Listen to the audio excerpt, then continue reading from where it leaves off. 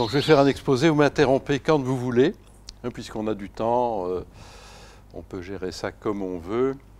Euh, n'hésitez pas à revenir avec vos attentes, vos problèmes, et on peut en discuter tous ensemble. C'est intéressant aussi d'échanger entre nous tous. Euh, c'est pas seulement moi qui dois parler, mais ce que je peux faire pendant deux jours, ça a pas de problème, mais c'est bien d'échanger aussi dans tous les sens. alors, euh, je vais quand même dire quelques mots sur moi. J'aime pas en fait du tout parler de moi, mais euh, euh, je pense que c'est nécessaire pour que vous sachiez à qui vous avez affaire. Quand on achète un produit, il faut lire la notice. Il faut être sûr qu'il n'y a pas de, conservants, d'additifs, etc. Je vous rassure, il n'y a pas de conservants, sauf peut-être du vin rouge, mais à petite dose, si on peut considérer le vin rouge comme un conservant.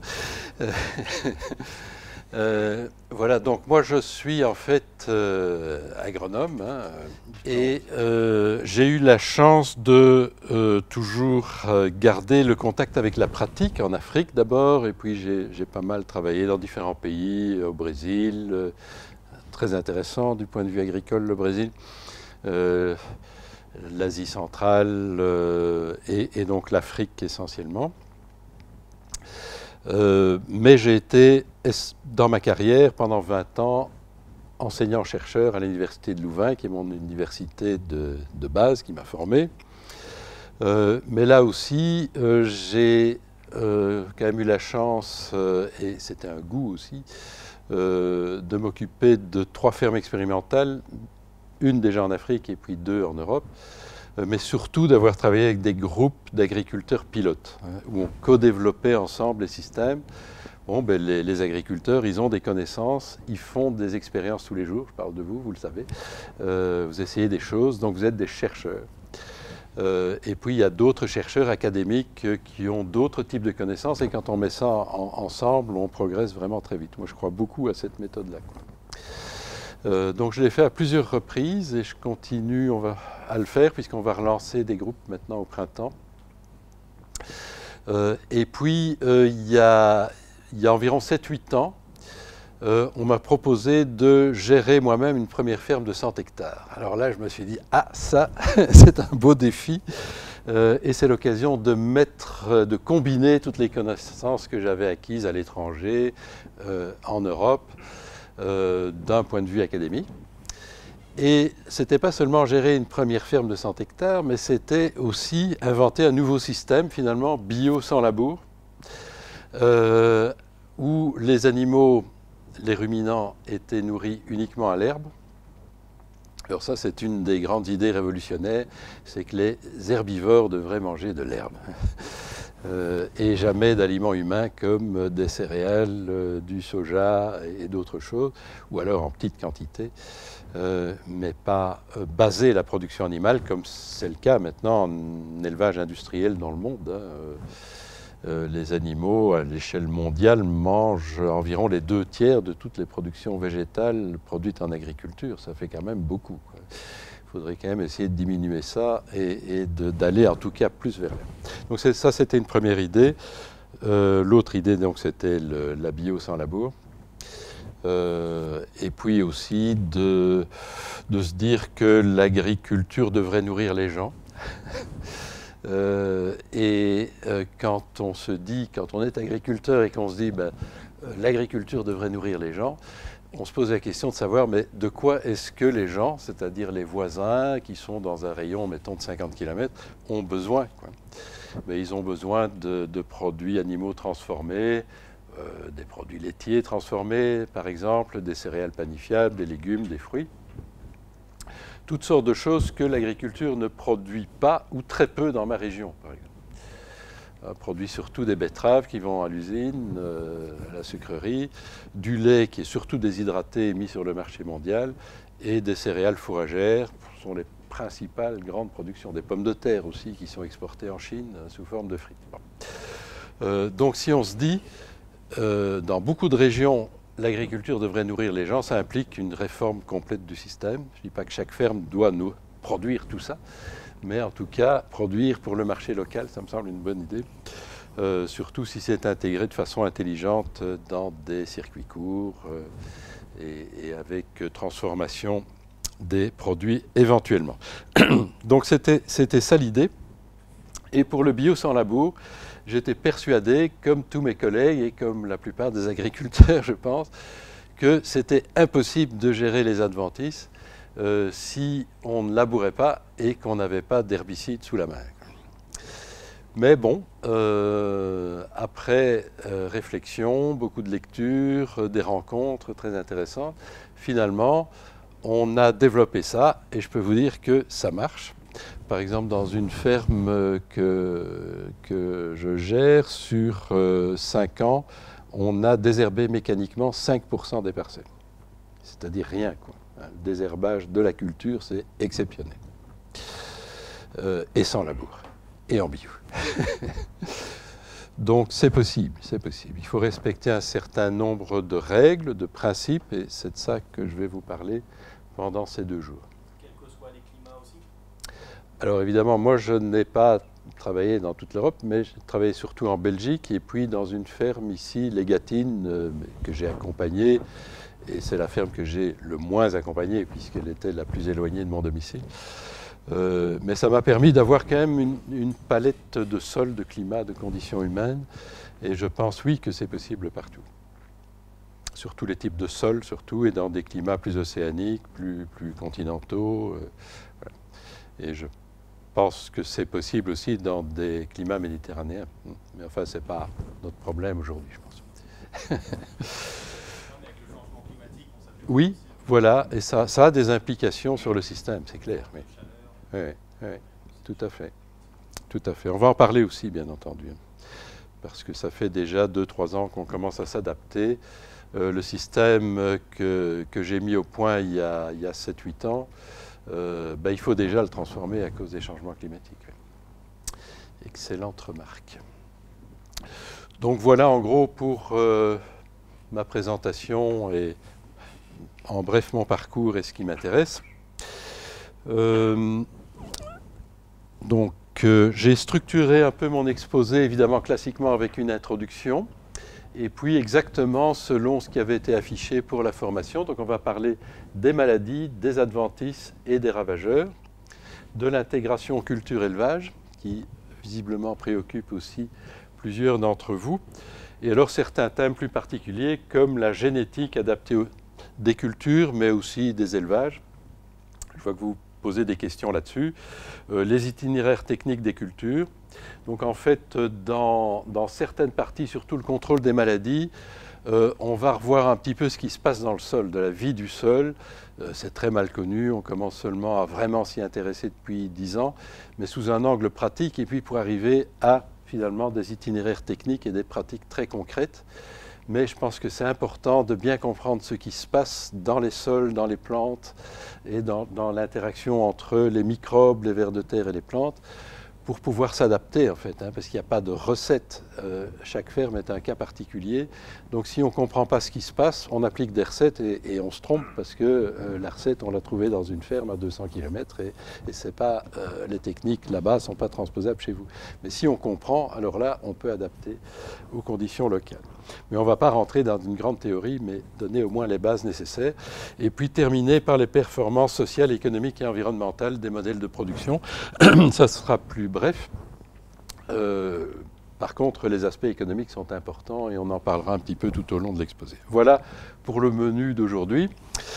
Euh, si vous êtes d'accord. Donc d'abord quelques mots d'introduction, parce que je pense que c'est important aussi euh, ce, rapport euh, qu'on a avec la nature. Donc je vais vous parler de ça pendant cinq minutes. Ça vaut la peine de, de, consacrer un tout petit peu de temps à ça. Et en commençant par cette publicité qui est très représentative finalement de la façon dont on aborde les choses en agriculture, mais dans euh, la culture occidentale. On est en lutte contre la nature et on voit ici la planète Terre qui est couverte d'une seule espèce, c'est une céréale en culture pure. Euh, il n'y a vraiment pas de place pour la vie sauvage sur cette planète. Euh, il n'y a, même pas d'autres plantes cultivées, il n'y en a qu'une. Euh, et il n'y a vraiment plus beaucoup de vie, mais évidemment, il y a des problèmes. Il, reste des, ravageurs, il reste des, parasites, et en l'occurrence des champignons pathogènes. Mais il y a une armada digne de la guerre des étoiles qui vient euh, abattre le peu de vie qui reste et, qui crée des problèmes sur la, céréale. Donc c'est caricatural, mais c'est une publicité que j'ai trouvée dans la presse agricole. Et je vous dis, il n'y a pas qu'en agriculture qu'on voit les choses comme ça. En médecine, c'est pareil. En enseignement, c'est pareil. Et donc, euh, il, faut, il faut changer cette méthode si vous voulez aller vers l'agroécologie si vous voulez aller vers des systèmes plus naturels, plus autonomes, qui fonctionnent mieux tout seuls aussi, euh, ben, il faut changer, il faut abandonner cette stratégie de lutte et il faut adopter une stratégie de coopération avec la nature. Euh, tout dans la nature n'est pas bon pour l'homme. C'est sûr qu'il y a des champignons euh, qui sont des poisons, il y a des ravageurs, il y a des maladies, c'est sûr, mais l'essentiel de la nature est favorable à l'homme, sinon l'homme n'aurait jamais réussi aussi bien à coloniser toute la planète. Et donc, si vous coopérez avec cette nature, en gérant les maladies, les ravageurs, les adventices, etc., vous allez dépenser beaucoup plus d'énergie et vous allez réduire aussi vos coûts de production. Donc il faut faire ce travail intérieur, en quelque sorte. Gandhi disait déjà ça il y a dix ans. Euh, il faut d'abord commencer par se changer soi-même et puis vous changez vos pratiques. Et ça passe aussi par un changement de vocabulaire. Par exemple, il faut éviter de parler de mauvaises herbes, mais trouver un autre nom, comme adventice ou plante indicatrice ou que c'est. Euh, bien sûr, il faut les gérer. Hein. Ce sont des plantes euh, qui ne doivent pas dominer dans les champs. Euh, mais il ne faut pas commencer à les insulter, parce que même une mauvaise herbe, elle a une action favorable sur la vie du sol, sur la structure, sur la fertilité, donc elle n'est pas 100% mauvaise. Donc il faut sortir de, cette conception, il y a les bons, il y a les méchants, hein. c'est beaucoup plus compliqué que ça. Et aussi abandonner ce terme de lutte, qu'on emploie par exemple pour la lutte biologique. Non, ce n'est pas une lutte, c'est une gestion. Euh, et abandonner aussi certains termes qui sont vraiment pas beaux, comme traiter certains êtres vivants de crasse, euh, comme par exemple les mauvaises herbes qui seraient des crasses ou des, insectes qui seraient des crasses. Euh, aucun être vivant ne mérite d'être traité de crasse. Voilà, donc ça c'est un changement de paradigme intérieur. Et puis, deuxième paradigme, c'est revenir aux racines de l'agronomie, c'est-à-dire la rhizosphère, c'est à, la vie qu'il y a dans le sol autour des racines. On a oublié ça pendant 60 ans parce qu'on avait des engrais solubles, des fongicides, etc. Des intrants qui permettaient d'oublier tout ça et de remplacer tous les services que rendent les, les micro-organismes du sol, toute la vie du sol, euh, par des intrants. Évidemment, ça a un coût. Hein. On a oublié ça et maintenant on y revient et c'est très heureux. Et depuis dix ans, euh, maintenant, la science progresse très vite sur ces aspects-là. On connaît toujours presque rien sur les microbes, euh, mais néanmoins, comme on partait de très bas, on, progresse, on progresse vite. Il y a bien sûr des gens qui travaillaient déjà sur les micro-organismes euh, même dans les années, depuis les années 60, et il faut leur rendre hommage, mais c'était des exceptions en recherche, tandis que maintenant l'effort de recherche est beaucoup plus important. Et c'est passionnant, ce qu'on apprend, c'est absolument passionnant. Et euh, il y a un parallèle aussi très clair entre ce qu'on apprend sur la vie du sol et ce qu'il y a dans notre propre intestin. Hein. Et c'est là qu'on voit aussi euh, très concrètement ce que ça représente de coopérer avec la nature, parce que la nature, elle est en nous. Et en fait, on a une diversité de bactéries en nous qui est absolument phénoménale, euh, qui nous protège vis-à-vis des maladies, comme la vie du sol protège les plantes vis-à-vis des maladies, euh, qui influence notre cerveau, qui nous donne des, envies euh, de, chocolat, de sucre, d'alcool, de, graisse, de tout ce qu'on veut. Donc, elle agit sur notre personnalité, sur notre humeur. Et, en fait, c'est un tout. La partie humaine en nous et la partie bactérienne ne fait qu'un. Et, nous ne sommes pas en fait des êtres humains. Euh, les, des individus de chêne, de blé ou d'hommes, ça n'existe pas. Hein. Euh, tous les, organismes pluricellulaires vivent en symbiose profonde avec des micro-organismes et ce sont tous des communautés d'êtres vivants. Nous tous, euh, tels que nous sommes là. Nous ne sommes pas des êtres humains, ou alors il faut leur définir autrement, mais nous sommes des communautés d'êtres vivants qui vivent en symbiose. Et donc là, on voit que la lutte contre la nature, ça n'a aucun sens puisqu'on lutterait contre nous-mêmes. Il faut, coopérer avec les, bactéries qui sont à l'intérieur de nous et qui existent dans toutes les cellules. Et troisième changement de paradigme, c'est de changer la vision de l'agriculteur. Depuis euh, 60 ans, on a dit aussi l'agriculteur doit produire et euh, ils ne doivent pas s'occuper du reste. C'est un message quand même qui était assez profond. Eh bien non, parce que euh, l'agriculteur peut aussi transformer, vendre ses produits hein, et puis aussi euh, fournir des services écosystémiques, comme on dit. Euh, et il commence à y avoir des entreprises qui peuvent payer les agriculteurs pour séquestrer du carbone dans les sols. Donc ça peut être une source de revenus. Et bien sûr, ça existe déjà dans la politique agricole commune. Il y a les mesures agro-environnementales, maintenant les éco-schemes, etc., qui payent pour produire de la biodiversité, de l'eau pure du paysage, mais on peut avoir une version beaucoup plus dynamique de ça. C'est un autre sujet, mais en tout cas, ce qu'on peut dire, c'est que euh, produire, c'est bien, il faut produire, euh, mais transformer, c'est plus rentable que produire, et vendre, c'est plus rentable que transformer. Donc si vous faites les trois, vous augmentez considérablement votre revenu, et donc il n'y a pas de raison de rester là. Euh, il faut essayer de garder, de récupérer en agriculture la valeur ajoutée de la transformation et de la vente, et ça c'est une stratégie économique qui paye et qui permet de créer aussi des emplois dans les fermes. Voilà, première chose, c'est le changement de paradigme. Et puis, l'agroécologie, parce que tout, ce dont on parle aujourd'hui, c'est de l'agroécologie. Hein. Et là, des stratégies écologiques et économiques très claires euh, que je voudrais vous décrire, parce que ça a un impact sur tout le reste, tout ce dont on va parler pendant ces deux jours, euh, s'inscrit en fait dans ces deux stratégies.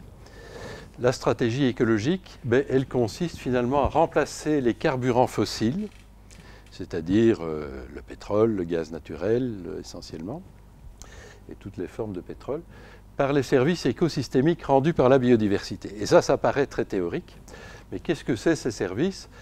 C'est euh, la vie du sol qui améliore la fertilité du sol, qui améliore la structure du sol, euh, qui euh, protège les plantes vis-à-vis -vis des maladies, hein, donc des parasites. Voilà quelques services écosystémiques très importants évidemment pour le fonctionnement du système.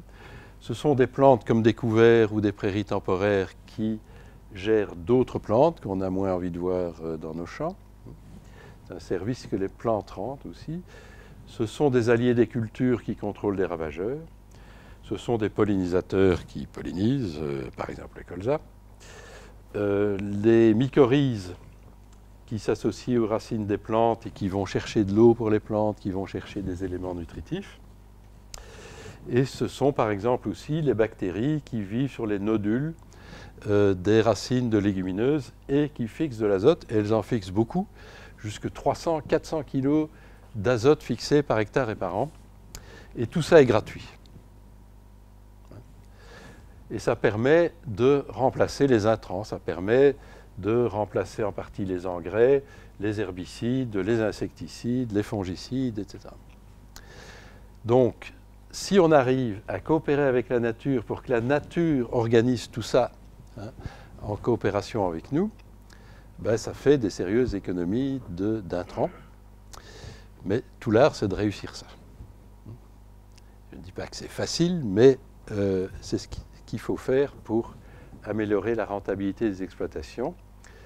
Et quand on observe les choses, euh, parce que finalement, l'agroécologie est basée euh, sur les observations. On observe, puis on essaye de comprendre ce qu'on a vu, et puis euh, on essaye de générer des connaissances, notamment en allant sur Internet, en allant à des formations comme ceci, en échangeant entre collègues. Euh, finalement, on augmente ses connaissances, et ça c'est passionnant. Donc on n'applique plus des recettes hein, en conventionnel. Finalement, on peut euh, réussir en appliquant quelques recettes. On applique les doses d'azote à tel moment, les, les, herbicides à tel moment.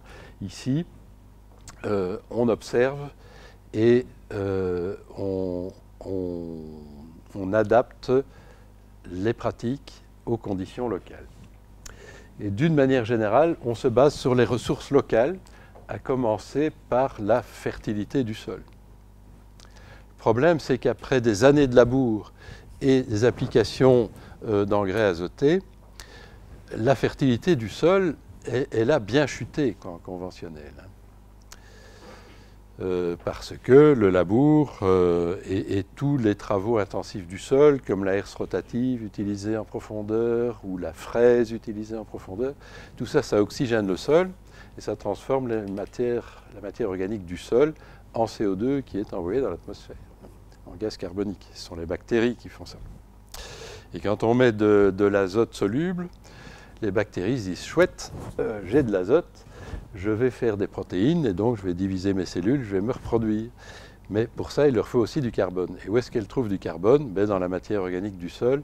Et donc, elles attaquent la matière organique du sol, elles le transforment en partie en gaz carbonique aussi, qui va dans l'atmosphère, et en partie en matière qui sert à produire ces protéines et donc à, l'entièreté de son organisme. Donc ces deux techniques-là, travail intensif du sol et application d'azote soluble, ça détruit la matière organique du sol.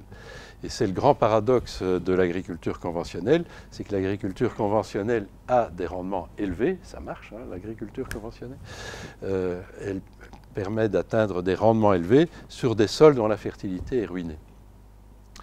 Mais dès qu'on arrête les intrants et qu'on cultive du froment, par exemple, du blé sur un sol en conventionnel, ben, le rendement chute complètement. Dès que vous coupez le Baxter de pétrole, les rendements s'effondrent. Et euh, voilà. Et, on voit que la fertilité du sol est, devenue très faible. Donc il faut restaurer cette fertilité. on sait que ça prend du temps. Euh, mais il faut le faire. Et euh, sur des sols à fertilité ruinée, il faut avoir des rendements acceptables dès la première année, parce qu'on a besoin d'un revenu dès la première année. Et ça, c'est un défi aussi. Donc il faut se donner des années, au moins 10 ans, pour restaurer la fertilité du sol, voire davantage, hein, euh, mais avec des rendements acceptables dès la première année. Comment on fait ça? Ben, On va en parler. Et donc en agroécologie, on n'utilise pas massivement des intrants commerciaux, mais on profite de tous les services rendus par la biodiversité pour réduire ces achats d'intrants.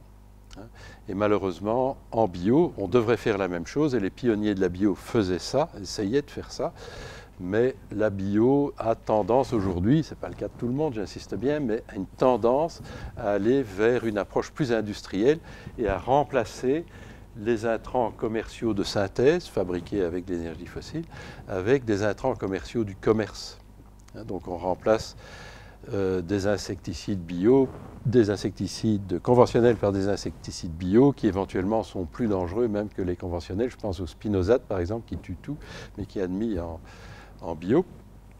Euh, où on remplace l'azote euh, de synthèse par des déchets d'abattoir qui eux-mêmes ont été produits, les animaux ont été produits avec de l'azote de synthèse. donc ça, à mon avis, ce n'est pas la bonne voie ni sur le plan écologique, ni sur le plan économique, parce que ces intrants bio, ces intrants commerciaux bio, coûtent encore beaucoup plus cher que les intrants euh, conventionnels. Donc, euh, ce n'est pas une bonne idée de remplacer des intrants conventionnels qui sont déjà chers par des intrants bio qui sont encore plus chers. Donc, il faut essayer de s'en passer en se basant sur la biodiversité. Et puis, c'est important, euh, dans le contexte de crise climatique qu'on connaît, et on a connu maintenant 4 à 5 années de sécheresse.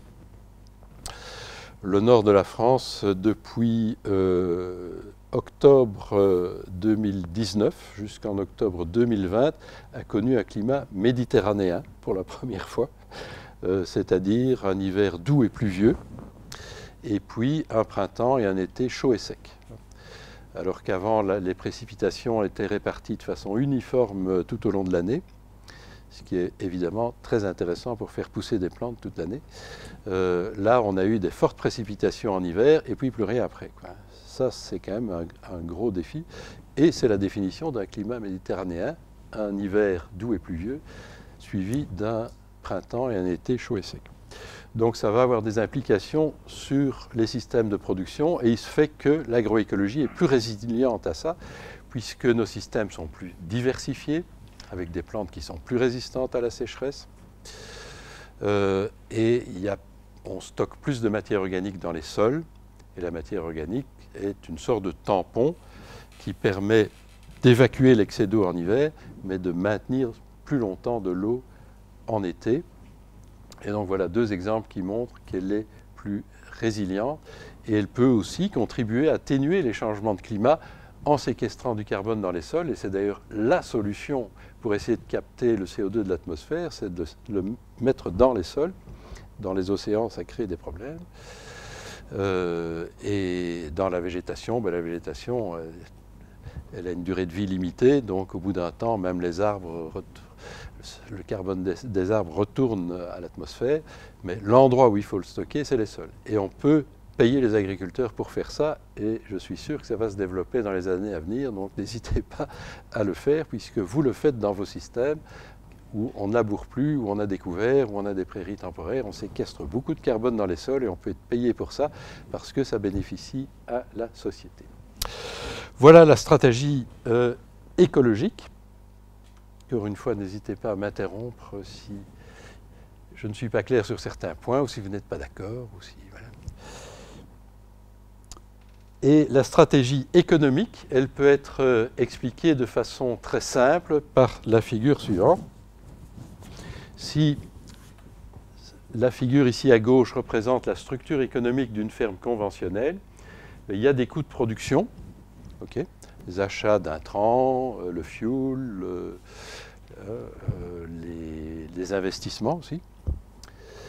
Et puis, vous avez des recettes, et la différence peut être appelée la valeur ajoutée. On ne parle même pas de subsides ici, mais voilà, c'est un schéma très simple qui résume la structure économique d'une ferme ou d'une entreprise en général. Qu'est-ce qu'on fait en agroécologie? On diminue drastiquement les coûts. Comment est-ce qu'on fait ça? Grâce à la biodiversité les légumineuses fixent de l'azote, on n'achète plus d'engrais de synthèse. Sur les sols vivants, on a beaucoup moins de maladies, on n'achète euh, plus de fongicides. Euh, on a des fourrages, on est autonome, on n'achète plus d'engrais pour le bétail, on produit tout nous-mêmes. Donc on, diminue drastiquement les coûts. On n'achète pas un semoir de semi-direct tout seul, on l'achète à 5, comme l'a dit quelqu'un, euh, dans une Puma où on passe par un prestataire, comme l'a dit quelqu'un d'autre pour ces gros investissements. Donc on évite les gros investissements. Et puis, euh, on, augmente les, recettes. Comment est-ce qu'on augmente les recettes? Par trois moyens, c'est très simple. On vise la qualité. Au lieu de faire des céréales fourragères, on fait des céréales panifiables. Euh, au lieu de faire une viande tout venant, ben on essaye de faire une viande plus savoureuse euh, pour laquelle il y a une demande des consommateurs plus importante. On peut faire une viande à l'herbe qu'on vend plus cher, par exemple. Euh, voilà quelques exemples de qualité. Euh, et puis, on transforme le produit. Au lieu de le mettre dans la filière agro-industrielle, on le transforme en partenariat ou non avec des artisans. On peut faire de la farine avec nos céréales panifiables. En en envoyant notre grain à un meunier qui en fait de la farine, il peut le faire à, façon, et donc on récupère la farine. Et puis on vend la farine ou on vend du pain. Mais on peut aussi s'allier à un boulanger à qui on vend la farine et lui vend les pains. Et vous pouvez récupérer une partie des pains pour la vendre à la ferme, par exemple. Voilà quelques exemples simples. Hein. Euh, même chose pour les animaux, plutôt que vendre les animaux aux chevillards, c'est faire abattre euh, les animaux à l'abattoir idéalement des abattoirs mobiles, ça commence à se développer et c'est très bien. Euh, et puis on fait découper la viande par un boucher, on la met sous, plastique et on la vend. Donc la, faire abattre et découper une bête, c'est de la transformation. Et puis on la vend de différentes façons et il y a de plus en plus de façons différentes de vendre les produits. Ça peut se faire sur une application, sur un smartphone, ça peut se faire dans un magasin à la ferme, euh, sur des marchés, euh, dans des, des magasins, etc. Donc il faut trouver la voie qui vous plaît. Mais ça, ça permet ces trois choses-là, donc viser la qualité, transformer et vendre soi-même en circuit court et local, ça augmente considérablement les revenus. Et donc, euh, si on diminue les coûts et qu'on augmente les recettes, ben, la valeur ajoutée est égale ou supérieure, et très souvent supérieure, et je vais vous montrer des chiffres là-dessus euh, demain. ça marche en fait, hein, on l'a évalué sur le terrain, euh, la valeur ajoutée augmente. Oui. Quand on vise la qualité, on est souvent sur les marchés de niche. Comment est-ce qu'on peut euh, rendre ça à grande échelle euh, d'un point de vue des débouchés oui, ben, la panification, enfin, le blé panifiable, ce n'est pas vraiment un marché de niche, hein, puisque tout le monde mange du, pain tous les jours. En termes de quantité, euh, on peut, euh, ça représente quand même un marché considérable. Euh, la viande aussi, hein, les produits laitiers transformés, les fromages, les yaourts, le beurre, tout ça, ce n'est pas des marchés de niche. la viande à l'herbe les plus, mais la demande est en forte croissance. Et la bonne réponse à cette question, qui est évidemment aussi très pertinente, euh, c'est revenir aux années 80 avec la bio. La bio était un marché de niche typique. Et il y a euh, une personne qui travaillait dans euh, une industrie agroalimentaire, mais de, petite taille, hein, mais qui était spécialisée en bio. il m'a dit, les plus grands ennemis de la bio, ce sont les agriculteurs bio. Pourquoi? Parce qu'ils ne veulent pas que la bio se développe et ils ont l'impression qu'ils ont un marché de niche et donc s'il y a plus d'agriculteurs bio, le revenu va diminuer. Et en fait, ce qui s'est passé, c'est exactement le contraire. Euh, la bio s'est développée, elle augmente de façon exponentielle depuis des années, euh, alors qu'on croyait que c'était un marché de niche. Donc il faut avoir confiance dans la possibilité de vendre des produits à la fois plus naturels et plus locaux. Les gens sont en demande, en demande de produits locaux maintenant, et, cette tendance a encore été renforcée par la crise du Covid. Et des produits pas nécessairement bio, mais euh, voilà, produits de façon euh, plus, plus saine, avec moins de pesticides en tout cas. Euh, donc je suis convaincu que le marché pour ces produits va aussi augmenter. Mais un grand défi, c'est que ces, euh, ces, produits ne soient pas vendus trop cher pour les consommateurs. Et ça, c'est un peu le cas des produits bio dans les grands magasins. Euh, les prix sont souvent nettement plus chers que les prix en conventionnel. Mais si vous transformez et vous vendez les produits vous-même, vous pouvez vendre l'essentiel des produits à un prix comparable à celui des grands magasins en gagnant beaucoup mieux votre vie vous-même. Parce que vous gardez toute la marge des industries de transformation et des industries de distribution dans votre poche. donc le, le consommateur, lui, ne devrait pas payer plus cher. Ou en tout cas pas beaucoup plus cher et euh, sauf pour certains produits qui ne peuvent pas être concurrencés, comme les poulets et les porcs industriels. Euh, ça, on ne peut pas produire de la viande aussi bon marché en agroécologie à l'herbe. Euh, mais il faut manger moins de viande et c'est une tendance de la société. On mange de moins en moins de viande, en tout cas bovine, mais même de tous les types de viande depuis depuis quelques années, mais depuis 1960, on mange moins en moins de viande bovine plus en plus de viande de porc et de volaille. Euh, maintenant, ce qu'il faut faire, de mon point de vue, c'est certes manger moins de viande euh, pour des raisons environnementales, pour des raisons de santé, mais revenir à la viande bovine produite à l'herbe et aussi euh, au porc et aux volailles produits à l'herbe, parce que même les monogastriques peuvent intégrer jusqu'à 50%, mais assez facilement 20 à 30% d'herbe dans leur ration. Et puis au niveau sociétal, ce n'est pas facile à faire d'un coup au niveau des fermes, je m'en rends bien compte, mais euh, les monogastriques devraient avoir en complément de l'herbe, non pas des aliments humains comme des céréales ou du soja, mais des déchets d'aliments humains, c'est-à-dire les restes des, euh, des, grands magasins qui sont encore des, très bons produits mais qu'on met à la poubelle, les déchets de cantine qui sont des très bons produits aussi. Donc il faudrait réorganiser un peu la géographie de, euh, la production de porc et de volaille. Euh, mais c'est vers ça qu'il faut tendre. Et, donc, on, produirait aussi des, bonnes viandes sur cette base-là. Mais donc, ça, c'est une vision à long terme. Oui, voilà, les anciens ne, donnaient jamais euh, du blé euh, au porc. Hein. On donnait le petit lait, les, déchets de pommes de terre, les déchets de légumes et toutes ces choses-là. En fait, il faut revenir, c'est vrai, à l'agriculture euh, mixte du passé, mais pas avec une vision passéiste, mais en utilisant euh, les, techniques et les dernières techniques et les dernières connaissances scientifiques qu'on a aujourd'hui. Et donc ça n'est pas du tout passéiste, c'est une agriculture de progrès. L'agroécologie est, un processus de progrès. La, difficulté quand même sur la commercialisation, c'est qu'au-delà d'un certain volume, en fait, on est obligé de passer par, des structures plus importantes. Et là, et là, les produits de, qualité, ils se trouvent euh, peu valorisés ou mélangés avec un ensemble de... Donc on a beau faire, essayer de faire euh, euh, des blés de qualité, mais à un moment ils se retrouvent dans la masse et on ne valorise pas aussi bien qu'on pourrait. Et ça, je trouve ça un problème. En tout cas au début, oui.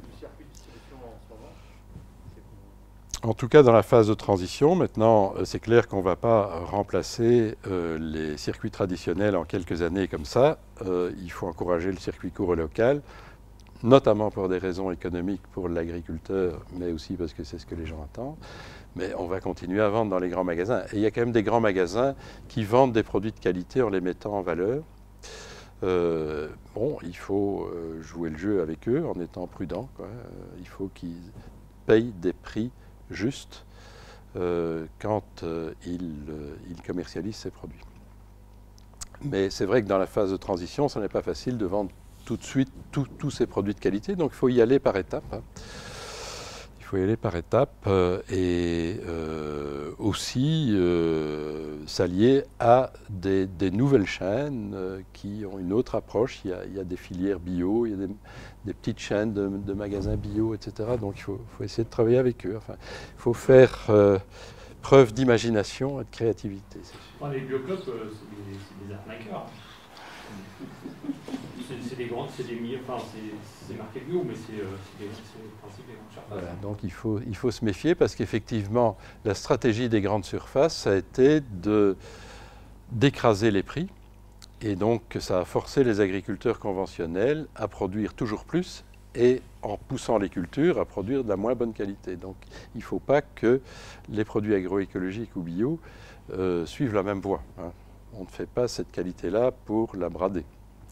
D'où l'importance de la vente en circuit court et local, mais aussi de, développer des nouvelles filières ou de collaborer avec des nouvelles filières qui se mettent en place et qui ne sont pas des arnaqueurs, comme vous dites. Oui, c'est un, grand enjeu, ça. mais c'est possible. En système parle ce moment, on parle beaucoup du système plutôt autonome et d'un système plus intensif calqué sur le conventionnel. Et enfin, nous, on voit dans notre secteur, il y a pas mal un peu les deux schémas qui sont en train de partir en bio.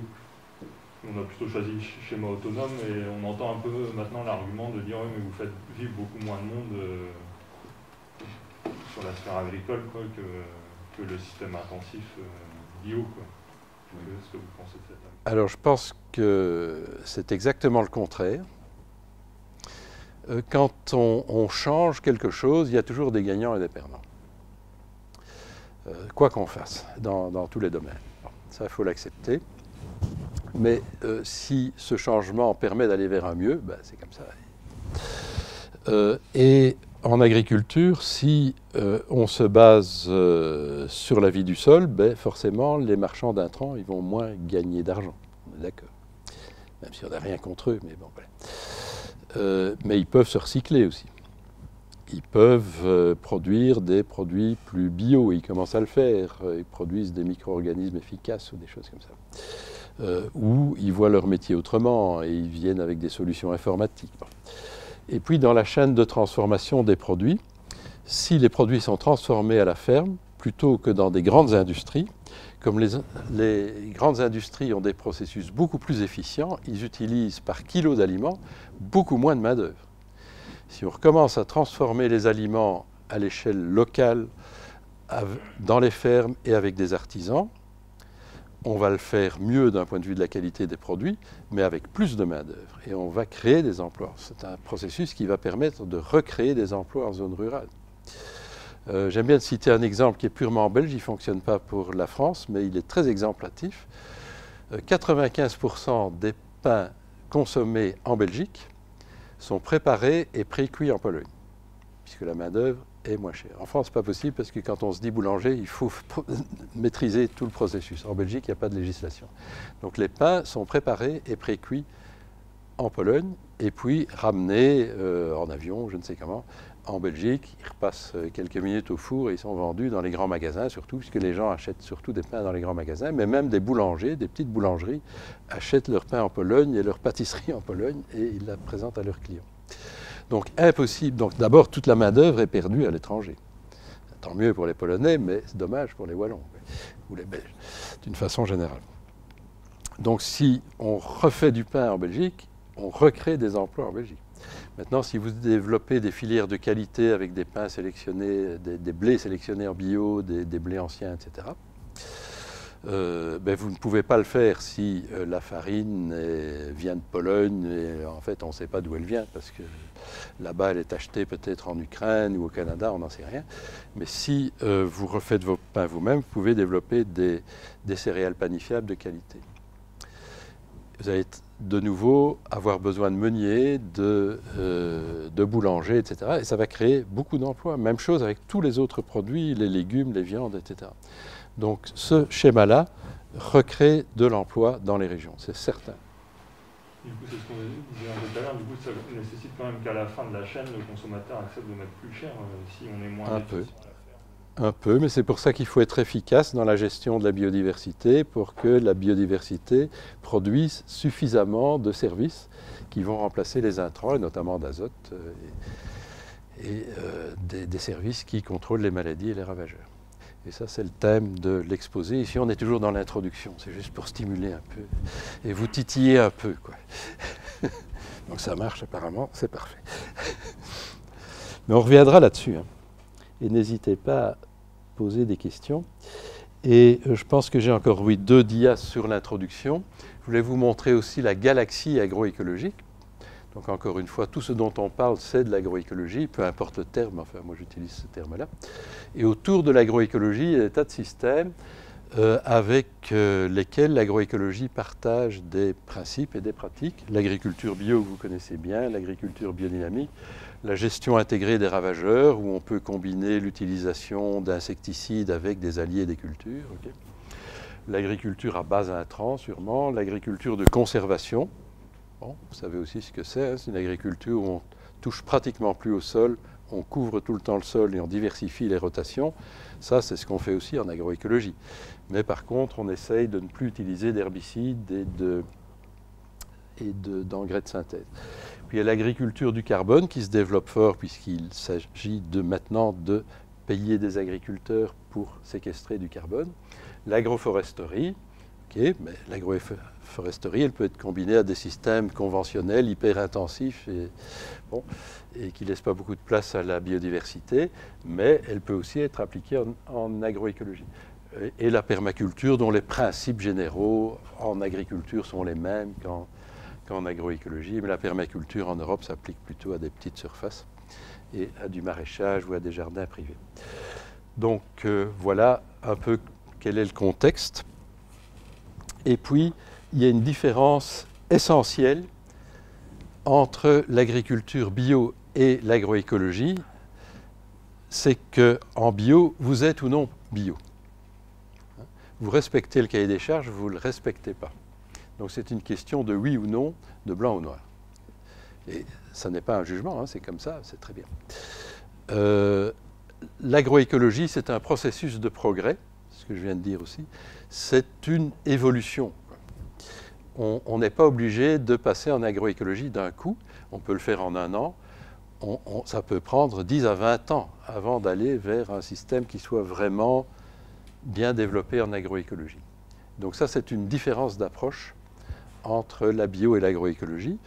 Euh, mais une des premières choses qu'on peut faire si on vise l'agroécologie, c'est de passer en bio. mais après le cahier des charges bio, il y a encore beaucoup d'améliorations à faire. Parce que le cahier des charges bio, il est assez minimum. Hein, et c'est ce qui fait son succès, évidemment. Si on est très exigeant avec un cahier des charges bio, ben, il n'y a pas grand monde qui va devenir bio. Donc le principe du label bio européen, c'est d'être euh, à un niveau minimal pour attirer du monde. Mais l'agroécologie va bien au-delà du cahier des charges bio. Euh, voilà. Et, l'enjeu, c'est bien aussi notamment d'hybrider euh, l'agriculture bio et l'agriculture de conservation. Alors une première chose qu'on peut faire quand on est en conventionnel, c'est d'augmenter l'efficience de l'utilisation des intrants.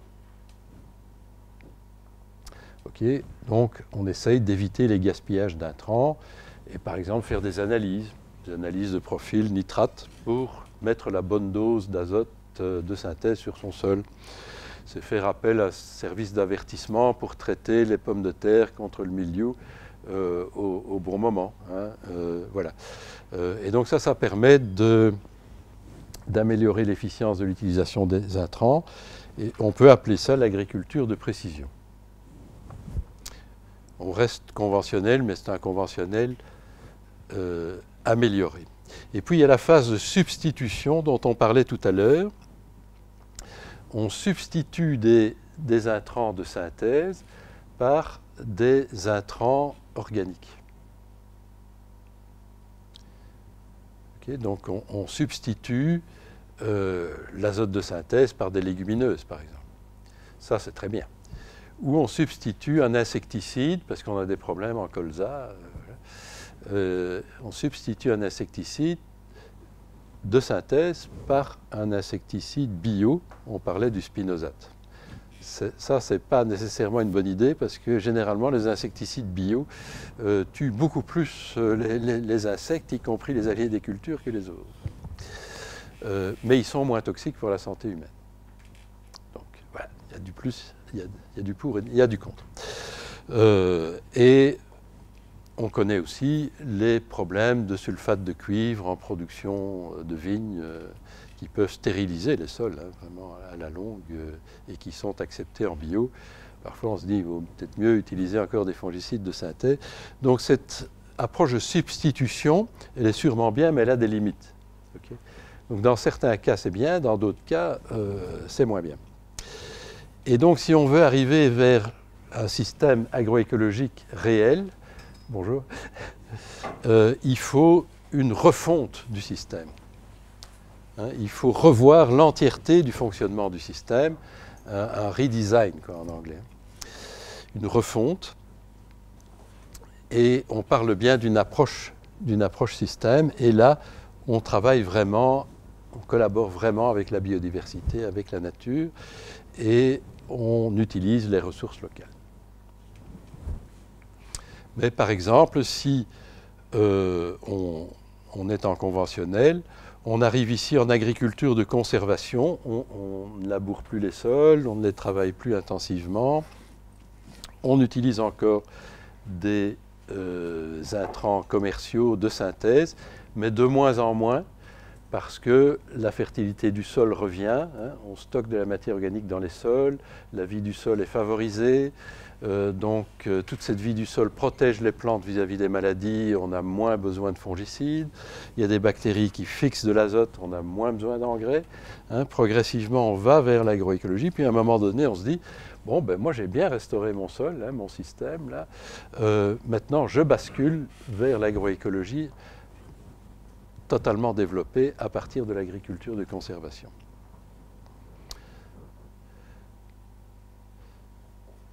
Et pour faire un petit parallèle avec euh, la mythologie grecque et, l'histoire de l'Odyssée, euh, donc l'histoire d'Ulysse qui, après la guerre de Troie, veut rentrer chez lui, mais il, se perd pendant des années, il lui arrive un tas d'aventures. Euh, dans l'Odyssée agroécologique, ce qui est important, c'est plus le voyage que l'arrivée à Ithaque, c'est-à-dire l'arrivée dans le village d'Ulysse. Tandis qu'en bio, on passe du jour au lendemain euh, on arrive à Ithac, de Troyes à Ithac, et on n'a pas toutes les aventures, ce qui peut être bien, mais... Euh, par exemple, l'agriculture de précision, tout le monde dit qu'il tout le monde se dit de l'agriculture de précision, alors qu'il n'y a pas de cahier des charges vraiment précis. Mhm. Tout le monde peut le dire. je suis très content. Oui, Je suis plus précis, j'utilise un GPS, mais on est, précis euh, sur la conduite du tracteur, mais on n'est pas précis sur l'utilisation. Exactement. Voilà. Et il y a plusieurs façons de définir l'agriculture de précision. Problème de conservation, il y en a sur la bourse, conservation.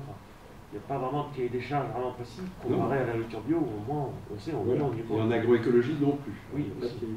Mais il y a des principes très clairs. Oui.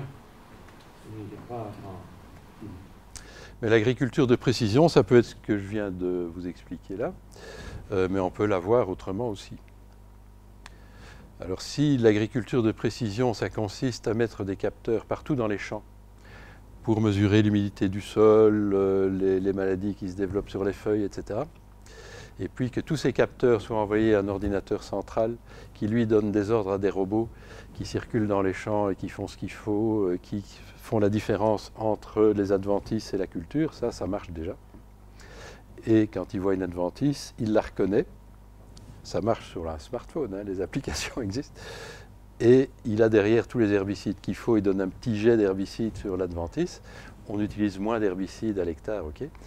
Euh, mais dans ce système-là, il n'y a plus de place pour les agriculteurs, il n'y a plus de place que pour les, informaticiens. Et là, du coup, on perd de la main-d'œuvre. Euh, L'agriculture de précision, ça peut devenir ça aussi. Euh, ceci dit, je ne suis pas contre l'utilisation de tous les robots, par exemple en maraîchage, la, la- la quantité de travail nécessaire est très importante.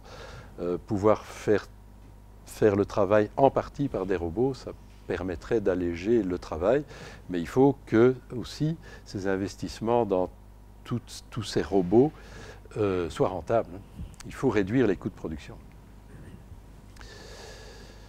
Donc oui, là-dessus, on peut, on peut évidemment épiloguer pendant très longtemps, mais ce que je voulais vous montrer en tout cas, c'est ce processus et cette évolution en agroécologie, alors qu'en bio, on passe euh, d'un coup, avec une phase de conversion bien sûr, de, de 2 à 3 ans, mais on passe d'un coup au respect du cahier des charges. Mais les deux sont complémentaires. Voilà pour l'intro. Donc on, on arrive au premier chapitre, le contrôle des maladies. Et donc commencer ce premier chapitre du contrôle des maladies et des sols vivants. Et là, je vous ai dit que je vais quand même introduire un peu les, acteurs du sol, sans aller dans trop de détails, mais pour bien comprendre les interactions entre eux et avec les plantes, c'est essentiel pour le développement de nos systèmes. Et les principaux acteurs de ce roman, hein, parce que c'est vraiment un roman, euh, et toute cette vie du sol, ce sont les bactéries au sens large, dont les actinobactéries, un détail, mais qu'on appelait des actinomycètes parce qu'ils ont des filaments un peu comme des champignons, et les archées qui ne sont pas des bactéries, mais pour simplifier, je les ai mis dans le groupe des bactéries. Et puis il y a les champignons, puis il y a deux groupes qui sont des brouteurs de bactéries et de champignons, les protozoaires et les nématodes. Puis il y a les ingénieurs du sol, les vers de terre, et puis les plantes. Et puis on va un peu parler d'éléments clés pour gérer tout ça. Donc euh, je vous présente les acteurs et leur rôle.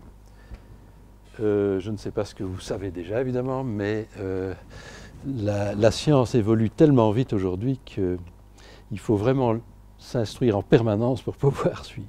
Alors une belle image où évidemment les micro-organismes sont colorés, mais qui vous montre un peu la diversité ici de bactéries et de champignons. C'est aussi beau. Quoi. Euh, et euh, la chaîne alimentaire du sol. Alors là, c'est très touffu, il ne faut pas avoir peur. On peut l'expliquer relativement simplement, mais le but, c'est de vous montrer que c'est complexe. Ça, je pense que le but est atteint.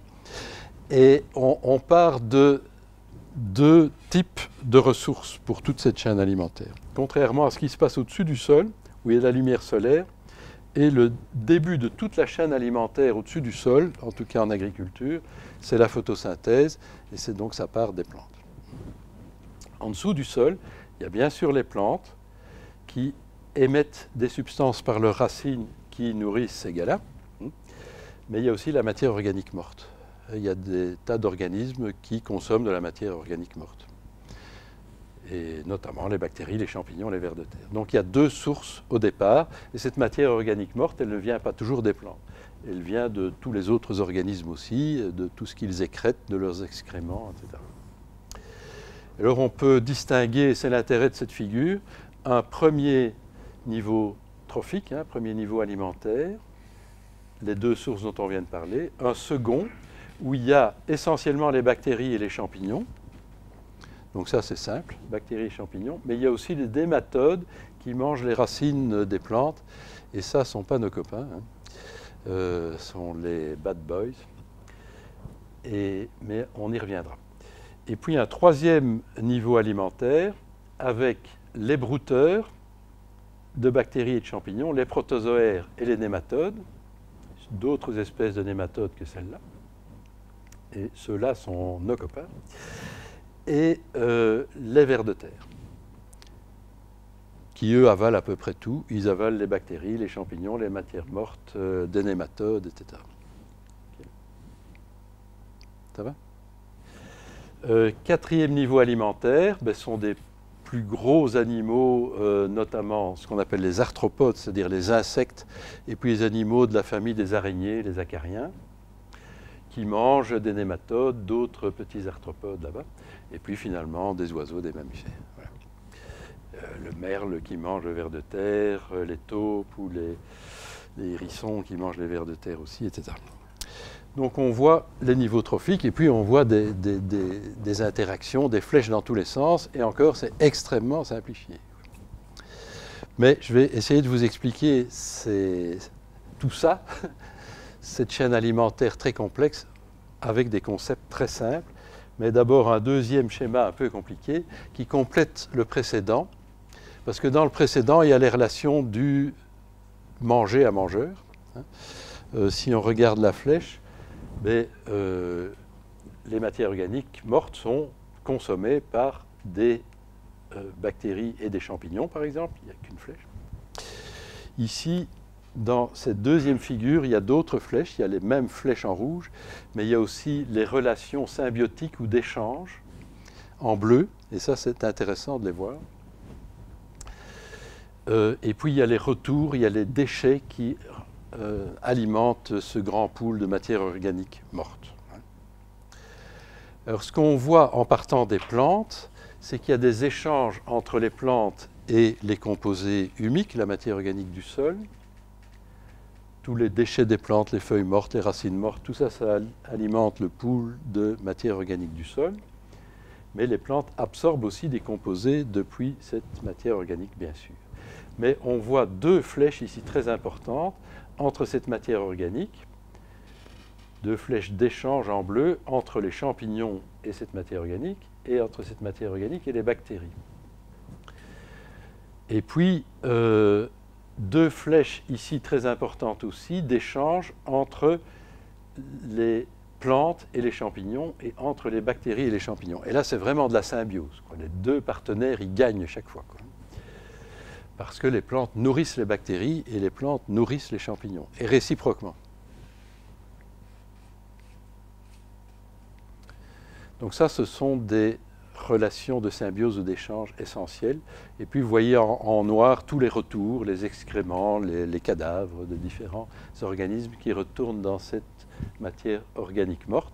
Pour le reste, ben, on retrouve les mêmes organismes, évidemment, c'est rassurant.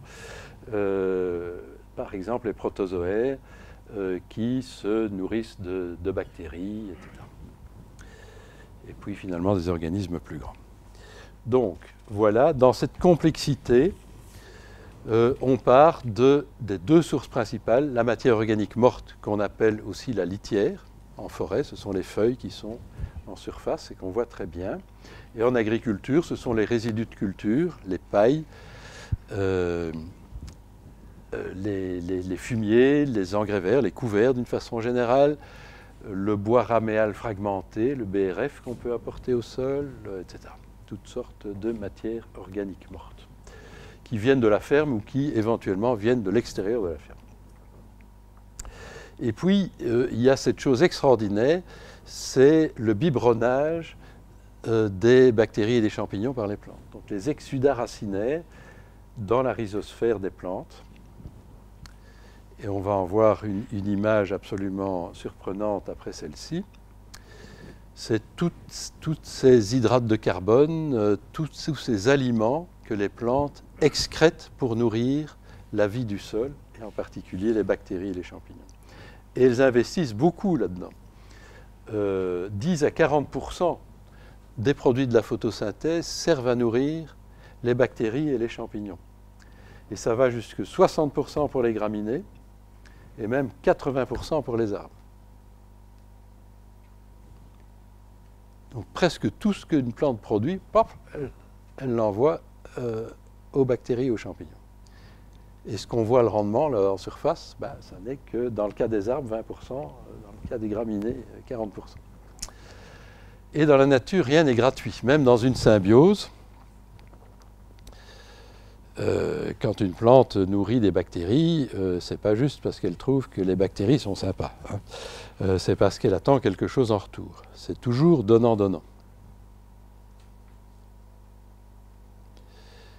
Et donc, si une plante investit 60% des produits de photosynthèse dans la nourriture des bactéries et des champignons, c'est qu'elle obtient au moins autant. Sinon, elle arrête. Et ça se passe, hein. et vous en connaissez des exemples. Euh, quand on met des fortes doses d'azote sur une luzerne, euh, la luzerne ne fixe plus l'azote. Hein. Elle dit à ces bactéries qui vivent dans les nodules, les, rhizobiums euh, qui vivent dans les nodules sur ces racines, ben, les bactéries, elles étaient bien sympas, vous fixez de l'azote pour moi, enfin je vous payais aussi en hydrate de carbone et vous me donniez des acides aminés et de l'ammonium. Mais maintenant, je reçois, l'agriculteur, il m'apporte euh, du nitrate d'ammoniac, je n'ai plus besoin de vous, hein, donc je vous nourris plus. C'est exactement comme ça que ça se passe. Donc c'est considérable, c'est considérable. Et on voit ici euh, ce qui se passe sur des racines adventives d'un maïs, parce qu'évidemment, ce, qui se passe dans le sol, on ne le voit pas bien, c'est toujours compliqué. Mais on voit ici tout ce liquide un peu gluant, là. Ce sont les sécrétions des radicelles de la plante. Et c'est ce qui se passe dans le sol. Je ne sais pas si vous voyez bien avec le contraste, mais on, voit des gouttes même ici, hein, tellement c'est abondant. je ne dis pas que c'est un fleuve, mais enfin il y a un flux en tout cas. Et les bactéries se jettent là-dessus. C'est une source d'énergie fantastique. Vous avez des exemples de pratiques qui fait que. Qu'est-ce qui fait que la plante exude plus ou moins? Mais si elle est en bonne santé, qu'elle fait beaucoup de photosynthèse, elle va excréter plus. C'est lié à la photosynthèse et, à la fertilisation aussi À la fertilisation, oui aussi, mais je vais euh, nuancer ça dans un instant. plus une plante pousse, plus elle peut exsuder, en fait tous les facteurs qui font qu'une plante pousse plus, c'est-à-dire euh, de la lumière, euh, de l'eau, des éléments nutritifs, tout ça augmente les, exudats. Mais elle ne nourrit pas toutes les bactéries, ou en tout cas toutes les bactéries ne peuvent pas en profiter, parce qu'il y a 10 à 100 fois moins d'espèces qui se nourrissent de, de ces exudats que de bactéries libres qui vivent dans le sol sur la base des matières organiques mortes, donc de l'autre source d'aliments.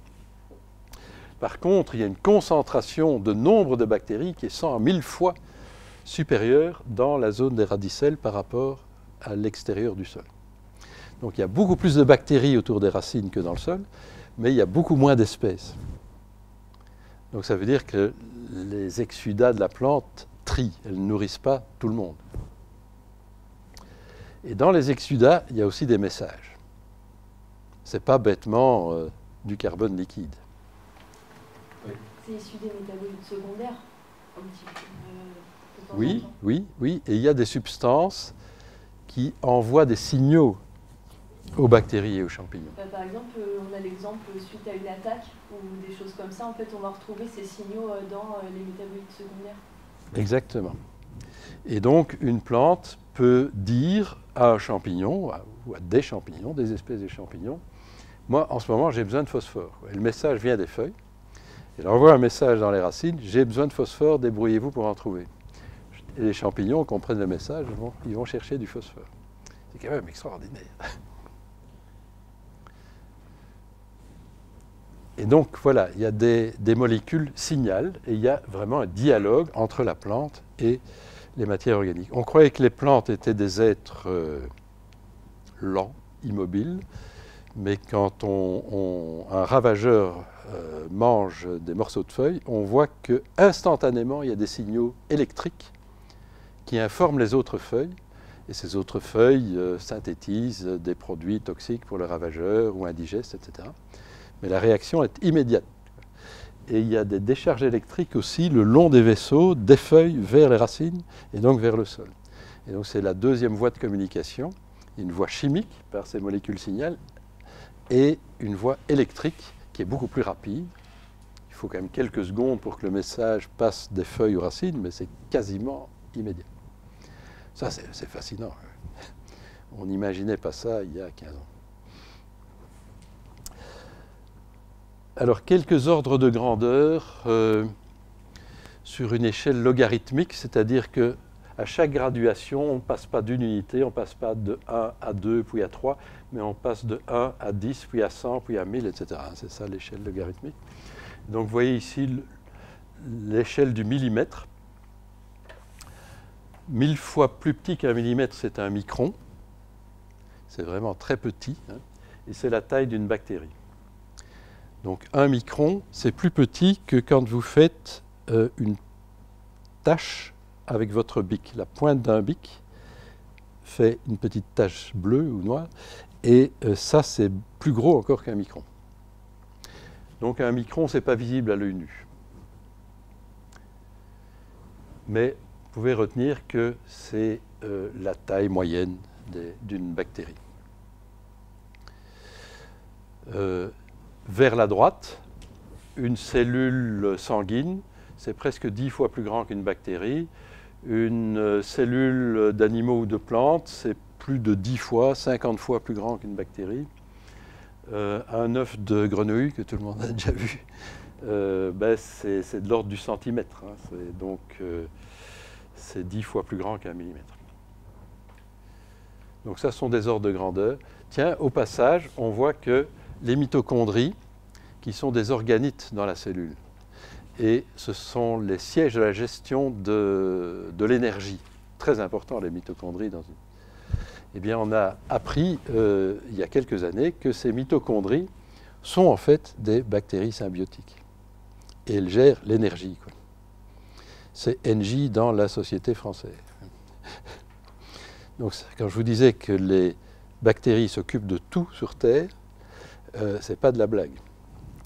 Et les chloroplastes, sont aussi des organites. Même chose, ce sont des cyanobactéries qui font de la photosynthèse. Et donc là aussi, il faut un peu réviser euh, ce qu'on a appris à l'école, parce qu'on a appris à l'école que les plantes étaient capables de photosynthèse et que euh, sont elles qui captent les rayons du soleil. C'est faux, ce sont des bactéries. Euh, les, les, chloroplastes, qui sont des cyanobactéries, qui font le travail. Les plantes sont incapables de photosynthèse. Mais bon, si on considère qu'une plante, c'est une communauté de gènes de plantes et de bactéries, bah alors oui, la plante fait de la photosynthèse. Mais les bactéries s'occupent de tout. Elles captent l'énergie, elles gèrent l'énergie, elles gèrent la communication, euh, elles font tout. Elles nous protègent des maladies, euh, elles nous donnent des envies de chocolat. Euh. et, et même la preuve chez nous, dans l'organisme humain, je raconte quand même ça, c'est une anecdote, mais ça va vous montrer à quel point les bactéries peuvent être importantes. Euh, il y a un médecin euh, australien qui a été un des pionniers de la thérapie par le changement du microbiote et qui traitait des gens obèses.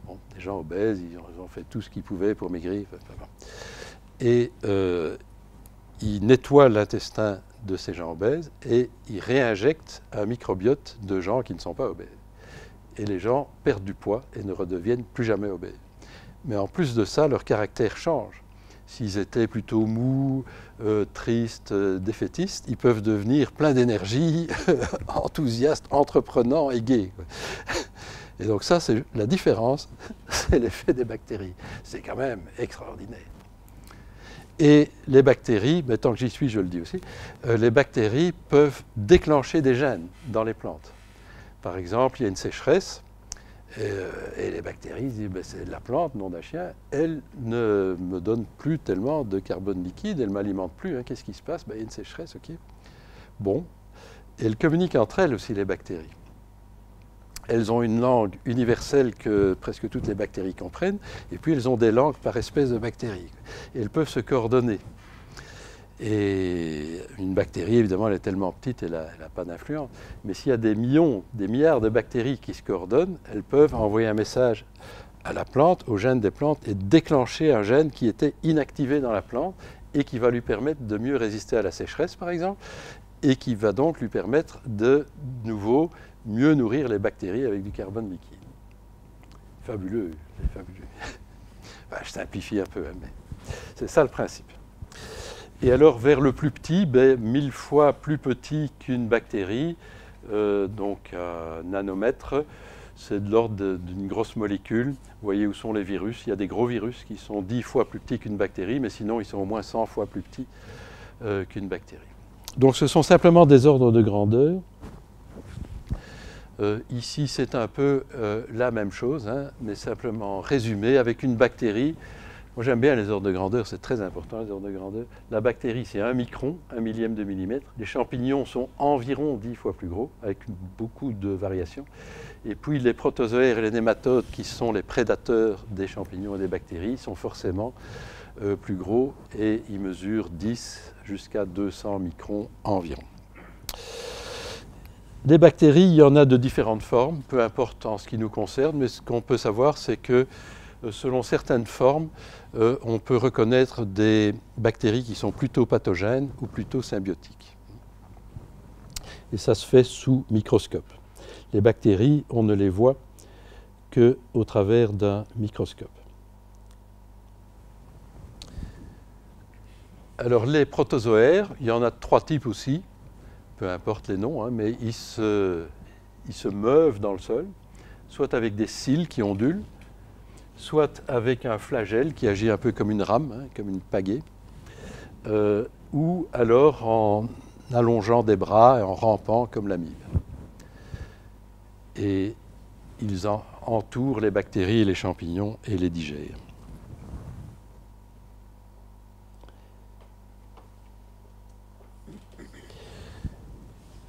Quelques ordres de grandeur de, nombre d'espèces ou de biomasse. C'est aussi important pour vous montrer euh, l'influence que peuvent avoir ces organismes.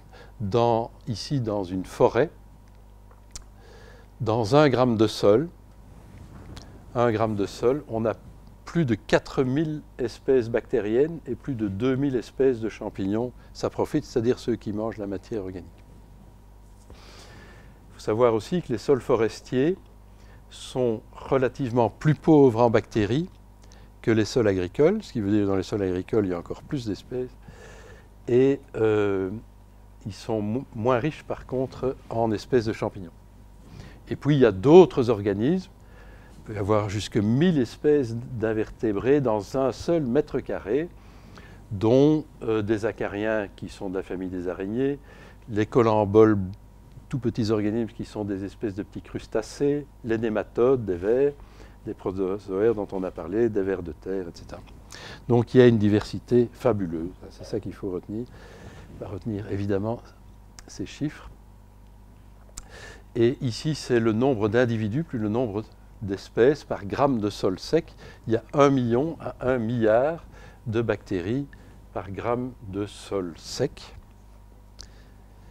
Euh, ce qui veut dire qu'avec 7 euh, grammes de sol, on a, autant de bactéries que d'êtres humains sur Terre. Euh, les champignons, il y en a un peu moins, 10 000 à 1 million, protozoaires, 10 000 à 1 million, etc. Des chiffres considérables. Et en biomasse, en kilos par hectare, on a surtout des bactéries, une tonne et demie. Une tonne et demie, ça fait trois vaches, quoi. Les champignons, 3 tonnes et demie, sont des ordres de grandeur, hein, ce n'est pas pile chaque fois, mais 3 tonnes et demie ou une tonne et demie, mais 3 tonnes et demie, ça fait presque 7 vaches. Euh, puis il y a euh, bien sûr les vers de terre, 200 kg de vers de terre dans les sols labourés, mais jusqu'à 4 tonnes dans des sols vivants. Et en prairie, il y en a beaucoup plus, on va y revenir. Donc euh, si vous faites, mettons 2 tonnes de vers de terre plus 3 tonnes de verre, ça fait 5 tonnes, plus presque 2 tonnes de bactéries, ça fait 7 tonnes. 7 tonnes d'organismes qui bossent jour et nuit euh, pour améliorer nos sols. Et alors, une chose essentielle, c'est que dans ces bactéries et les champignons, les pathogènes sont des exceptions. On l'a dit au début, tout n'est pas bon dans la nature pour l'homme, mais l'essentiel est bon parce que plus de 95%, plus de 95% des bactéries et des champignons sont non pathogènes, sont symbiotiques ou neutres. Et les symbiotiques sont beaucoup plus nombreux que les pathogènes. Et ça, ça a des implications pratiques. Va, parler d'élevage tout à l'heure, euh, on peut substituer l'élevage par tout ça? Oui, si on pouvait manger les vers de terre. Oui. De toute façon, on élève les vers de terre. Voilà. Euh, maintenant, euh, suite à tout ce qu'on a découvert sur les micro-organismes, on se rend compte qu'un agriculteur, il cultive des bactéries, des champignons et des vers de terre. C'est la première chose qu'il élève, en fait. Mieux parler d'élevage que de culture. Il élève des vers de terre, des bactéries et des champignons, et donc il faut tout faire pour développer ces organismes. Et c'est ce qu'on va voir juste après quelques images vues au microscope de bactéries ici euh, et d'ifs de champignons. Ça sont des particules de sol. Euh, ici, vous voyez des filaments mycéliens et la taille de ces filaments mycéliens par rapport à une radicelle de plante qui a l'air gigantesque. mais c'est tout petit, on la voit à peine la radicelle. Hein. Ce n'est pas la racine elle-même, mais c'est le petit fil qu'on voit qui part de la racine. Mais c'est encore beaucoup plus gros que que les filaments mycéliens. Les filaments mycéliens, on les voit évidemment beaucoup mieux à la loupe, mais à l'œil nu, on imagine un peu un feutrage comme ça sur les radicelles dans les sols vivants. Euh, il y a deux, trois jours, euh, il y a euh, des scientifiques suisses qui ont publié quelque chose de fabuleux aussi, c'est les sons des sols. Alors quand vous comparez le son, évidemment très amplifié, euh, des sols en conventionnel, des sols vivants arables et des prairies, c'est le jour et la nuit. Et ça pourrait devenir une méthode très peu coûteuse pour estimer la vie des sols. Mais je vais juste vous passer trois sons de sol. Oui, ou alors. Oui, mais on, peut faire la pause là-dessus, comme ça je vais redémarrer là-dessus. Voilà. OK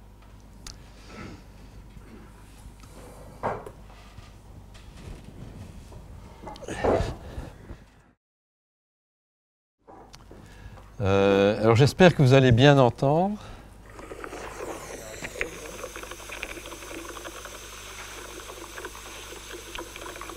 Vous entendez bien? Donc les vers de terre, les insectes, euh, du sol. Ça dure 15 minutes. Hein,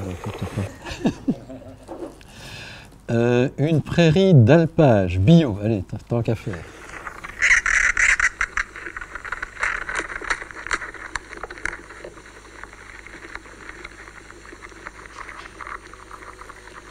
ça grignote, ça gratouille.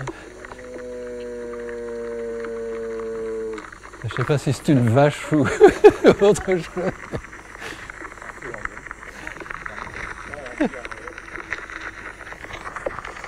Bon. Une prairie. Ah non, ça, ça c'était la prairie d'alpage, oui. Euh, un champ bio. C'est plus doux. Mais on entend encore des tas de choses, des petits chocs. Oui, alors on termine par le champ à culture intensive.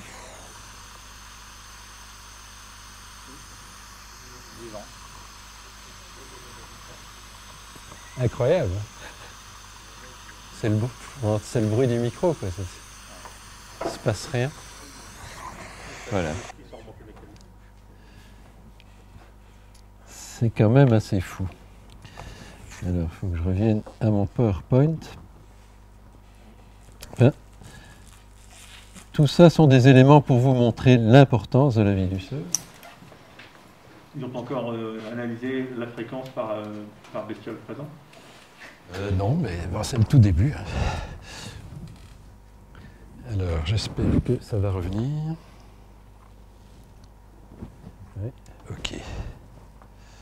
Voilà.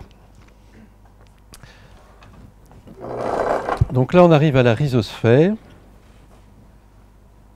Tout ce, dont je vous parle ici, c'est dans le but d'adapter les pratiques. Ce n'est pas pour le plaisir de donner un cours de microbiologie. Voilà, la, la rhizosphère, on voit une racine de plante, peu importe, des radicelles. Et puis, à l'extrémité, il y a la coiffe. Ce sont des cellules dures, renforcées, parce que c'est la foreuse qui rentre dans le sol. Et alors, il y a une chose étonnante, c'est qu'il y a des cellules de plantes qui ne sont pas attachées à la plante et qui sont juste au sommet. Et tout autour, il y a un mucus qu'on ne voit pas bien, mais là, dans toute cette zone ici, il y a un mucus qui lubrifie en fait la foreuse qui rentre dans le sol. Et on a ces, espèces de cellules euh, pionnières. Bon, euh, personnellement, je ne connais pas bien le, le rôle parce que je pense que c'est pas connu. En fait. et, puis il y a ce carbone liquide qui sort de, la racine que vous avez vu tout à l'heure sur les racines adventives du maïs et qui attire toutes ces bactéries ici. Il y en a beaucoup plus. Hein. Ça n'est pas à l'échelle. Euh, les bactéries sont plus petites par rapport à la radicelle et il y en a beaucoup plus. Et ça couvre toute la racine. Et je vais vous montrer dans un instant sur une photo qu'en fait, les racines de plantes ne touchent pas le sol. Il y a des chaussettes de micro-organismes, en tout cas dans les parties actives des racines, qui sont en contact avec le, sol et qui font l'interface entre le sol et la racine. Et c'est comme ça que ça doit être. Ça, c'est ce qui se passe dans un sol vivant. Si vous mettez plein de, nitrate d'ammoniac, c'est différent. Mais dans un sol vivant, c'est comme ça. Il y a des bactéries qui forment la chaussette et des champignons. Ici, on n'en a mis qu'un. Vous voyez, c'est un tout petit zoom sur une endomycorhize et on voit ici une partie des filaments mycéliens, parce qu'en fait, ils vont très très loin. Il faudrait les dessiner jusque dans la cour et euh, ils rentrent dans les cellules, c'est pour ça qu'on parle d'endomycélien, d'endomycorhizien, euh, puisqu'ils pénètrent dans la cellule, alors que les mycorhizes des arbres restent en dehors de la cellule, donc à l'extérieur sont des champignons ectomycorhiziens. Donc il y a deux sortes de champignons symbiotiques, les endomycorhiziens et les ecto. En gros, les endomycorhiziens développent des symbioses avec les plantes herbacées, donc avec les plantes que nous cultivons, et les ectos se développent sur des arbres. Les endomycorhizes colonisent presque toutes les espèces euh, de plantes sur la planète. Il y a des arbres aussi qui, qui peuvent développer des mycorhizes euh, endomycorhiziennes, surtout au stade jeune et certaines espèces. Et les ectomycorhiziens, c'est beaucoup plus rare. Enfin, il y en a plein dans les bois, et c'est notamment tous les carpophores euh, qu'on récolte, euh, les bolets, euh, tous ces champignons comestibles, sont la partie reproductrice des champignons ectomycorhiziens. et les champignons ectomycorhiziens peuvent aussi se nourrir de matière morte, ils ne sont pas nécessairement symbiotiques. Pas tous en tout cas. Donc ici, c'est des endos. Et puis il y a un troisième type de symbiose qui peut apparaître sur une racine de bactéries. Ce sont des nodules remplis de bactéries euh, du genre Rhizobium. C'est un, genre qui a été scindé maintenant en différents sous-groupes, mais parlons toujours des rhizobiums qui sont bien connus, et euh, qui fixent de l'azote de manière symbiotique puisqu'ils sont associés étroitement à la racine des plantes. il y a d'autres bactéries qui vivent euh, libres dans le sol et qui fixent de l'azote aussi, mais théoriquement moins que celles qui sont symbiotiques. Mais on a aussi sous-estimé ça euh, très, très fortement, les quantités d'azote que peuvent fixer les bactéries libres. On disait avant, oui, ça fixe 20-30 kg hectares. Donc par rapport à la fertilisation, c'est négligeable, on ne s'en occupe pas. Alors que les bactéries euh, symbiotiques, elles, peuvent fixer 200, 300, 400 kg d'azote par hectare et par an beaucoup plus évidemment. Mais par exemple, euh, euh, François Mulet de Vers de Terre Production fait des expériences où il ajoute du carbone sous forme de paille hein, sur le sol. Au début, il ne se passe rien, mais au bout de trois ans, il commençait à avoir des fixations d'azote considérables à partir de bactéries libres. Et on a déjà aussi au Brésil mesuré une fixation de 100 kg d'azote euh, fixé par hectare et par an dans des champs de canne à sucre. Donc clairement, plus on met du carbone assimilable, plus ces bactéries fixent. En fait, le facteur limitant, c'était le carbone euh, euh, à la disposition de ces bactéries libres, alors que celles-ci qui sont dans des nodules, ben, la plante l'alimente, donc elles, ont, elles, sont toujours bien nourries en carbone. Et c'est pour ça, sans doute, qu'elles fixent beaucoup plus. Et donc il y a des choses à creuser là aussi, mais bon, on verra ça, c'est plus de la recherche, on verra ça plus tard. Euh, voilà une autre façon de montrer la, rhizosphère avec euh, ce mucus. Ici, on le voit bien. Toutes les bactéries qui sont là-dedans, les euh, cellules des plantes qui sont sur la pointe, là, devant la coiffe. Voilà. Et ce qui est intéressant ici, c'est qu'on voit qu'il y a des bactéries qui rentrent dans la plante. En fait, il y a des bactéries partout. Parce que encore il y a quelques années, quand on, faisait des pommes de terre sous mulch, on fait des petites buttes. Quelqu'un disait Bon, moi j'aimerais bien euh, améliorer l'impact de mes cultures de pommes de terre sur le sol. ce qu'on peut faire, c'est des toutes petites buttes. On met la pomme de terre dedans et puis on la mulch avec euh, du foin, de l'ensilage d'herbe ou des couverts. On met une grosse épaisseur, on peut mettre un peu de BRF. Et puis ça pousse. Euh, évidemment, le mulch sont des graminées ou des mélanges graminées légumineux, c'est l'idéal, apporte du potassium et de l'azote, tout ce que les pommes de terre adorent. On ne désherbe plus, on couvre la butte de mulch, plus de désherbage. Et alors on voyait un effet extraordinaire et incompréhensible, c'est qu'on avait quasiment plus de mildiou, ou plus du tout. Alors évidemment que les champignons se développent là-dedans. Dans le mulch, ils adorent ça, les bactéries aussi. Mais pourquoi est-ce que la présence d'un plus grand nombre de bactéries et de champignons dans le sol protège les feuilles d'attaque de champignons pathogènes? Vous avez un début de réponse ici. Les bactéries, elles passent partout. Elles vont dans les vaisseaux, elles arrivent dans les feuilles, elles se développent entre les cellules des feuilles, et dans les feuilles, il y a des orifices, hein, les stomates, ce qui permet à la plante de respirer, d'absorber du, gaz carbonique qu'elle va utiliser pour la photosynthèse. Donc il y a plein de petits trous sur les feuilles. Les bactéries ressortent par ces trous, colonisent les feuilles.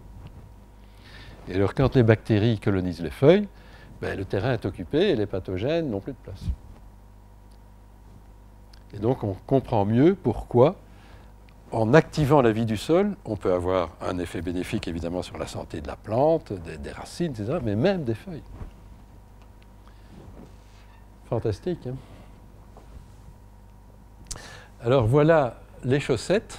Vous avez sûrement observé ça dans vos sols vivants. Si vous détachez une plante très délicatement, ici, les bactéries ont été arrachées, mais vous avez ces manchons de terre. Ça, c'est de la terre. Mais pourquoi ça colle à la racine? C'est parce que derrière la terre, il y a des bactéries. Et puis, en dessous, la racine. Et ça, c'est un indicateur de, bonne vie du sol. Et malgré qu'on ne voit pas les bactéries, on voit leur effet. Et donc, c'est une façon de tester la vie du sol. Et comparer les champs conventionnels avec les champs non labourés et, alimentés en matière organique, et vous allez voir la différence.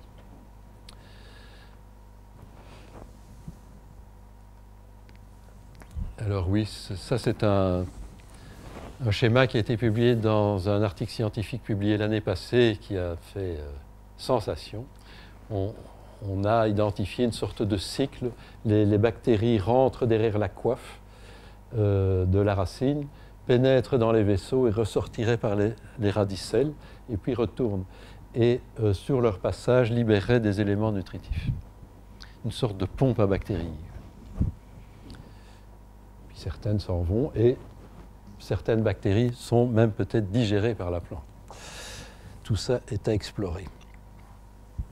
Alors il y a la même chose autour de la feuille, là on a vu ce qu'il y avait autour de la racine, mais sur la feuille il y a aussi euh, toute une vie qui se développe, des bactéries euh, symbiotiques, euh, éventuellement des champignons. Et ces bactéries et ces champignons toutes sortes de services, mais qu'on va, qui sont déjà mentionnés ici, mais qu'on va définir un peu mieux plus tard. Voilà les chloroplastes, nos fameuses cyanobactéries qui vivent dans les cellules des plantes. Ce pas des, organites de plantes, ce sont des bactéries aussi. Et tout ça bouge. Hein. Ça, c'est juste un petit clin d'œil, c'est pour vous montrer. C'est une plante, en fait, et qui est représentée sous forme d'usine avec des panneaux solaires, etc. Et là, on voit tout le monde qui s'active autour des racines. En fait, c'est assez amusant. Pouvez regarder ça plus tard. Voilà, mais je voudrais vous dire, voilà, on a, présenté un peu les, acteurs, enfin on a commencé à présenter certains acteurs. Qu'est-ce qu'ils font? Euh, ben, On commence à mieux comprendre tout ça. Les bactéries, elles font essentiellement deux choses très importantes. Elles solubilisent des nutriments parce qu'elles synthétisent des acides qui solubilisent la roche, par exemple, par exemple le calcium, et les rendent assimilables pour les plantes. Et puis, une chose essentielle, elle protège la plante contre les invasions des pathogènes. D'abord parce qu'elles font une barrière physique. Hein. c'est la fameuse chaussette. Le pathogène, il ne sait pas comment rentrer dans la plante puisqu'il y a des bactéries partout et il y a une chaussette de bactéries qui empêche le pathogène de rentrer. Euh, mais les bactéries symbiotiques, quand elles voient un pathogène, elles lui cassent la figure. Par exemple, en synthétisant des antibiotiques. Les actinomycètes synthétisent des antibiotiques. Et elles euh, favorisent aussi la santé de la plante en synthétisant des substances promotrices de santé. Ah oui, les pionniers de la bio disaient si euh, les sols sont en bonne santé, les plantes sont en bonne santé. Eh bien oui, Alors si on revient à notre exemple de fertilisation azotée de la luzerne et la luzerne qui dit à ses rhizobiums j'ai plus besoin de vous, c'est exactement la même chose qui se passe ici, mais pour toutes les plantes. Si vous apportez des éléments nutritifs solubles, des engrais solubles de synthèse, nitrate d'ammoniac, du KCl, du superphosphate, la plante, elle a tous les éléments nutritifs dont elle a besoin. Donc, elle dit à ces bactéries, elle dit entre guillemets évidemment, elle dit à ces bactéries, moi j'ai plus besoin de vous. Et euh, elle ne les nourrit plus. Elle n'envoie plus ce flux de carbone liquide. Donc les bactéries disparaissent. Au grand bonheur des micro-organismes pathogènes. Et donc, il n'y a plus d'obstacle pour les pathogènes. Donc quand on met du nitrate d'ammoniac, les plantes deviennent malades. Alors on commence à comprendre pas tellement longtemps qu'on a compris ça. Le lien entre fertilisation et maladie. On savait bien que quand on mettait trop d'azote, les plantes devenaient malades ou attaquées par des pucerons, ou elles n'avaient plus d'oïdium, par exemple un rosier. Mais voilà, ici on connaît le mécanisme. Alors, elles peuvent fixer de l'azote atmosphérique, donc pas toutes, hein. soit euh, de façon libre, soit dans les nodules, on vient d'en parler. Elles synthétisent des substances promotrices de croissance, c'est-à-dire des hormones de croissance végétale. Ah oui, elles font aussi de la bio-ingénierie. Hein. Parce que plus la plante pousse, plus elles sont nourries. Donc voilà, elles ont développé par mécanisme d'évolution la capacité de synthétiser des hormones de croissance. Et elles sont capables aussi, et ça c'est vraiment tout récent, d'induire des phénomènes épigénétiques j'ai abordés très rapidement tout à l'heure, c'est-à-dire que elles peuvent se mettre ensemble par ce phénomène de quorum sensing, peu importe. Elles se coordonnent entre elles, se coordonnent entre elles, et puis tout d'un coup, elles lancent une euh, production d'une substance qui modifie le fonctionnement des gènes, qui réveille certains gènes qui ne fonctionnaient pas. C'est ça l'épigénétique. Hein. On a tous des gènes dormants en nous, et suite à des stress, suite à des, des, messages chimiques, ces gènes peuvent se réveiller et s'exprimer. On est capable de faire d'autres choses qu'on n'était pas capable de faire avant. Eh ben, les bactéries manipulent le génome des plantes. Extraordinaire. Euh, et puis, elles ont une action sur le sol. Elles contribuent fortement à coller tous les petits granules de sol. Donc, elles structurent le sol. Elles font des micro-agrégats. Hein. Donc, elles mettent du ciment entre les briques de la maison sol. Et puis elles décomposent les toxines, parce que les bactéries, elles peuvent se nourrir de n'importe quoi.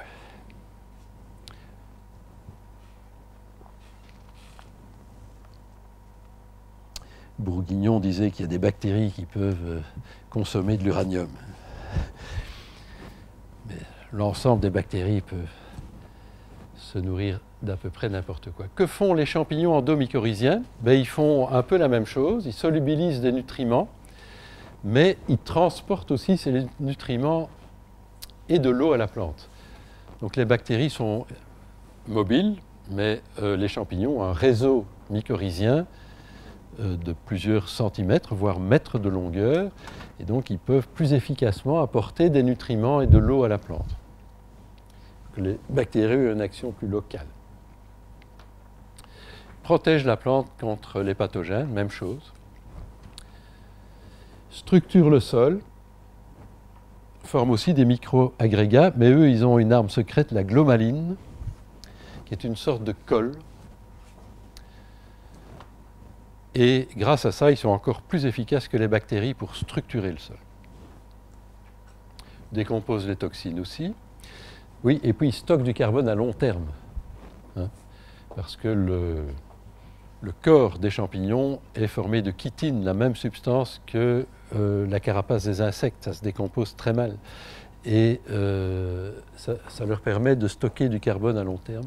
Et puis les résidus de leur métabolisme aussi produisent des substances beaucoup plus persistantes à long terme. Les bactéries produisent surtout des substances euh, stockables à court terme. Voilà, donc en gros c'est la même chose, mais euh, les champignons ont une action encore meilleure sur la structure du sol. Et ils sont tous les deux, les bactéries et les champignons, euh, consommés par les protozoaires et les nématodes brouteurs. Alors ça, vous avez sûrement déjà vu cette image avec un sol de prairie, par exemple, ou euh, un sol issu d'une agriculture sans labour qui est structuré, on le met dans l'eau, dans un, vase, on le maintient en surface avec un petit panier en grillage. Et ici, le sol est bien structuré, il ne se défait pas dans l'eau. Hein, il y a de la colle entre les briques du sol, la glomaline, les, substances émises par les bactéries et aussi les vers de terre. Euh, et ça tient. Et ici, vous avez un sol non structuré, vous le mettez dans l'eau et ça se dissout. Donc ça, c'est un bon test pour connaître la qualité de votre sol et euh, sa structure. Et ça ne coûte rien. Oui, alors ici, il y a un auteur euh, canadien qui a rajouté quelques fonctions et il dit que bon, euh, les, champignons de la rhizosphère modifient aussi les odeurs et les saveurs de la plante. Et les modifient aussi les relations entre la plante et les insectes. Donc c'est encore une étape en plus. Et augmente la résistance de la plante au stress biotique et abiotique euh, par exemple les métaux lourds ou les pathogènes. Donc il y a de très nombreuses fonctions. Voilà euh, comment se développe euh, un champignon endomycorhizien. Vous avez le sol là, le champignon pénètre entre les cellules, puis finalement dans les cellules, et forme des arbuscules, hein, d'où leur nom de champignon endomycorhizien arbuscule. Et on le voit ici sur une photo prise par microscope avec ces espèces de petits arbres, de petits buissons euh, qui permettent d'augmenter la surface d'échange entre la plante et le champignon. C'est ça le but.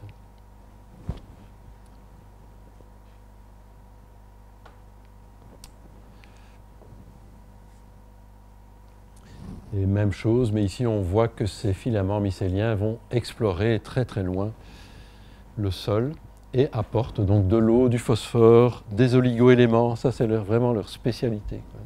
Par rapport aux bactéries, ils apportent de l'eau, du phosphore, des oligoéléments. Et on voit là les radicelles, etc.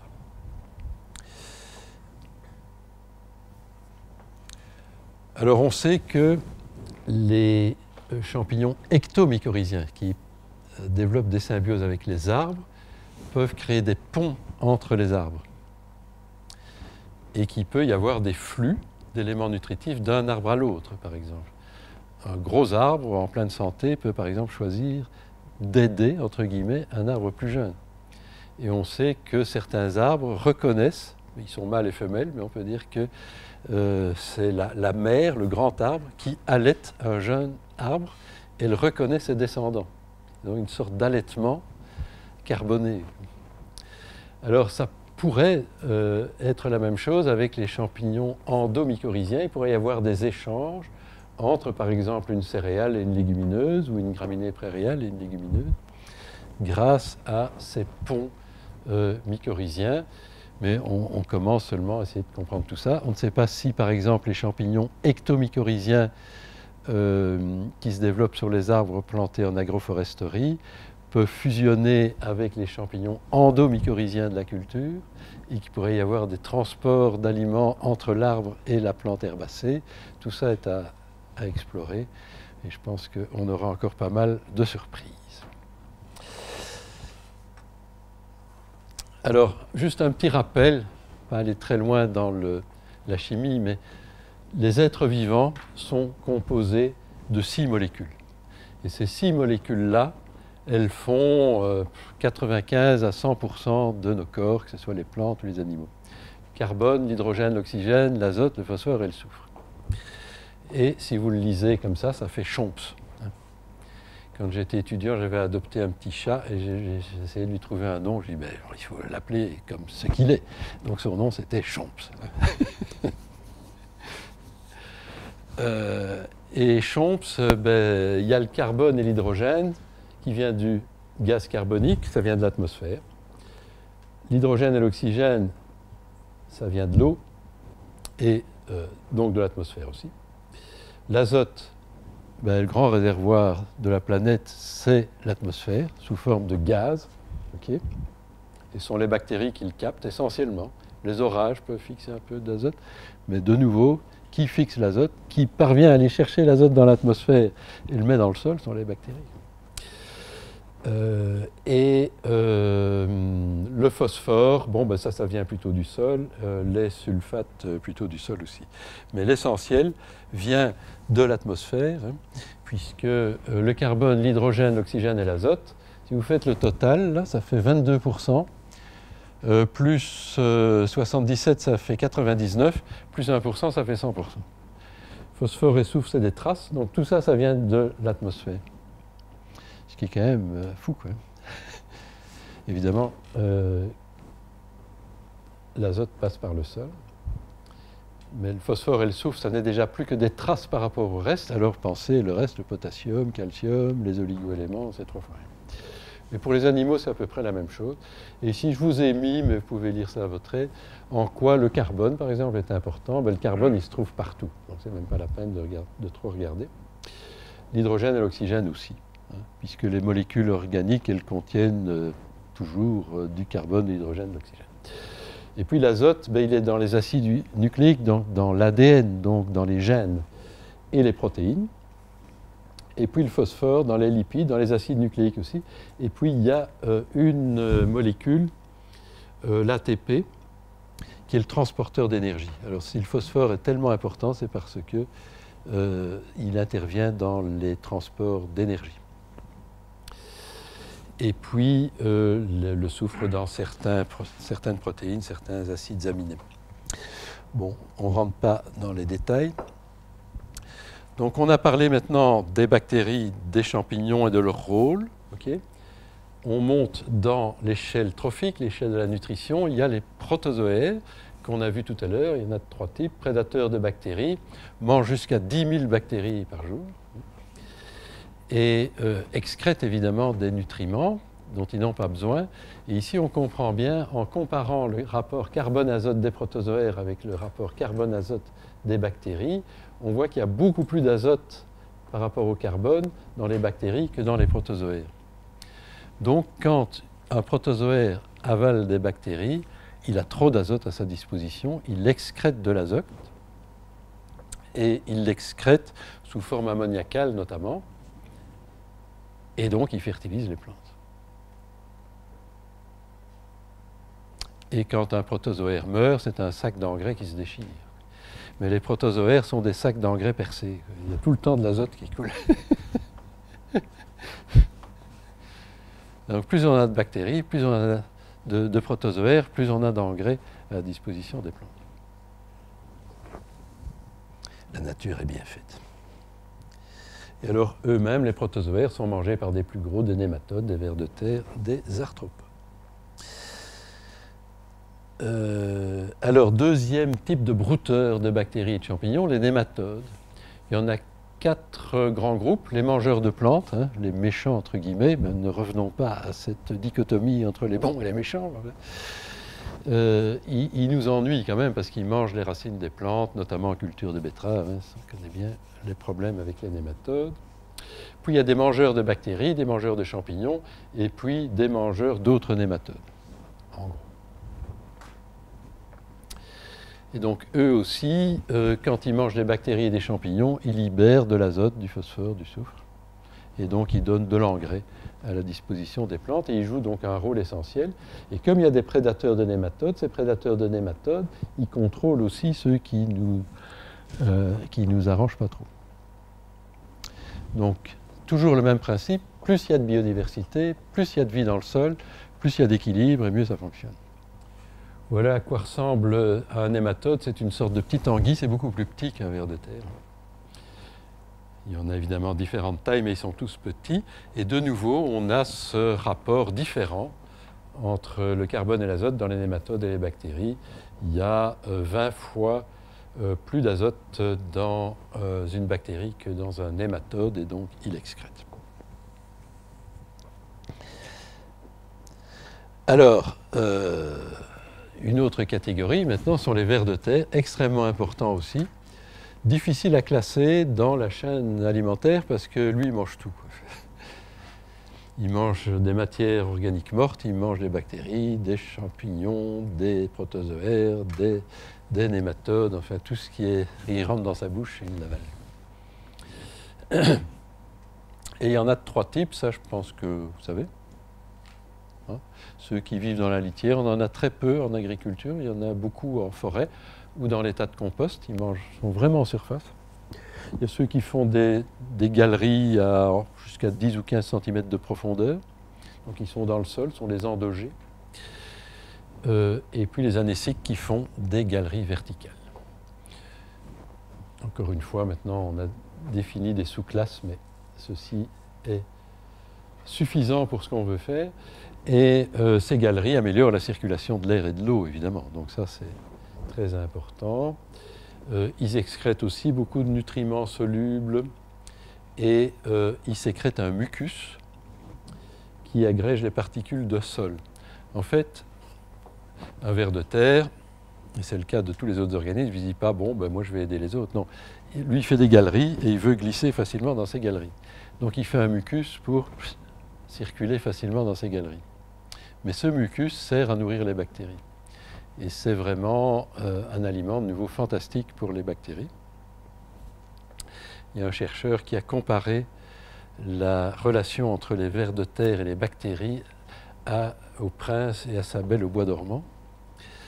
Hein, euh, parce que le ver de terre, ici, est le prince, et euh, la belle au bois dormant sont les bactéries, parce que le mucus, sécrété par le baiser du ver de terre, un peu baveux, mais un peu moins romantique, mais euh, réveille certains types de bactéries stimule l'activité des bactéries.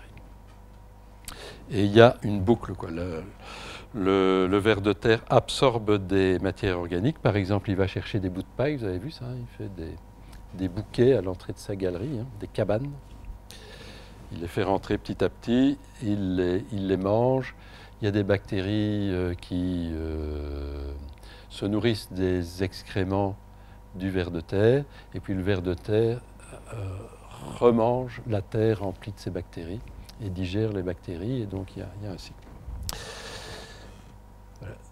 Et évidemment, il a un rôle essentiel pour la pénétration des racines, surtout les anéciques, je dirais, hein, parce que, vous voyez, ici, on peut avoir une semelle de labour qui est représentée ici par ces feuillets un peu horizontaux.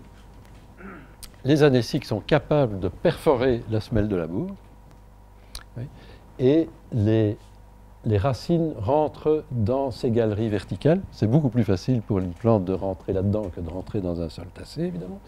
Mais en plus, le ver de terre accumule et tapisse ces galeries de matière organique extrêmement nutritive. Et donc, c'est un terreau aussi, euh, qui est là dans ces galeries.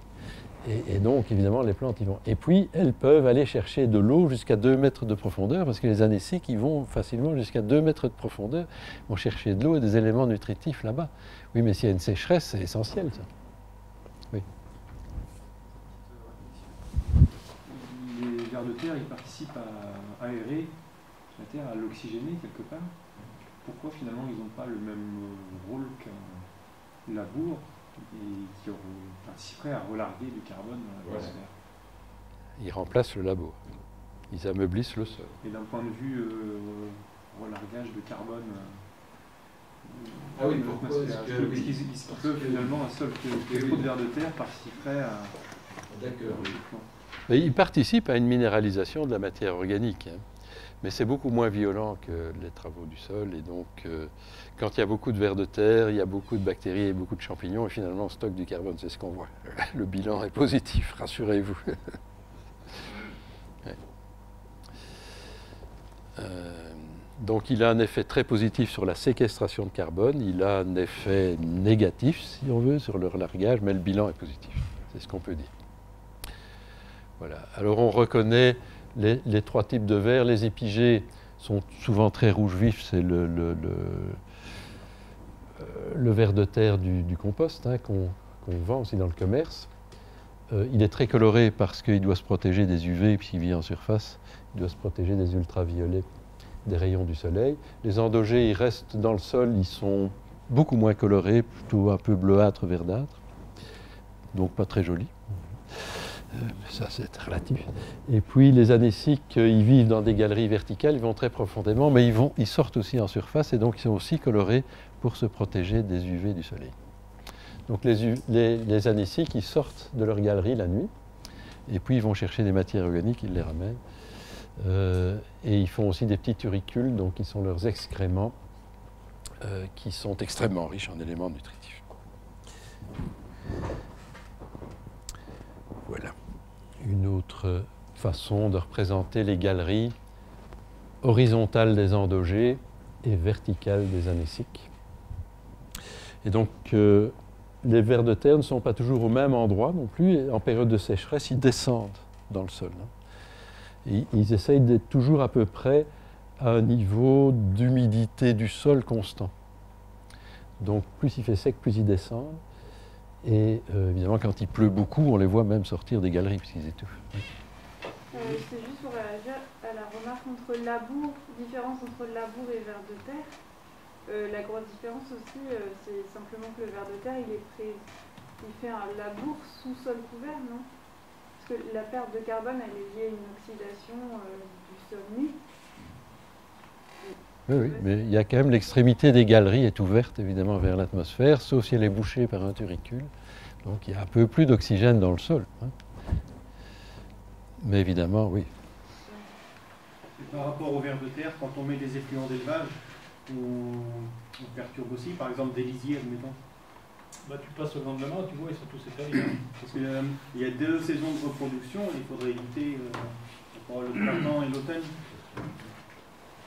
Oui, là les résultats de la littérature ne sont pas clairs, mais euh, quand nous on observe le sol, on voit bien que quand on met du lisier, euh, il n'aime pas ça. Il n'aime pas ça du tout. Par contre, le fumier, c'est très bon. Puisqu'il y a plus de carbone. Le rapport carbone-azote est, est meilleur. Non. Du vrai fumier. Alors, quelques ordres de grandeur, toujours, vous savez que j'adore ça. En prairie, il y a 2 à 5 tonnes de lombriques. Ça veut dire 4 à 10 vaches, en gros. C'est considérable. 5 hein. tonnes, c'est déjà beaucoup. Mais on a facilement 2 tonnes. En sol forestier, très peu. Intéressant. Hein. Maximum une demi-tonne. En sol labouré, aussi une demi-tonne. Jusque 200 kg à 500 kg. En sol vivant, une à deux tonnes. Et c'est ça qu'on doit viser. Il faut essayer de tendre vers, les, vers la prairie. Et ça, c'est pas mal. En fait, notre modèle, c'est bien sûr la forêt, mais c'est surtout la prairie. Je reviendrai là-dessus.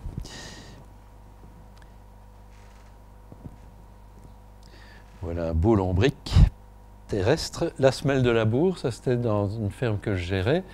Euh, la semelle de labour était à 35 cm de profondeur, donc il labourait profondément, on la voit bien, elle est dure comme du béton, elle était dure comme ça. Et au bout de deux ans, elle était déjà complètement perforée, deux ans de non-labour, elle était déjà complètement perforée de verre euh. Et c'est incroyable comment la, bouche d'un verre, qui paraît tendre et molle, parvient à perforer quelque chose d'aussi dur. Et les racines des plantes euh, y parviennent beaucoup plus difficilement. hein. Euh, donc ça, c'est aussi une raison d'avoir des vers de terre, sont des sous-soleuses en quelque sorte. hein. Mais alors que les outils humains lissent toujours le sol, et chaque fois qu'on utilise un outil, on dégrade le sol. Il faut être conscient de ça. N'importe quel outil dégrade le sol. C'est parfois nécessaire d'utiliser un outil, mais il y a toujours un effet négatif. Tandis que les bactéries qui fonctionnent au niveau du micron, du dixième, donc du, millième de millimètre, nos outils ils fonctionnent euh, sur des largeurs de l'ordre du centimètre, donc 10 000 fois plus grand que le diamètre d'une bactérie. On comprend que l'action d'une bactérie est beaucoup plus précise que l'action d'un outil. Et donc les bactéries ne lissent pas, les vers de terre ne lissent pas, les champignons ne lissent pas. Et nos outils lissent. Voilà, ici on voit bien cette galerie d'un ver de terre anésique. Elle est tapissée, je ne sais pas si vous le voyez bien, mais de substances humiques beaucoup plus foncées. Et on voit une racine qui pénètre là-dedans et qui descend jusqu'à 2 mètres. Alors évidemment que euh, sous la semelle de labour, il y a moins d'éléments nutritifs. Les éléments nutritifs sont moins concentrés. Mais si vous labourez à 30 cm, si les racines peuvent descendre non plus à 30 cm, mais à 2 mètres, vous rajoutez 1,70 m. Même si les éléments sont moins concentrés, ça représente quand même des quantités d'éléments nutritifs non négligeables, et notamment de potassium, qui lessivent euh, assez facilement en profondeur. Et donc là, euh, quand on passe du conventionnel avec labour à une agriculture bio sans labour ou en agriculture euh, de conservation, on passe d'une agriculture à deux dimensions, une agriculture à trois dimensions. On ne parle plus d'hectares, mais on devrait parler de mètres cubes. Et c'est d'autant plus important pour l'eau. Si les plantes ne peuvent descendre qu'à 30 cm avec leurs racines, parce qu'il y a une semelle de labour à 30 cm, ben, très vite, cet horizon-là est épuisé en eau, en eau disponible pour les plantes. Si les racines peuvent descendre à 2 mètres, forcément, elles en ont beaucoup plus à leur disposition. C'est essentiel pour l'avenir. Alors les plantes ne sont pas toutes égales. On arrive aux plantes maintenant, après les vers de terre, on arrive aux plantes, et vous voyez que euh, les plantes ne sont pas toutes égales par rapport aux quantités d'agrégats stables du sol. Et on voit euh, le grand intérêt de mélange trèfle-graminées, c'est-à-dire un mélange prairial ou un couvert à base de céréales et de, légumineuses. Les graminées pures sont moins efficaces. Trèfle blanc pur aussi, les céréales nettement moins, les cultures cerclées encore.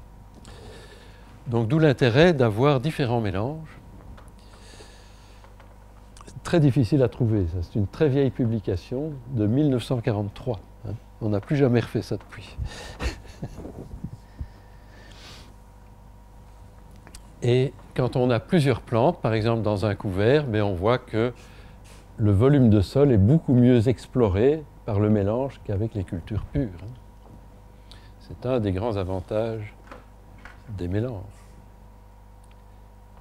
Mais un autre avantage, tout à fait euh, sous-estimé autrefois, c'est que chaque plante est liée à des groupes de bactéries différents. Il y a sûrement des bactéries qui vivent sur toutes les plantes, mais euh, certaines familles favorisent certains groupes de bactéries. Plus on a de biodiversité, de diversité végétale, comme dans un couvert, si vous avez par exemple sept familles au lieu d'une, euh, vous réveillez beaucoup plus de bactéries, et donc ces bactéries rendent une plus grande diversité de services, c'est-à-dire elles protègent mieux les plantes vis-à-vis de différentes maladies, elles synthétisent peut-être différentes hormones de croissance, elles améliorent de différentes façons la structure du sol, etc. Donc plus on a de plantes, de diversité de plantes, plus on a de diversité de bactéries. Et mieux le système fonctionne. Et où est-ce qu'on peut avoir un maximum de diversité? Sur des terres arables, si ce n'est dans les couverts Tout le rôle central des couverts, c'est d'avoir dans les couverts diversifiés, c'est stimuler la vie du sol. C'est une des fonctions. Et ce ne sont pas tellement les espèces de plantes qui comptent, hein, mais plutôt les familles. Donc si vous avez trois légumineuses ou trois graminées euh, en, mélange, donc si vous mélangez trois graminées ou si vous mélangez trois légumineuses, pour les bactéries, ça ne représente sans doute qu'un groupe de plantes, qu'une espèce. Mais si vous mettez une légumineuse et une euh, graminée, il y a déjà deux fois plus de biodiversité pour les bactéries. Si vous rajoutez encore une crucifère, puis une linacée, puis vous augmentez encore la vie du sol. Donc comme ça, on a, vu, on a eu un petit panorama des acteurs du sol, de leurs besoins et de leurs effets sur nos cultures, et on commence déjà à comprendre ce qu'il faut pour euh, les favoriser, ce qui est la base du système. C'est le sol, la rhizosphère. Alors, juste une petite idée là, dans la comparaison euh, forêt-prairie d'une part aux cultures annuelles. En forêt et en prairie permanente, les sols ne sont pas labourés, ils ne sont pas fertilisés avec des engrais de synthèse, en tout cas dans des prairies semi-naturelles. Il n'y a pas d'utilisation de pesticides. La couverture du sol est continue. Donc il n'y a pas de labour et une couverture continue. Il n'y a pas d'engrais solubles, il n'y a pas d'utilisation de pesticides. Et pourtant, ça pousse. Et non seulement ça pousse, mais une forêt de feuillus, une forêt de chêne, par exemple, produit environ 10 euh, tonnes, parfois jusqu'à 15 tonnes de matière sèche par hectare et par an. C'est-à-dire la même chose qu'un champ de blé fertilisé, labouré, arrosé de fongicides. Et ça, c'est fou quand même. Et notamment parce qu'il y a des bactéries qui fixent l'azote dans le système, parce qu'il y a des champignons qui améliorent la nutrition des plantes, parce que les racines vont profondément, etc. Et donc c'est une source d'inspiration. Et pour terminer euh, ces idées plus générales, je dirais, euh, on essaye de comprendre comment fonctionne la nature? Ah, ça, on ne la comprendra jamais parce qu'elle est beaucoup trop complexe pour nos faibles petits cerveaux humains. Mais il y a quand même quelques éléments qui se distinguent. Et si on regarde les individus, les populations d'individus, hein, par exemple des individus de blé, et les communautés d'espèces, par exemple euh, des blés, un blé avec une févrole, ben, euh, et ce qu'on voit dans la nature, la nature elle crée toujours un maximum de diversité. Des espèces, des génomes au sein des populations d'espèces. Quand vous regardez des pissenlits dans une prairie, ben, on, le voit qu'ils sont très différents. C'est la même espèce, une espèce au sens large, mais euh, il y a aussi une grande diversité au sein des espèces. Les structures des habitats, différentes strates verticales, de classes d'âge, de sources de nourriture, c'est comme ça que ça fonctionne et des interactions. La nature est basée sur des interactions entre proies, prédateurs, parasites, prédateurs secondaires, etc. C'est ce qu'on vient de voir dans le sol. Et plus il y a de diversité, mieux ça marche. Parce que justement, on contrôle euh, les, parasites. Leur multifonctionnalité, chaque élément, chaque espèce remplit, remplit plusieurs fonctions. Les légumineuses, par exemple, on sait, elles fixent l'azote. Quand on dit légumineuse, on pense tout de suite fixation d'azote. Oui, mais ce sont les plantes les plus efficaces pour créer des endomycorhizes. Hein, donc non seulement elles sont très bonnes pour faire des symbioses avec les bactéries, rhizobium, mais ce sont les meilleures, ou parmi les meilleures, pour euh, développer des symbioses avec les champignons endomycorhiziens. Euh, une luzerne améliore extraordinairement la structure du sol. Euh, elles produisent beaucoup avec euh, peu d'engrais, etc. Donc elles remplissent plusieurs fonctions. Et puis une redondance, la nature prévoit des solutions de retour, des plans B, des plans C, des plans D. Par exemple, dans une prairie euh, des Alpes, ben, on, va trouver 5 à 10 espèces de légumineuses. Donc s'il y a une, espèce de légumineuse qui disparaît pour une raison ou une autre, ben, une autre prend le relais. Ça, c'est la redondance. Donc il faut aussi s'en inspirer, par exemple, dans nos mélanges. Et par exemple, dans les légumineuses, associés en prairies, des trèfles blancs, prairies pâturées, des trèfles blancs, du lotier dans les prairies sèches surtout, pourquoi pas un peu de luzerne nupuline, et dans les couverts associés des trèfles avec des vesses, avec des pois, etc. Et le rôle central des bactéries, les bactéries sont partout, ça je vous l'ai déjà dit. Alors ce réseau très euh, serré, très complexe d'interaction qu'on vient de voir dans le sol, ça assure la cohérence du système. Plus il est complexe, plus il est cohérent, comme des fers dans du béton. Ce sont les fers à béton qui donnent la cohérence du béton. S'il n'y a pas de fer, on donne un coup dessus, un coup de marteau bien dur, le béton éclate. Euh, les écosystèmes persistent, sont résilients, sont résistants grâce à ce fer à béton. on développe des synergies au maximum. Peut prendre un exemple dans la forêt. Il y a des espèces à mauvaise litière forestière comme le hêtre ou le chêne, mais en dessous, il y a des noisetiers et du charme euh, qui, elles, font ont une litière euh, qui se décompose facilement, une litière de, de bonne qualité. Et le fait d'avoir des espèces qui ont une litière de bonne qualité favorise la décomposition des espèces qui produisent une litière de moins bonne qualité comme le hêtre et le chêne.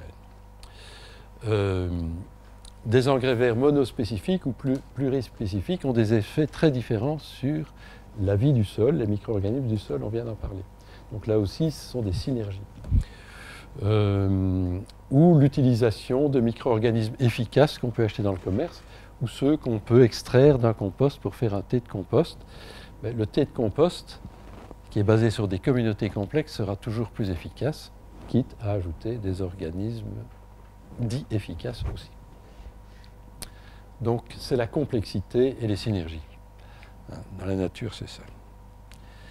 Et être complexe, ça ne veut pas dire être compliqué. Nos systèmes doivent être complexes parce qu'ils sont plus résilients, mais il faut qu'ils soient simples à gérer. Vous voyez, ce n'est pas incompatible, et c'est même obligatoire si on veut finalement avoir un revenu, parce que le but c'est ça. Donc complexe ne veut pas dire compliqué. Euh, et alors ce réseau est traversé en permanence par une intense circulation d'informations entre les micro-organismes, les plantes, les, animaux, euh, les insectes. Euh, la plante communique involontairement avec son ravageur. En fait, c'est une plante, la plante stressée émet des substances évidemment involontairement, qui attire le ravageur. Le ravageur dit Tiens, ça sent la plante malade, et il y va. Euh, la plante, du coup, émet des messages dans l'atmosphère pour appeler le prédateur du ravageur. Et là, elle émet un message intentionnel, entre guillemets. Une plante n'a pas de cerveau. et, donc, voilà, il y a en permanence une intense circulation d'informations. Les chaînes alimentaires. Euh, plus ou moins compliqué, des cycles de matière et d'énergie. Voilà, la nature, c'est en grande partie ça. Alors, qu'est-ce que, puisqu'on sait un peu mieux ce que c'est que la nature, qu'est-ce qu'il faut faire puisqu'on veut coopérer avec la nature? Essentiellement deux choses. La première, c'est ne plus massacrer la vie du sol hein, et reconstruire la maison sol. avec quoi est-ce qu'on massacrait la vie du sol? Ben Avec le labour, avec euh, l'usage profond de herses rotatives, de fraises en maraîchage surtout. Euh, tout ça, ça détruit la maison sol. Alors ça donne un sol qui a l'air d'être bien structuré. Une fois qu'on a labouré et on a passé la herse rotative, on dit Ah, une belle structure, le, sol est souple. Et donc les plantes germent facilement là-dedans. Mais dès qu'il y a une pluie qui tombe là-dedans, tout reprend en masse et ça devient du béton. Donc ce qu'on veut faire, c'est un sol qui ait une belle structure de façon permanente et que cette structure s'améliore d'année en année. Alors comment est-ce qu'on peut euh, ne plus utiliser le labour, etc. C'est en utilisant une série d'outils, allonger et diversifier la rotation, utiliser des prairies temporaires dans la rotation des cultures, utiliser des couverts, mulcher éventuellement quand on peut, notamment en maraîchage, et avoir des cultures compétitives qui permettent de gérer les adventices aussi, comme tout ça, euh, puisque le labour, la première fonction du labour, c'est de gérer les adventices pour ça que les anciens labouraient. En fait, le labour, c'est une arme de destruction massive. Euh, ça tue les plantes, les adventices, ça tue les rongeurs, ça tue les limaces. Donc les anciens disaient super. mais ils n'avaient pas vu l'effet catastrophique sur la vie du sol, sur la fertilité du sol. Et c'est la raison pour laquelle, presque partout, dans tous les systèmes agricoles du monde, au bout d'un temps, les sols étaient ruinés et transformés en désert. Et l'exemple emblématique, mais il y en a plein, euh, c'est le croissant fertile, où on a inventé l'agriculture. Croissant fertile qui allait de l'embouchure du Tigre et de l'Euphrate en Irak, remontait dans le sud de la Turquie, redescendait en Palestine et rejoignait la vallée du Nil. Ce croissant fertile, aujourd'hui, c'est un désert, parce que les agriculteurs ont détruit les sols. Ils ont fait ça presque partout. Pourquoi? Parce qu'ils travaillaient trop intensivement les sols. Et à l'époque, ils n'utilisaient même pas de charrue. Parce que la charrue euh, de type Brabant qui peut travailler profondément, ça date du 19e siècle. Avant, ça n'existait pas. On a toujours travaillé avec l'arère, donc un bout de bâton renforcé d'une pièce métallique et qui fendait le sol. Mais même ça, ça détruisait les sols. Et la charrue a été inventée euh, il y a plus longtemps qu'au 19e siècle, mais alors elle travaillait vraiment très superficiellement. Mais encore aujourd'hui, la plupart des gens travaillent euh, à la main, hein, en Afrique, euh, ou à l'arrière. Est-ce qu'il y a une différence de profondeur, euh, par exemple des, faibles déchaumages ou des choses comme ça, jusqu'à 3-4 cm Est-ce que ça. Plus, plus c'est profond, plus c'est mauvais. donc plus c'est superficiel, moins c'est mauvais. mais, mais, il faut essayer de limiter au maximum. Mais euh, moi, je ne descends pas, enfin, j'essaye de ne pas euh, descendre sous 3 cm quand un travail du sol est nécessaire. Sauf pour la fissuration du sol, qui n'a pas du tout le même effet que les autres outils. Donc, ce sont des dents très longues, très fines, et qui ne remuent pas les, horizons, qui ne les mélangent sûrement pas, euh, et qui simplement fissurent le sol pour faciliter la pénétration des racines. Mais sinon, jamais à plus de ça. Et en travaillant au maximum à 3 cm, on parvient à, tout résoudre. Parfois c'est un peu compliqué, mais on, arrive toujours. Euh, et donc en bio de conservation, on est obligé de travailler quand même un peu les sols de temps en temps, puisqu'on n'a pas de Roundup.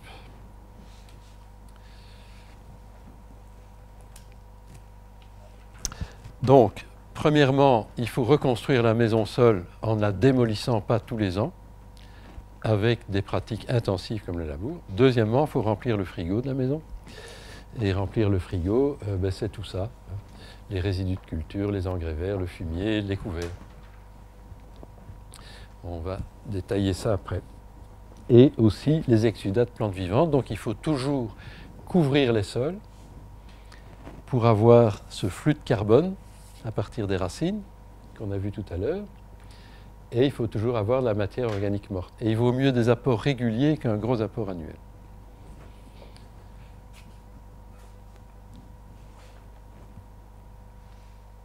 Quand on a la possibilité de faire plusieurs apports réguliers. Parce qu'on alimente euh, en permanence les micro-organismes. C'est ce que fait la plante vivante. Elle donne tous les jours, elle donne des petites quantités, elle biberonne. Hein. Euh, et il vaut mieux apporter des, par exemple, pour le fumier, si on peut faire deux ou trois épandages. Il y a un problème de portance du sol à certaines époques, mais euh, c'est mieux si on en a la possibilité de faire deux ou trois épandages plutôt qu'un gros.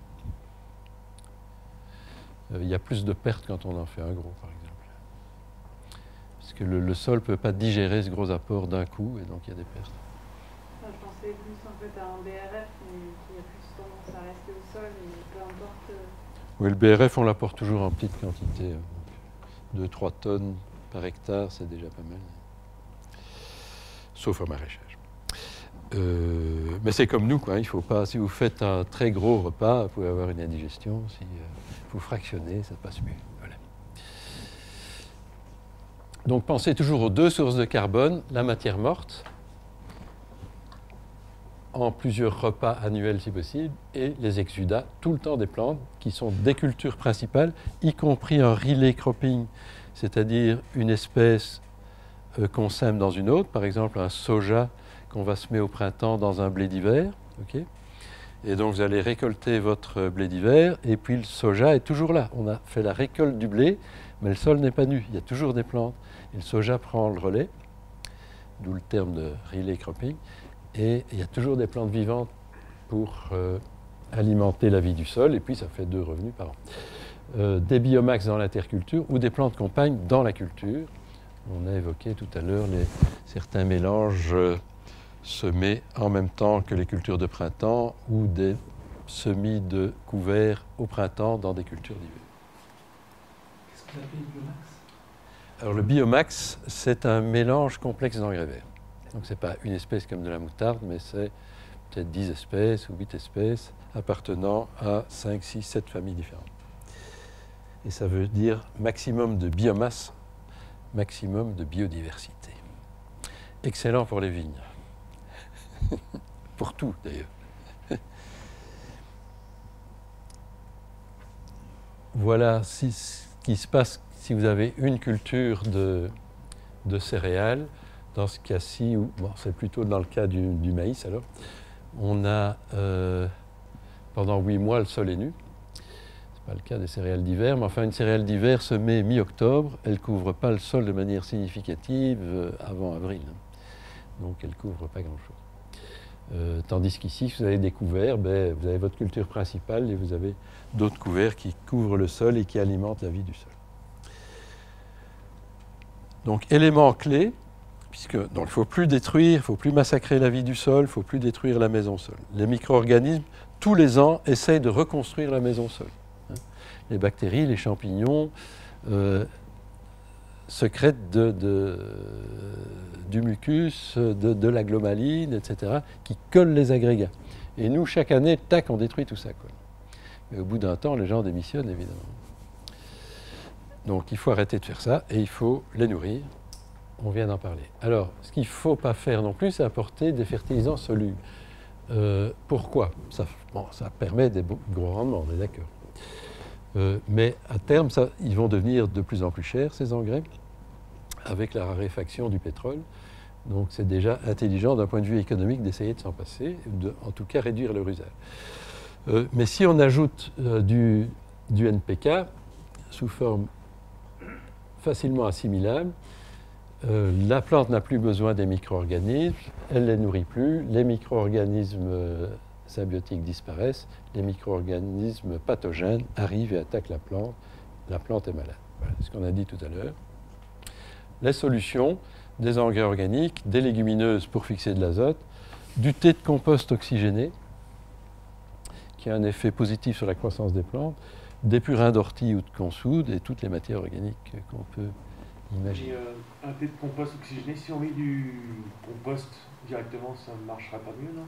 C'est un peu différent comme effet. Euh, le, compost a une valeur fertilisante par lui-même, il apporte des éléments nutritifs. Le thé de compost n'apporte pas d'éléments nutritifs, mais il stimule la plante, et il stimule la communauté de la plante avec les micro-organismes du sol, qui vont mieux absorber les éléments nutritifs qui sont déjà dans le sol. Donc l'un ne remplace pas l'autre. Et je vous montrerai des résultats euh, d'application de thé de compost sur des plantes sur des essais que j'ai fait l'année passée. Et le rendement augmente alors qu'on n'apporte que de l'eau et des micro-organismes. Et la teneur en azote, en phosphore, en potassium, etc., du thé de compost, elle est quasi nulle. Et malgré tout, les plantes poussent mieux. Mais euh, est-ce qu'à long terme, ça ne va pas vider les sols, justement, parce qu'on stimule plus ces plantes, les plantes vont absorber plus Oui. Du coup, ça vide les sols euh, Pour l'azote, non, puisque le réservoir est dans l'air, donc là, il n'y a pas de problème. Les légumineuses... Euh, reviendront toujours à fixer de l'azote. Euh, pour euh, le potassium, il y a souvent des réserves considérables dans les sols, pour des siècles et des siècles. Le phosphore, c'est une inconnue, effectivement.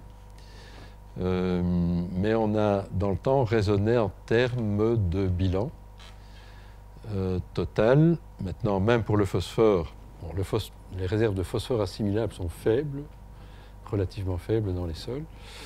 Euh, mais le phosphore total représente des quantités beaucoup plus importantes. Et dans des sols vivants, les micro-organismes solubilisent ce phosphore dit inassimilable. Donc si on tient compte de ça, on a des réserves beaucoup plus importantes et je crois qu'on peut compter là-dessus. Maintenant, il faudrait recycler évidemment les, les éléments nutritifs qu'on exporte de la ferme, qui à un moment donné est en gros envoyé dans les villes à des consommateurs. Il faudrait récupérer les excréments des villes euh, pour les mettre dans les champs, pour faire une boucle, hein, c'est ça. Comme ça que la nature euh, s'organise, mais c'est assez difficile à faire parce qu'il y a aussi dans les égouts des substances toxiques et dans les bouts de stations d'épuration. C'est pas, c'est pas top, quoi. Mais c'est un, un défi, voilà.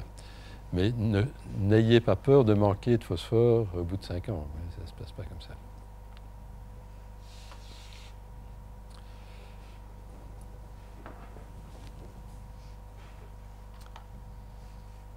Alors, euh, ne plus utiliser de fongicides sur les feuilles aussi, parce que un peu le même processus.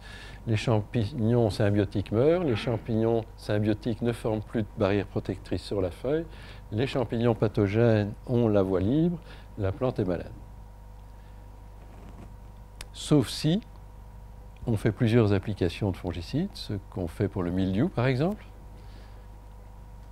Plus vous traitez, plus vous avez de problèmes. Ça, c'est une certitude et pour tout. Avec les limaces aussi, plus vous, vous mettez de l'antilimace, plus vous avez de limaces.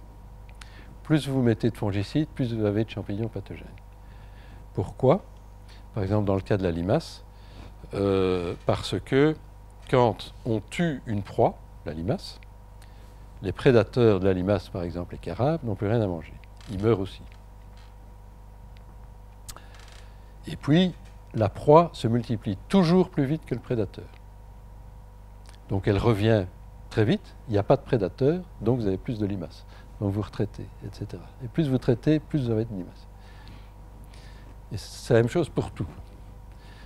Euh, et donc il faut essayer de gérer le système de telle façon que les mécanismes de régulation soient vraiment efficaces. Si on laisse faire la nature comme ça, ça ne marche pas. Mais si on manipule la nature en collaborant avec elle, manipuler pas dans un sens péjoratif, on peut réduire très fortement. Et puis après, on a quand même des moyens. Euh, par exemple, pour les ravageurs, on peut avoir des extraits de plantes qui sont des répulsifs et des choses comme ça, mais euh, qui ont un autre effet que les pesticides traditionnels. Donc ici, comment est-ce qu'on peut ne plus euh, traiter? Ben D'abord en choisissant des cultivars résistants. Hein. La pomme de terre, il ne faut pas cultiver la binge. On sait qu'elle est, très, sensible au mildiou. Euh, donc il y a des variétés beaucoup plus sensibles. Il y a même des variétés qui sont totalement résistantes au mildiou, qui ont été euh, sélectionnées en Europe de l'Est. Il y a les applications de thé de compost. Les thés de compost apportent des micro-organismes sur la feuille qui colonisent la feuille et donc ils occupent le terrain et les pathogènes n'arrivent pas. Ça marche très bien. il y a des études scientifiques qui montrent que les applications de thé de compost oxygéné, hein, TCO, ces thés de compost oxygéné, sont plus efficaces même que des fongicides de synthèse. Et ils peuvent même avoir un impact curatif. Pas à 100%, mais, euh, mais les fongicides de synthèse non plus. Euh, et ça, on a encore fait aussi euh, chez moi des, essais l'année passée sur des légumes, et une fois de plus, ça s'est révélé vrai. Il y a les purins de plantes, hein, de consoude, d'ortie, de silice, etc. Il y a des extraits de plantes. Tout ça, ça peut être des solutions. Le mieux, c'est que le système fonctionne tout seul. Le sol est tellement vivant que la plante n'est pas malade. Ben, nous, on n'est jamais malade. Enfin, je sais pas des dizaines d'années que je n'ai pas été malade. Pourquoi? Parce que je dors bien, parce que je mange bien, parce que je marche un peu. Quand on n'est pas stressé, on n'est pas malade.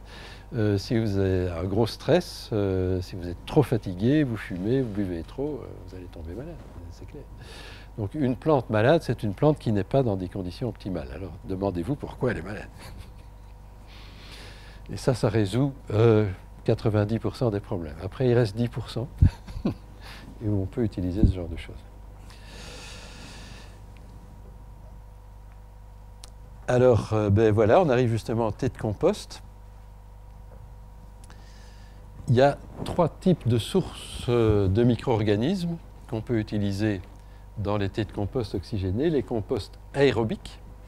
Donc, ce sont des composts très contrôlés où euh, on fait des retournements réguliers euh, ça, je ne vais pas en parler cette fois-ci, c'est une formation en soi, hein, de faire du bon compost euh, oxygéné. Euh, on mesure la température, on peut éventuellement mesurer le taux de CO2 aussi, et chaque fois que c'est nécessaire, on retourne. donc on retourne facilement toutes les trois semaines et on retourne trois fois. On peut faire que des toutes petites quantités, Donc on n'a pas besoin de faire des tonnes de compost, puisque le but, c'est simplement d'avoir des micro-organismes qu'on va extraire. Donc à la fourche, ça marche très bien. Pas être super équipé. Et euh, pourquoi c'est si important d'avoir euh, des composts bien aérés? C'est parce que dans les composts bien aérés, on n'a pas, de- euh, ra- pas de de pathogènes. Donc on a tous les bons euh, micro-organismes qui sont aérobies et on n'a pas les pathogènes qui sont pour la plupart euh, des organismes qui vivent dans des conditions sans oxygène, donc anaérobies. Et donc là, on part d'une bonne base. Il ne faut évidemment pas avoir des pathogènes dans le thé de compost. Le but n'est pas de multiplier des pathogènes. Donc ça, c'est une chose. Alors, dans les humus de vieilles prairies permanentes, diversifiées si possible, il y a aussi beaucoup de micro-organismes. Et dans les forêts feuillues, diversifiées aussi. On peut avoir quelques pathogènes là-dedans, mais pas trop. Et si vous n'êtes pas sûr de vous, le mieux au départ, quand vous commencez à faire du thé de compost oxygéné, c'est acheter du lombricompost du commerce. Euh, ça se trouve facilement, euh, même sur le web. Et il y a des entreprises qui sont très sérieuses et qui utilisent justement les composts épigés, les verres épigés, pour faire du compost de très grande qualité. Ce compost est retourné régulièrement. Donc c'est vraiment très conseillé de commencer par ça. Comme le but est aussi de diminuer les achats d'intrants, on passe après au compost aérobique et on peut aller chercher en plus un peu de- d'humus de prairie et de forêt. J'ai dit tout à l'heure que le vrai modèle, c'est la prairie permanente pour nos champs, c'est pas la forêt, enfin plus que la forêt. Quelques exemples. Dans la forêt, les champignons présents sont surtout des champignons ectomycorhiziens. Nous, on a besoin d'endomycorhiziens et en prairie, il y a des endomycorhiziens. Euh, en prairie, il y a une dominante de bactéries par rapport aux champignons. En forêt, c'est l'inverse. On a une dominante de champignons par rapport aux bactéries. Dans nos champs, on a besoin d'une dominante de bactéries. Donc, de nouveau, le sol de prairie est plus favorable, etc., etc. Il y a 36 raisons qui font que la vraie source de micro-organismes, c'est la vieille prairie permanente. Mais on peut aussi aller en forêt, on diversifie un peu avec euh, les micro-organismes de la forêt. Et si on a des vignes, alors là c'est autre chose, ou des pommiers, ou bon, euh, ben là c'est plus intéressant d'aller en forêt parce qu'on peut aller chercher des champignons euh, ectomycorhiziens qui vont euh, s'allier à la vigne ou à, au pommier, quoique il y ait une certaine spécificité des champignons ectomycorhiziens. Ah oui, j'ai un peu oublié que j'avais ce petit tableau de synthèse qui synthétise les caractéristiques de l'écosystème forestier et de l'écosystème prairial et qui vous montre qu'en fait, euh, les, sols ou le sol euh, arable, de terre arable optimale, ben, ressemble à un sol de prairie. Les pH sont beaucoup plus bas en forêt, forêt. Par exemple, les teneurs en nutriments sont très faibles, en prairie elles sont moyennes. Il y a cette dominante de, ch- de champignons, en prairie les bactéries.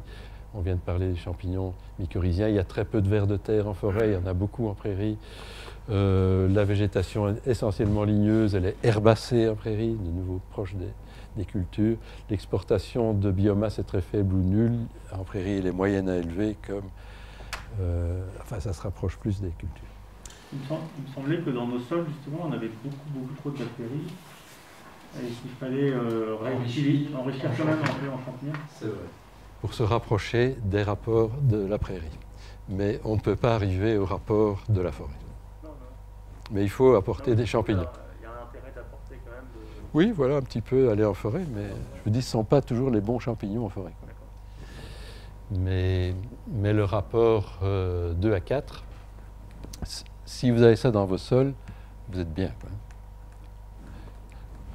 On est euh, souvent en dessous de 1 en culture. Donc vous arrivez à 3, super. Donc, en, prairie, il y a tout ce qu'il faut. Mais on est pour la diversité, donc on va aussi en forêt. Alors les thés de compost, ils peuvent servir à trois choses. Enrober les semences, effet starter, pour stimuler la germination. Tout de suite apporter des micro-organismes qui deviennent symbiotiques de la petite radicelle qui sort de la graine. et qui la protège des maladies, des pathogènes, et qui la nourrit. Et puis, on peut améliorer la diversité en micro-organismes des sols grâce à ces apports. Et on peut épandre sur le feuillage, ce qui stimule la croissance de la plante, la protège des maladies aussi. Deux choses là essentiellement. Évidemment, quand on traite le feuillage, parce que par exemple il y a une maladie sur le feuillage, ça stimule la croissance des plantes, ça contrôle la maladie, et puis il y a une partie du thé de compost qui tombe sur le sol, donc on, atteint les deux objectifs. Donc on traite rarement les sols nus quand vous traitez euh, des céréales au stade talage, ben, il y a une grande partie du thé de compost qui va sur le sol, qui va servir aux plantes, mais qui enrichit le sol. Donc voilà les, usages. Alors pour ça, il y a différents équipements, comme celui-là, ça c'est la cuve Ecodine, euh, euh, qui ne produit pas de bulles pour aérer le compost, mais un vortex qui est ici au centre, qui mélange aussi. Le but c'est d'avoir suffisamment d'oxygène dans la cuve de façon à éviter les pathogènes. Les pathogènes adorent les conditions d'anaérobiose. Voilà. Et donc vous pouvez très simplement acheter un cubi là, en plastique hein, d'un mètre cube qu'on trouve partout dans les magasins de bricolage, renforcé avec une armature en métal, ça coûte rien. Euh, et vous pouvez vous acheter des pierres poreuses, une petite pompe euh, pour faire des bulles, et euh, vous avez une installation à très bas prix. Alors ça, c'est peut-être mieux, c'est plus facile à, nettoyer, mais voilà. Alors je vous donne quelques recettes pour le thé de compost. Encore une fois, sur ce sujet-là, il y a des formations spécialisées qui permettent d'aller beaucoup plus en profondeur, mais ici je vous donne une palette de techniques qu'on peut combiner. Et vous aurez donc les, copies hein, du PowerPoint. Donc euh, il y a une série de choses que vous ne devez pas noter, dont ceci. Alors, vous voyez ici, on a pris le parti d'utiliser du lombricompost. Et sur 25-30 kg, on met 20 kg de lombricompost. Et puis on fait un compost maison, le meilleur possible. On peut aller aussi chercher un peu d'humus de prairie et de forêt pour diversifier, toujours diversifier au maximum. Et puis, alors on rajoute des produits qui servent à multiplier les micro-organismes. Les autres produits servent à nourrir ces micro-organismes. On extrait ces micro-organismes soit d'un sac, une sorte de grand sachet de thé avec des bulles,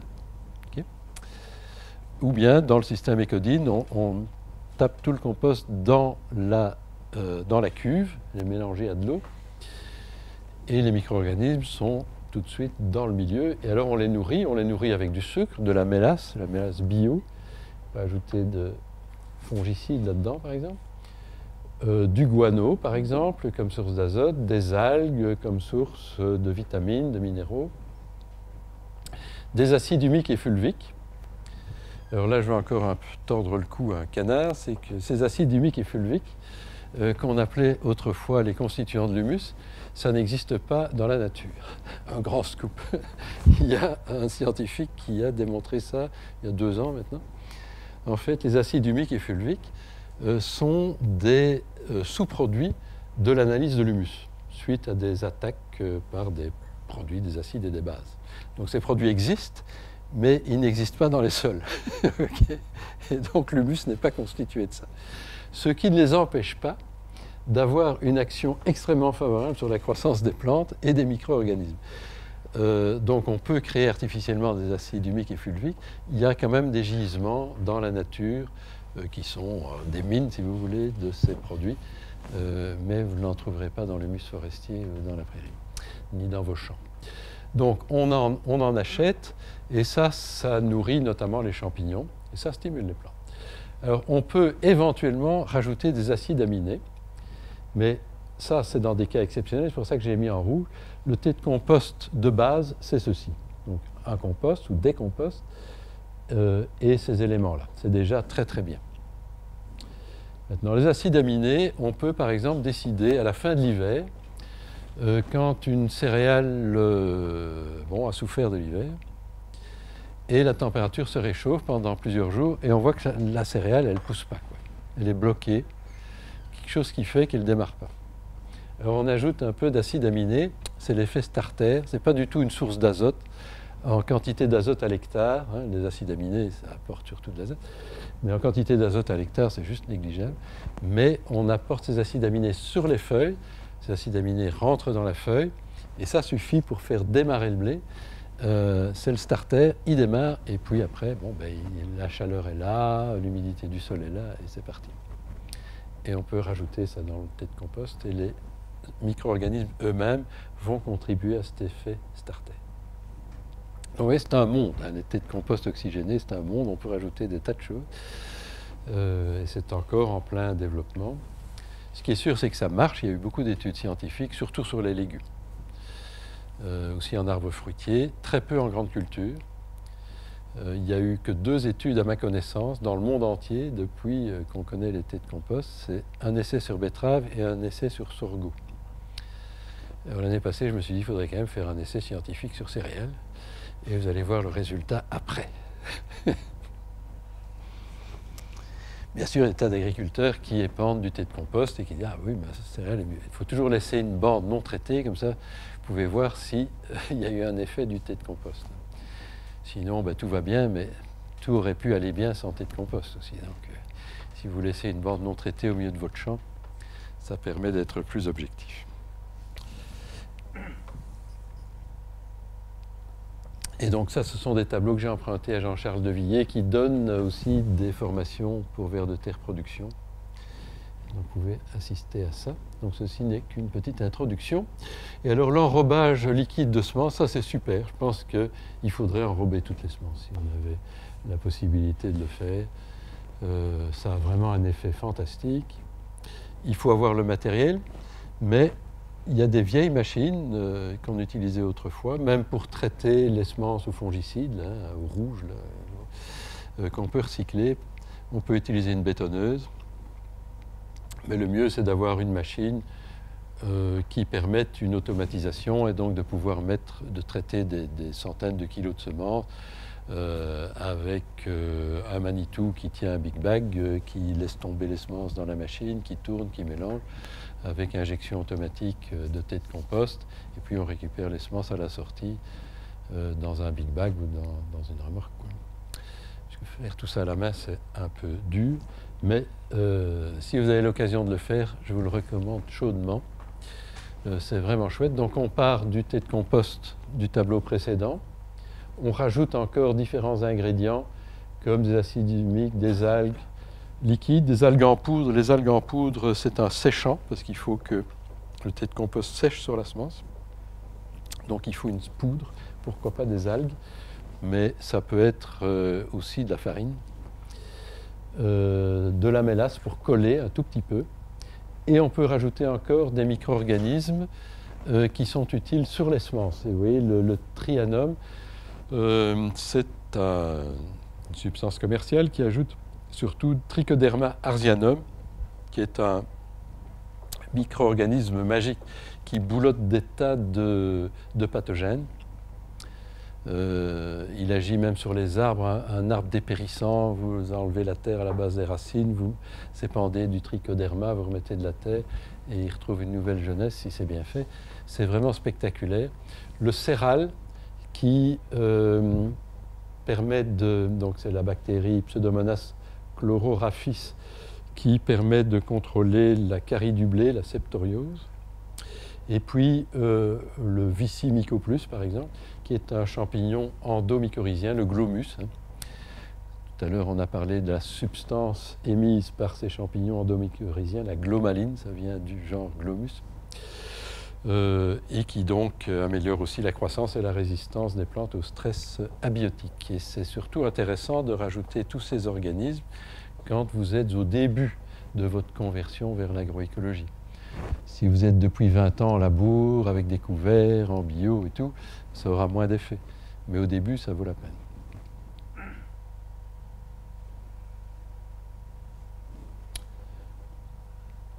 Mais déjà ça, hein, encore une fois, comme dans l'autre tableau, si vous faites déjà ça, c'est magnifique. Ceci, ce sont des options en fonction de ce que vous pensez devoir gérer. Si vous n'avez pas de caride de, du blé, n'employez pas. Mais si vous faites des semences de blé que vous ressemez vous-même en bio, il y a un risque croissant d'avoir de la caride du blé. C'est une maladie en pleine explosion. Donc, ça vaut peut-être la peine de traiter vos propres semences aussi avec ce céral, systématiquement, de manière préventive. Donc, comme on en met très peu à l'hectare, ça coûte pas très cher.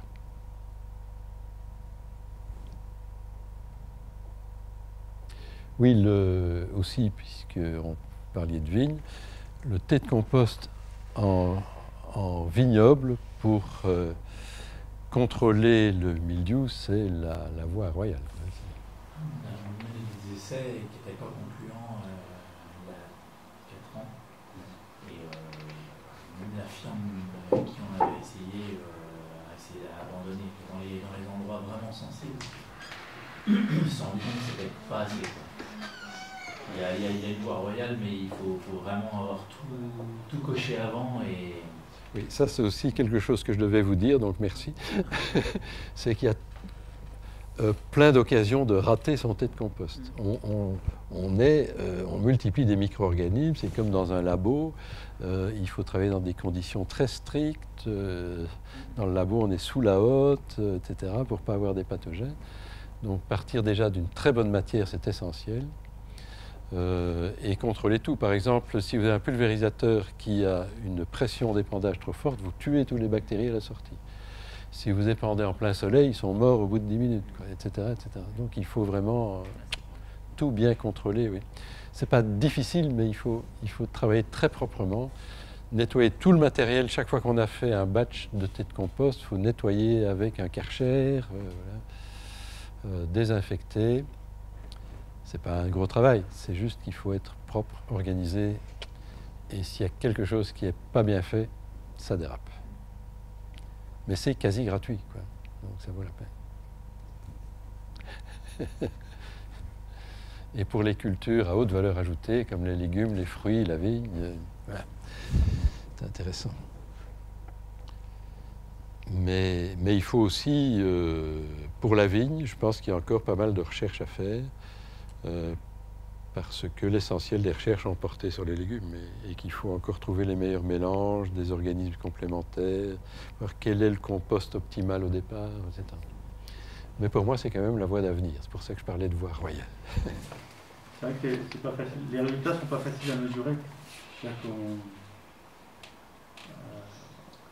euh, on, arrive à analyser euh, les feuilles ou des choses comme ça, mais la qualité et le rendement final, on sait pas, on n'arrive pas à voir euh, en céréales. On a fait pas mal d'essais justement avec Emeline euh, l'année dernière. Euh, on, voit, dans les mesures de feuilles, de jus, choses comme ça, qu'il y a des écarts. Par contre, la qualité finale du grain, on ne s'en rend pas compte. le rendement, on ne voit pas d'écart significatif.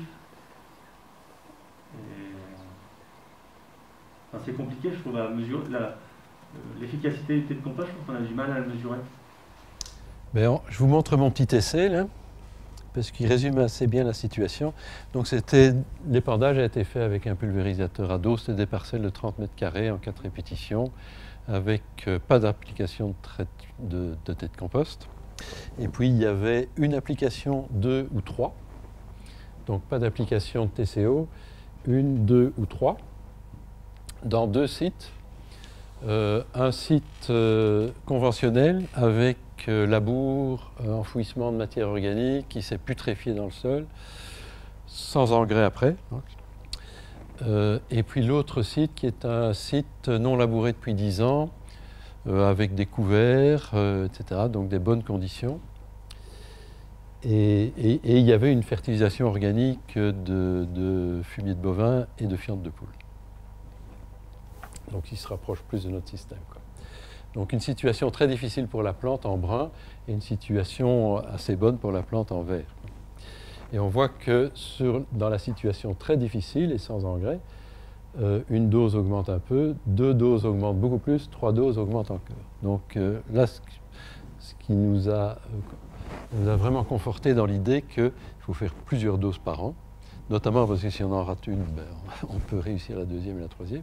Mais ici, on n'en a pas raté puisqu'il y a eu un effet chaque fois, et ces effets sont cumulatifs. hein. Euh, on a augmenté aussi les doses à l'hectare. On met 200 litres maintenant de thé de compost par application de thé de compost pur. Avant, on mettait plutôt 100, 150. Et je crois que 200, c'est encore un minimum.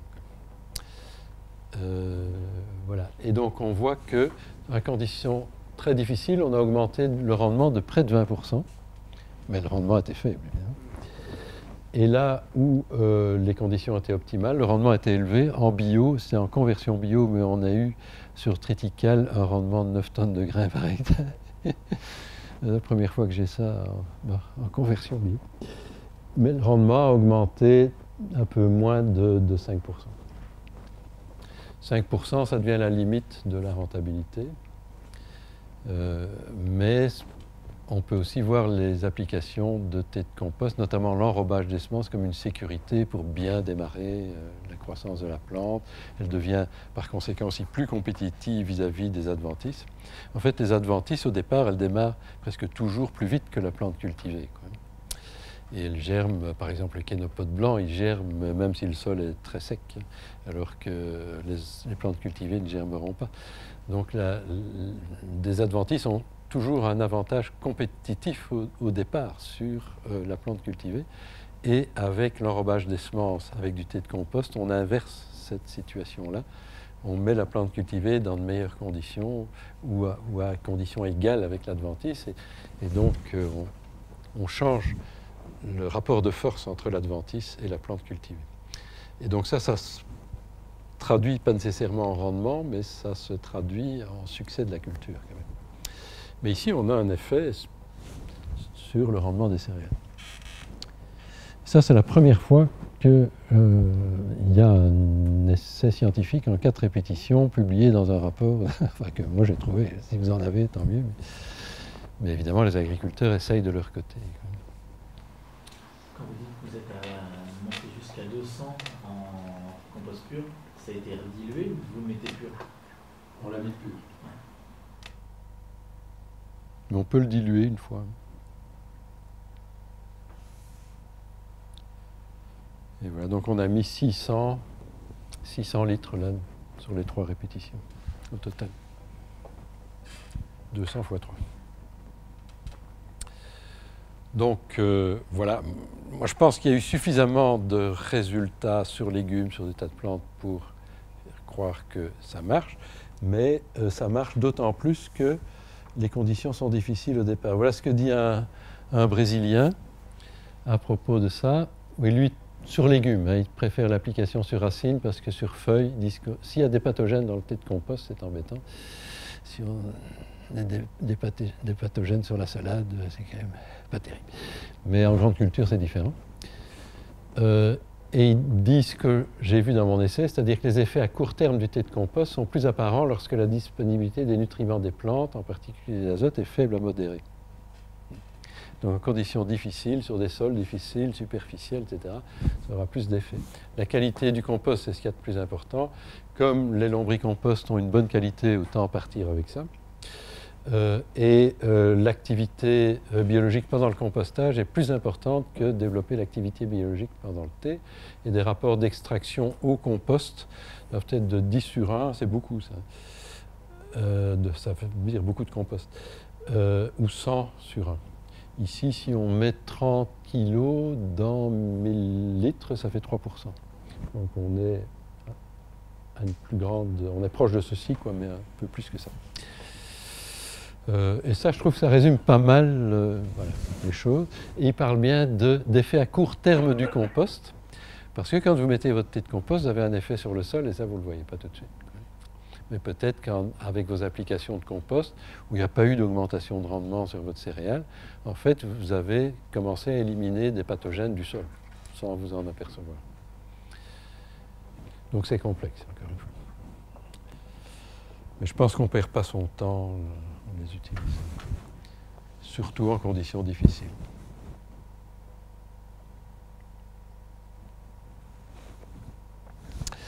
Alors on vient reviens un peu en arrière.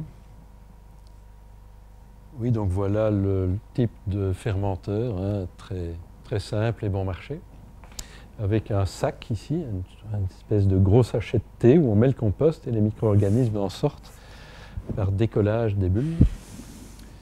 Puis il faut une pompe pour injecter de l'air dans le système, une pierre poreuse en dessous, des pierres poreuses. Il en faut au moins 4 dans un mètre cube. Et voilà, c'est parti. Les personnes qui font ça commercialement, et on peut acheter des, du thé de compost. Du compost, est-ce que certains vendent du thé ah, c'est très intéressant, mais c'est quand même du temps, c'est oui, oui, envisageable. De... Ben, il y a un jeune qui travaille avec moi qui a le projet de développer une entreprise euh, qui proposerait de faire du thé de compost. Il a commencé. Donc, par exemple, cette semaine, il, a, il vient faire le thé de compost chez vous, enfin, dans sa région en Belgique. Il ne viendra pas jusqu'ici, mais euh, ça peut, donner des idées à d'autres jeunes. Euh, et il, vient avec sa cuve, tous ses produits. Euh, il prend l'eau sur place l'eau déchlorée de qualité de l'eau de pluie, puisque ça aussi c'est une raison de tuer les micro-organismes, c'est de prendre de l'eau du robinet. On peut prendre de l'eau du robinet, mais il faut la déchlorer euh, pendant au moins une nuit avec des bulles, etc. Euh, et, et, alors, bon, bah, il rajoute les ingrédients, euh, et puis euh, l'agriculteur met ça dans son pulvérisateur. Il faut bien le nettoyer, évidemment. À partir de son compost, le compost qu'on a sur la ferme les deux solutions sont possibles. Pour le moment, lui utilise du lombricompost. Vous pouvez faire votre propre compost. Euh, et alors il l'extrait, et voilà. Tout est possible. Et l'agriculteur doit juste vider la cuve, quoi, et le mettre dans son pulvé. Certains pensent faire du thé de compost dans leur cuve, dépend d'eux. Je crois que c'est compliqué après de laver la cuve, tout ça. Mais, mais voilà, c'est peut-être un service à, à offrir. De la même manière qu'on peut faire et traiter de la semence, sinon, on a vu les camions mobiles. Avec des installations mobiles aussi, oui, voilà. Tout à fait. Mais oui, mais, mais, je conçois bien ça. Et on disait tout à l'heure, oui, ben les, industries d'amont de l'agriculture, s'ils vendent plus d'intrants, qu'est-ce qu'ils font? Ben, Ils peuvent faire ce genre de choses. C'est mieux si ce sont des jeunes, euh, oui, qui ont, qui ont une formation agronomique, biologique, et qui sont rigoureux, justement, oui, et qui offrent ce service. Et du coup, ça devient très facile pour vous. Pour moi, je pense que la chose la plus difficile, c'est d'être bien propre à chaque étape. D'avoir cette obsession qu'on a appris à des biologistes qui ont multiplié des micro-organismes. Euh, euh, on sait quand on prend des micro-organismes dans des boîtes de pétri sur de la gare, comme ça, à chaque fois qu'on prend des micro-organismes, qu'on fait une manipulation, on passe l'outil dans la flamme. Si vous ne le faites pas, vous avez tout de suite des pathogènes. Alors quand vous avez vu ça, vous dites oui, il faut que je nettoie ma cuve, hein, parce que c'est du sérieux. Là. Oui, voilà. Et donc c'est ça qui limite à mon avis. Après, c'est faisable quand même. Oui, j'imagine. Écoutez, moi j'ai vu en, en, Amérique du Sud, au Brésil par exemple, l'exemple d'un maraîcher qui travaillait vraiment sur de la latérite, hein, ces, ces, ces, grosses euh, roches indurées, d'oxyde de fer, il n'y a rien, il y a tout le phosphore est absorbé là-dessus, il n'y a presque pas de sol. Euh, et il faisait des légumes. Et ça marchait du tonnerre. Et il avait des fûts de, de gasoil, là, euh, qu'il utilisait comme fermenteur. Il faisait des bulles. Et puis il faisait son thé de compost. Et son thé de compost était en permanence envoyé dans le système d'irrigation. Et puis il y avait des arroseurs là, qui arrosaient les légumes en permanence avec ça. Il allait chercher sa matière de base dans des petits bois des environs les agriculteurs brésiliens doivent maintenir une certaine proportion dans leur ferme de forêt naturelle. Et donc c'était la source de de compost. Il disait, si j'avais pas ça, je ne pourrais pas cultiver des légumes ici. Et ça, ça m'a vraiment très impressionné. C'est la première fois que je l'ai vu il y a des années euh, en, en, vraie grandeur. Euh, voilà, mais c'était de nouveau des conditions extrêmes. Voilà, donc déchlorer. Ce qu'on peut faire euh, si on utilise l'eau du robinet, donc laisser reposer l'eau ou, ou, mieux aérer et brasser pendant quelques heures, ou l'eau de pluie, utiliser, très important, de la canne à sucre bio. Pourquoi de la canne à sucre et pas de la betterave? Parce qu'elle est beaucoup plus riche en oligo-éléments, en silice, etc. C'est mieux. Évidemment, pas de soufre, pas de cuivre, ça tue les champignons. Et puis, ce qu'on vient de dire, hein, les micro-organismes peuvent être dangereux.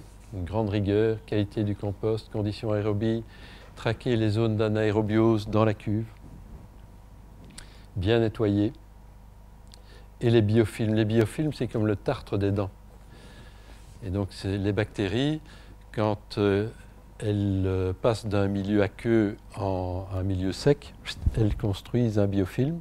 C'est dur comme du béton, hein, elles sont là derrière.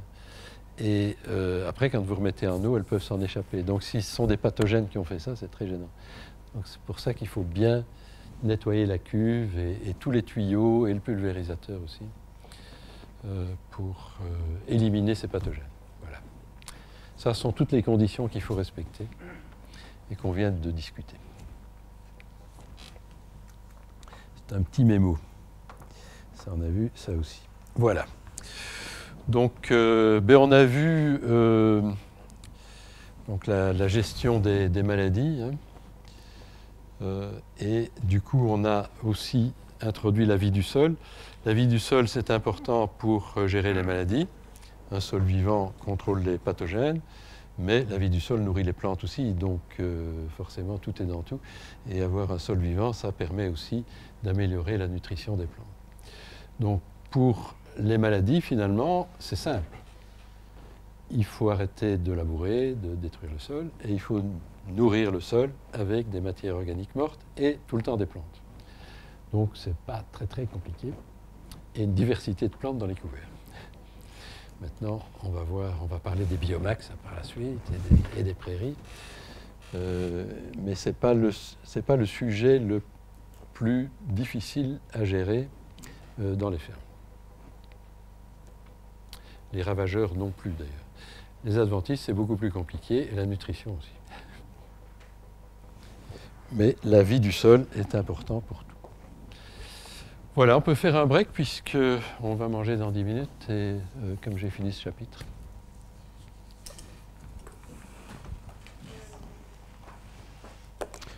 On parlera aussi des machines plus tard. Hein. Il faut quand même des machines pour travailler le sol, superficiellement, etc.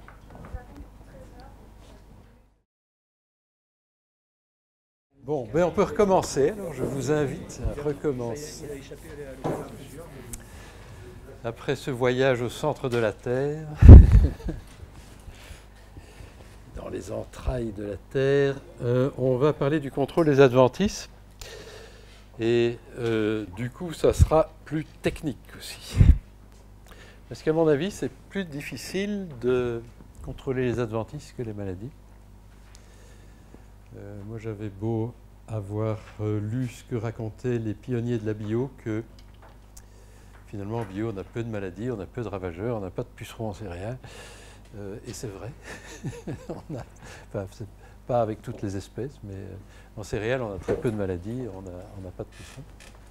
Par contre, les adventistes, c'est un problème de tous les jours et qu'il faut aborder de manière systémique. Ça, c'est aussi important. Je suis sûr que ça ne vous a pas échappé, mais ça ne fait pas de mal de le rappeler, que euh, dans notre approche, il ne faut pas adopter des techniques individuelles. Hein. Le bio sans labour, ce n'est pas juste arrêter de labourer, oublier que la charrue existe, mettre quelques couverts et puis euh, peut-être un peu de tête compost. Non, ça ne marchera pas. Il faut tout modifier. Les, les espèces qu'on cultive, les variétés, la façon dont on cultive le sol, en fait, tout change. Et tout l'art, c'est de faire varier toutes ces choses à la fois et de manière harmonieuse. Et cet équilibre varie d'une ferme à l'autre. Euh, c'est ça qu'il faut faire. Alors, revenons à nos adventices. Pourquoi je dis ça? C'est parce qu'il y a plusieurs approches pour contrôler les adventices.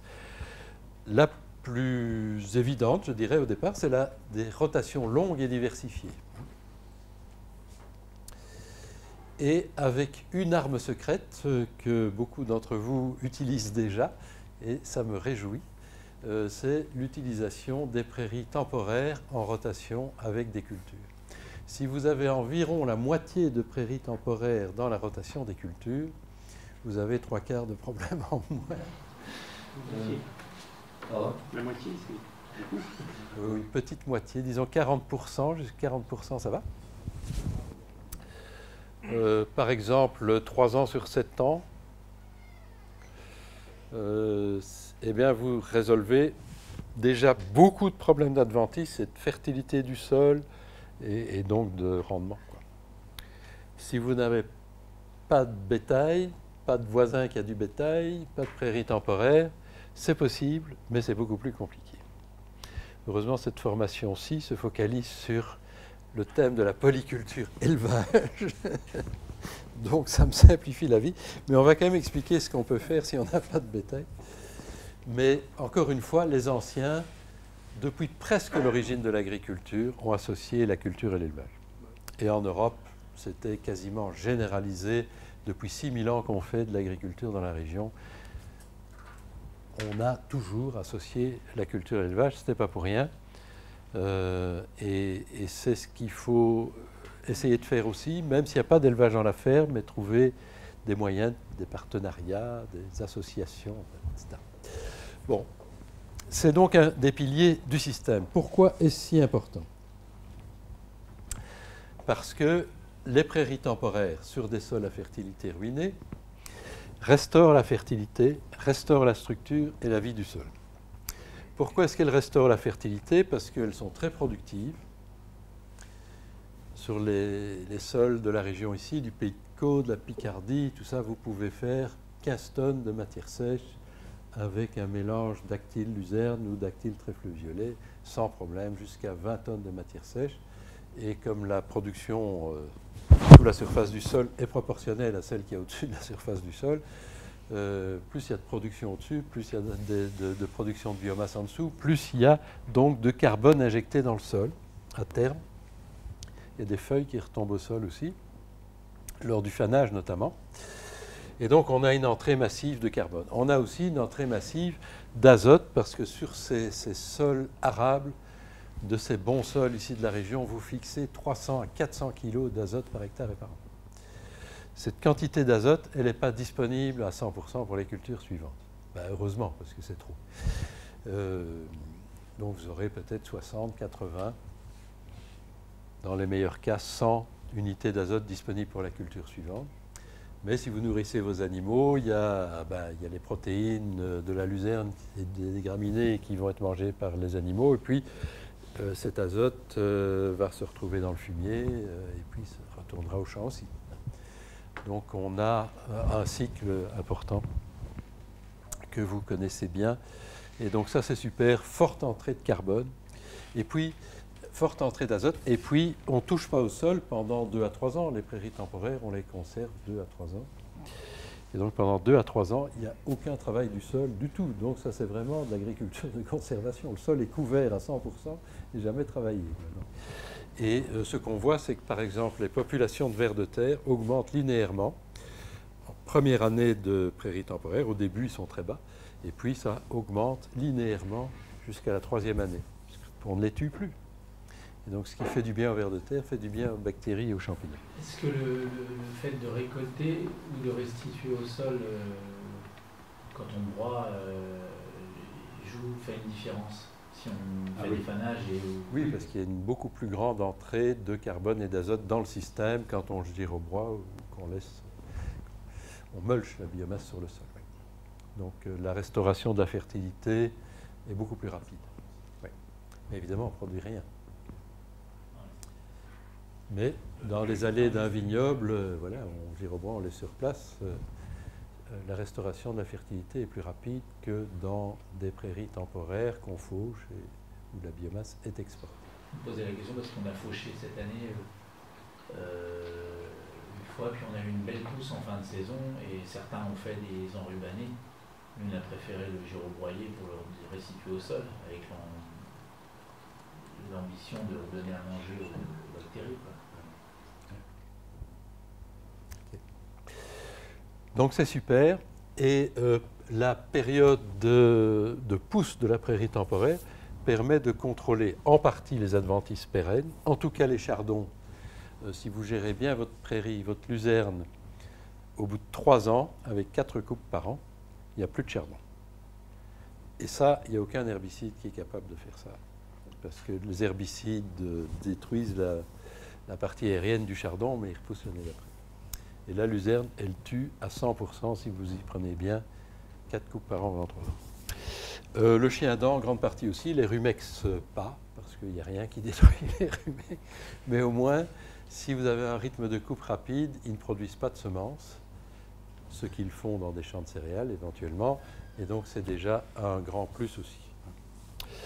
Euh, contrôle des graminées annuelles, on y reviendra, mais euh, la prairie temporaire est, est une des techniques les plus efficaces pour contrôler le vulpin, le vulpin des champs. Et après, quand on démonte une prairie temporaire, de même un an, mais sûrement deux ans et trois ans, on la démonte et je vais vous expliquer comment moi je fais. Euh, le sol est propre. Évidemment, il n'y a pas de repousse de céréales, mais il n'y a pas d'adventice. Dans mes conditions, on n'a pas d'adventice. Donc pas de désherbage, on démonte la prairie, on sème, on récolte et on fait rien d'autre. Et ça, c'est le précédent idéal pour les céréales panifiables, euh, puisqu'il n'y a pas de repousse de fourragère, il n'y a pas d'adventisme. Donc tout ça fait que c'est drôlement intéressant, la prairie temporaire. Sur le contrôle des graminées annuelles, euh, est-ce que du coup il faut. On voit par exemple dans les étés st- stressants qu'on a au niveau du sec, euh, des régras qui épient très rapidement en quelques semaines. Est-ce que. Ou si on a un rythme de fauche plus espacé, est-ce que c'est gênant Alors, il y a une chose que je dois vous dire, c'est que dans les systèmes bio sans labour, vous oubliez le régras anglais et le régras d'Italie.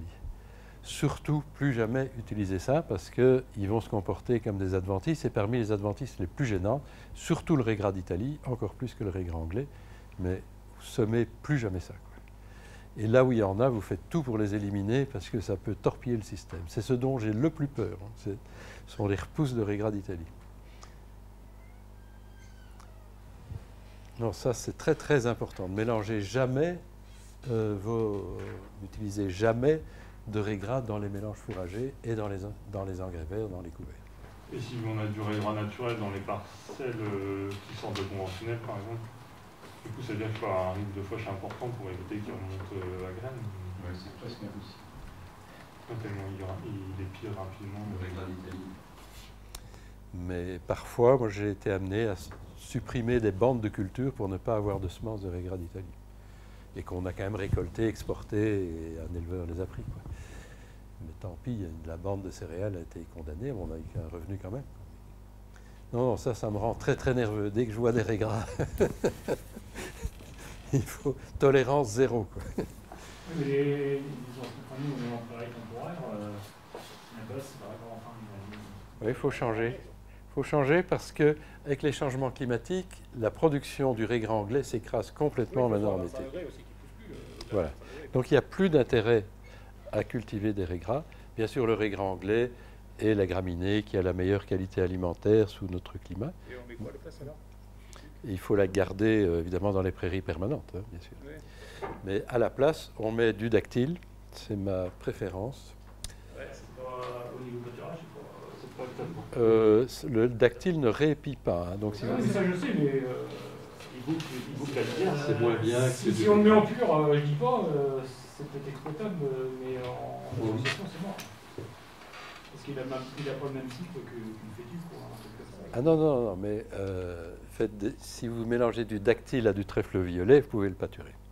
Le dactyle ne supporte pas le pâturage comme le régras, donc il faut faire attention au piétinement, au défoncement du sol. Euh, mais un mélange euh, dactyle-trèfle violet, c'est très appétant. Et vous tenez compte du cycle du, du dactyle et pas du trèfle. Oui, sauf que c'est des sucres rapides et pour les bovins, c'est pour. euh, Ça dépend comment vous l'utilisez. Euh, demain, demain, je vais expliquer comment on peut combiner les prairies temporaires et les prairies permanentes pour euh, prolonger la saison de pâturage et avoir de la production aussi en période sèche. Donc, la prairie permanente est normalement la base du pâturage. Et là, il y a du régras, il y a un mélange de graminées et de trèfle blanc. Et puis, on utilise les prairies temporaires qu'au début et à la fin de la saison. Euh, et, on donne toujours euh, du vieux fin foin, enfin, pas du foin pourri, mais du foin de faible qualité, et, de la paille à disposition des animaux quand on pâture ce genre de prairies temporaires à base de trèfle, luzerne et dactyle. Mais on peut aussi, à la place du dactyle, utiliser la fétuque élevée.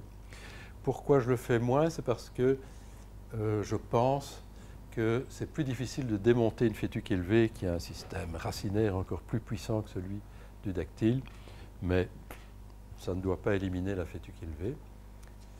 Euh, et on peut éventuellement faire un mélange des deux, mais on a ces problèmes de différence de précocité éventuellement. Et la fléole? Alors la fléole, elle met beaucoup de temps à s'implanter. Elle est surtout intéressante dans les régions froides. Euh, je ne la mets pas dans les mélanges de plaine.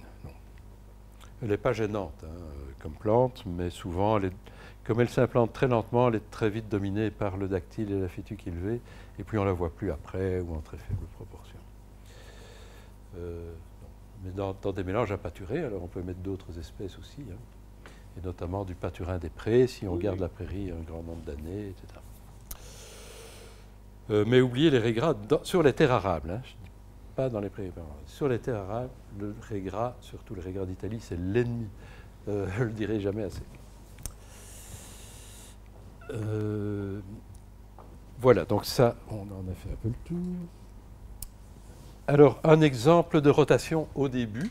Parce qu'au début, quand vous passez du conventionnel à un système bio ou agroécologique, les sols ont une faible fertilité. Il faut essayer de la restaurer le plus vite possible. Et euh, il faut avoir des légumineuses qui alternent avec des non-légumineuses. Ici, c'est un exemple où on a deux ans de prairies temporaires. Donc en vert, ce sont toutes les légumineuses ou les mélanges à base de légumineuses. Donc une prairie temporaire, par exemple, dactyle, trèfle violet, en deux ans. Une céréale, de nouveau une prairie temporaire d'un an, une céréale, puis une févrole ou un métail, euh, triticale févrole, triticale pois ou pois, et puis par exemple du chanvre. Ce sont juste des exemples. Euh, et cet exemple montre qu'on a ici une alternance de non-légumineuses et de légumineuses. Et avant chaque non-légumineuse, il y a une légumineuse. Et ça permet d'avoir des rendements acceptables parce qu'on n'a pas assez d'azote dans le sol. Hein. Alors évidemment, les premières années, les légumineuses ne sont pas passées partout. Donc il faut trouver une source euh, d'azote organique, soit vous l'avez dans la ferme avec des animaux, donc pas de problème, euh, si vous ne l'avez pas, il faut trouver des fientes de volaille, euh, du fumier, euh, de bovin, etc. Voire acheter de l'azote organique bio qui coûte très cher. Ça, je ne l'ai jamais fait, mais les fientes de volaille, c'est vraiment important d'en avoir les premières années pour assurer un, rendement acceptable sur un sol à fertilité ruiné. À mettre sur la prairie temporaire Non, à mettre avant les, les cultures de céréales. Donc ici, on retourne la prairie. On le fait au mois d'août, je vais vous expliquer comment. Euh, et on sème la céréale le 15 septembre, on met l'azote au 15 septembre, et puis on ne touche plus à rien. Pas de désherbage, la terre est propre, et on sème Et on fissure entre les deux, parce que ça c'est l'inconvénient des prairies temporaires fauchées, c'est qu'on passe un grand nombre de fois pour faucher, pour faner plusieurs fois, euh, récolter, enrubanner, etc. Et les sols sont tassés.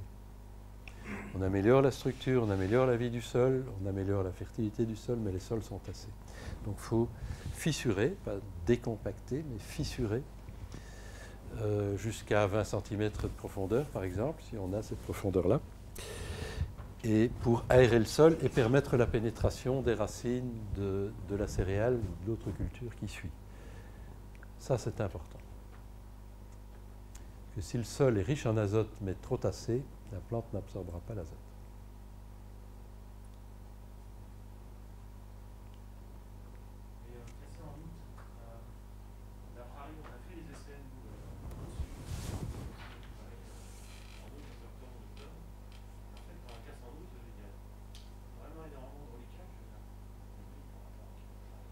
C'est pour ça qu'il faut le semer très tôt pas le semer au 15 octobre.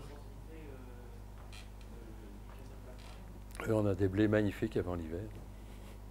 Mais il faut les semer avant le 15 octobre. Avant le 15 septembre, pardon. Avant le 15 septembre. Surtout pas en octobre. Oui, mais pas n'importe quelle variété. Non, les plus tardifs. Des blés, des vrais blés hiver, quoi. Des blés très hiver. Qui sont en bordure maritime. euh, Sinon, on vous- euh, oui, ben, il faut adapter un peu en fonction de la proximité de la mer, d'accord Mais euh, On doit aller jusqu'au 17 allez. voilà. T'as du Faut négocier. là. Mais si on sème pas tôt, on perd une grande partie de l'azote euh, qui se trouve dans le sol et qui est minéralisé. Hein, La, la luzerne laisse un gros reliquat d'azote. C'est minéralisé encore en septembre, en octobre. Et si on sème tard, cet azote est perdu, il est lessivé. euh, si le sol est gorgé d'eau, il est euh, Dans un bouquin euh, au Canada, ils avaient fait ça, mais un, genre de colza entre le, le fait, euh, entre le moment où ils cassaient la prairie et le semis de céréales euh, deux, trois mois après. Oui, mais ça, on n'a pas le temps parce qu'on on commence à démonter la prairie au début août Ouais, On se donne tout le mois d'août. ouais, c'est euh, pour sécher. Bon, il y a des années comme on vient d'avoir, on n'a même pas besoin de sécher, on passe euh, un outil et puis c'est fini. quoi. Et, et on pourrait semer même encore plus tôt. Mais sinon, il faut se donner tout le mois d'août par précaution et puis semer début septembre. Donc on n'a pas le temps de mettre euh, un, un couvert. Il n'y en a pas trop de levées d'amortissement semencier. Non, il n'y en a pas. Oui, je sais, je sais. t'as trois ans de prairie temporaire, donc euh, Voilà. euh, ça a relativement bien tenu. Donc en agroécologie, on fait tout différemment, pas parce que on est des gens à l'esprit contraire, mais euh, on, a des dates et des densités de semis différentes de la bio et du conventionnel. Et je peux vous dire que ça fait maintenant presque 10 ans que je le fais et ça marche très bien. Alors, les densités sont plus faibles, mais de l'ordre de 160 kilos de semences de, de blé, par exemple, hectare. Euh, pas 180 ou 200. C'est énorme déjà, 160 kg. Oui, voilà, c'est bien assez.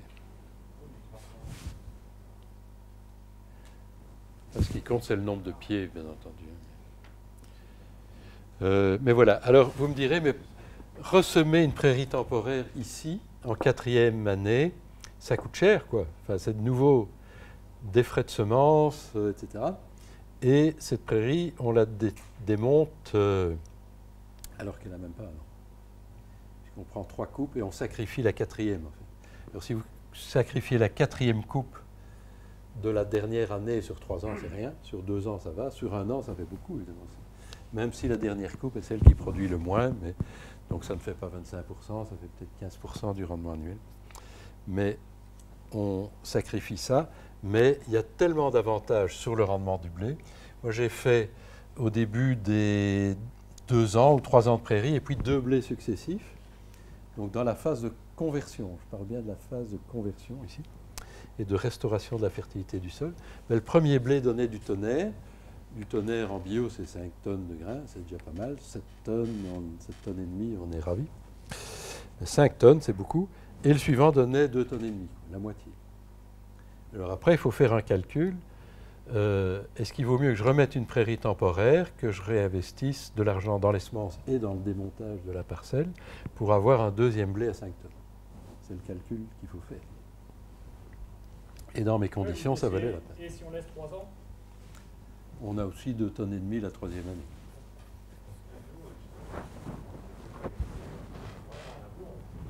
La deuxième vague, En labourant. Je n'ai pas bien compris. Parce que Non, non, mais il ne peut pas y aller à la suite, mais comme la première, il la sème tard, et il pénalise le rendement. euh, Oui, c'est ça. il pénalise le rendement de la première. Oui, mais la, deuxième elle va, elle va être euh, favorisée avec la minéralisation de la prairie. La première, elle est, elle est pénalisée parce que tu renfouis ta prairie au mois de, au mois de novembre, et euh, ça ne minéralise pas, pas si vite au premier à mon avis, tu perds beaucoup d'azote en sementard. Donc tu perds tout le bénéfice Non, de il la prairie pas, temporaire. mais il l'a pas au départ. Pas à mon avis, c'est pas perdu, il l'a pas au départ. Mais c'est après prairie temporaire quand même. Oui. Oui.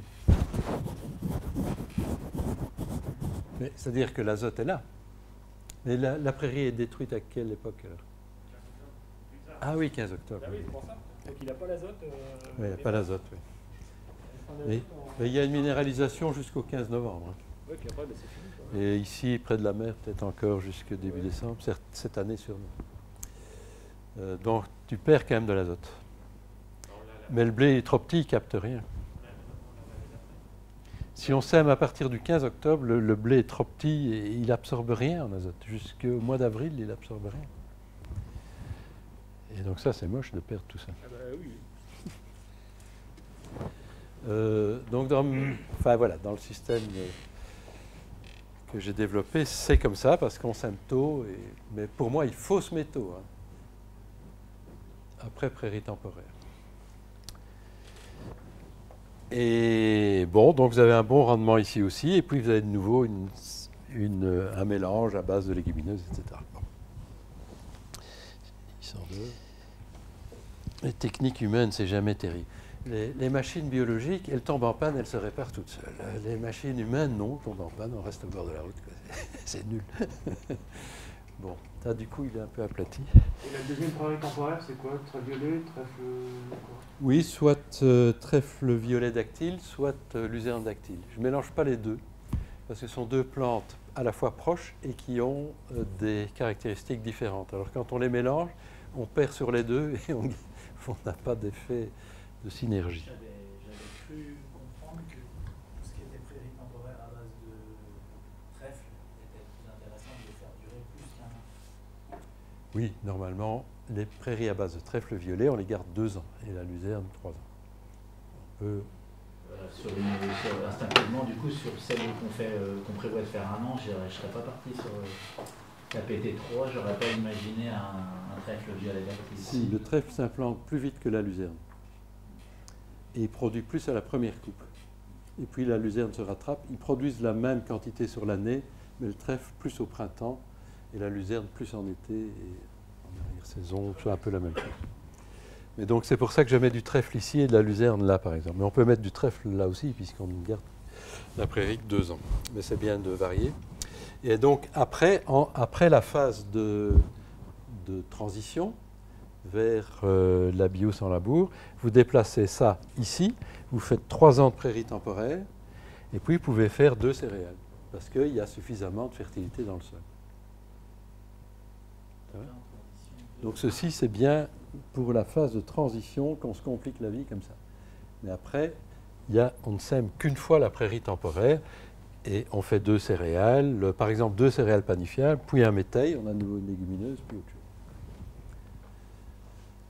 Mais cette alternance, le principe de l'alternance de légumineuses et non légumineuses, il faut respecter ça strictement au début. Mais ceci peut être autre chose aussi qu'une prairie. Ça sera moins efficace, mais on pourrait avoir une févrole ici. Et si on a une vieille prairie de 10 ans, par exemple, il n'y a pas besoin de phase de transition, du coup? Non, bien sûr. La prairie est plus que Je trouve que tu auras beaucoup de régranulés. et- Il y aura d'autres problèmes, mais il n'y aura pas de problème de fertilité. si ce n'est qu'il y aura trop d'azote et qu'il y a un risque de faire baisser céréales. Raison de plus pour ce métaux. Voilà. Donc ça, Dans, la logique du SMI euh, hâtif, euh, j'ai bien compris que du coup euh, c'était intéressant parce qu'on est en agroécologie, on a les sols couverts, on peut aller attaquer plus tôt, mais par contre là, il y a une gestion différente euh, juste derrière, si on sème tôt, il va falloir prévoir des passages de quelque chose dans la céréale.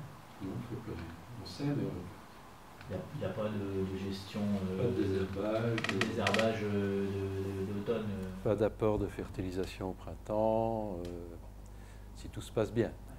Maintenant, si au printemps, le sol est égorgé d'eau tout l'hiver, parce que votre sol, il est argileux et tout, bon, euh, bon, on sera peut-être obligé d'apporter une petite fumure euh, complémentaire au printemps. Mais normalement, on ne désherbe pas. C'est ça Ah oui, oui, c'est fait. Et la prairie temporaire, la deuxième, Oui. euh, est-ce qu'on peut faire un métail encilé avec? Un métail encilé mélangé avec le ultraviolet On Ouais. encile tout au printemps et puis le ultraviolet continue jusqu'au mois d'août. Donc mettre le métail ici ou le mettre le métail là? Là, euh, en 4, en fait. Oui. Enfin, Donc on, on sème le métail et le trèfle ensemble. Oui. Et donc ici on a un métail et puis le trèfle produit là. Non, non. Oui, Non, produit non, à l'automne, métail, il produit à l'arrière-saison. Oui. Après la récolte. Non, au printemps, il produit au printemps d'après et il laisse. euh. En fait, tu as une, une coupe de métal, une coupe de trèfle violet, et puis après, bah, on repart tu en- le casses et puis tu Ouais. Très bien. Et ça permet d'avoir plus de biomasse. euh. Alors ce que je fais souvent d'ailleurs, c'est semer de l'avoine en même temps que la prairie. Et donc la première coupe est plus importante. Et l'avoine abrite un peu les jeunes plantes de, de prairie. Donc on a moins de dégâts de gel, on a moins d'adventices aussi. Parce qu'à l'installation de la prairie, on a pas mal d'adventices. C'est impératif de mettre de la bonne. Bah, impératif. Oui, c'est ça, mais c'est mieux, beaucoup mieux. beaucoup mieux. Oui. On la sème évidemment à, à plus faible densité. Voilà. Donc c'est très recommandé de mettre de l'avoine. Et un métail, évidemment, encore mieux. Là, en, en année 4, dans la prairie, il y a du régras finalement. On met du régras ou on met Marqué régras trèfle, il y a une erreur. Ah, Ah oui, c'est un vieux machin. ça. Attendez, non, Févrol trèfle? Là Non, quatre. Année 4, année 4. Marqué euh, sabotage. Non, non, non, ça c'est un vieux machin, je dois corriger. Il faut barrer ça trois fois. Qui a touché Barrer trois fois. Très bien vu. Non, c'est juste pour voir si vous êtes attentif. C'est très bien. Et du coup, l'année 7, c'est légumes ou champs, c'est ça? Oui, mais ce sont des exemples, hein, ne prenez pas ça au pied de la lettre. hein. Le principe, c'est l'alternance, ouais. C'est comme en politique. Chez nous, c'est bien. C'est aussi un intérêt pour euh, nettoyer la parcelle aussi, le chanvre. Ouais. Ça, c'est bon pour. euh, Excellent. Et je ne sais pas pourquoi, mais c'est un effet très bénéfique sur la structure. Alors que quand on en mange trois feuilles, on a mal de tête, mais apparemment les vers de terre et les bactéries, elles aiment ça. Et voilà, ça améliore la, la structure. Et donc, vous voyez, on a, ça c'est un peu la courbe de la disponibilité d'azote dans le système. Voilà. On a cette belle ondulation de la disponibilité d'azote. Voilà à quoi ressemblent ces mélanges euh, graminées trèfle. Et donc, voilà, euh, on a une prairie d'un an, deux ans, trois ans, peu importe. On prend trois coupes, la troisième coupe fin juillet, et après on la démonte. Et on la démonte. J'ai essayé plusieurs outils. J'ai essayé des, des cœurs, euh, j'ai euh, essayé des fraises, j'ai essayé de la herse rotative, euh, différentes choses. Et finalement, le meilleur outil, c'est la fraise. Celle-là, elle n'est pas très bien. Mais avec la fraise, on travaille sur 2-3 cm, toujours superficiellement. C'est l'action la plus agressive de toute la rotation. Euh, on s'en excuse, mais euh, l'impact sur la vie du sol est modéré parce qu'on fait ça début août. Et début août, il fait sec normalement, et les vers de terre sont en profondeur. Donc on ne tue pratiquement aucun ver avec cette technique. Et donc je pense que l'impact sur les bactéries et les champignons est quand même raisonnable aussi. Il est réel, mais raisonnable. Euh, et ces dernières années, on est passé la fraise, et puis c'était tout. En fait, on a, dans les années pluvieuses, s'il pleut au mois d'août, il faut passer une ou deux fois encore avec une herse pour secouer les plantes, surtout les touffes de dactyles ou de fétuques élevées, que toute la terre euh, tombe des racines et qu'elle sèche en plein soleil. Les dernières années, un passage de fraise, parfois un deuxième passage de fraise localement, et c'était réglé. 3 cm. Alors cette fraise-ci, elle n'est pas bien, mais c'est aussi intéressant de montrer ce qui ne va pas. Il n'y a pas les rototilleurs aussi de chez Roux, là, qui, qui font aussi, là, qui, qui fument juste. Oui, oui, tout ce qui décape euh, très bien. juste, euh, Non, non, c'est des, des doigts. Des petits doigts qui. Oui, voilà. Ah, si, avance pas vite et ça prend une voie, ça colle. Il y a trois choses qui ne vont pas dans cette fraise. D'abord, le capot n'est pas relevé et on ne sait pas le relever convenablement. Et or, ce qu'on doit essayer de faire, c'est qu'à la sortie de la fraise, voilà, il y a de la terre et il y a des plantes qui sortent. Ok Euh, donc, la terre, elle est plus lourde, elle tombe là. Et les plantes, elles tombent au-dessus de la terre. Et donc on n'a pas un mélange de terre et de plantes. Donc les plantes sèchent beaucoup mieux. Donc les, luzernes, mais qui sont juste après la coupe, elles sont hautes comme ça, les graminées aussi. Donc les graminées, les plantes sont projetées loin, elles retombent sur le sol. En surface, elles vont griller. Et la terre tout près. Mais pour ça, il faut que le capot soit relevé. Alors ce qui ne va pas non plus, c'est que ici, la terre, donc, le mélange de terre et de plantes, elle est rabattue vers l'avant, euh, et puis euh, les plantes ne savent même pas sortir, elle est rabattue euh, de l'autre côté vers le tracteur aussi. Euh, et puis tout ça ré, réappuyé par le rouleau. Très mauvais, il faut une, fraise à roue latérale. Il faut un système qui permette de régler la hauteur de travail, évidemment. Ici, c'est le rouleau, mais ça doit être des roues. Et puis les dents, là, on ne les voit pas. Les dents des fraises sont incurvées. Et donc, elles sont euh, à peu près comme ça. hein. À peu près comme ça. Et donc ça, ça fait de la tôle ondulée sur le sol. Parce que l'attaque n'est pas régulière et donc il y a des endroits qui sont travaillés plus profondément et d'autres moins profondément. Et donc on ne peut pas bien régler la profondeur de travail. Et donc une dent de fraise, ça doit être perpendiculaire pour racler. Et alors on a une surface homogène. C'est un peu le, le principe du rototiller, c'est des doigts. Et en Oui, exactement. Je pense que ça doit être plus- peut-être plus efficace Et il y a une firme italienne qui produit ces dents euh, et maintenant d'autres constructeurs euh, adoptent ce système. C'est vraiment beaucoup, beaucoup mieux.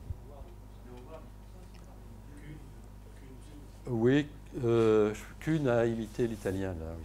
Je peux vous donner les marques tout à l'heure. si vous voulez. Euh, et donc, comment est-ce qu'il faut faire avec la luzerne La luzerne, elle a un collet, donc un endroit qui est plus épais, et puis toutes les tiges partent de là. et ce qu'on veut faire, c'est couper juste sous le collet. Les racines de luzerne n'ont pas cette aptitude à rejeter comme les racines de rumex. Coupez un rumex, vous allez avoir 10 ou 20 rumex. Si vous coupez la luzerne sous le collet, elle ne repart pas.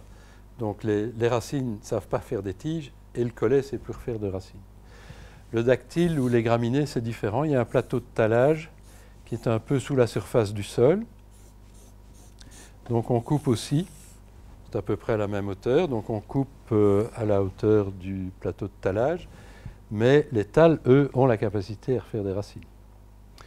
Si on les enterre parce qu'on travaille trop profondément, mettons à 10-15 cm, tout va reprendre, même la luzerne, mais surtout les graminées. Et il, pleut là-dessus, c'est terminé. Ah ouais. Donc le secret, c'est de travailler superficiellement. On travaille superficiellement pour ne pas abîmer le sol, mais c'est aussi la technique la plus efficace pour démonter la prairie. Surtout pas profondément. Euh, voilà. Donc ça, c'est la profondeur. Et ben, dans ce cas-là, on a, on a les plantes mélangées à de la terre. S'il pleut dessus, ça reprend aussi. Même si le travail est superficiel. Donc il faut aussi éjecter les plantes au loin. Euh, et alors, si nécessaire, si l'été est pluvieux, même déposé en surface, le dactyle ne va pas sécher, pas suffisamment, il va refaire des, racines parce que l'atmosphère est humide, et donc il faut le secouer pour euh, euh, casser ses racines et éliminer la terre qu'il pourrait y avoir sur la base des racines qu'on a sectionnées. passage, on repasse en fraise, on peut la secouer avec. euh, On secoue avec une herse à paille, ça c'est l'idéal, elles sont très larges et elles ont trois rangées de peignes. J'ai une petite vidéo là, mais je ne sais pas si ça va aller, à mon avis non. Ah, ah, si, ça marche. Donc ici, ce n'est pas une herse à paille finalement, mais c'est une fraise qui éjecte bien. Je voulais vous montrer l'éjection. Oui, comme ça éjecte. Et ça fait du boulot, hein, ça va vite. Mais il y a le- les jonquilles qui font ça en Vendée, euh, qui détruisent une prairie avec très gras pour le maïs. Ah oui. Regarde. C'est quand même assez large, donc ça c'est pas mal. hein.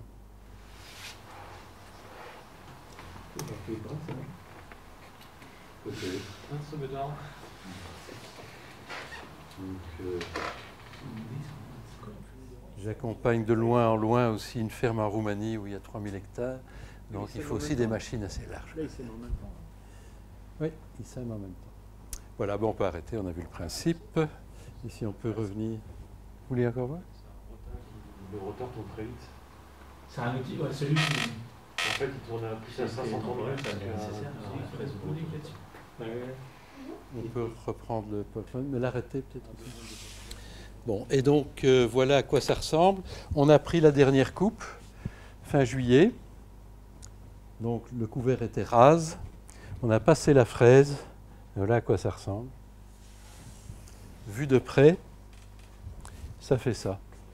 Et là, on voit bien aussi les vagues parce que les, les dents de la herse sont incurvées et pas perpendiculaires. Euh, Il y a un Suisse qui a adapté une herse rotative avec des dents. Donc la herse rotative, elle travaille verticalement.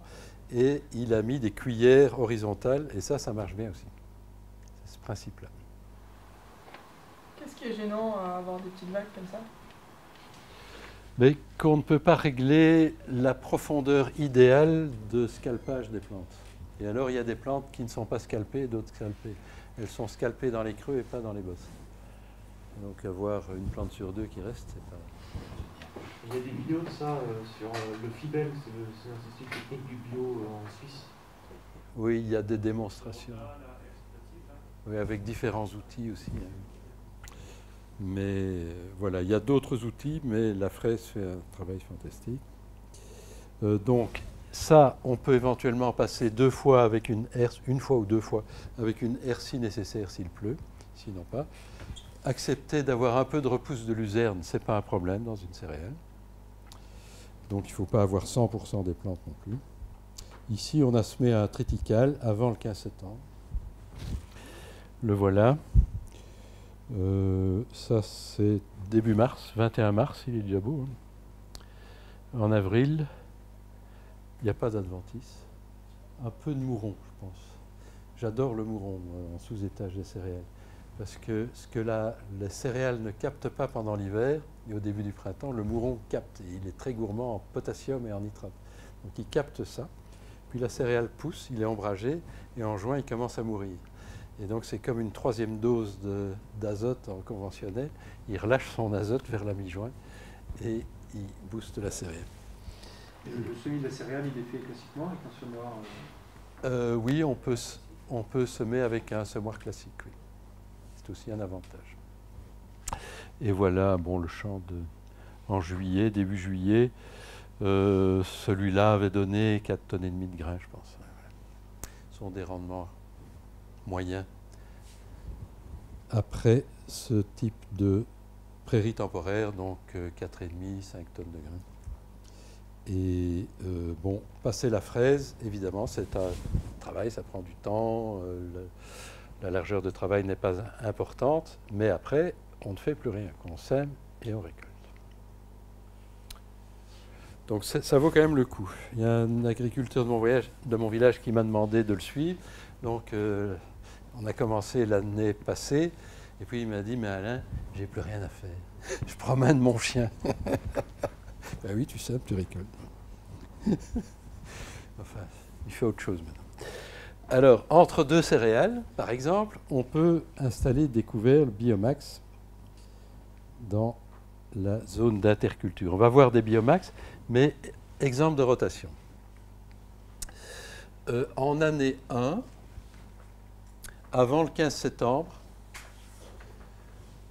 peut-être qu'au bord de la côte, là, en Normandie, vous pouvez encore semer jusqu'au 30 septembre, mais sinon, c'est recommandé de ne pas semer après le 15 septembre la prairie temporaire. Bon. Elle se développe, mais très très lentement tout l'hiver. Elle commence à s'installer euh, fin mars, début avril.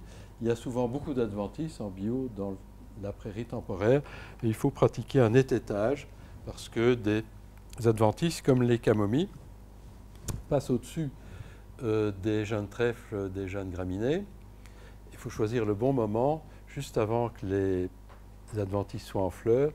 On les coupe juste au-dessus ou juste en dessous de, de la canopée de la prairie.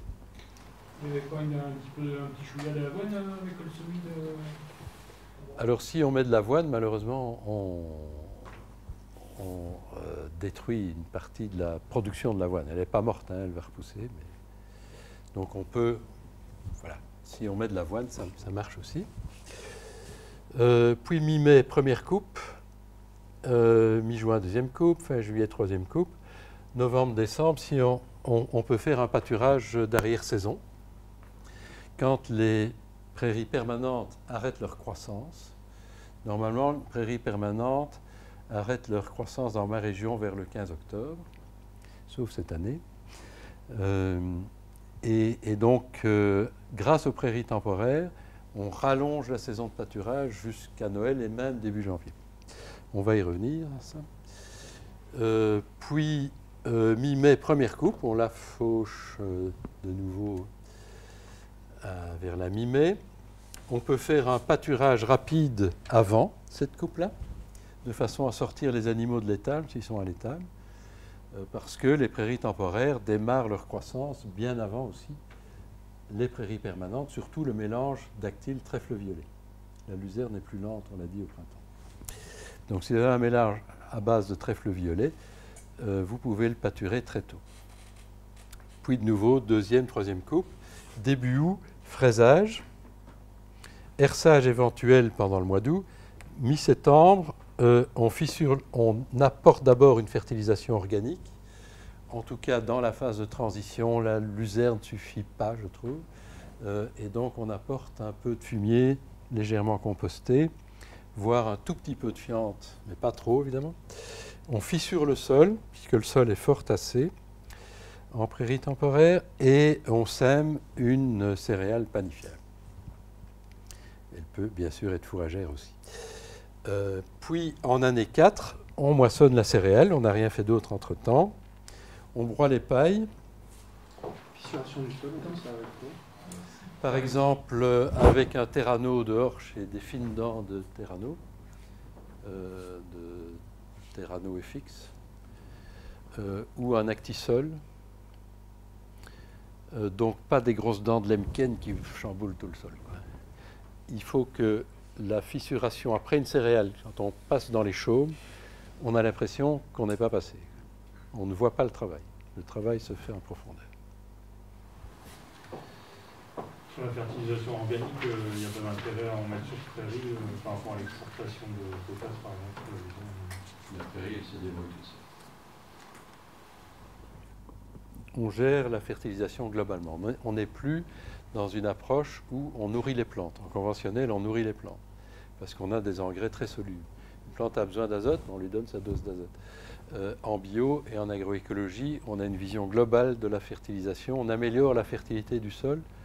On fertilise le sol, pas la plante. Alors, paille broyée quand on est euh, en polyculture élevage, c'est- même si on sait que c'est bien pour le sol, Oui, bon, ça évidemment, si vous avez besoin de paille, vous ne la broyez pas, vous broyez qu'une partie, ça va de soi. mais c'est un exemple que je vous donne.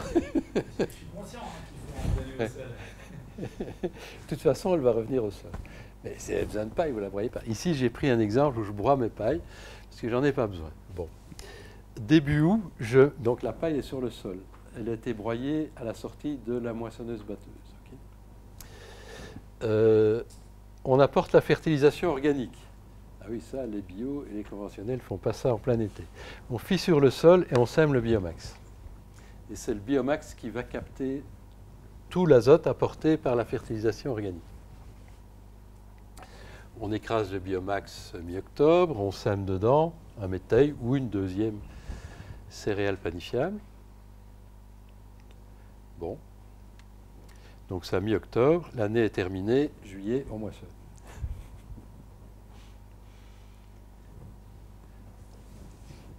Euh, au mois d'août, éventuellement passage d'une déchaumeuse à disque, parce que là, dans cet exemple, on a fait deux céréales à la suite l'une de l'autre, on peut avoir des, adventices qui se sont développés.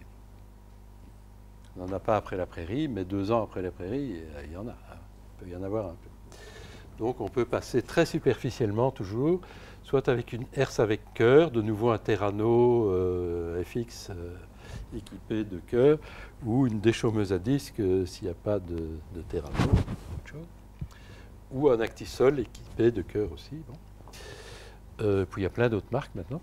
Puis début septembre, euh, fissuration, semis de la prairie temporaire. Moi, je fissure systématiquement chaque année dans la phase de transition et c'est un peu arbitraire, je l'avoue, mais je pense qu'il faut fissurer chaque année pendant les cinq premières années quand on arrête de labourer. C'est une précaution. Je pense que ça n'est pas chaque fois nécessaire, mais je préfère le faire chaque fois. Sauf évidemment s'il y a une prairie temporaire qui reste en place. avant semis, je fissure chaque fois. Et puis on est reparti dans la gestion de la prairie temporaire l'année suivante. Donc voilà un exemple, ça n'est qu'un exemple, de euh, morceau de rotation. Et pour l'année 4, l'écrasement du biomax avant le SMI direct du métal, vous faites en un passage avec un rouleau euh, spécial Oui, rouleau facal avant du tracteur et semoir de SMI direct à l'arrière. et un rouleau, parce que les rouleaux, il y en a un paquet aussi. Les rouleaux FACA, oui, il y en a plein. Pas de très grosses différences. Il faut que le rouleau FACA ne coupe pas la plante, mais l'écrase et l'écrase en l'étirant. Oui, c'est méchant, mais ça permet de tuer la plante. en fait, il, défibre un peu plus. En fait, c'est une autre fresque animée et c'est peut-être un bon compromis, ça. Voilà, euh, en fait, qu'est-ce qui se passe avec les plante annuelle. Le rouleau faca ne peut tuer que des plantes annuelles. Euh, la plante annuelle, à un moment donné, décide de fleurir, la tige s'allonge, elle produit des fleurs et elle met toute son énergie dans la tête de la plante. Et vous passez à ce moment-là, soit au moment juste avant la floraison ou quand elle a déjà fleuri, et le rouleau arrive, ne coupe pas la tige, elle l'étire, elle la blesse. Alors la plante qui a déjà mis toute son énergie là dans la tête, elle doit réutiliser le, peu d'énergie qu'elle a encore dans la racine pour essayer de cicatriser. Et elle s'épuise à ça, elle meurt. Et toutes ces plantes sont gélives aussi, et dans les régions où il gèle encore l'hiver, le gel les achève.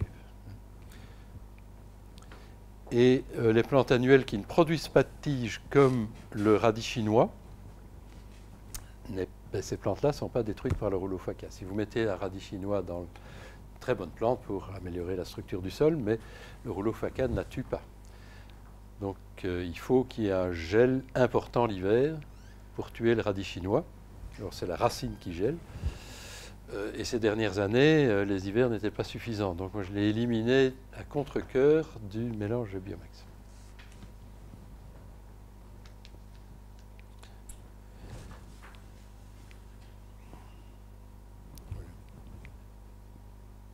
Donc ça, on a vu. Hein. Ah non, non, voilà. Oui, variante 2, voilà. Euh, variante 2, on en était à l'année 4. Qu'est-ce qu'il y avait à l'année 4 euh, Une prairie temporaire, je crois. Vous avez noté. C'était une céréale panifiable, paille broyée, et puis on a mis un biomax et on a semé un métail, voilà. Donc, oui, c'est réécrit ici. Donc, on a semé un métail, moisson du métail dans la variante 2 toujours, fissuration du sol, semis de biomax, écrasement du biomax et semis d'une févrole d'hiver. Et donc, comme on écrase le biomax plus tard, il est plus grand. Et généralement, les tournesols fleurissent alors, fin octobre, début novembre. Euh, et puis année 6, récolte de la févrole, euh, début à mi-août, fertilisation, fissuration du sol, semis de biomax, on continue et on peut mettre un, chanvre au printemps suivant. donc là, on ne sème pas dans le biomax parce que le biomax aura gelé pendant l'hiver. En févrole pur, c'est, euh, ça salit en fin de cycle Ça laisse la lumière Ça peut, ça peut, oui. Et donc, effectivement, encore une fois, ce n'est qu'un exemple. Et ces dernières années, je l'ai plutôt mélangé à du triticale. Euh, l'ennui de ces mélanges, c'est que le triticale est mûr avant la févrole. S'il n'y a pas d'orage, ça va. S'il y a de l'orage, une partie des semences de, de triticale peut tomber au sol. peut le mélanger avec un blé. Blé Oui. Oui, aussi. Alors voilà à quoi ressemble le biomax pour ceux qui ne l'auraient pas encore vu. Donc c'est un mélange de différentes espèces. Ici on voit des tournesols. Ce trèfle blanc, c'est le trèfle d'Alexandrie qui est annuel, ce n'est pas le trèfle blanc des prairies permanentes. Il y a de la vesse, les fleurs bleues, c'est du lin. Il y a de la facélie, il y a un peu de moutarde ici, ça j'en mets plus. Il y a du pois. Euh, voilà. Pas de radis? Le radis, il est en dessous, mais on ne voit pas. Mais je ne mets plus de radis, je n'ose plus mettre de radis. Parce qu'il ne gèle plus l'hiver, et alors il pousse dans la culture suivante. Et, euh, si la culture suivante est un- une céréale d'hiver, est une culture d'hiver, euh, ça ne va pas. Par contre, si on a une culture de printemps, on peut mettre un biomax avec du radis chinois, sans problème. Et encore une fois, c'est vraiment une chouette plante. Euh, et puis, avant de semer, par exemple, euh, une céréale d'hiver ou une légumineuse d'hiver ou le mélange des deux, on passe euh, des cœurs et on scalpe le radis et il est mort. Mais dans les céréales d'hiver, il ne faut pas croire qu'en faisant un semi-direct dans des radis vivants, il va mourir. Ça, c'est plus vrai maintenant. Une oreille d'un 10 sur 10. Maintenant, ça va être 10 sur 10. Voilà. Donc euh, malheureusement, ça ne va plus. Et alors ces plantes sont complémentaires. On a vu les profils racinaires hein, des plantes euh, tout à l'heure. Donc il y a un étagement en- dans le sol, il y a un étagement au-dessus du sol. Ici on voit une vesse, la vesse commune, euh, qui grimpe sur la tige d'un tournesol. Les févroles suivent aussi. On a des très grandes févroles alors dans le biomax. On a des févroles d'un mètre cinquante de haut. Euh, et puis vous avez un, couvert bas, une strate basse. Souvenez-vous des principes de la nature, de fonctionnement de la nature. Un des principes, c'était la stratification. Comme en forêt, il y a des plantes euh, herbacées, il y a des buissons, il y a des petits arbres, il y a des grands arbres. On fait la même chose ici. On a une strate euh, de facélie et de radis chinois, si on emploie des radis chinois. Puis on a des plantes moyennes, trèfle d'Alexandrie par exemple. Euh, et puis on a des plantes hautes, tournesol, févrole. Et on a même des lianes, comme de la vesse et des pois. Comme du chèvrefeuille en forêt. quoi. On imite la nature. Et ça, ça marche bien. Le tournesol, il faut le semer très tôt. C'est juillet, non? Août, c'est trop tard euh, par chez nous Début août. Ouais, tout début. ok. Tout, hein. Je vais revenir aussi là-dessus. Euh, et puis, essayer d'avoir des variétés très hâtives. Il y a une- des grandes différences. Très hâtives, qui fleurissent très vite. Très précoces, si vous préférez. Alors ça, c'est mon premier biomax, j'en étais fier. Parce que finalement, il va être là peu, peu de temps. Il va être là trois mois. Oui, deux mois et demi, oui, euh, trois mois. Alors, euh, ça, c'est un biomax que j'avais semé début août. Bah, il a mis, comme souvent, hein, au mois d'août, il ne pousse pas beaucoup. Il fait sec, tout ça. Euh, et puis, au mois de septembre, ça explose. Et euh, en octobre, il pousse à toute allure jusqu'au 15. Et là, il était fin octobre. Alors, voyez aussi que la beauté est un sous-produit du système. Et c'est vrai dans les biomax, c'est vrai dans les prairies. Et le voisin de la ferme, là, mon premier biomax, il m'a dit Euh, Vous allez en l'année prochaine ce mélange-là. Et c'est important aussi, ces relations sociales. Enfin, c'est pas pour ça qu'on le sait, mais ça vient en plus. Et c'est un petit bonus. Et donc, c'est pas du tout une culture pure de, tournesol. C'est plein de vesses. On voit les vesses ici, il y en a partout. On voit les facélies en bleu, là, partout, etc. Donc ça, ça sert à nourrir le sol, ça sert à nourrir les micro-organismes du sol. Je vous ai remis un petit profil. C'est en fait une image de la prairie américaine, euh, des plantes vivaces, avec différentes profondeurs d'enracinement. Donc ici, on parle de plantes annuelles, mais on a une idée de ce qui se passe sous un biomax. Euh, il y a parfois des toutes petites plantes qui ont des racines très profondes, beaucoup plus profondes que des plantes qui sont plus hautes. Mais donc la plante explore bien le sol, améliore la structure, nourrit les micro-organismes différents. Alors pour revenir à ta question, comment est-ce qu'on sème? Ici on a un biomax pas très haut mais très dense. Et celui-ci devait faire 4 tonnes de matière sèche, donc c'est bien. Euh, et le rouleau FACA est là à l'avant, et on sème avec le semoir de semi-direct, c'est un Sky ici, à l'arrière. Voilà. Et donc, le biomax, pendant qu'il pousse ici, il étouffe les adventices, premier point. Il fixe de l'azote parce qu'il y a plein de légumineuses dedans, il y a des févroles, il y a des pois, il y a des vestes. Je vais vous donner une composition après.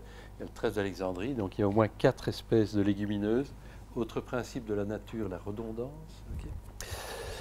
Euh, donc il fixe de l'azote. Il stimule d'une façon incroyable la vie du sol. Avec mon premier biomax, j'avais peur qu'il ne poussait pas au mois d'août. Je me dis, ah, il est raté. Et puis, euh, au 15 septembre, un mois et demi après le, le SMI, je voyais le pain qui le, le, sol pardon, qui levait comme un pain au levain, comme ça. C'était, on l'évitait. C'est extraordinaire de voir ce sol qui gonflait. Et ça, c'est l'effet euh, des bactéries qui étaient favorisées par toute cette diversité. Et waouh, ce sol qui gonflait. Ça, ça m'a encouragé pour la suite. Et le, couvert est testé en direct ou vous avez scalpé avant? Le... le couvert a testé en direct derrière la moisson ou vous avez scalpé avant, entre la moisson et le semis Non, non, on ne scalpe pas, on sème. Si c'est propre, on sème directement. Si c'est pas propre, euh, on, fait, euh, comme on l'a vu dans l'exemple là, passage de, de disque ou de cœur et puis on sème tout de suite après. Ah oui, vous attendez pas les 8 jours? On attend deux jours ou trois jours. Le moins possible. Dès qu'on voit que les plantes sont séchées, c'est bon. J'entends pas bien avec les masques évidemment. Derrière du blé, ça va. Derrière de l'orge d'hiver, euh, c'est mort ça. L'orge repousse systématiquement. L'orge, elle va repousser systématiquement. Euh, elle va étouffer le biomax avant que. oui, oui, oui. Mais donc ça dépend des cas. S'il y a des repousses de céréales, on peut être amené aussi à, voilà, à passer des cœurs ou, les disques. Maintenant, si c'est euh, une orge, si c'est une orge de printemps ou une avoine de printemps qui en a pas trop, on peut se mettre dedans parce qu'elles vont geler l'hiver aussi. Et elles vont laisser de la place au biomasse. Les, les ou les escourgeons, c'est un fait. Les escourgeons, oui. Est-ce que vous pourriez nous mettre deux ou trois diapos juste avant euh, euh, la variante 2 de ah Qu'est-ce qui cloche? Ah, c'est pour la photo. oui, vous allez les avoir. Mais pas ce soir. Et du coup, pour semer un biomax diversifié avec euh, des grosses graines de tournesol et enfin des grandes diversités de graines, vous utilisez quoi pour semer? Je vais le montrer. Ça, c'est un biomax que j'ai semé il y a deux ans. La sécheresse était totale quoi, au mois d'août. Et ça coûte cher un biomax. Ça coûte 100 à 200 euros euh, par hectare s'il faut acheter les semences. C'est cher. Donc, avant de semer, on réfléchit à deux fois en période de sécheresse. Et là, vraiment, c'était il y a deux ans, c'était terrible. C'était comme cette année aussi. Et euh, je me dis, bon, bon on a acheté les semences, est-ce que je les sème? Je les sème pas. Puis j'étais sur Facebook, dans les groupes. Et puis, euh, on lit un peu de tout, les uns sont pour, les uns sont contre. Et puis, il y avait l'avis euh, d'un conseiller expérimenté qui m'a dit, moi, je sème des couverts depuis 30 ans et je ne connais qu'un couvert raté, c'est celui qu'on n'a pas semé. Et je l'ai semé, et il m'arrivait là. Mais quand on l'a semé avec un semoir de semi-direct, il y avait une colonne de fumée derrière le tracteur, tellement le sol était sec. C'était impressionnant. Et euh, c'est le biomax le plus haut que j'ai jamais eu, il m'arrivait au nez, quoi, à part les tournesols la, fois passée. Mais c'était des radis chinois qui arrivaient à cette hauteur-là. Oui, parce qu'ils ont fleuri tout de suite à cause du stress hydrique. Euh, et donc c'était comme ça, on a écrasé ça, on a un mulch extraordinaire, ça a très très bien donné. Alors voilà une autre vue de la cabine du tracteur, hein, de la partie de biomax non semé, et là il est semé, on voit le mulch et une bonne couverture. Pour avoir un bon mulch, il faut au moins 4 tonnes de matière sèche hectare. Si vous avez moins, n'essayez pas ça. Parce que le mulch sera pas assez épais et il va être une passoire adventice. Et donc on n'écrase pas, on incorpore le biomax dans le sol. On peut passer un, rouleau FACA et puis passer des disques après, ou un semoir à disques après. Si c'est moins de 4 tonnes, vaut mieux broyer. Il vaut mieux l'incorporer au sol. Euh, la fertilisation du, du mulch, enfin du biomax, qui se fait en été après le semis ou avant le semis, c'est quoi? C'est fumier, c'est tout ce qu'on a sous la main en fait? C'est- Oui, en fait, on fertilise la céréale. Avant le semis du biomax. Oui, c'est ça. oui. On ne met plus rien sur la céréale après. Et donc, on compte sur le, céréal, le, le biomax pour absorber un maximum de fertilisant de ce fumier, euh, et puis il va restituer ça petit à petit euh, à la céréale. Et la céréale est semée tard cette fois-ci, elle est plus semée avant le 15, avant le 15 septembre, mais vers la mi-octobre, date classique. Donc, euh, il met du temps à pousser et le biomax peut relâcher gentiment ses éléments nutritifs. Entre la moisson fin juillet et le semis du biomax début août, il faut avoir euh, scalpé, mis le fumier, euh, semé. Il faut, C'est ça. il faut se dépêcher. On ne scalpe pas normalement. On met le fumier, on fissure et on sème. Oui. Parfois, on doit désherber. Alors évidemment, on rallonge la, la durée entre la récolte et le semis. Et l'intérêt de broyer les pailles, c'est qu'on a déjà un petit mulch aussi et que la terre ne se déshydrate pas trop vite. Et donc on a le temps de fissurer. Il faut semer le plus vite possible. On dit 24 heures, c'est pas tenable, mais si on dit 3 jours, c'est 7. On dit 24 heures pour que ce soit 48. C'est que tu commences en chantier pour terminer par dire euh, Ouais. si tu commences à déchaumer, il faut que tu sèmes le lendemain. Faut pas que tu dis je déchaume et la semaine d'après c'est le temps de sème. Non, mais là, tu déchaumes pas, tu gagnes un. Tu Non, non, oui, mais Tu enfin, enlever la paille, faut- t'enlèves la paille, c'est si- aussitôt, quoi. Oui, mais s'il faut euh, déchaumer parce que c'est ça, Ah oui, bah. il faut faire tout de suite après. Ah oui, tout de suite, oui. Attendre euh, une semaine avant fini, d'échaumer. Et si vous avez euh, une repousse de céréales panifiables et que vous ressemez une céréale panifiable, on s'en fiche, celle qui est venue toute seule, on la laisse. Elle aura de l'avance sur l'autre, mais c'est pas grave. Même chose avec deux fourragères. Ou des repousses de panifiables dans une fourragère, ça, c'est pas inquiétant non plus. Il ne faut pas de repousse de fourragère dans les panifiables. Voilà. Pour ça qu'on met les panifiables après les prairies.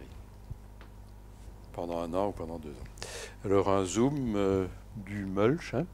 Et alors là, on voit qu'il y a une série de feuilles au sol et puis il y a des tiges. Les tiges sont beaucoup plus riches en lignine. Donc on écrase mi-octobre. Les feuilles vont être euh, assez rapidement décomposées par les bactéries. Fin octobre, euh, début novembre, elles fonctionnent encore, la température est suffisante. Elles décomposent tout ça. Et puis finalement, début janvier, il n'y a quasiment plus de feuilles. Donc à ce moment-là, on pourrait avoir des germinations d'adventices, même à faible température. Et euh, c'est la raison pour laquelle il est important d'avoir des tiges, parce que les tiges continuent à couvrir. Et il y a essentiellement deux plantes qui produisent des tiges qui persistent jusque fin mars. C'est le tournesol et la févrole. Et la moutarde aussi, mais je ne l'utilise plus, la moutarde, euh, pour plusieurs raisons. Je peux en parler tout de suite. Je mets plus de moutarde. Voilà ici, par exemple, des tiges de moutarde. Euh, je mets plus de moutarde parce que la moutarde, d'abord, c'est une brassicacée et elle appartient à une famille qui ne développe pas d'endomycorhize. Bon, le radis chinois aussi, mais disons c'est un point négatif pour la moutarde. Euh, deuxième point négatif, c'est que elle peut euh, monter très vite en graines, surtout s'il fait sec, et produire des graines qui vont se comporter comme des adventices par la suite. Euh, et toutes les autres espèces qu'on a citées ne font pas ça. Troisième problème, c'est qu'elle émet des substances allélopathiques qui peuvent, pas systématiquement, mais qui peuvent dans certains cas empêcher la germination de la culture qui suit, et même euh, des autres espèces de biomax. Et ça, on le voit très régulièrement. Si on met trop de moutarde dans un couvert, la moutarde étouffe tout. Sauf les légumineuses. Là, il y a une compatibilité. Les moutardes et la veste, les moutardes et les pois, elles s'aiment, ces plantes-là. Mais la moutarde, elle n'aime pas du tout euh, d'autres espèces euh, non, non légumineuses. disons. Donc ça fait quand même beaucoup de choses en défaveur de la moutarde des gens. Et faire naturel biomasse, non, ça il n'y aura pas de. Le si on manque de fourrage. Oui, oui, oui, ça, bien sûr, c'est une autre technique. Du coup, on, on perd le bénéfice du mulch qui empêche la germination des adventices. Mais bon, on nourrit ces animaux, donc il faut mettre tout ça dans la balance. Et on rapporte euh, des matières organiques beaucoup plus facilement assimilables aussi, oui. Euh, si on retourne en arrière, Parce qu'avec 4 tonnes de matière sèche, ça fait déjà un petit peu produire. Voilà. Donc ici, ben, les matières organiques euh, sont là, il y a les éléments nutritifs sont à l'intérieur, mais ça va prendre plusieurs mois avant d'avoir une libération de ces éléments nutritifs. Si on pâture, tout ça est digéré en quelques jours et on a des éléments nutritifs tout de suite disponibles. Et donc dans certains cas, c'est intéressant. Mais euh, il faut plutôt alors pâturer un peu plus tôt que le 15 octobre. Sinon, on va avoir trop d'éléments nutritifs qui seront plus captés par les plantes. Voilà, si votre priorité c'est de nourrir les animaux, faites-le évidemment, sans hésiter. Dans le cadre d'un maïs grain, je pense qu'on peut avoir les 4 tonnes en, en reliquat.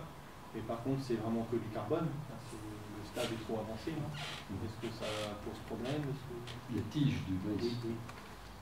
Non, ça pose pas de problème. Donc là, on n'a pas de perte d'éléments nutritifs. Mais le sol reste nu l'hiver en général. Même en semant une céréale juste derrière, après le battage du maïs. Oui. Mais vous la récoltez quand? Vous le récoltez quand le maïs? Oui. Donc la céréale, elle reste comme ça tout l'hiver. Donc le sol n'est pas couvert. Même avec les fans de maïs sur le sol. Il est mulché, oui. Mais il n'y a pas de plante vivante, mais il est mulché. Donc c'est pas mal, oui. C'est ce qu'on a vu sur la diapo tout à l'heure avec le gros tracteur, là, qui- c'était une canne de maïs. Oui. Et donc, euh, c'est pas la même chose. Mais c'est- faisable, évidemment. On n'a pas 36 possibilités après le maïs. C'est mieux que de. Mais on n'a pas du tout l'effet du biomax. Pour moi, l'effet principal du biomax, c'est de stimuler la vie du sol et donc d'avoir des plantes saines. C'est ce que j'ai essayé de vous démontrer avec cette longue parenthèse sur la vie du sol. C'est que si on a une grande diversité de bactéries et de champignons, on a beaucoup moins de problèmes de maladies. Si on fait une rotation maïs-blé d'hiver, ok, ça fonctionne. On apporte beaucoup de matière organique avec les tiges de, maïs. Euh, on a peu de pertes d'azote parce que aussi le carbone du, ma- du maïs est utilisé par les, bactéries pour capter l'azote euh, en reliquat. Euh, donc tout ça c'est très bien, mais on n'a pas cet aspect positif de la sublimation, je dirais, de la, de la vie du sol. Et donc il ne faut pas des biomax chaque année, mais il faut essayer d'en avoir au moins deux, trois fois sur une rotation de 7 ans.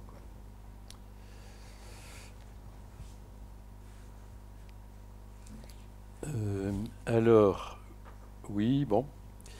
Donc voilà quelques règles pour l'établissement des biomax, semer le plus rapidement possible après la récolte de la culture précédente. Pourquoi? Pour profiter de l'humidité résiduelle. Quand on a une céréale sur place, même euh, s'il y a 25-30 degrés avant la moisson, il reste de l'humidité dans le sol, dans les premiers horizons du sol. Et donc il faut éviter que ces horizons superficiels du sol se dessèchent. Et puis il faut assurer une période de croissance du biomax la plus longue possible. Et ça, croyez-moi, chaque jour compte. Euh, si on sème mi-août, vous aurez un biomax moyen. Si vous semez début septembre, ça sera euh, assez minable. Donc, depuis le 1er août, le chrono est déclenché. Donc, il faut semer le plus vite possible. Et il faut essayer de produire 5 à 6 tonnes de matière sèche en deux mois et demi, ce qui est très difficile aussi avec une faible fertilisation euh, dans le cas de couverts monospécifiques.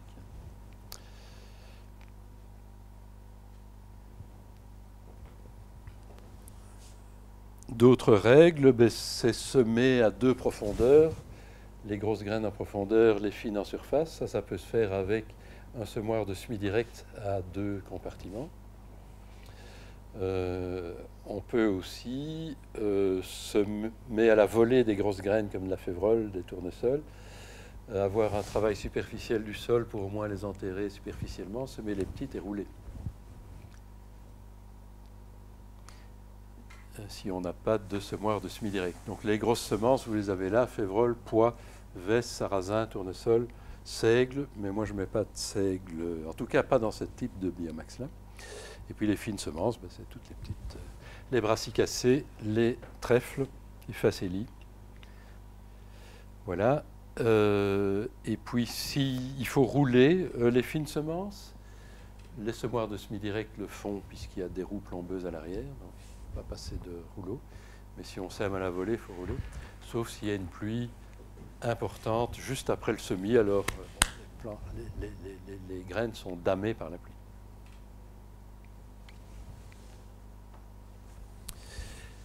Et alors, un biomax, ce n'est pas un mélange standard, il faut l'adapter à son terrain.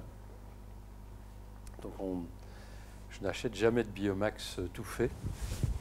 Et dans les biomax tout faits, euh, on trouve des biomax avec beaucoup de graminées en général, qui sont adaptés à l'agriculture de conservation et pas du tout à ce que nous faisons. Donc nous, on doit faire des mélanges nous-mêmes.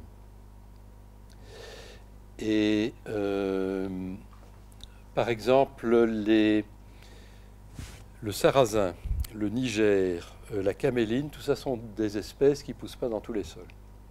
Si vous avez un sol argileux, humide, les sarrasins ne vont pas bien pousser. Ils vont germer, puis ils vont tourner à rien. Euh, sauf s'il fait très sec, mais le sarrasin est surtout adapté à des sols filtrants. La caméline n'aime pas trop non plus les sols humides et lourds. Euh, donc il faut chaque fois adapter un peu et puis euh, en fonction des résultats d'une année, adapter les, proportions, tout en sachant que par exemple en année sèche, les tournesols explosent, alors qu'avec une même dose de SMI, en année humide, on aura beaucoup moins de tournesols. Donc euh, si on est dans une année sèche, on peut un peu diminuer les, doses euh, de tournesol. Donc c'est un petit peu au feeling comme ça, hein. c'est comme en cuisine, euh, ou comme quand on fait du pain, on pétrit en sentant la pâte. Et une règle pratiquement incontournable, par contre, c'est de semer à forte densité, 80 kg mais il y a beaucoup de grosses graines là-dedans. Euh, et ça, ça permet d'étouffer les adventices, sinon on n'y arrive pas. Et puis vous avez cette stratification et ces propriétés-là, on vient d'en parler déjà. La veste, euh, la veste sauvage, et c'est pas facile à détruire en bio. Est-ce que d'en mettre dans le mélange, ça entretient pas euh, la craquasse euh, non, il faut prendre Vicia sativa, quoi, la veste, euh, la veste cultivée. Oui, voilà. Il ne faut pas la faire vulgariser par contre. C'est là qu'il faut regarder. Il y a d'autres vestes méditerranéennes qu'on peut utiliser aussi. Oui, j'en ai jamais mis, mais tu peux en mettre, mais pour le moment, tu n'as pas de graines. Oui. En plus, je crois que c'est celle qui, qui développe le mieux les, les matières organiques bloquées, enfin, les matières organiques bloquées dans le sol. Euh, la Sativa. Peut-être. On a fait une étude là-dessus, justement, et les autres ne le faisaient pas au même niveau. La plante qui fixe le plus rapidement l'azote, c'est la févrole. Puis la vesse, légèrement derrière le pois, et le trèfle d'Alexandrie bien plus tard. Ça, c'est sûr aussi. Pas toujours facile de semer et de faire germer des févroles en été, malgré tout. Il n'y a pas assez d'eau dans le sol. Les vestes, c'est plus facile. C'est pour ça qu'on met plusieurs espèces. Et quand on a des. On parle de la févrole, mais quand on en a dans la rotation, c'est pas gênant par rapport aux maladies Oui, alors ça, c'est une question qui revient souvent. Vous avez des légumineuses tout le temps, là. Oui, c'est vrai, 50% de légumineuses. Ben, vous devez avoir des maladies Non. Pourquoi? Parce qu'on a une diversité de plantes. Et ça, c'est l'intérêt des biomax. En fait, un biomax de deux mois et demi, ça représente une rotation de presque 10 ans. Et c'est vraiment cet effet-là que ça a sur le sol. Et donc, ça a un effet suppressif des maladies. Parce que c'est une rotation de 10 ans en condensé. S'il y a 10 espèces, une rotation de 10 ans euh, en condensé sur 3 mois. Et ça suffit pour euh, gérer les maladies. On a du mal à le croire au début, mais euh, c'est comme ça, ça je peux témoigner. On n'a jamais de maladie du sol, par exemple. Et c'est le fait de euh, cultiver toujours la même espèce qui favorise les maladies du sol. Les maladies de l'atmosphère, ça peut venir n'importe comment. Donc oui, voilà. Euh, évidemment, je suis contre les monocultures par principe, mais si on a deux fois un biomax euh, sur 7 ans de rotation, ça suffit pour qu'on n'ait pas ces problèmes-là. Les maraîchers aussi, ils ont 36 espèces, et les rotations en maraîchage, on sait bien que ce n'est pas si important que ça. Hein. Ce n'est pas aussi important qu'en grande culture. Parce qu'il y a trois espèces par an, et voilà. C'est magique, les biomax. Je crois que c'est pas exagéré de dire ça. On peut imaginer de faire plus haut que là, on achète des biomax euh, rapides finalement. Oui, deux mois et demi. Donc ici, je vous montre une figure avec trois types de biomax, toujours semés au premier roux. Voilà. Encore une fois, c'est un exemple. Et cas classique, semis d'une céréale d'hiver. Donc on a deux mois et demi de croissance. On sème euh, au 15 octobre. On fait passer le rouleau FACA semi-direct. Voilà, un biomax. Deuxième biomax, c'est le même mélange, mais on le garde 8 mois pour un semis, 7 ou 8 mois, pour un semis euh, entre la mi-février et la mi-mars, pour des céréales de printemps, février de printemps, etc. Et donc là, euh, le, le, mélange va geler avant le semis. Là, il n'a pas encore gelé avant le semis. On le détruit avec le rouleau FACA. Et puis il gèle en plus. Ici, il gèle généralement vers le 15 novembre. Cette année, il sera plus tard. Et donc là, il se pose la question de savoir ce qu'il faut en faire. Parce que s'il gèle et qu'il reste comme ça, il reste des tiges sur pied, cette biomasse n'est pas accessible pour la vie du sol. Donc moi, quand j'ai suffisamment de biomasse, donc au moins 4 tonnes, vers début novembre, cette année je l'aurais fait euh, ici fin novembre, euh, je fais passer un rouleau, pas nécessairement FACA, hein, pour écraser cette biomasse sur le sol et nourrir les vers de terre. Il y a un conseiller dans ma région qui dit les vers de terre n'ont pas d'échelle. C'est une belle image. Euh, donc ils ne savent pas aller chercher la biomasse sur des tiges à 20 ou 50 cm de haut. Donc on écrase tout sur le sol et on nourrit la vie du sol. Et ça fait un petit mulch, mais ça n'empêche pas les, adventistes de germer après. Et puis, avant de semer, on est généralement obligé de passer des disques superficiellement pour contrôler les adventices. vous mettez le même biomax Même biomax, mais ici, je peux garder le radis chinois que j'ai supprimé dans celui-là. Puisqu'on scalpe les radis chinois par un travail superficiel du sol avant semis. Et troisième type de biomax, oui, ici, une petite remarque, c'est que on a développé quand même un autre mélange, qui n'est pas un biomax, mais c'est un couvert quand même. C'est semer euh, début ou toujours un colza très précoce. Et je peux vous donner le nom de la variété tout à l'heure. Et c'est une des rares variétés qui, monte en tige euh, au mois de mars. Et donc là, on a une bonne couverture du sol, on n'a qu'une espèce, donc on ne peut pas appeler ça un biomax. C'est un engrais Et puis, avec un rouleau FACA, on peut le rouler, euh, puisqu'il est en tige, et semer dedans en, semi-direct.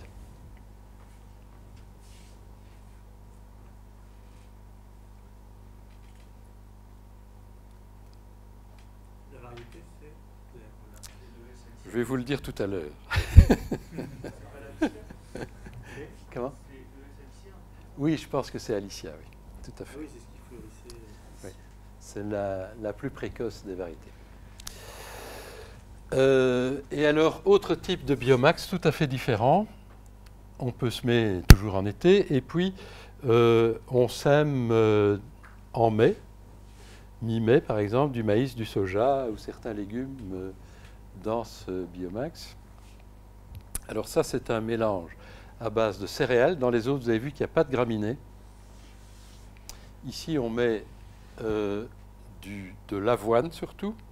Avant, on travaillait avec du seigle. Et c'est le père Wentz hein, qui, dans la vallée du Rhône, a développé ça le premier en Europe, je pense. Euh, il utilisait du, seigle, mais le seigle pompait trop d'eau. Et euh, les plantes qu'on se met après n'avaient pas suffisamment d'eau. Et donc maintenant, on sème plutôt de l'avoine et euh, du, trèfle annuel, un carnat et de la veste.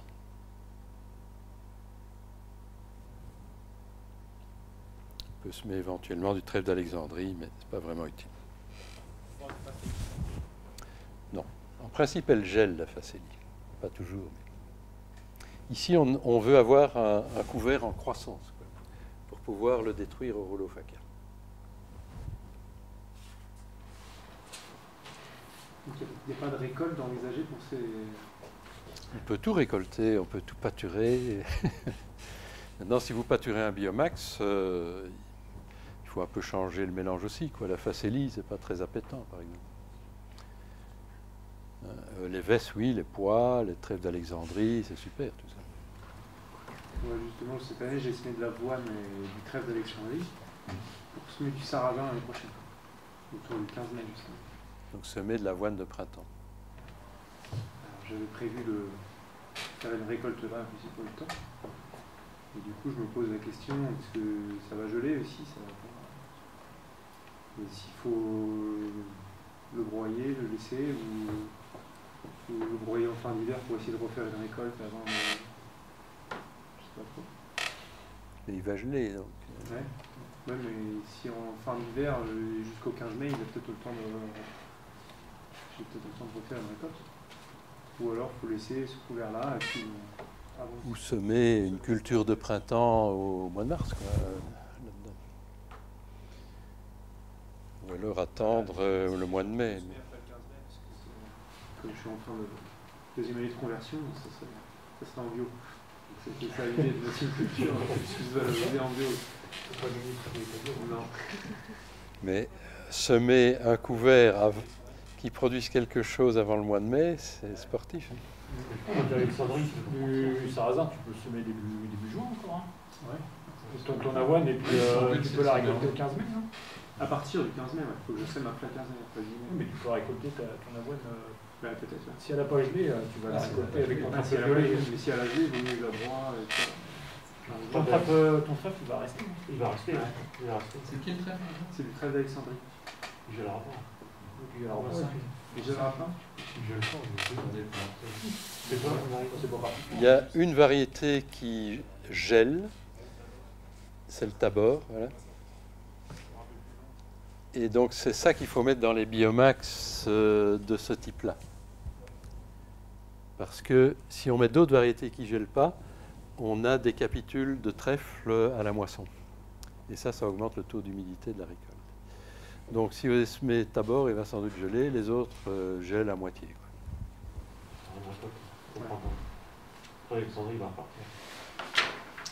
Celui qui gèle pas, c'est le trèfle incarnat. C'est un très bon fourrage. hein.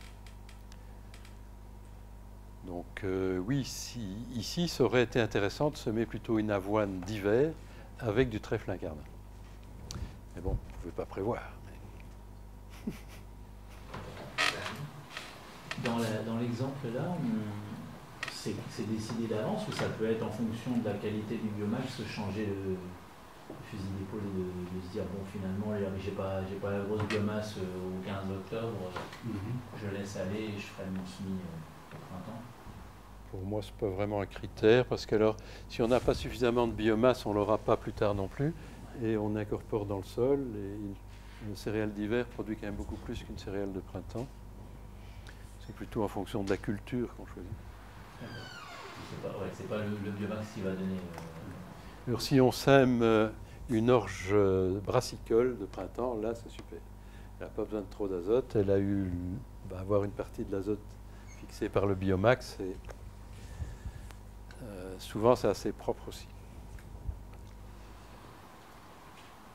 Le se- semis de printemps, c'est aussi, enfin, surtout euh, début février, euh, début mars, c'est aussi euh, même technique, euh, c'est rouleau faca semi-direct. Non, le rouleau faca n'a plus d'intérêt là, puisque les plantes sont mortes. Ah oui, Ici. Donc, euh, elles sont sur le sol, on les a mises sur le sol. Bon, elles ont presque disparu. quoi. Et on passe, euh, on a un léger travail du sol pour éliminer les adventistes, donc soit des cœurs, soit des disques par exemple, et on sème. Et on sème avec un semoir classique.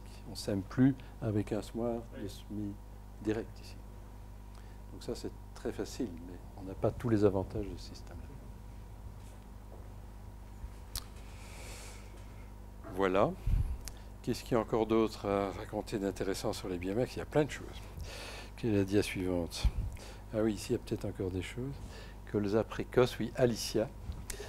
Euh, ben, vous avez le résumé de ce qu'on vient de dire. hein. Alors oui, euh, deux, trois choses importantes, des cas particuliers, disons. Euh, les polygonacées, donc vous voyez ce que c'est.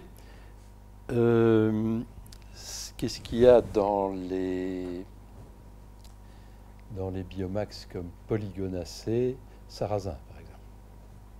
La betterave, une polygonacée aussi, mais ce n'est pas une plante de biomax. Euh, et les brassicacées, donc on appelait les crucifères dans le temps, la moutarde, euh, les radis chinois tout ça, sont les deux rares familles qui ne développent pas de symbiose avec euh, les champignons endomycorhiziens. Probablement qu'au départ, elles se sont développées sur des sols tellement riches qu'elles se sont dit, pas la peine de- d'investir dans les champignons, on se débrouille bien comme ça. Tous- les autres euh, font des, mycorhizes. Le sarrasin, donc il ne mycorhize pas, euh, et comme je l'ai dit tout à l'heure, établissement difficile sur limon et sol argileux. Moutarde, on a dit pourquoi. Caméline, même chose, on l'a déjà dit. N'aime pas les sols lourds. Le Niger, une espèce de petit tournesol, très très sensible aux chutes de température. Il gèle à 0, 0,5 degrés. Euh, et s'il y a une toute petite euh, gelée nocturne en septembre, c'est fini. Quoi. Tournesol, il n'aime pas trop, mais il résiste quand même beaucoup mieux. Et donc, euh, il faut vraiment être dans une région où il ne gèle pas du tout en septembre pour l'utiliser. Euh, le tournesol, super, mais ces semences coûtent cher. Alors, si vous êtes dans une région où vous pouvez les produire vous-même, faites-le. Euh, ce que je recommande aussi pour les semences de févrole, hein, euh, c'est pas difficile de produire des semences. Et donc ça réduit le, le coût. Mais si vous êtes dans une région où on cultive le tournesol, il y a peut-être une huilerie et vous pouvez racheter des semences de tournesol pour trois fois rien qui servent à, l'écrasement. Et ça aussi, ça réduit fort le coût. Donc euh, comme le biomax coûte cher, il faut essayer de réduire le coût, mais ça vaut la peine suite à tous les services que rendent les biomax. Et notamment l'effet sur la vie du sol. Quelle quantité faut en mettre euh 80 kg hectares. Ah, mais que le tournesol enfin, 80, c'est le mélange entier. Alors voilà quelques mélanges. Il y a quatre exemples de mélanges où on est toujours à peu près à 80, 82, 80, 80. On a une colonne en pourcent et une colonne en kilo hectares. Alors le tournesol, j'ai mis les familles en couleur. Euh, là, on est sur cette ligne-là. Donc c'est 16 kilos, 16, 17, 12. Ce sont des ordres de grandeur. Je vous dis, lors d'années très chaudes et sèches, on en met moins. Et vous voyez, donc il y a des, il y a des fabacées, il y a une linacée, on met un tout petit peu de lin, ça ne sert à rien pour la biomasse, quoi, il ne produit rien, mais il stimule la vie du sol. Une facéliacée, la facélie, les brassicacées, polygonacées, astéracées. Alors ici, on a euh, tout, le, choix, hein, avec euh, 18 kg de févrole, 17 de pois, 3 de trèfle d'Alexandrie, 6 de vesse. Et puis ici, on a supprimé sans doute la caméline et la moutarde, vous voyez mieux que moi. Ici, on a supprimé le sarrasin et le Niger, on l'a aussi supprimé là. Et ici, on a supprimé euh, caméline, moutarde, sarrasin et Niger. Donc là, on n'a plus que 2, 4, 6, 8 espèces. Enfin, 8 espèces, que, c'est quand même beaucoup. Euh, et avec le sarrasin, on perd une famille. Mais pour le reste, on garde les familles. Si on supprime le Niger, on a quand même le tournesol. Si on supprime la moutarde, on a quand même le radis chinois dans certains cas, etc. Donc on a au maximum une, deux, trois, quatre, cinq, six familles ici. C'est écrit en dessous d'ailleurs. Donc on passe de, de 8 à 12 familles et on est entre 5 et 6 familles dans les mélanges.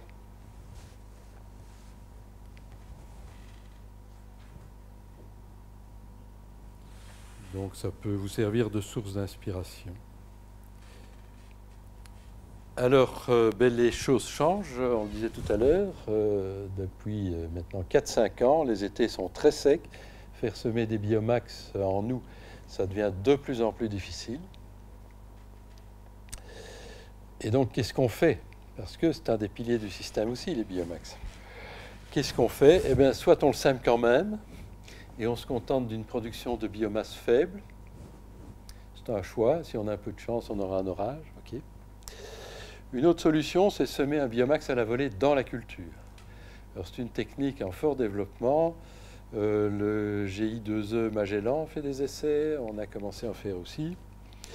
Euh, et comme la germination se passe à la volée et on ne sait pas déjà très bien quand il faut semer, est-ce qu'il faut semer en avril, en mai ou en juin Je pense que c'est plutôt juin. Donc on est encore en train de, d'explorer ça.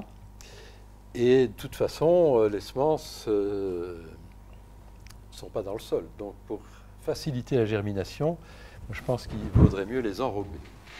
Com- Comment on sait en juin euh, la On a- Dans une céréale, là. Ouais. Oui, donc on fait des dégâts, en juin, c'est sûr. Même en mai. Même en mai. En avril. Alors on ne met pas tout ça parce que les grosses graines ont moins de chances de germer. Euh, et donc le principe, c'est de mettre quelques grosses graines, par exemple des pois ou des vesses. On ne met pas de févrole, on ne met pas de tournesol. Euh, et les grosses graines servent à entraîner les petites, c'est-à-dire on colle les petites graines sur les grosses, avec de la mélasse, du sucre, machin. Et puis on les projette au loin. Et voilà. Et puis, euh, parfois ça marche, parfois ça marche pas. Mais avec le sucre, les compagnons, ils vont pas chercher à goûter les graines aussi. On peut mettre de l'huile. Pour coller Moi j'ai déjà fait ça avec du.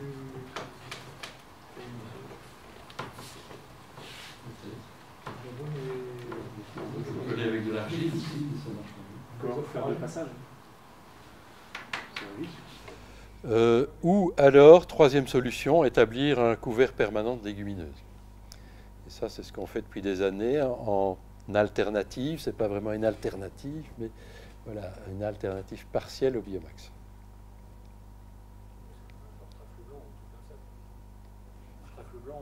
Voilà. Ou la luzerne dans certaines zones plus sèches. Alors, ça, on en a parlé aussi. Si le biomax est peu développé, euh, semis à la volée en cours de développement, ok. Couvert de trèfle blanc nain. Alors, c'est très important d'utiliser du trèfle blanc nain aussi. Et du vrai nain, et il n'y en a pas 36 000. Parce qu'on vend Ouya, qui est une très vieille variété euh, sélectionnée en Nouvelle-Zélande, qui est un type hollandicum. En fait, il y a trois types de trèfle. hein. Comme il y a des herbagers dans la salle, vous devez le connaître, mais pour les autres, donc dans les trèfles blancs, il y a les tout petits qu'on appelle les sauvages.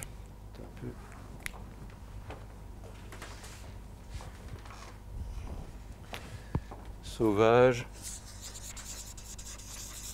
ou nains.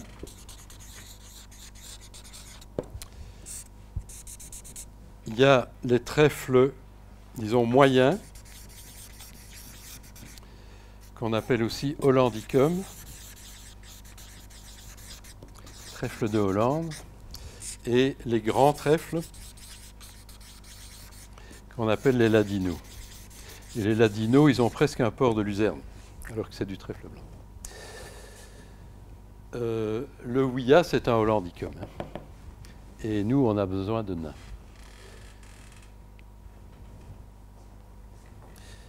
Et il n'y a qu'une ou deux variétés sur le marché. Parce que Ouya, oui, il est. Oui, mais c'est faux. C'est archi faux. Mais c'est un trèfle qui produit beaucoup de graines et donc il est bon marché. Il a toujours été commercialisé en prairie. Ouya, H-U-I-A. Euh, C'était un des plus mauvais hollandicum. Et comme il produit beaucoup de semences, parce qu'il n'est pas persistant, donc il a un type un peu annuel comme ça. Et donc il se reproduit euh, par graines beaucoup. Et euh, donc la semence est bon marché, mais c'est pas de la qualité. Ni en prairie, ni en, en culture. Il ne faut pas utiliser ça. En main, c'est quoi le Winter White? Euh, Winter White, tu connais pas. Il est très grand. Très très grand, c'est sûr. Pour le pâturage, ça va, mais. euh, Ou un pour relais de, de rotation, mais euh, en direct dedans. euh, Je vais aussi vous donner le nom. Très mauvais pour retenir les noms des gens et des variétés. Je m'en excuse. Euh, par contre, pas les noms scientifiques, ça, ça. Euh,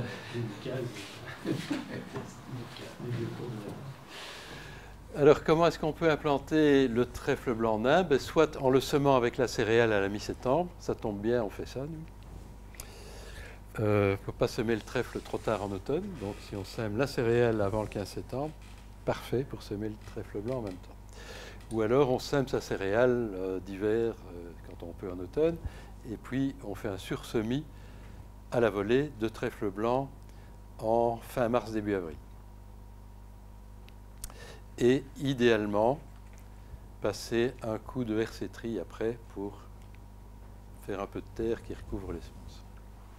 J'ai fait ça euh, les deux dernières années. Et j'avais eu ça. Très aléatoire. Si ça peut te consoler, moi j'ai tous mes semis de printemps de trèfle blanc l'année passée ont raté aussi. Il faisait trop sec. En avril, il faisait déjà archi sec. euh. Donc le plus sûr, c'est de semer euh, fin août, début septembre. Euh, voilà. Et donc on, on sème après une prairie temporaire, par exemple. hein. Et voilà. On sème la céréale, puis on fait un sursemis de trèfle blanc en nain et on roule. Ça, c'est plus aléatoire, ça réussit peut-être une fois sur deux. Et ça donne ça. Donc la première année, le trèfle blanc s'implante très très lentement sur la céréale et il ne contribue ni à gérer les adventices, ni à fixer de l'azote. C'est une année d'implantation. Si on prend un autre, on risque d'avoir la concurrence, il va partir beaucoup plus fort et avoir un souci dans la céréale. Il va monter dans la céréale. Le Ouya, euh, il fait ce que j'appelle des petites oreilles d'éléphant hein, dans ces conditions. Il est trop compétitif. Et il y a des Hollandicums encore beaucoup plus compétitifs. Donc il faut vraiment avoir du. Euh, donc l'année, la première année, c'est une année pour du beurre, on l'implante. Et c'est pour ça que c'est bien d'implanter le trèfle blanc après une prairie temporaire, puisqu'on l'a dit, là le sol est propre. On sème au 15 septembre la céréale et on sème le trèfle blanc. Parce que si la céréale doit être désherbée mécaniquement, ben, on détruit le trèfle. Bon, j'ai déjà réussi avec la rotoétrie à désherber une céréale avec un trèfle en sous-étage qui venait d'être implanté euh, quelques mois avant euh, et arracher par exemple des gaillets avec la rotoétrie et le trèfle a tenu euh, dé- début avril. Donc c'est possible, mais c'est quand même pas toujours facile. Euh, donc voilà, semer en terre propre. Et puis, on récolte la céréale euh, fin juillet. On voit plus le trèfle parce que à partir du mois de juin, la céréale est tellement haute qu'elle ombrage le trèfle et on voit plus. On voit un petit bout de feuille de temps en temps. Mais le trèfle est là, les stolons sont là, il est implanté, il ne va pas mourir. Et 15 jours après la moisson, le sol est vert. Surtout s'il y a une petite pluie. Et donc il se développe tout le mois d'août. Et à partir du 15 septembre, parce que dans ce cas-là, on ressème de nouveau au 15 septembre, comme après les prairies temporaires, il faut calmer le trèfle.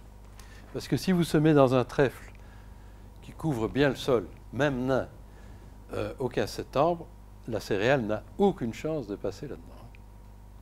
Il y a eu des essais dans les années 90, notamment en Angleterre, où ils euh, faisaient des bandes de, de, de, de- trèfle, ils détruisaient des bandes de trèfle au Roundup ou un autre herbicide, et puis ils semaient dans les bandes et le trèfle revenait tout de suite et étouffait euh, la céréale.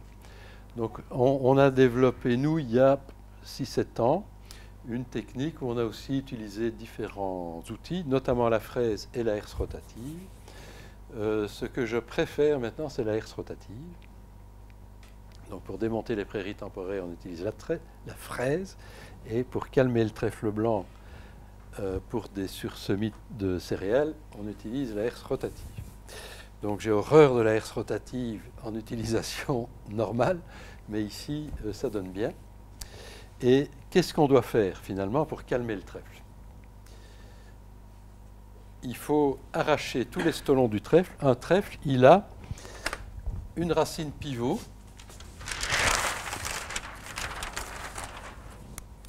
Donc si ceci c'est la surface du sol, il a une racine pivot. Et puis il émet des stolons à partir de là dans les différentes euh, directions. Donc ce qu'il faut faire, c'est couper tous les stolons là et maintenir le pied avec la racine pivot. Et on arrive très bien à faire ça.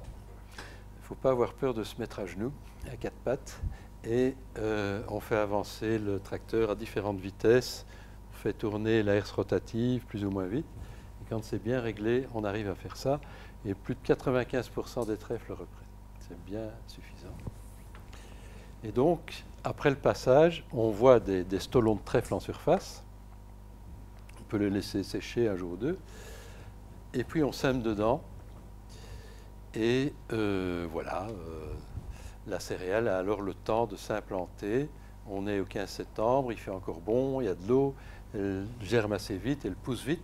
Et là, on voit un triticale euh, qui est occupé à passer au-dessus du trèfle ne faut pas faire ça avec des cultivars de blé moderne et d'orge moderne. Ça, vous oubliez. Mais ça, on l'a dit au début, on les oublie de toute façon dans le système. Toutes les variétés du commerce de blé et d'orge, vous oubliez.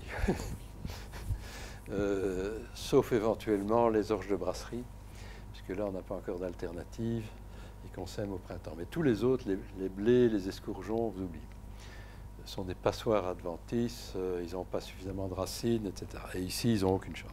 Donc, triticale, seigle, mais enfin le seigle, ça ne produit pas grand-chose. Euh, blé sélectionné en bio, je vous en reparlerai demain. Blé ancien, tout ça, ça va. Épeautre aussi, ça va. L'avoine aussi. J'ai jamais essayé, mais je pense que ça va. Et donc, petite épeautre, grand épeautre. Donc tout, quoi, sauf les blés modernes et les orges modernes. Il ne faut pas qu'il y ait trop de repousses de la culture précédente, par contre Non, c'est pour ça qu'il faut semer en terre propre et alors le couvert reste propre assez longtemps. non. Sous la couverture. Non, mais là, il n'y a pas de repousse dans le trèfle, parce qu'il couvre tellement vite le, sol qu'il euh, n'y a pas de repousse. Puis même des repousses, s'il y en avait, ce ne serait pas gênant, hein, si on fait triticale sur triticale. Ouf, panifiable sur panifiable. Alors on peut pâturer, évidemment, le trèfle c'est un gros avantage, et le pâturage calme le trèfle. Pas suffisamment, mais quand même, euh, ça le calme. Évidemment, il faut être prudent vis-à-vis de la météorisation, il ne faut pas faire passer les animaux d'une prairie euh, bien rasée, bien sèche en été sur du trèfle blanc comme ça, ça va mal se passer. Mais s'ils sont habitués à brouter des légumineuses. Et dans nos systèmes, il doit y avoir des légumineuses partout. Dans la prairie permanente, euh, ça doit être bourré de trèfle blanc. Oui, et puis il faut le prendre à un stade un petit peu avancé, le trèfle, pour éviter la météorite. Oui, voilà, il faut le laisser Mais il n'y a pas de graminées dedans, donc c'est très très nutritif. Il faut être prudent, mais c'est possible. Si par exemple ben, les animaux sont plus sur les prairies permanentes, parce qu'en juillet-août c'était le cagnard et les prairies poussaient plus, on les fait passer sur les prairies à base de trèfle violet dactyle. Ils sont habitués aux légumineuses et puis ils peuvent aller là-dessus.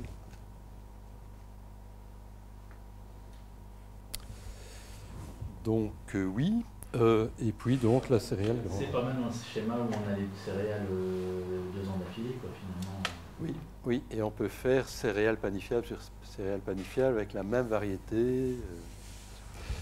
Alors au bout d'un temps, ça se salit. Parce que quand on calme le trèfle, on touche pratiquement pas au sol puisqu'on effleure le sol pour couper les stolons. Et on veut surtout pas descendre ici pour abîmer la racine pivot du trèfle. Donc on gratouille le sol. Mais on y touche quand même un tout petit peu et donc ça, ça peut stimuler des germinations.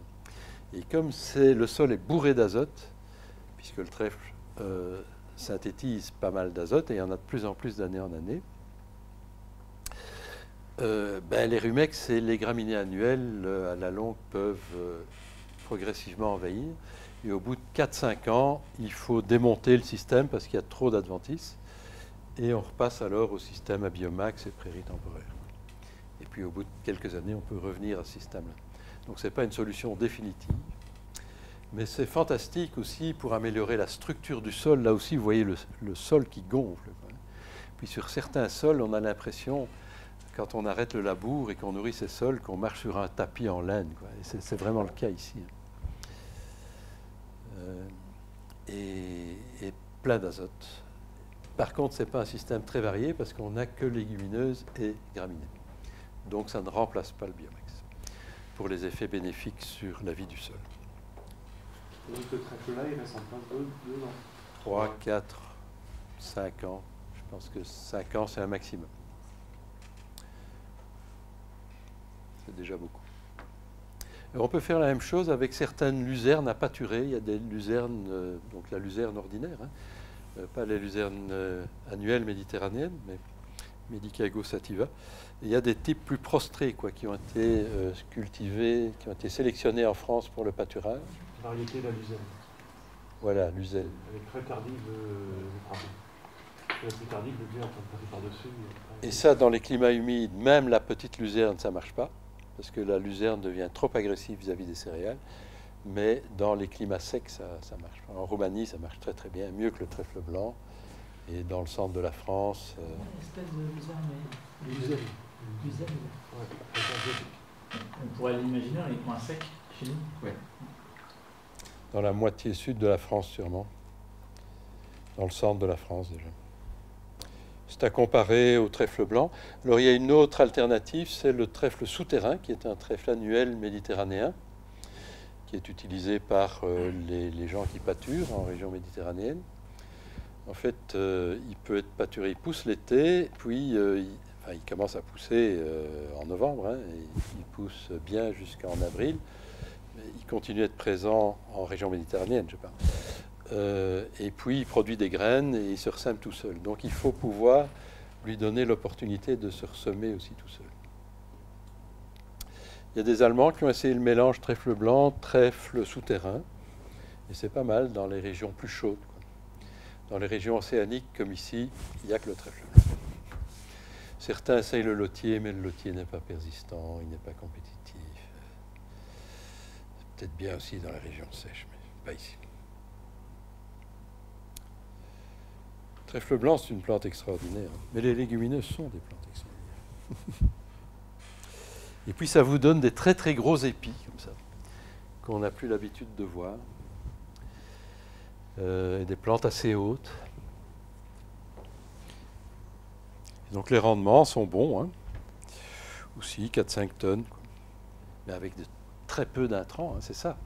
On diminue les coûts, on n'a plus d'engrais, on n'achète plus d'engrais, on n'achète plus d'herbicides, on n'achète plus de fongicides, on n'achète plus d'insecticides, on passe beaucoup moins souvent dans les champs. Par rapport au conventionnel, c'est tout ça. On achète beaucoup moins d'intrants. Par rapport au bio, on passe beaucoup moins dans les champs. Et donc, on réduit drastiquement les coûts. Et puis, si vous faites du panifiable, vous augmentez vos recettes. C'est ça, l'agroécologie en action. Le tout, c'est d'arriver à bien gérer. Il ne faut pas hésiter à passer du temps à bien gérer la herse rotative pour bien arracher les, les rhizomes sans arracher tout le trèfle. Ça prend 10 minutes, un quart d'heure, mais ça vaut amplement le temps. Et après, on y va sur des hectares. C'est aussi la différence avec le conventionnel, c'est qu'il faut descendre de son tracteur, donner des coups de bêche, observer le sol, observer le nombre de vers qu'on a, la profondeur d'exploration des racines, etc. Et quand on y a pris goût, c'est très enrichissant. Et ça peut pas être broyé tout simplement Comment? On peut pas le broyer tout simplement C'est la herse rotative euh, sans vraiment la rentrer en fait. Ça va être difficile de ne pas l'arracher. Tu vas la toucher autrement. Les stomos, ils sont au ras du sol, donc au broyage, tu vas, tu vas passer au-dessus et tu vas le visualiser. Non, c'est très délicat. Alors la fraise peut passer aussi à 2 cm de profondeur, mais on, on a testé à 3, le, le trèfle est mort. quoi. Un et demi, 2, ça va. Donc il faut être extrêmement précis. Et finalement, avec la herse rotative, c'est plus facile. Et avec la... Oui, avec la herse rotative, c'est plus facile. Avec la fraise, on rentre dans le sol aussi, et donc on a encore plus de germination. Donc euh, la herse rotative, c'est ce qu'il y a de mieux. Il y a peut-être un autre outil encore, mais c'est mieux que la fraise. Si on part sur plusieurs années, ça peut être un problème, mais si on sait qu'on arrête l'année d'après, c'est moins grave. Oui, on peut faire tout ça pour un an. Vous pouvez facilement le faire 2-3 ans. Ça permet d'allonger ta rotation, par exemple. C'est quand même chouette de pouvoir en mettre trois céréales d'affilée dans ton système. Ça... Si tu fais du 50 On fait rien, quoi. On passe juste pas de fertilisant, pas, de- fumier, pas de fiente de volaille ici. hein. On aurait trop d'azote. Alors, de temps en temps, quand même, il faut désherber mécaniquement. Euh, et donc, je vous ai mis quelques exemples de mes outils favoris, mais vous en avez sûrement d'autres.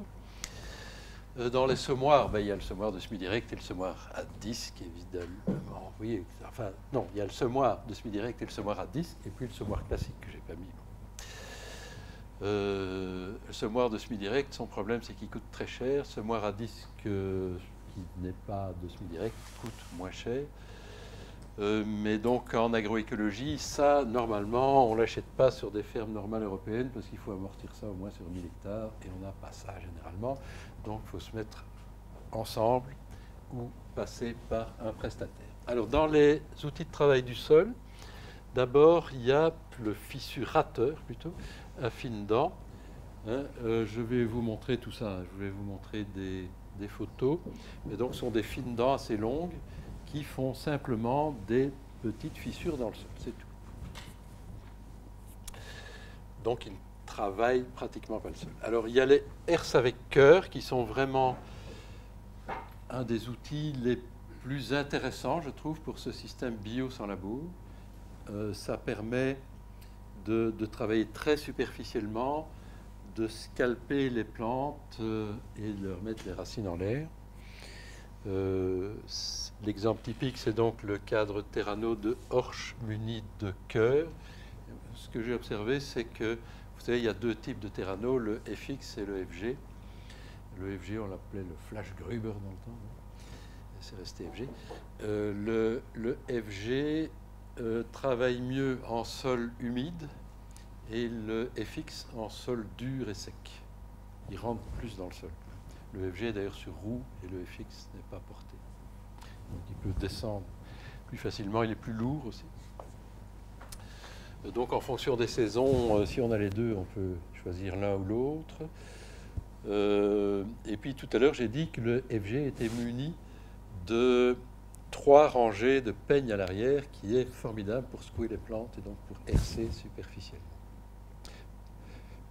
Euh, et secouer les plantes qu'on veut dessécher après démontage d'une prairie. Alors, deux chemaux à disque, c'est un outil beaucoup plus répandu, moins cher, peut trouver un peu partout et qui permet de faire aussi un travail assez superficiel. Nous- enfin, le système un peu classique, c'est un peu proscrit pour les chardons quand même, il n'y a pas de. Oui, oui, ça bien sûr. euh, toutes les plantes à rhizome, ça c'est un cas particulier. Les chardons, le chien-dent, euh, il ne faut surtout pas employer ça, ni la herse rotative, ni la fraise hein, parce qu'on bouture toutes ces plantes, on en a de plus en plus. Même les rumex, euh, les éclats de racines de rumex refont chacune un nouveau rumex. Si c'est si c'est une problématique qu'on a, il faut user pendant trois ans pour peu, on fait autre chose. Après, dans le Péco, il y avait les charrues des cheveuses à sorte, tu avais la possibilité de centimètres euh, qui retournait quasiment toute la, toute la surface de la terre et qui coupait vraiment toute la surface en fait, tous les collines. Il y a l'écoplou, ça doit être ça. Il y a ces charrues joutelles, nous, enfin chez nous c'est des joutelles, je pense que c'est ce qu'on prend, mais Plou, euh, en flamand, c'est de la, la charrue. Donc ça fait ce que tu expliques là. Donc un, un petit labour très superficiel. Oui, oui, tout petit, tout enroulé, et tu avais des versoirs un peu arrondis qui, qui enroulaient bien. ça. Donc oui, mais pour moi c'est déjà un peu trop agressif, mais Oui, dans certains mais, cas, euh, euh, quand c'est euh, c'est ça ou rien, euh, il vaut mieux ça, oui, c'est sûr. Euh, le Terrano FG, il est muni de grandes dents à l'avant, qui sont légèrement incurvées, et ça c'est pas mal pour sortir les rhizomes de chien-dent. Euh, les anciens utilisaient aussi des outils, des herses comme ça, euh, beaucoup moins sophistiqués évidemment que ça, mais ils allaient chercher les, rhizomes de chien-dent qui descendent rarement en dessous de 15 cm. Donc on les ramène en surface et on les fait sécher. Et autrefois, on faisait même des andins avec euh, les rhizomes secs et puis on y mettait le feu. Donc c'était vraiment des trucs. Pourquoi pas euh, Voilà, les rhizomes de chardon, par contre, ils descendent très profondément dans le sol et c'est pas parce qu'on les détruit en surface qu'on aura un impact. Au contraire, quand on sectionne les rhizomes de, chardon à, mettons, 30 cm, il va refaire plusieurs tiges à partir du rhizome central. Et donc on a des chardons plus touffus et il faut des années pour l'épuiser, donc c'est très très difficile. Chardon, il n'y a qu'une arme, c'est la luzerne, coupée quatre fois par an pendant trois ans, deux ans. Oui, hélas. Euh, c'est comme ça. Alors en prairie, on ne peut pas faire ça. Et un jour, je me suis dit, ben tiens, euh, les ânes, ils aiment les chardons. Alors, euh, on a, dans un pâturage tournant, on a trouvé une bonne dame qui avait des ânes sur une petite surface, et ces pauvres bêtes étaient là dans une flaque de boue. Donc j'ai dit, ben, vous les amenez en vacances chez nous l'été, et puis ils vont suivre les, vaches. Les vaches vont raser l'herbe dans, dans, le pâturage tournant. Une fois que les vaches quittent la parcelle, il n'y a plus d'herbe dedans, les, ânes, ben, ils vont manger les chardons. Alors, ils n'avaient jamais vu un chardon de leur vie, les pauvres. Donc, on leur a expliqué. Et vraiment, j'ai pris des capitules de chardon, je leur ai dit, regarde, goûte, goûte. ils ont goûté, et puis ils ont continué à les manger. Et ils faisaient un travail fantastique hein, en, prairie permanente. Ils empêchaient en tout cas les chardons de se développer, puis ils impactaient quand même la tige, et, ils affaiblissaient le chardon. Donc, éventuellement, tester. et pour les rumex, ça c'est quand même le problème numéro un en prairie et en culture d'ailleurs. Euh, en tout cas en bio, en culture. Euh, ben, il y a un animal qui les mange, c'est la chèvre. Les bovins et les moutons, quand on les force vraiment euh, et que le rumex est petit, ils peuvent aussi les, les, rabattre. Mais la chèvre, elle mange ça très facilement. Et donc avoir quelques chèvres qui mangent que les chardons, pourquoi pas. C'est encore utiliser la biodiversité, la diversité pour gérer nos problèmes. La, solution est dans la diversité. Et le, ultraviolet, il favorise le Monex aussi. Oui, absolument. Ça, c'est très très clair. Très très clair. Trèfle blanc un peu moins, mais aussi. Euh, alors, euh, oui, rotavator, donc la, euh, la fraise, uniquement pour les prairies temporaires. Les outils de gestion du couvert, oui, le rouleau FACA, ça, ça coûte pas cher, hein, on trouve des occasions. Les, oui, pour la gestion du couvert, les herses avec cœur, qu'on a déjà cité là, pour euh, passer dans le biomax qui a gelé au mois de février-mars le gyrobroyeur pour le biomax éventuellement, la herse rotative, euh, mais en passage très superficiel pour démonter les prairies, euh, ou le trèfle. Donc voilà quelques outils de base. Il y en a d'autres, mais ce sont quelques outils qui me semblent importants quand on veut initier un, système bio sans labo.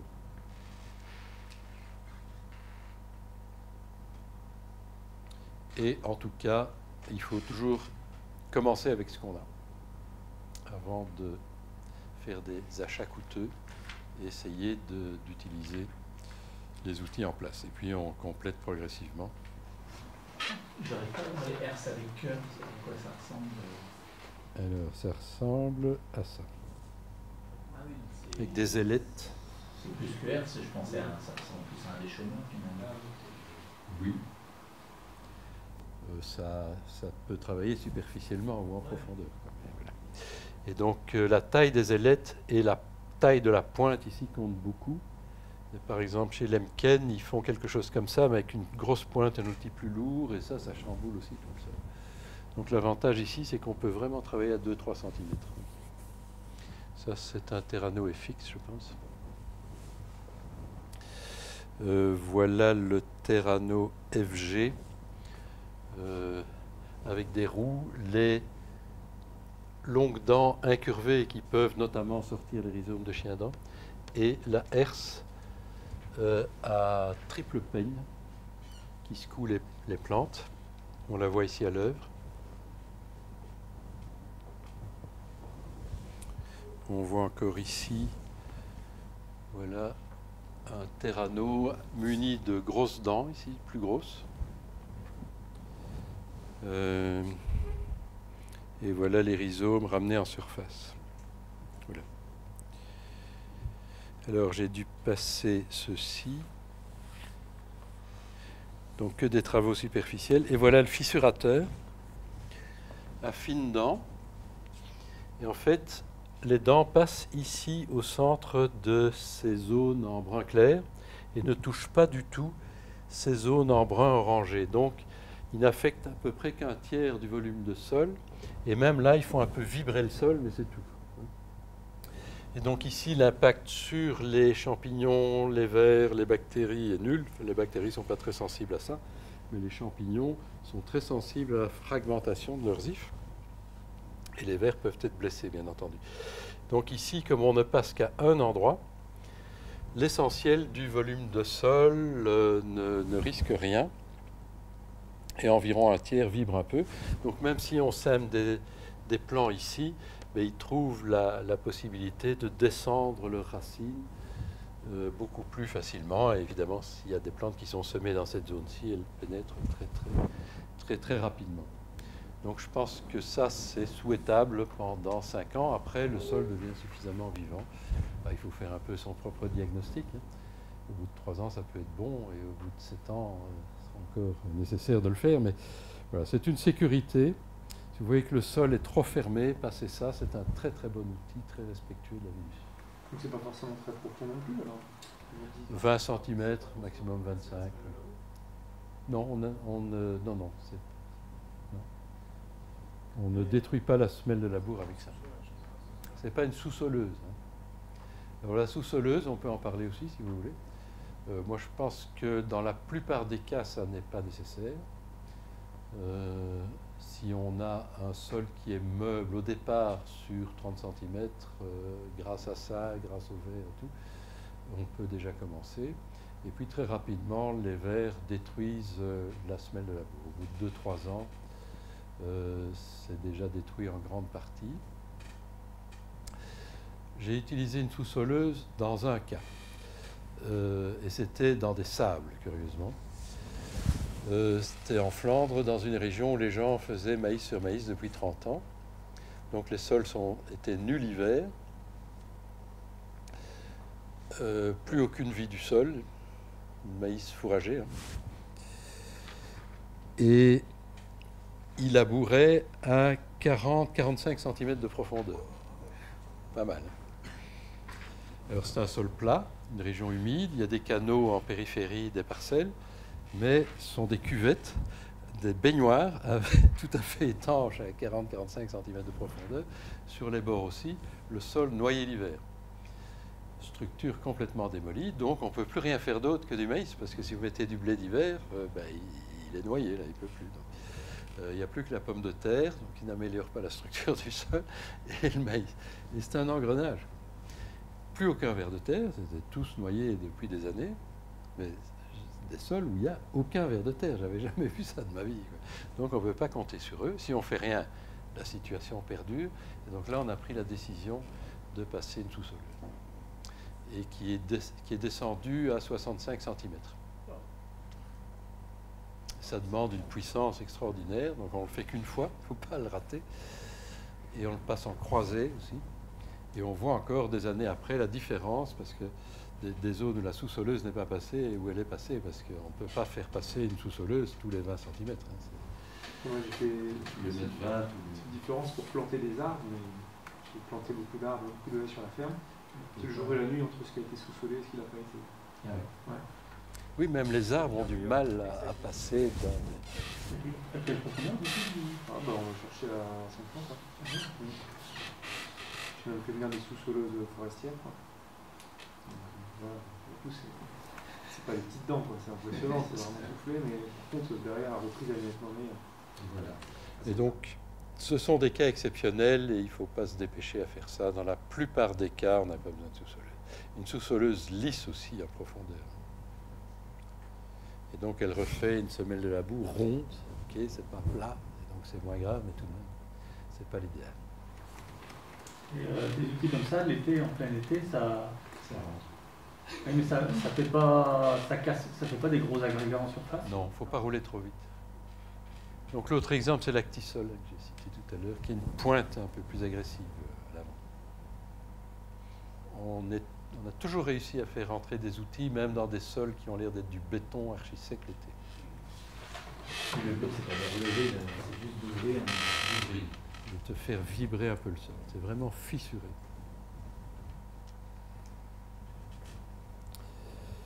Et donc ça, c'est le seul outil qu'on emploie en profondeur, mais qui est peu agressif. Voilà. Alors il y a le cas particulier du vulpin, qui est un problème hein, en bio, même en conventionnel, parce que les vulpins deviennent résistants aux herbicides. Mais en bio, euh, les graminées annuelles, bon, dont le vulpin, le jouet du vent, euh, les feuilles avoines, euh, c'est difficile à gérer, surtout le vulpin. Alors vous voyez ici la différence d'impact, différentes techniques. Il faut savoir que le vulpin germe surtout à l'automne, en septembre et en octobre. Mais en fait, euh, il y a une forte saisonnalité dans la germination des adventices. Mais en fait, ce qui compte, ce n'est pas la saison, c'est la température à un moment donné.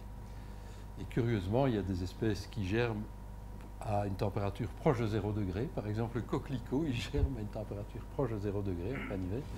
Et puis, il y a des espèces qui ont des exigences moyennes en température, comme le vulpin. Et il y a des espèces qui ont des exigences fortes, comme le kénopode, la morelle euh, euh, et d'autres espèces euh, plus subtropicales ou tropicales. Le- la crête de coq aussi, en culture de maïs. Et donc, lui, le vulpin, il a des exigences moyennes. Donc, avec des printemps doux, maintenant, il commence un peu à germer au printemps, mais sa période typique de germination, c'est quand même septembre-octobre. C'est pour ça que les bio se mettent traditionnellement tard, en novembre, pour éviter surtout le vulpin. Euh, mais ça présente de tellement grands inconvénients par ailleurs, parce que quand on sème tard, s'il y a eu un reliquat d'azote de la culture précédente, cet azote est lessivé, il n'est plus à disposition de la céréale. Au printemps, ces céréales tirent la langue, elles sont jaunâtres, elles ont une fin d'azote terrible, donc il faut leur apporter de l'azote. Sur un sol mouillé, c'est pas facile de venir avec du lisier, du fumier, machin. Euh, donc il vous reste les granulés de bio-organique qui coûtent vraiment très cher. Donc c'est pas facile. Euh, donc il vaut mieux se mettre tôt et se débrouiller pour qu'il n'y ait pas de germination de vulpin. Et c'est ce qu'on arrive à faire avec les prairies temporaires. Euh, donc qu'est-ce qui est efficace par ailleurs si on a quand même du vulpin ben, Vous voyez, le labour évidemment, mais ça, nous, on n'en veut plus. Euh, les cultures de printemps, puisqu'ils germent surtout dans les cultures d'hiver. Et la prairie temporaire, qui, vous le voyez, est au moins aussi efficace que le vulpin. Que le labour. Pardon. En fin de journée, en fait. Euh, voilà, donc les prairies temporaires sont au moins aussi efficaces pour gérer le vulpin que le labour. Et euh, ce qu'on doit en, tirer aussi comme conclusion, c'est que c'est bien d'alterner des cultures de printemps et des cultures d'hiver, aussi, chaque fois que c'est possible. Donc euh, si on, fait des céréales panifiables d'hiver, pourquoi pas faire de temps en temps aussi euh, de l'orge de brasserie, euh, s'il y a un débouché, ça se vend bien aussi. hein. Et il y a vraiment un mouvement très fort maintenant pour fabriquer des bières locales à partir de produits locaux. Dans le vin, c'était évident qu'on devait produire du raisin local pour faire un vin local. Dans les bières, pas. euh, Le, le- euh, le houblon et, et- et l'orge venaient de l'autre bout de l'Europe et ça gênait personne. Mais maintenant, les gens sont sensibles à ça et donc il y a un marché en croissance. C'est qu'il faut aller faire malter en Belgique aussi. Vous le faites. Alors, l'élément limitant, c'est la malterie, parce que les batchs de malterie sont beaucoup trop grands, ils ne peuvent pas faire du mal pour une seule ferme. Mais ça, je pense qu'ils commencent à en être conscients. Et maintenant, il y, a deux ou trois malteries en Belgique qui peuvent euh, accepter euh, l'ordre de grandeur de production d'une ferme, mais il faut en faire partout. Par contre, euh, pour nettoyer le sarrasin, apparemment, il n'y a qu'une petite usine en Bretagne pour le faire. Donc, si vous faites du sarrasin et que vous voulez vendre votre sarrasin pour faire du muesli, etc., les coûts de transport aller-retour sont colossaux par rapport aux coûts de culture. Et donc, là aussi, il faut reconstruire tout ce tissu rural euh, qui crée des emplois. Et l'un textile euh, comme de printemps sans labour C'est possible, pas possible? Euh, moi, j'avoue que je ne l'ai jamais fait, mais je pense que c'est pas si compliqué. Il faut s'arranger pour partir d'un sol propre, évidemment. Non, j'en ai fait pendant. Ça fait deux ans que j'en fais. C'est pas. Au lieu de labourer, tu les chaumes un coup, tu sèmes. Euh, ben, je, en fait, je fais un couvert que je détruis trois semaines avant de semer, D'accord euh, ben, en scalpant. Et puis, euh, on sème dedans après, trois semaines après. D'accord. Et ça va? Oui, ça va, ouais. Oui, moi je suis plutôt satisfait. Il y a d'autres soucis. de, enfin, les deux années où je l'ai fait, il y a eu des soucis de levée parce qu'on était plus dans le sec. Donc euh, il n'y a que 50% des graines qui ont levé, et puis après 50% après euh, quand il n'y a plus. Mais au niveau, euh, au niveau de la culture du lin en soi, ça n'a pas changé. euh, ça n'a pas changé grand chose. T'as juste scalpé ou t'as un peu plus profond Non, j'ai juste capé. Ok. Et après, par contre, après, je suis passé quand même au, au, au rotative et puis. C'était un couvert. Euh, quoi comme couvert en, en classique euh, Euh, dans un mélange, euh, pas, pas- c'était pas un gros pool, c'était pas très très développé, mais Ouais. j'avais peut-être euh, une tonne 5 de matière, de matière sèche. Ouais, d'accord. un truc mélangé, plein de choses différentes.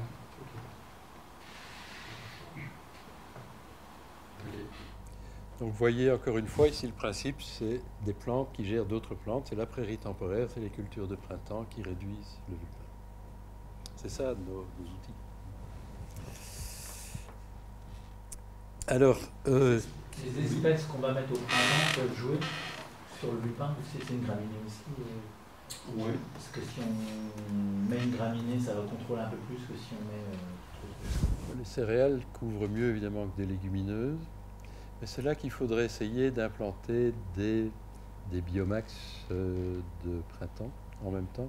Parce que la nature a horreur de la simplicité, on l'a souvent évoqué aujourd'hui, et elle aime la diversité, donc elle va toujours s'arranger pour rajouter des espèces. Si vous faites une monoculture de céréales, elle va dire ouais, bah, c'est très pauvre, donc moi je vais mettre des brassicacées en plus, euh, des légumineuses.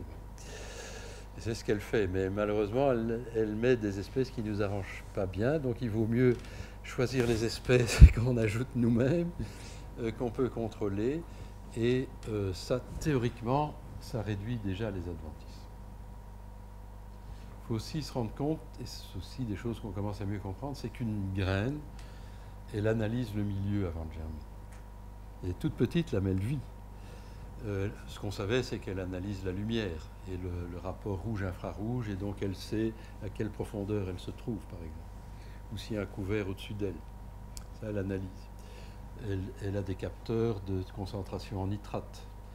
Ah, les nitrates lèvent les dormances, le potassium lève la dormance aussi, et elle peut se décider à germer si elle sent qu'il n'y a personne autour et qu'il y a suffisamment de nitrate et de potassium. Elle se dit, bon là je vais pousser vite. Mais maintenant, il semble que euh, les semences identifient même les autres espèces. Ils disent, bon, s'il y a des kénopodes autour de moi, j'ai pas beaucoup de chance, mais si j'ai du blé à telle densité, ça peut marcher, je peux tenter ma chance. Et euh, c'est à peu près comme ça. Et, donc, si on amène de la diversité, elle dit, ben, ma niche écologique est déjà remplie, euh, ma chance est quand même réduite, je là bien tranquille, j'attends la, la prochaine occasion. Je pense que ça fonctionne comme ça. Mais là aussi, on progresse assez vite. Et donc, si on rajoute un mélange un peu complexe au printemps, c'est ce que proposent les wines. hein. Quelqu'un a dit que c'était toi, je pense, qui avait semé un mélange complexe avec Régras, malheureusement. Bon, on pourra avoir demain. hein, mais, euh, Mais ils mettent du plantain aussi, je pense. Euh, ouais, il y a du. Ça, c'est bien. euh, voilà, c'est pas très compétitif. Alors, ça, c'est des, cou- des sous-couverts. C'est comme le trèfle blanc. Oui, oui, mais c'est ce qu'on pourrait semer dans une céréale de printemps. Et là, on a plus de chances de réussite qu'en semant ce genre de mélange dans une céréale d'hiver. Parce que là, le avec une céréale de printemps, le sol est fraîchement travaillé, on sème dedans. Ouais. Donc pourquoi pas? Il y a tellement de choses à tester encore. En fait, on réinvente un autre type d'agriculture. hein. Et c'est historique ce qu'on fait. Parce que c'est une des premières fois dans l'histoire de l'humanité qu'on développe des systèmes qui ne détruisent pas la fertilité des sols. Juste à temps qu'on prouve que ça détruit autre chose. Souvent, les solutions d'aujourd'hui sont les problèmes de demain, mais ça c'est vrai aussi. Mais c'est quand même historique. Alors on peut commencer le contrôle des ravageurs, c'est plus simple, ce que j'ai à vous dire. Et euh, dans la stratégie écologique que je vous ai décrite au début, on dit que euh, la stratégie écologique de l'agroécologie consiste à remplacer les carburants fossiles par des services écosystémiques rendus par la biodiversité. Donc on investit dans la biodiversité à tous les niveaux. On investit dans la biodiversité du sol, on en a longuement parlé ce matin. On investit dans la biodiversité euh, paysagère, dans la biodiversité parcellaire, dans la génétique des espèces qu'on cultive, dans la diversité des espèces qu'on cultive.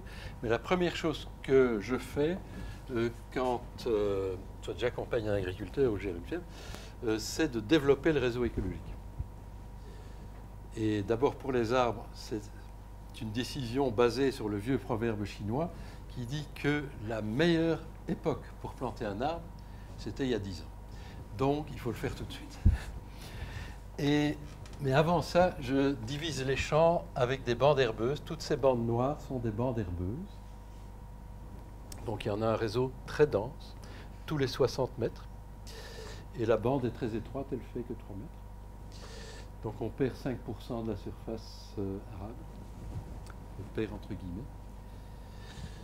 Euh, et ces bandes ont été conçues pour favoriser les alliés des cultures. Et ça, je pense que c'est la première fois en Europe qu'on met en place un système où les bandes herbeuses sont vraiment conçues pour favoriser les alliés des cultures. Et deuxièmement, qu'on a un réseau dense. Avant, ce qu'on faisait, c'était mettre une bande fleurie, d'exotiques en général, c'est plus joli, des fleurs, des cosmos, des machins, au bord d'un champ qui fait 30 hectares. Et puis, on disait, ah ben ça marche pas. Euh, on a toujours des pucerons à, à 300 mètres, là, il y a toujours des pucerons. Et un kilomètre aussi. bon. Euh, et, et donc, euh, je me suis dit, ben, il faut que le moyage soit plus important et puis que les, les plantes soient adaptées. Et, et du coup, ça marche parce qu'on a fait des études. En bande herbeuse, euh, on, on laisse monter à la graine, on laisse Ouais. les- C'est ça, c'est vraiment Ce sont des pérennes. des pérennes. ouais. En maraîchage, euh, on recommande des mélanges d'annuels qu'on ressème chaque année et on les combine aussi avec d'autres bandes pérennes comme celle-ci. Mais là, on a plus d'argent. euh, en grande culture, on peut pas trop investir. Qu'on a le, conservateur euh, des espaces régionaux à côté qui nous conseillait de, mettre les espèces qu'on a sur les prairies calcicoles euh, localement, euh, de, laisser venir ces espèces-là qui vont venir naturellement au bout de quelques années en, partant juste avec quelques espèces peu concurrentielles, type justement un lotier, un pâturin et un. Et en quelques années, on, on a des espèces sauvages qui viennent. Certaines, en tout cas. Oui, oui, oui, certaines, en tout cas. En mettant, bah, par contre, c'était pas en petite bande comme ça, c'était plutôt des bonnes bandes de, de, de 5 ou 6 mètres euh, le long des. enfin, pour faire des corridors. Encore mieux, 5-6 mètres, c'est encore mieux. 3 mètres, c'est le minimum. L'agriculture, on vient de s'y mettre. euh, Ouais, non, mais par contre, l'avantage euh, en développant, enfin, je sais pas comment tu vas venir, mais nous, on pouvait quand même le faucher une fois par an. Oui, oui. Là, T'alternes possible. entre printemps et automne pour avoir Ouais. euh, des niches. euh. Mm. Parce que là, 3 mètres, pas si vous le. On essaye de ne pas le girobroyer, évidemment. Les agriculteurs préfèrent girobroyer, c'est plus facile, il ne faut pas ramasser, ça disparaît, on n'en parle plus. Mais seulement on girobroie tous les insectes bénéfiques aussi. Donc l'idéal, c'est faucher et exporter. Euh, ou faucher avec la moissonneuse batteuse, euh, quand on est là, et on éjecte tout à l'arrière. C'est simple ça. Mais c'est pas broyer. Il y a une grosse différence. Et nous, on, ne varie pas les époques de fauche. On fauche toujours à partir du 1er août, autour du 1er août, disons. Euh, mais on ne fauche pas toutes les bandes chaque année. Chaque année, il y a un tiers qui n'est pas fauché. Comme ça, il y a des refuges. Donc, première infrastructure écologique, les bandes herbeuses, mais on va les détailler un peu plus. Et puis, on plante des arbres, d'abord en périphérie comme ça, ils servent de tampon aussi vis-à-vis des dérives de pesticides du voisin, hein, d'abord qui poussent.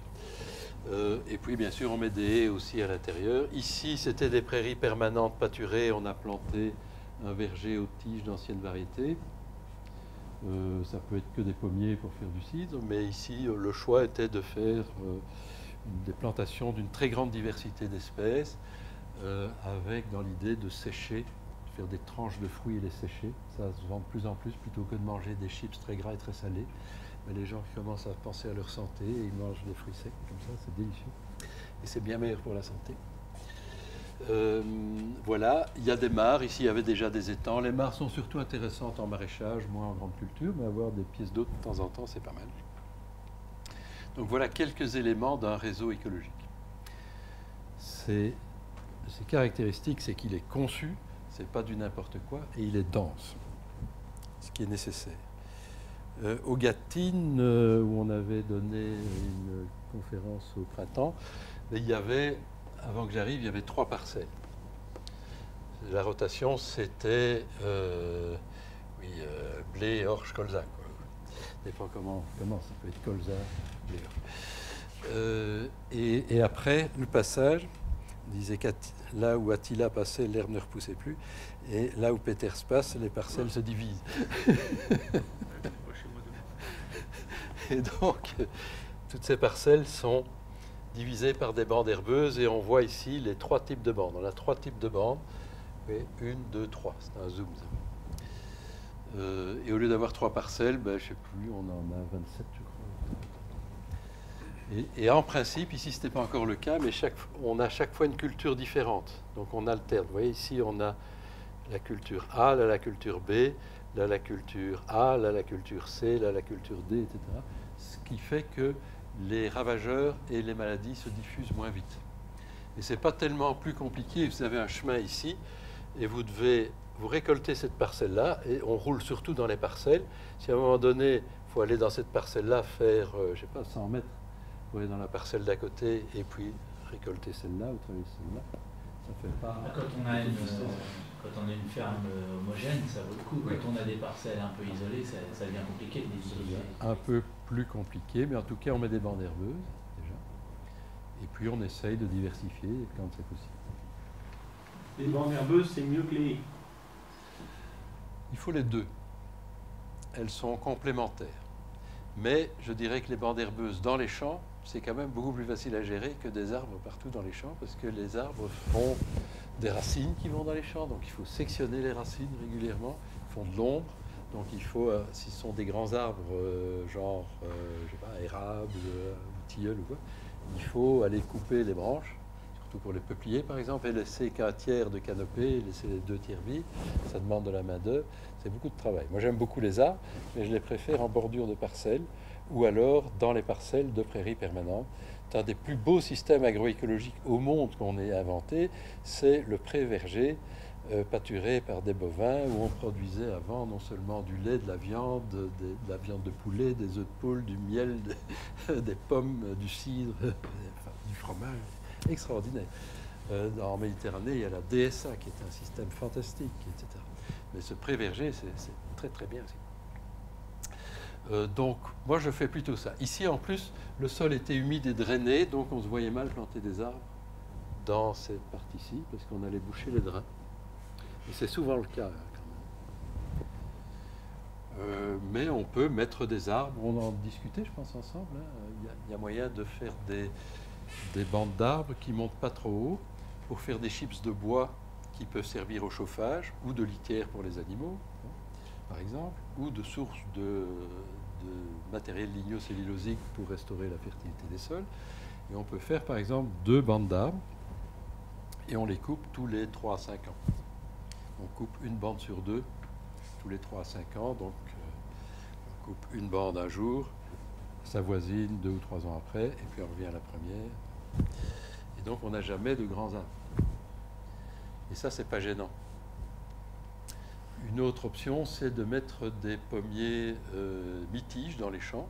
Ça produit assez vite, ça produit un revenu beaucoup plus intéressant que des arbres qui ne produisent que du bois, qu'on récolte au bout de 50 ans, et qui demandent finalement beaucoup de travail de maintenance pour éviter qu'ils ombragent trop. Euh, donc voilà, bah, vous faites ce, qui vous semble intéressant, mais il faut bien peser le pour et le contre à chaque fois en fonction du site. Le plus facile, c'est vrai, sont les bandes herbeuses. Elles favorisent beaucoup les alliés des cultures, les haies aussi, mais des haies sauvages et diversifiées aussi. Si on met des peupliers, ça favorise pas tellement les, les alliés des cultures. Et les pommiers non plus d'ailleurs. Oui. Et du coup, les parcelles, elles font quelle largeur? Elles font 60 mètres de large et la surface n'a pas d'importance. Donc elles peuvent avoir 5 km de long, c'est pas un problème. C'est la largeur qui compte. 60 mètres par rapport aux engins, par rapport à... Oui. 60 mètres, c'est un, ter- c'est un chiffre magique. Il y a beaucoup de choses magiques en agroécologie. Euh, puisque euh, c'est un multiple de 1, 2, 3, 4, 5, 6, euh, 10, 12, 15, 20. Et donc, euh, c'est toujours un multiple des outils qu'on utilise. Et donc, c'est très pratique. On l'a conçu avec des spécialistes des alliés des cultures.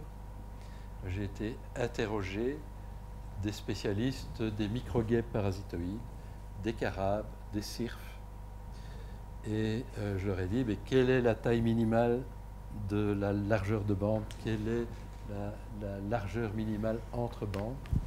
Ils m'ont dit, oh ben, ça dépend. La réponse typique d'un scientifique rigoureux, c'est ça dépend. Oui, c'est vrai qu'il y y a des grands carabes, il y a des petits carabes. Euh, la microguêpe, elle peut voler quelques mètres, euh, elle va pas très loin. Les cirfes, ils peuvent faire un kilomètre sans problème. Donc c'est vrai que ça dépend. Mais à un moment donné, il faut trouver une valeur un peu qui est un compromis. Et euh, finalement, on est arrivé à ces valeurs-là 3 mètres de largeur pour les bandes et 60 mètres entre bandes. Et c'est pratique d'un point de vue agricole. Alain Canet, pour tout ce qui est agroforesterie, il préconise à peu près 80 à 150 arbres hectares. Euh, pour pas concurrencer trop suivant les, les- les lieux. Rien que 80 arbres hectares, euh, en sachant quand on les met dans la ligne, on peut les mettre tous les 5 à 10 mètres, euh, ça, fait, euh, ça fait une bande tous les 40 ou 60 mètres. C'est énorme, 80 arbres hectares. Non, c'est pas tant ça. 80 arbres hectares Bah, si t'en mets un tous les 10 mètres euh, au niveau largeur, euh, Ça fait 120 mètres carrés par arbre, que- hein. 125 mètres carrés par arbre, donc euh, ça fait. Je crois, je crois même que la, pour être en agroforesterie, c'est 50 arbres hectares Ouais, maximum. n'a pas fait des 50. 50 maxi Ouais, bah, Au-delà, t'es- t'es- c'est un bois. Les arbres fruitiers haute tige, type pommier, on les sème entre 10 et 15 mètres en tous sens. Ouais, Moi, j'ai planté des- Ça fait 144. J'ai planté, j'ai une parcelle en 44, agroforesterie, j'ai 70 350 Ah, arbres sur en a. 10 hectares. Mais ça, c'est en prairie, donc euh, on n'a pas trop peur de l'ombre. Donc il faut que ça soit nettement en dessous. Donc euh, Parce que là, à 150, euh, ça fait. là, ça fait trois fois plus d'arbres, c'est énorme. Et moi, j'avais retenu que, en tout cas, la limite euh, Oui, il est pas. il est pas pour être qualifié en agroforesterie et pas être déclassé, euh, pour rester en parcelle agricole, c'est 50 arbres par hectare. Ah, je, ouais, ben, ouais, je vais vérifier les chiffres. Mais ouais. On en a parlé tout à l'heure avec certains d'entre vous, mais euh, moi j'adore les arbres, j'adore les systèmes agroforestiers, il ne faut pas qu'il y ait d'ambiguïté là-dessus. L'agroforesterie, ça marche très très bien dans les régions tropicales. En fait, quand on va dans un, sur un transect nord-sud, plus on va vers l'équateur, mieux ça marche. Euh, et pourquoi ça marche mieux euh, près de l'équateur? Parce que les plantes alimentaires de base sont des plantes forestières. Le bananier, c'est une plante forestière. Le manioc, c'est une plante de lisière forestière. L'igname, c'est aussi une plante de, lisière forestière. Ce sont toutes des plantes qui supportent l'ombre. Chez nous, les céréales, euh, la févrole, les pois, tout ça, sont des plantes de semi-désert qui ont besoin d'une luminosité intense. Dans une région, on n'en a déjà pas beaucoup. Euh, parce qu'ici, le ciel n'est pas très clair. Il ne fait pas as- assez chaud pour elles non plus. À force de sélection, on les a adaptées, mais ce n'est pas leur milieu. C'est trop humide, il n'est pas assez éclairé.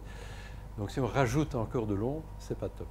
En Méditerranée, euh, ben, en Méditerranée, les cycles sont tout à fait différents. Même déjà dans le sud de la France, les céréales sont semées plus tôt, récoltées en juin et pas fin juillet, début août. Et donc les céréales font l'essentiel de leur cycle de croissance avant que les feuilles apparaissent sur les arbres. Donc ce problème d'ombrage est beaucoup moins important.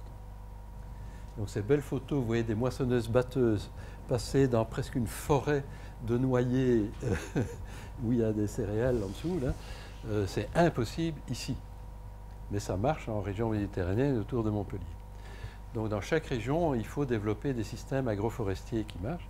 Ici, ce qu'on a inventé, c'est le bocage, un maillage très serré de haies et des prés vergers. Ça, c'est super. Avant de mettre des arbres dans les champs, il faut quand même concevoir un système qui soit adapté. On verra le résultat dans avant. Bah, c'est un pari euh, sur euh, l'évolution de. Oui, je ne dis pas que c'est pas bien, que c'est pas une bonne idée. Je dis qu'il ne faut pas copier les systèmes méditerranéens tropicaux parce qu'on est dans des situations écologiques totalement différentes, avec des plantes totalement différentes, en tout cas par rapport aux plantes tropicales. J'ai mis des arbres de différentes hauteurs et il y a 10 essences. Tu verras ça que dans 10 ans, les défauts. Hein. Tant que ça pousse un peu. Et puis... Euh, ce qui marche très bien, ce sont les pommiers euh, moyenne tige, là, euh, sur des bandes espacées de 60 mètres, ça marche bien. Euh, puis les arbres qu'on élègue, ça marche bien aussi. De toute façon, ça c'est élagué. C'est destiné à être élagué. Hein, Oui, ou des trognes, ou des choses comme ça, voilà. Donc il faut bien concevoir les choses. Voilà. Et c'est bien sûr super de mettre des arbres. Maintenant, pour les alliés des cultures, là, ce ne sont pas spécialement les grands arbres qui sont utiles. Ce sont souvent des buissons, comme la viorne, comme le sureau, euh, le fusain. Ça, ça ne fait pas du bois. Et donc, euh, ça montre l'intérêt des haies. C'est de l'agroforesterie aussi. Euh, oui, maintenant il y a des haies ici, là, là, donc en périphérie plutôt. Est-ce que vous disiez tout à l'heure euh, qui captait l'azote Il y avait l'acacia, il y avait le. Oui, toutes les, les plantes de la famille des légumineuses, mais hors de la famille des légumineuses, il y a l'aulne, euh, donc toutes les espèces d'aulne. Euh, il y a l'olivier de Bohème, l'éléagnus qu'on plante dans les jardins. Certains produisent des gros fruits comestibles. Euh, Qu'est-ce qu'il y a encore chez nous? Il y en a plein. L'argousier, oui, qui pousse dans les dunes, qui est épineux. euh.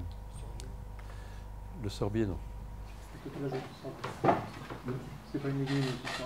Non, non. Euh, voilà quelques-unes en tout cas. Mais il y, a- il y a plusieurs autres familles que les légumineuses qui fixent euh, l'azote, mais pas avec des rhizobiums, du groupe des rhizobiums, mais en général ce sont des actinomycènes. Qu'on appelle maintenant des actinobactéries. Alors les bandes, vous voyez une bande ici euh, qui n'est pas encore en floraison.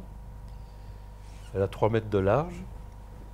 Et dans ces bandes, il y a des mélanges fleuris. Et dans ces mélanges fleuris, il n'y a que des plantes pérennes hein, dans, dans ces bandes-là, euh, les ombellifères jouent un rôle particulier parce que ce sont des aéroports insectes ailés, des, des insectes comme des cirfes ou même des, coléoptères qui ne sont pas si agiles en vol, atterrissent là-dessus sans problème. Et puis après, ils sucent le nectar, ils n'ont qu'à se balader, ils sucent le nectar, ils récoltent le pollen très très facilement. Mais euh, plein d'autres espèces sont intéressantes aussi. Mais il faut certainement des ombellifères adaptés au lieu, donc peut-être aller chercher dans les réserves naturelles certaines euh, ombellifères qui poussent bien. Il y a la grande berce qu'on ne commercialise pas, mais il suffit de prendre quelques graines et de les semer. Vous les semez en septembre et les semences vont germer en hiver. Euh, le cerfeuil sauvage, très bien.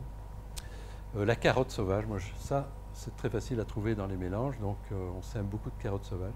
Elle peut être un peu envahissante dans les champs, mais ça va. Voilà trois espèces intéressantes. Et du coup, le tiers que vous fauchez pas, comment vous faites pour gérer pour pas du coup, ça monte en graines, mais ça ne va pas sur le. Produit des semences, oui. Mais toutes ces espèces euh, sont des espèces prairiales qui ne se comportent pas comme adventices dans les champs, à part un tout petit peu la carotte, qui n'est pas pérenne, elle ne vit deux ans. donc elle se comporte un peu comme une adventice. Quand ça fleurit, ça ressemble à ça. Voilà, ça c'est de la mauve musquée. Euh, ça sont des carottes sauvages.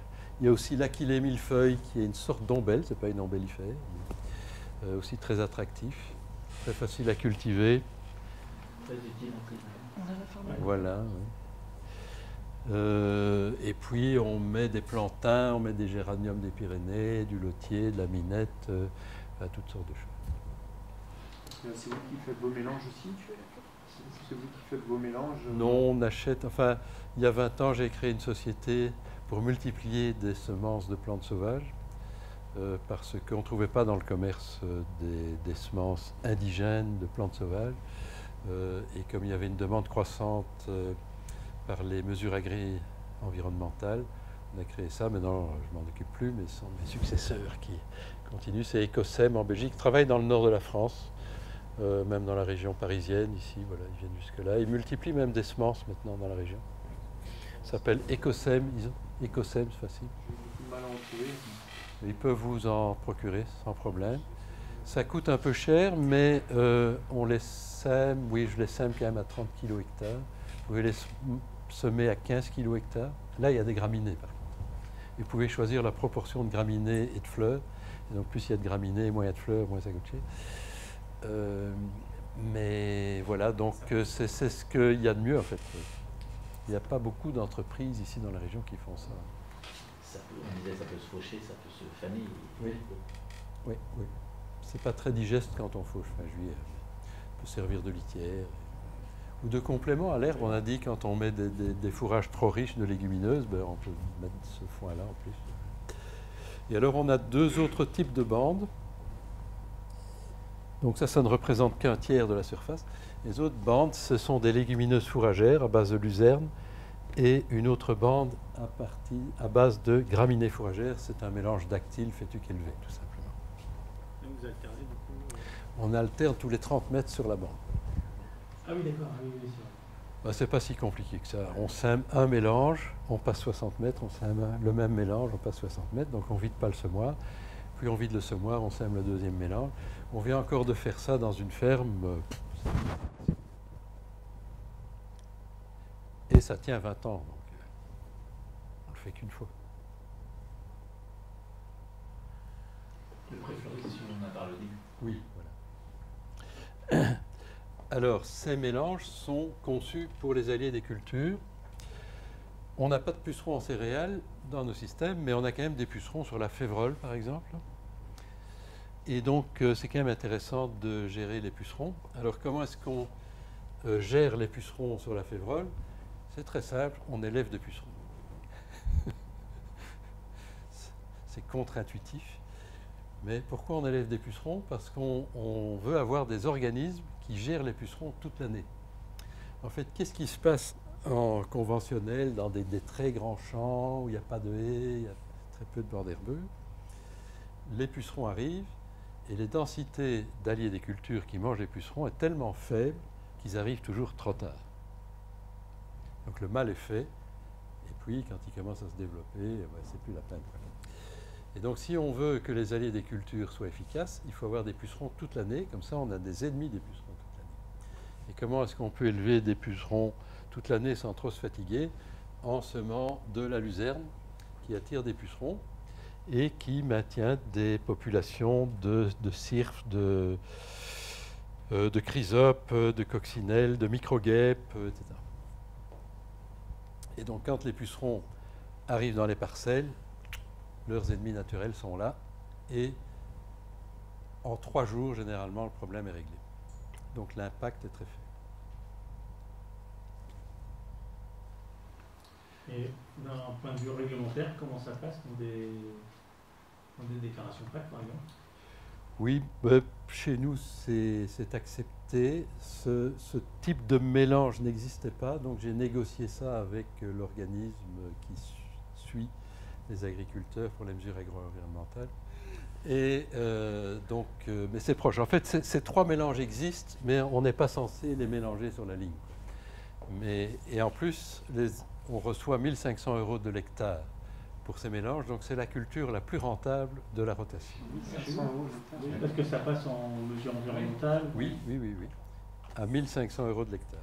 Et, et on ne les coupe pas tous les jours. Oui, oui, oui. oui. Tu mets tout et puis tu fais du miel. Hein. Il y a une limite vers le haut, en pourcentage de surface. Ah, je vais voir dans quel cas vous cochez ça. Mais c'est c'est déclaré en parcelle à côté Il faut découper chaque bande ou c'est... Euh, oui, dans la déclaration, la première année, quand on installe ça, ce sont des parcelles à part, toute, toute la bande. Mais c'est une seule mesure qui s'appelle chez nous la MC8, donc les trois mélanges rentrent dans la MC8. C'est plus simple que chez nous. Du coup, tu les as pas enlevés, mais... C'est plus axé sur la biodiversité aussi en Belgique. Mais, voilà. Et donc, euh, autre problème qu'on peut avoir en, système sans labour et avec beaucoup de couverts, ce sont les limaces. C'est même une explosion de limaces. C'est connu en agriculture de conservation, il y a des problèmes trapus de limaces et qui euh, vous liquident un SMI en une nuit. hein. Euh, voilà. Et donc là, nos copains, ce sont les carabes. Les carabes ne mangent pas les grosses limaces comme ici, ça c'est rare. C'est un grand carabe qui mange une grosse limace rousse. Il peut le faire, mais les autres mangent plutôt les œufs et les toutes petites limaces. Et on a fait des études là-dessus euh, qui montrent que plus il y a de carabes, moins il y a de limaces, que les carabes ont une action jusqu'à 30 mètres dans le centre de la parcelle, donc ils couvrent bien la largeur des 60 mètres puisqu'il y a des bandes de chaque côté. Euh, que dans des en agriculture conventionnelle, on a comparé justement euh, dans, près de Paris là, une ferme en, agroécologie, en agriculture de conservation et en, euh, et en conventionnel. Je regarde si j'ai les résultats. Oui, je les ai. Oui, voilà, c'est là. Voilà, c'est ça. Euh, voyez ici le nombre d'individus de carabes à deux périodes en vert. Euh, c'est en, orange, c'est en avril, et en vert, c'est en mai. Donc on voit qu'en agroécologie, les populations de carabes augmentent. En agriculture de conservation, elles diminuent, je ne sais pas pourquoi. Et en conventionnel, ça ne change pas trop. Et en limaces, ben, on a des quantités plus ou moins comparables dans les trois systèmes. Il y en a quand même moins en bio sans labour, avec les bandes. En a un peu plus en conservation. Il y en a à peu près le même nombre en conventionnel. Le conventionnel, il a épandu des anti-limaces. Conséquence, il a beaucoup plus de limaces. Ce que je disais tout à l'heure. En agriculture de conservation, il n'a rien fait. Il n'a pas de bande, mais il a des couverts permanents qui jouent aussi. Donc il y a un certain contrôle, mais avec bande, c'est super. Et alors quand on regarde, qu'on met en corrélation le nombre de carabes en mai avec le nombre de limaces, on voit quelque chose comme ça. quoi. Plus on a de carabes, et plus on a de carabes, moins on a de limaces. Et donc ça marche. Et on l'a fait aussi ailleurs avec d'autres thèses de master, etc., ou des thèses de doctorat. Ça fonctionne. Et en diversité d'individus, c'est pareil. Oui, on a regardé aussi le nombre d'espèces. Il y a beaucoup plus d'espèces en agroécologie. En conventionnel, il y en a beaucoup moins. En conservation, c'est pas mal non plus, le nombre d'espèces. Le nombre d'individus, il est maximum en agroécologie, intermédiaire en conservation. Il n'y a que la carabe qui mange les limaces ou il y a d'autres Il y en a d'autres. Il y a plusieurs gros prédateurs. hein. Il y a des staphylins qui sont assez gros, comme ça, c'est le tigre, le tigre des champs. C'est encore plus vorace que les carabes, mais il y a moins de diversité. Les limaces se bouffent entre elles aussi. Un léopard a bouffé. Oui, il y a juste un léopard qui peut manger les autres, et là, c'est rare. Ça, peut, fonctionner. Euh, et donc, ça, ce sont les gars qui mangent les pucerons. Donc, les cirques, vous les connaissez, hein, des mouches déguisées en guêpes qui font du surplace comme ça. Euh, eh bien, eux, ils mangent du pollen et du nectar à l'état adulte, mais leurs larves, qui sont difficiles à voir, elles sont petites, elles ont la couleur de la plante, et elles sont extrêmement voraces euh, pour manger les pucerons. C'est notre principal allié. Et l'autre allié intéressant, c'est la microguêpe qui pond un œuf dans chaque puceron. Il est anesthésié, momifié et il sert de canette de nourriture pour la larve de la microguêpe qui va se développer à l'intérieur. Je pense qu'il ne sent rien. Euh, donc sont assez épandus aussi. Et bien sûr les larves de coccinelles et les coccinelles elles-mêmes à l'état adulte. Tout ça mange des pucerons.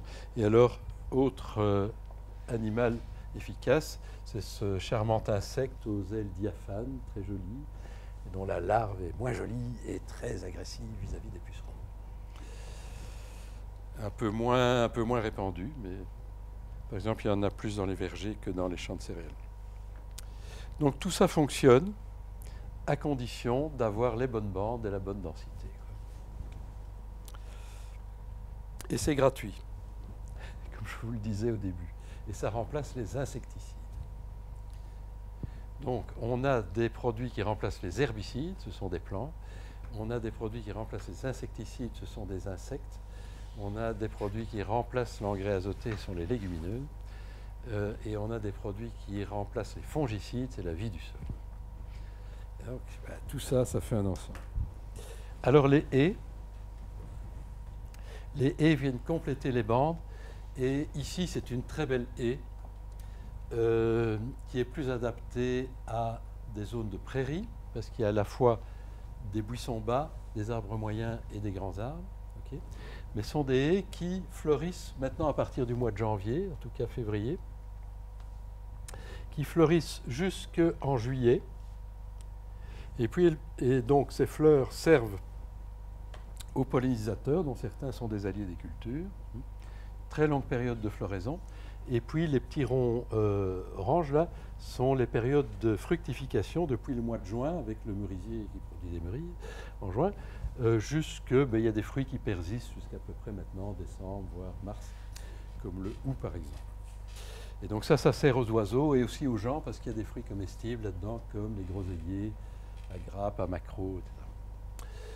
Euh, et alors, il y a une série d'espèces qui attirent particulièrement les pucerons et donc les prédateurs et les parasitoïdes des pucerons.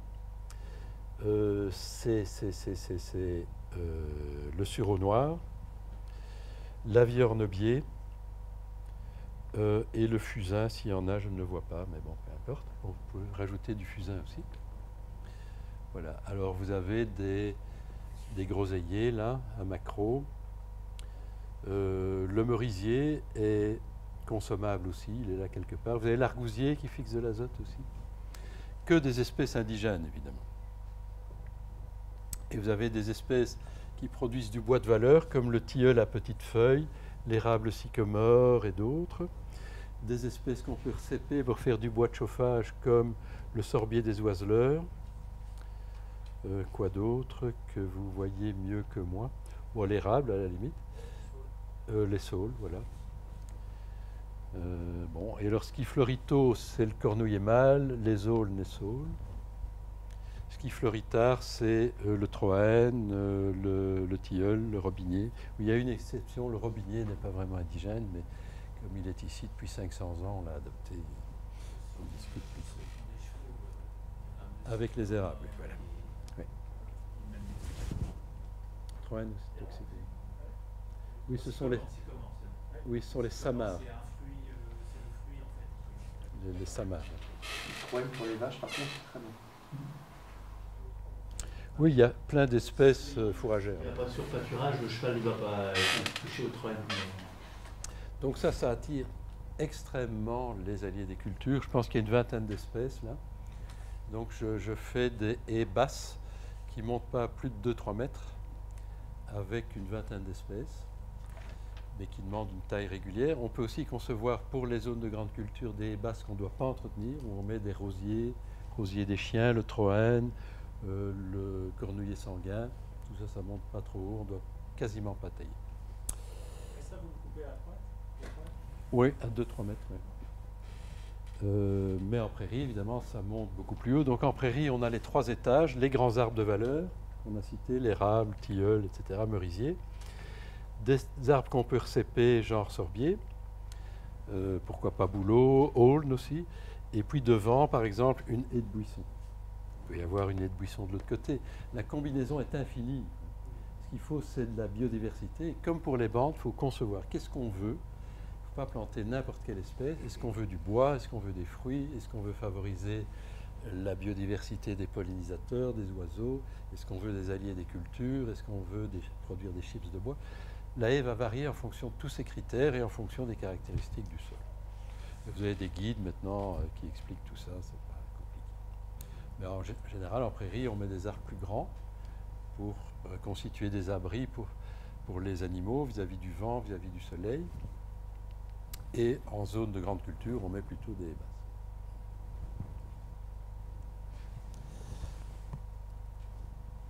Voilà ici une haie basse Attendez, non. Euh, non, non, c'est toujours les, les haies hautes, ça, de.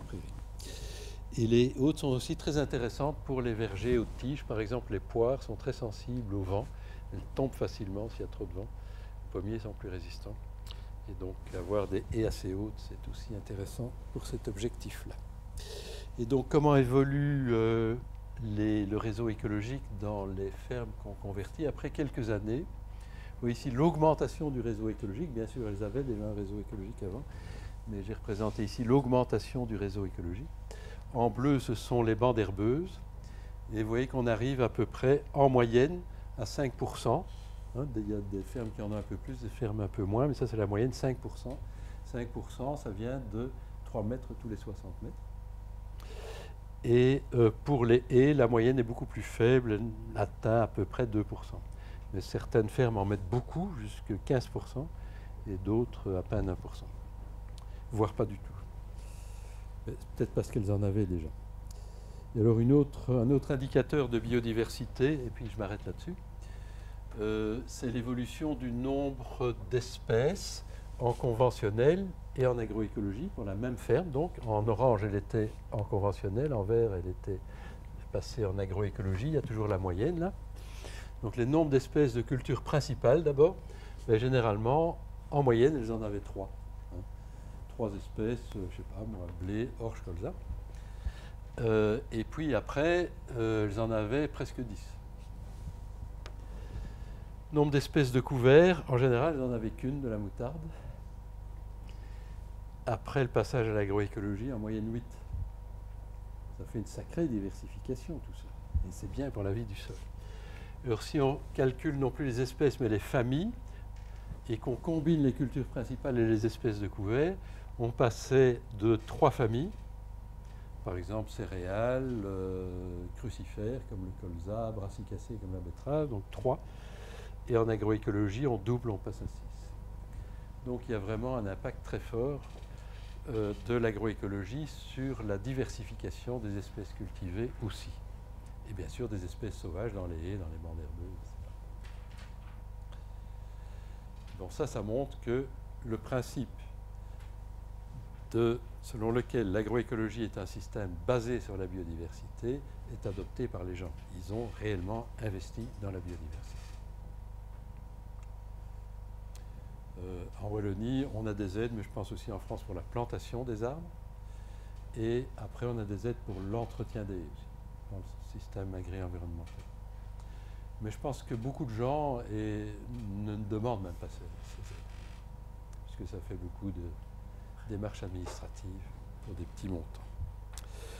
Voilà, euh, ben déjà quelques idées sur la gestion des maladies, des adventices et des ravageurs. C'est un tour d'horizon. Dans une approche systémique, tous les éléments du système sont connectés. Voilà, ben, on, va, commencer la partie prairie élevage.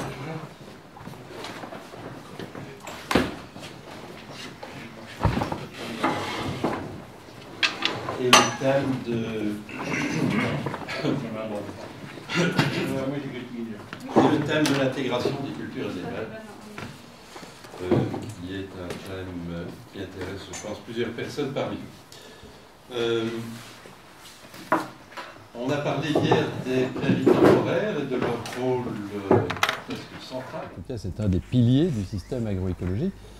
Euh, et parce que les prairies temporaires permettent de restaurer la fertilité du sol, de séquestrer du carbone dans le sol, de stimuler la vie du sol, de contrôler les adventices et de fixer de l'azote. Ça fait donc beaucoup de choses importantes.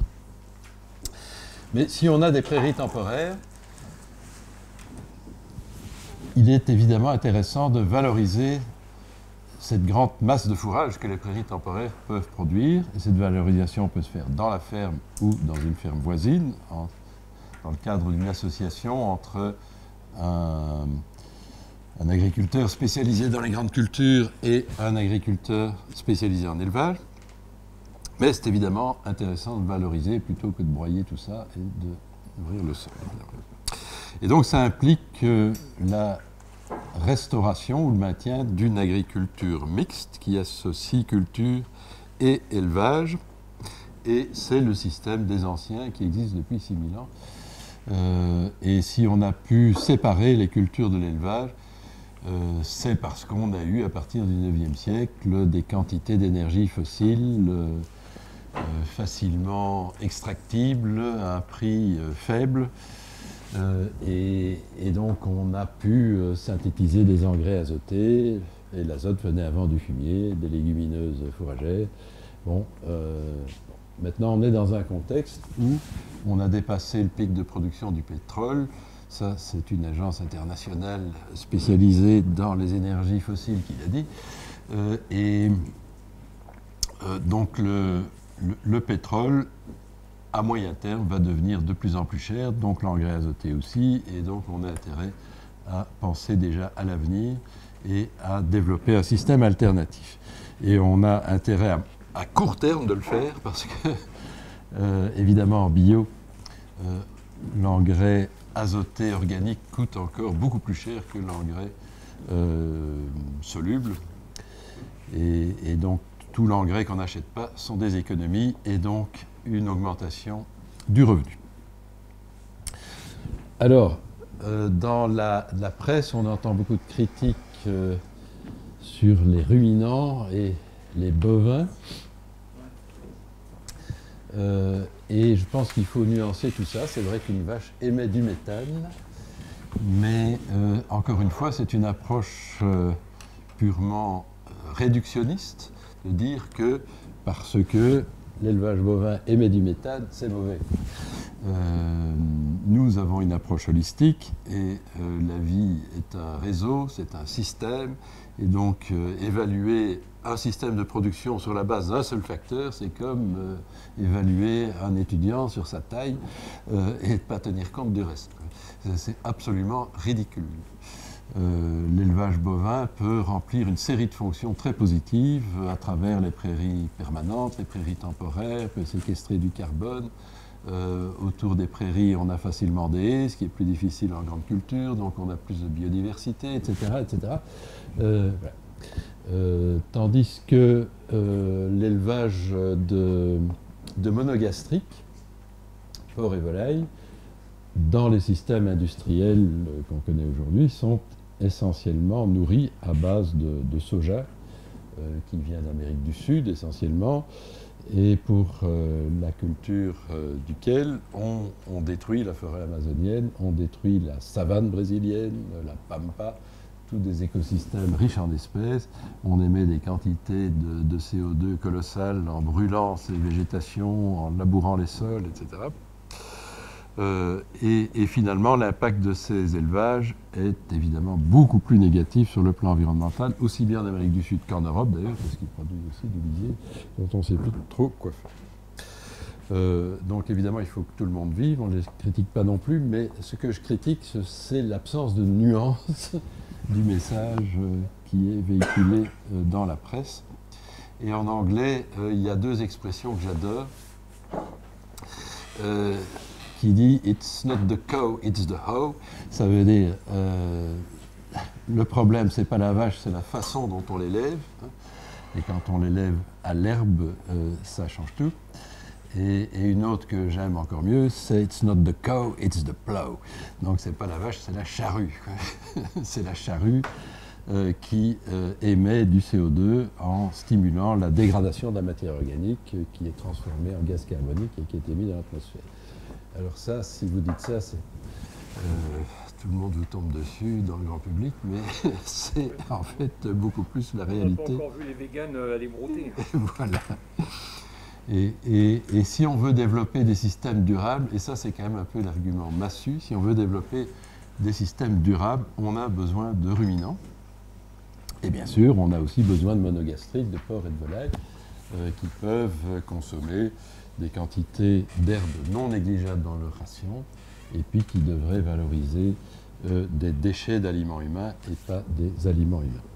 Le gros problème de l'élevage industriel, c'est qu'on nourrit les animaux avec des aliments humains, et c'est pour ça qu'on laboure les sols sur de vastes surfaces et qu'on a besoin de surfaces colossales.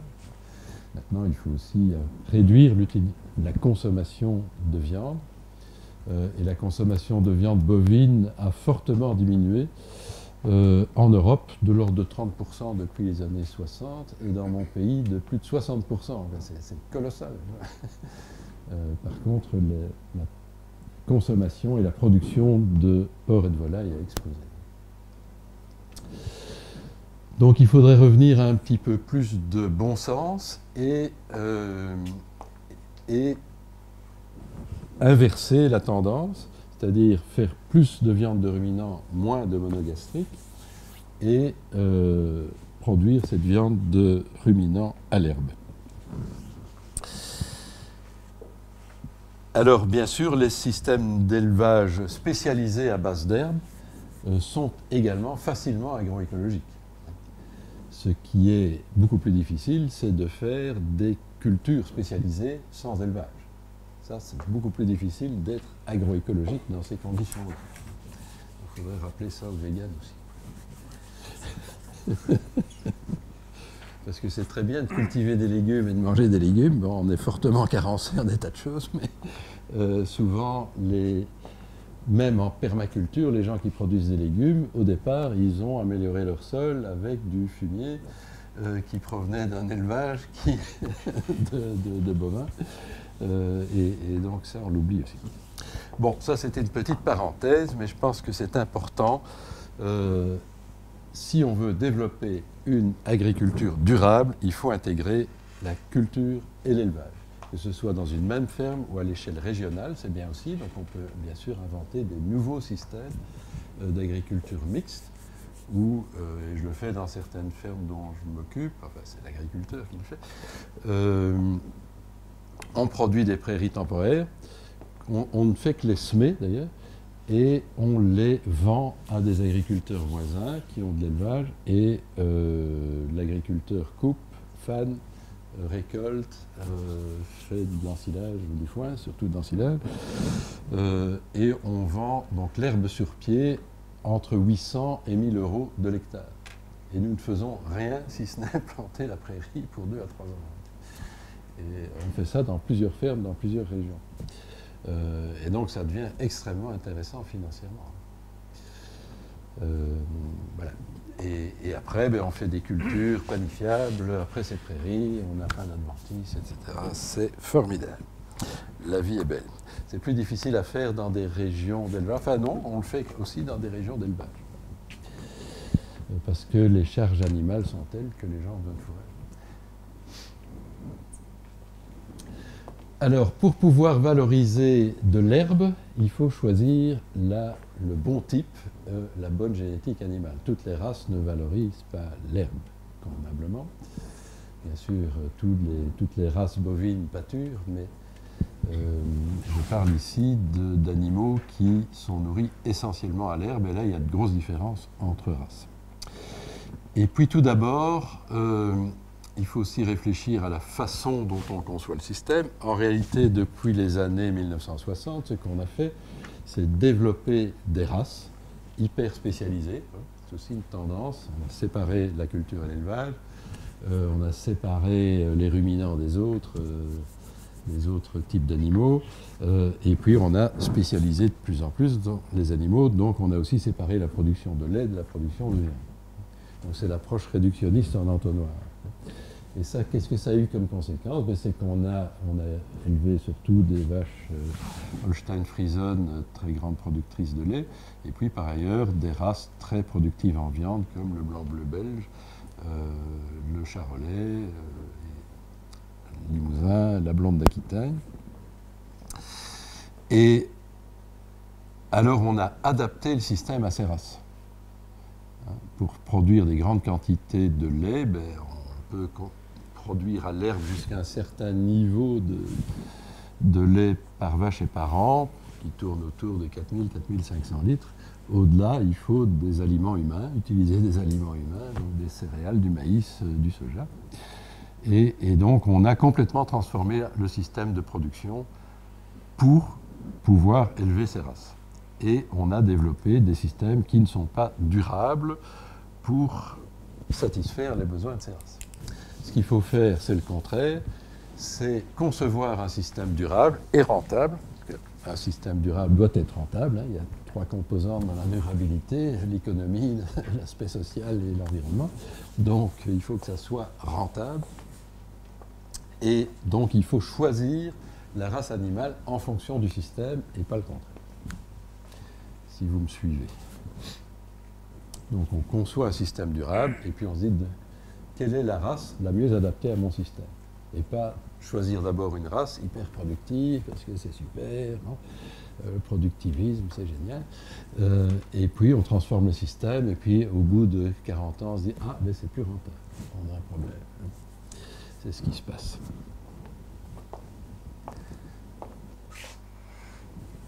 Alors, quelles sont les races euh, bovines qui valorisent bien l'herbe? Ben, Les races euh, les plus adaptées à l'agroécologie sont certainement des races mixtes à double fin, les viandes, comme la normande, tous les types plus anciens, la Simmental, la race allemande Fleckvie, euh, qui est très bonne aussi. Mais on peut évidemment conserver des races spécialisées, euh, au moins à moyen terme. Et il y a deux, deux dirais, qui se dégagent au niveau laitier. C'est le type kiwi dont on parlait hier aussi, le croisement entre la jersiaise et la Holstein Friesen. Euh, et la norvégienne rouge, qui est une race de Scandinavie, euh, qui est peut-être plus difficile à trouver ici, est aussi bien adaptée. Et puis dans les races à viande, il y a l'Aberdeen Angus, euh, qui dans les races du Nord est quand même assez imbattable du point de vue de la valorisation de l'air, mais aussi de la qualité de la viande, du persillé de la viande. Euh, c'est difficile de trouver euh, mieux sur le continent en tout cas, sauf dans le sud de l'Europe. Euh, et dans les races françaises, il y a l'Aubrac qui est excellente aussi, la, la Salers, un peu moins, mais voilà. Il y en a quand même toute une série. Bien sûr, en Espagne, il y en a beaucoup, en Italie, il y en a beaucoup. Euh, mais, voilà quelques races qu'on peut trouver dans nos régions. Et euh, entre parenthèses, on voit aussi ce système dont on parlait hier, le pré-verger, qui est un des, systèmes agricoles les plus euh, agroécologiques que les anciens ont créés et qu'on peut moderniser aujourd'hui et remettre en valeur.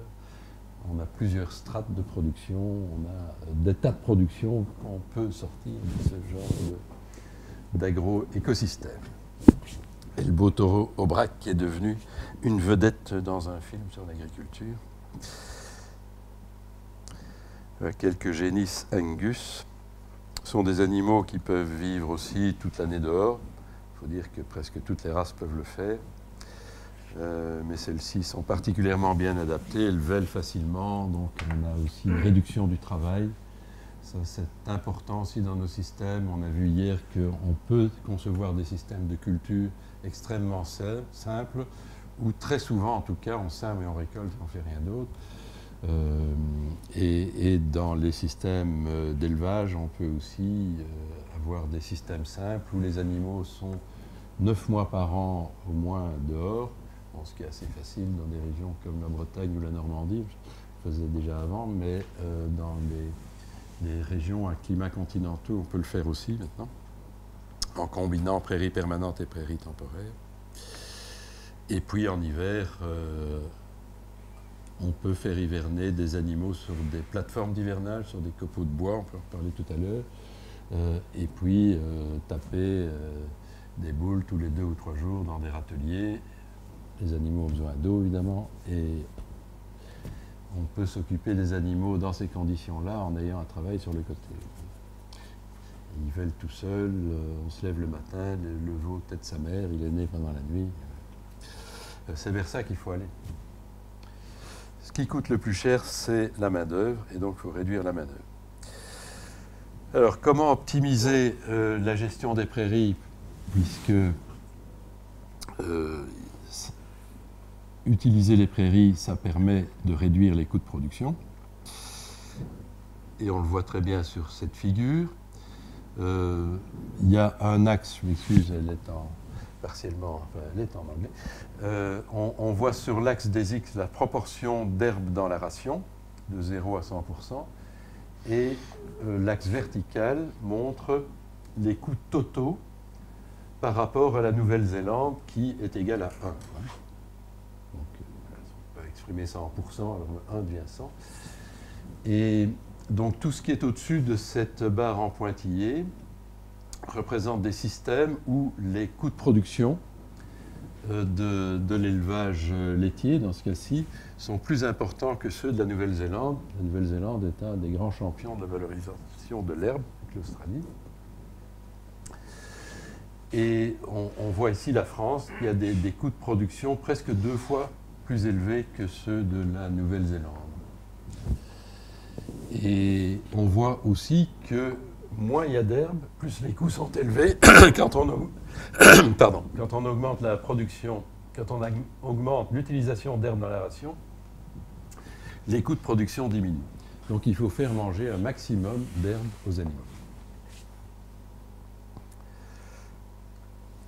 Alors comment réduire les coûts d'alimentation? On vient de le voir par l'utilisation d'un maximum d'herbe, un pâturage tournant optimal qui permet de transformer cette euh, ressource éminemment variable en quantité et en qualité qui est l'herbe de prairie en une ressource de qualité stable et en disponibilité euh, régulière. Il faut conserver de l'herbe de qualité pour euh, la saison d'hivernage, puisqu'on en a quand même besoin ici euh, dans notre région, ce qui n'est pas le cas en Nouvelle-Zélande. On peut utiliser le fanage en grange, euh, qui est une façon de produire des aliments conservés d'excellente qualité, mais qui implique des investissements importants. Donc là, il y a un calcul à faire quand même.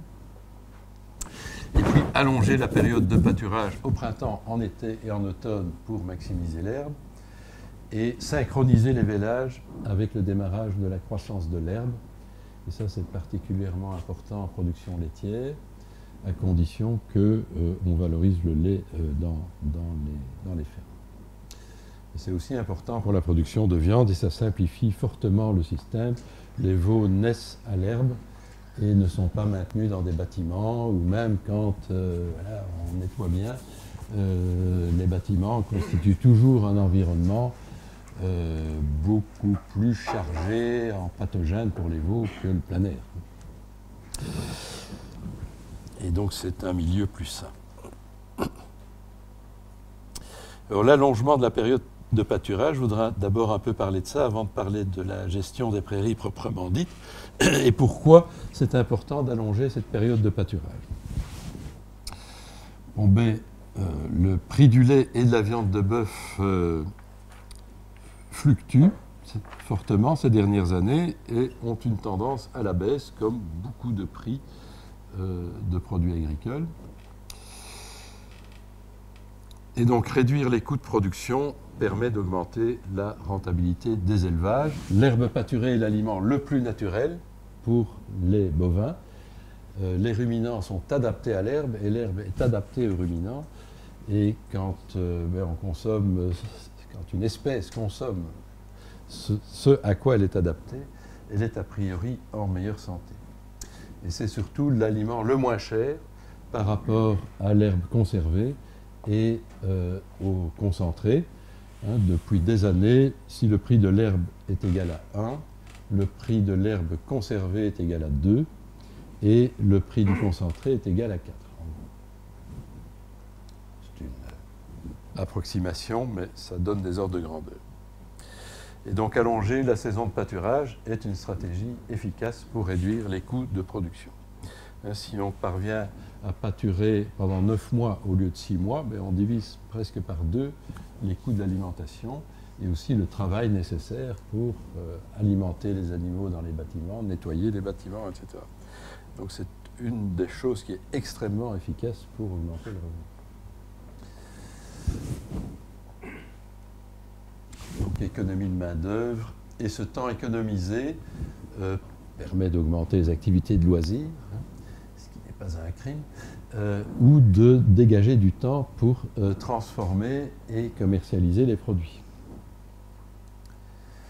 Et puis sur tout ça se greffe la crise climatique avec des sécheresses estivales récurrentes qui réduisent la production de l'herbe en été, mais qui par contre euh, permettent un démarrage de la croissance de l'herbe un peu plus tôt au printemps et prolongent la croissance de l'herbe en automne, ce qu'on voit très très bien en ce moment. Les vaches ont pu pâturer jusqu'à maintenant, quand même dans les prairies permanentes, euh, ce qui par contre est intéressant mais il faut euh, combler le, trou estival. Et donc on a besoin de nouveaux couverts plus résistants aux sécheresses. Euh, le régras anglais est une excellente graminée fourragère, mais malheureusement elle est très mal adaptée à la sécheresse et elle s'écrase maintenant complètement en juillet, en août, elle produit plus rien. et donc il faut trouver des alternatives. Alors, si on voit les choses dans un contexte plus vaste aussi, euh, il est intéressant de valoriser le lait et, le et la viande produite à l'herbe. Et on est un peu en retard hein, pour valoriser la viande à l'herbe euh, euh, sur le continent européen, alors qu'aux États-Unis et au Royaume-Uni, il y a des labels de viande à l'herbe qui ont beaucoup de succès dans le commerce. Donc il est temps de se secouer un peu pour faire la même chose. Et il y a de bonnes raisons pour faire cette promotion. Euh, la viande à l'herbe euh, a un goût particulier, mais il y a aussi des qualités nutritionnelles objectives, mesurables, euh, comme des teneurs plus faibles en acides gras, totaux déjà, et en acides gras saturés, qui ne sont pas particulièrement bons pour la santé, un meilleur rapport oméga 6 sur oméga 3. La moyenne de nos concitoyens ont euh, des, consomment des, aliments dans leur euh, ration alimentaire avec un rapport oméga 6 sur oméga 3 d'environ 11 à 12 et le rapport optimal doit être 2 à 3. Donc il y a des progrès à faire. Euh, et les, le lait et la viande à l'herbe ont une teneur en acide linoléique conjugué supérieure et c'est un produit qui permet de réduire les risques de cancer.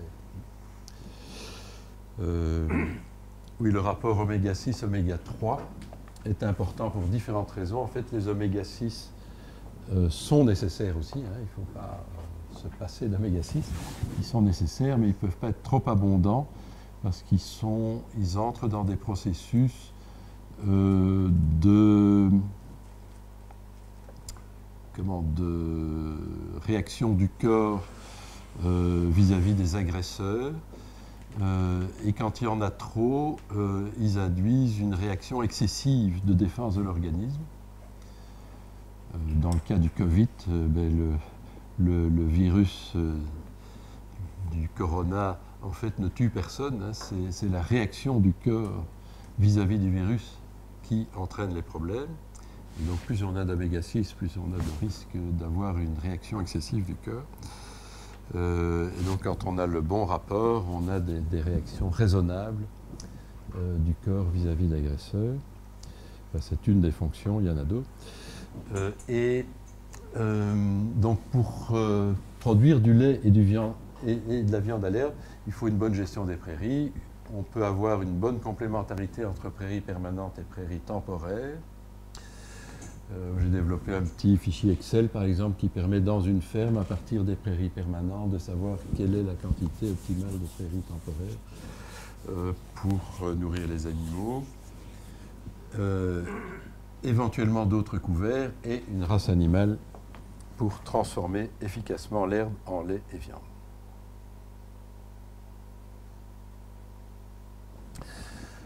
Alors voilà une année de pâturage. On peut augmenter donc au printemps, ici on part, les, lettres sont un petit peu floues. Et donc euh, ça c'est juin, donc mai, avril, mars, février, janvier. Donc ça c'est le début janvier. Et on peut, avec des prairies temporaires, pâturer environ 15 jours euh, avant le démarrage des prairies permanentes, donc en vert foncé, on a les prairies temporaires, en vert clair, on a les prairies permanentes. Donc on peut gagner ici assez facilement 15 jours. puisque un mélange à base de graminées de trèfle violet euh, démarre sa croissance facilement 15 jours avant les prairies permanentes. Puis on peut gagner ici en juillet-août, puisque ces dernières années, les prairies permanentes ne produisent quasiment plus rien pendant cette période, suivant les régions évidemment.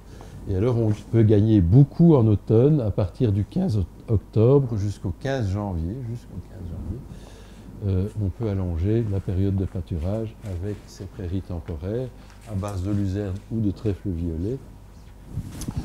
Euh, parce qu'encore une fois, ces prairies produisent plus longtemps que les prairies permanentes. Et donc on a plus que deux mois et demi à trois mois euh, de période de stabulation au lieu de six mois.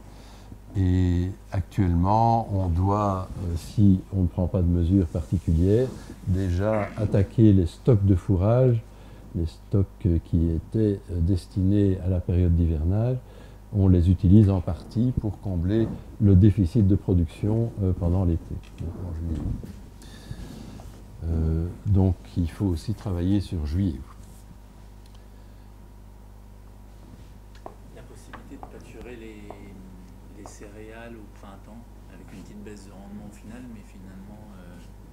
Tout à fait. C'est peut-être pas aussi euh, pensé que le couvert, mais j'ai vu que ça pouvait se faire.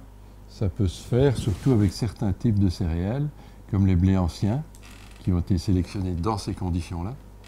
Et donc, ils supportent très bien d'être pâturés. Ils sont hauts aussi, hein. euh, pour de courtes périodes, bien entendu. Ici, je parle dans une première étape de la combinaison des prairies permanentes et des prairies temporaires mais il est évident qu'on peut aussi pâturer les couverts en automne, euh, qu'il y a d'autres choses. En Méditerranée, on pâture euh, les chaumes euh, après la moisson, et donc les animaux récupèrent du grain par terre, des, des, adventices, etc.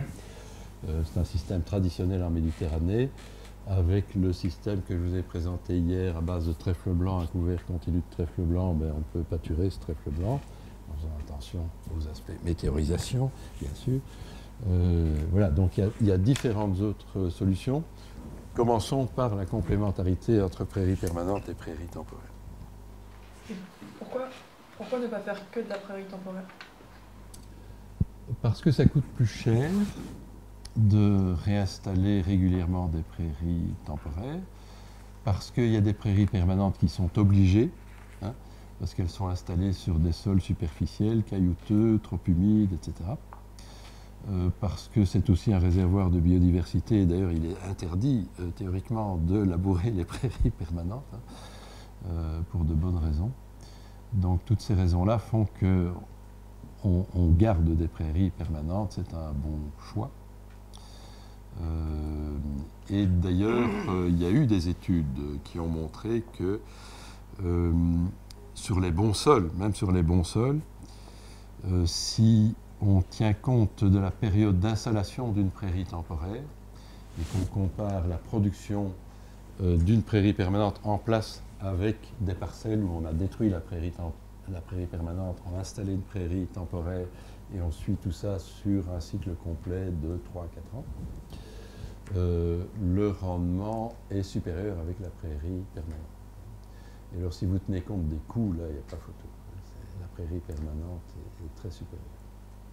Et doit faire un sur-semis, admettons, on implanter un peu plus d'herbe ou de trèfle violet dans une prairie permanente Oui. Alors ça, c'était intéressant, par contre, oui, faire des sursemis de graminées euh, fourragères, de légumineuses fourragères comme du trèfle blanc, par exemple. Euh, pourquoi pas de la luzerne, ça commence à se développer. Hein. Ça, donne un aspect un peu hirsute euh, de la prairie. Oui, voilà. Mais, c'est pas l'aspect esthétique qui compte, évidemment. Après, il faut arriver à la faire lever. Hein. Une luzerne, resemer de la luzerne dans une prairie euh, permanente, je sais pas, j'ai jamais fait, mais... tu vas marcher un coup sur, euh, sur 15. Oui, oui, c'est sûr, les sursemis sont toujours euh, aléatoires. Euh, les sursemis, la meilleure période pour faire des sursemis, c'est en début septembre, parce que là, la croissance de l'herbe est modérée elle est beaucoup plus rapide au printemps. Donc quand on fait des sursemis au printemps, si les, graines germent, les jeunes plantules risquent d'être étouffées par euh, le, flux de croissance d'herbe. Hein. Euh, en été, il fait trop sec, mais donc à la fin de l'été, si on sème à ce moment-là, quand l'eau revient, elles peuvent germer et elles ont des chances de ne pas se faire euh, étouffer par la croissance de la prairie. On peut aussi pâturer à ce moment-là légèrement pour réduire la hauteur de l'herbe. Et évidemment, il ne faut pas laisser les animaux trop longtemps parce que sinon ils détruiraient les plantules. Mais c'est aussi une technique pour augmenter les chances de survie des plantules qu'on a semées à cette période. pour le trèfle blanc, on peut semer à la volée, même à la main. et les animaux aussi piétinent les semences et les enfouissent dans le sol. Et, à la main de il y en a qui ont essayé. Euh, ouais, ça marche. Euh. Ça marche irrégulièrement, mais on met des toutes petites quantités de semences, 2 kg par hectare de trèfle blanc. Euh, et si on fait ça pendant 2-3 ans, ben, finalement, ça, moi, je l'ai expérimenté, ça marche quand même. Oui, oui, ça, oui. Maintenant, il y a des machines plus sophistiquées. Il y a aussi l'utilisation d'une herse qui gratte le gazon de la prairie. Hein un vibroculteur, un outil qui existait euh, dans toutes les fermes avant. Et passer un vibroculteur, on arrache la, prairie en place et on sème à la volée au-dessus. Ou évidemment des machines plus sophistiquées qui font une sorte de semi-direct dans la prairie, qui injectent les semences à la bonne profondeur. Euh, bon, et, mais d'accord que c'est aléatoire, ça ne réussit pas à tous les coups. Mais oui, c'est une technique euh, pour euh, améliorer les choses, mais à mon avis, il y en a d'autres qui sont plus efficaces. La gestion du pâturage, il euh, faut commencer par la gestion du pâturage déjà. Voilà, tout à fait. C'est le premier levier. Pour Alors, au printemps, qu'est-ce qu'on peut faire? Donc, essayer de gagner ces 15 jours à un mois, enfin, disons 15 jours ou 3 semaines. Tout dépend des régions et du de l'année avec euh, ces mélanges à base de trèfle violet qui sont supérieurs à la luzerne, puisque le trèfle violet démarre sa croissance euh, plus vite que la luzerne. Donc les mélanges à base de trèfle violet sont supérieurs aux mélanges à base de luzerne pour cette période-là de l'année, hein, pas d'une façon absolue. On a, quelle période, pardon? Au début du, du, printemps, donc en mars, au mois de mars. C'est quelle variété de près, enfin, de traviolet Alors, euh, moi je recommande des, variétés diploïdes, euh, pas pour le pâturage, mais pour le fanage, parce que le, trèfle violet se fane plus difficilement que la luzerne. Hein. Les, tiges sont plus grosses, euh, elles restent plus humides. donc les tétraploïdes se sèchent moins facilement que les diploïdes. Euh, donc utilisons des diploïdes. Et puis si on veut conserver euh, le trèfle violet plus de deux ans, parce que normalement les variétés ordinaires, euh, à partir de la deuxième année, commencent à s'éclaircir, il y a des types de trèfle violet, surtout des variétés suisses, qui persistent facilement trois ans. Et donc on rallonge la durée de vie de la prairie à base de trèfle violet. Et elle se rapproche à ce moment-là des performances de la luzerne qui, elle, se maintient facilement pendant trois ans, voire davantage. Donc il faut choisir les variétés en fonction de ces deux critères-là. Alors il y a un grand nombre de, variétés. On peut citer des variétés comme Astur, par exemple, euh, ou d'autres, qui sont euh, très adaptées. Alors je vous euh, propose les mélanges que j'utilise. Maintenant, on peut les complexifier, on peut certainement les adapter à d'autres régions. Mais j'utilise des mélanges simples, luzerne graminé ou trèfle violet graminé.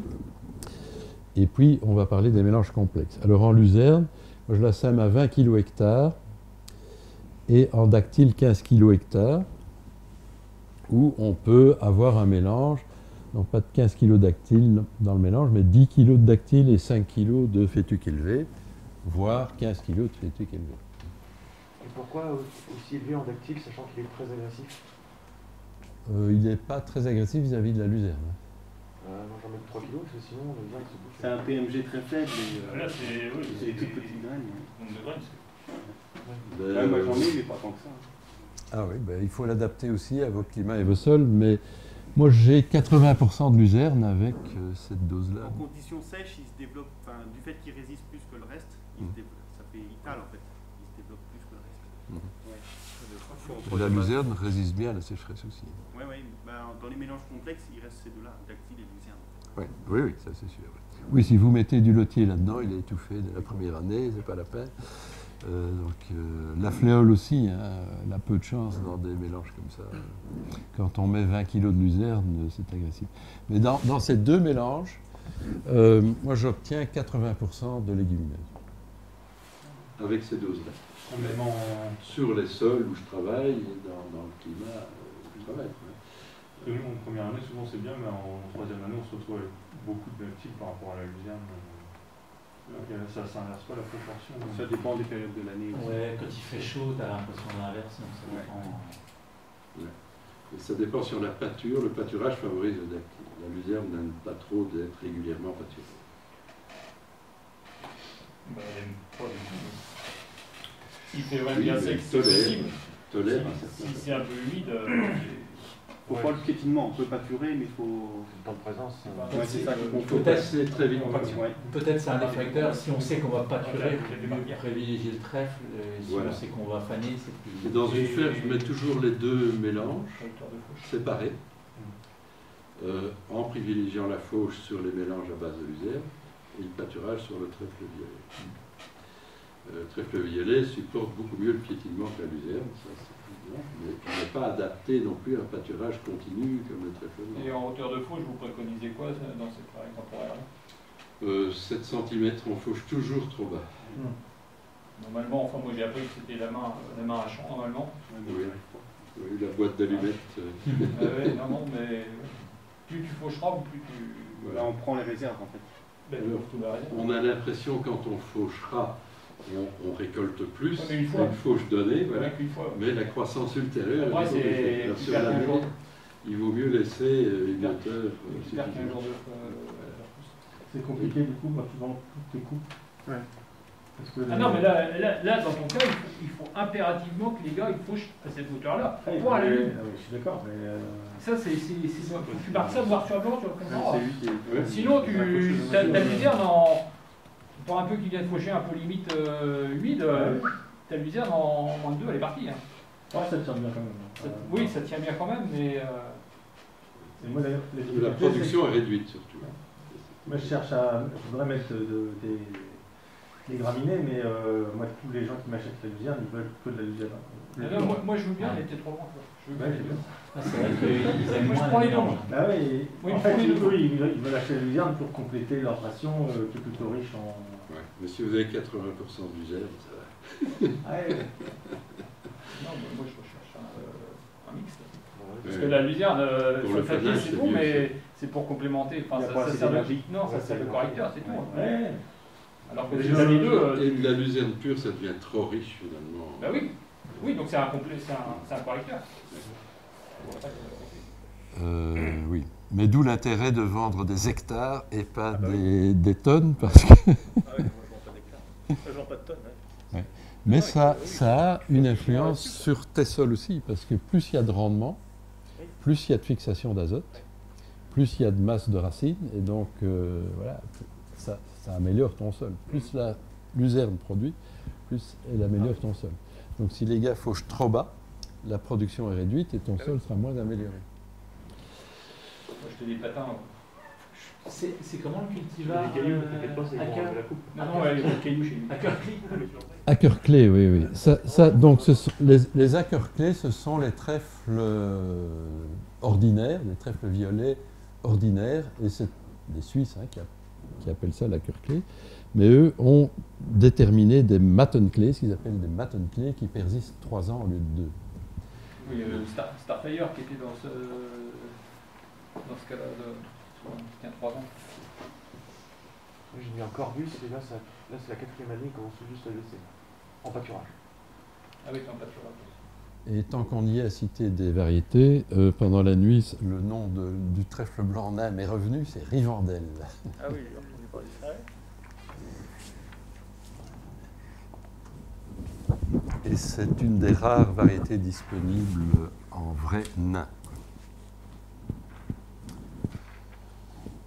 C'est un nom français C'est vieux ça déjà comme variété.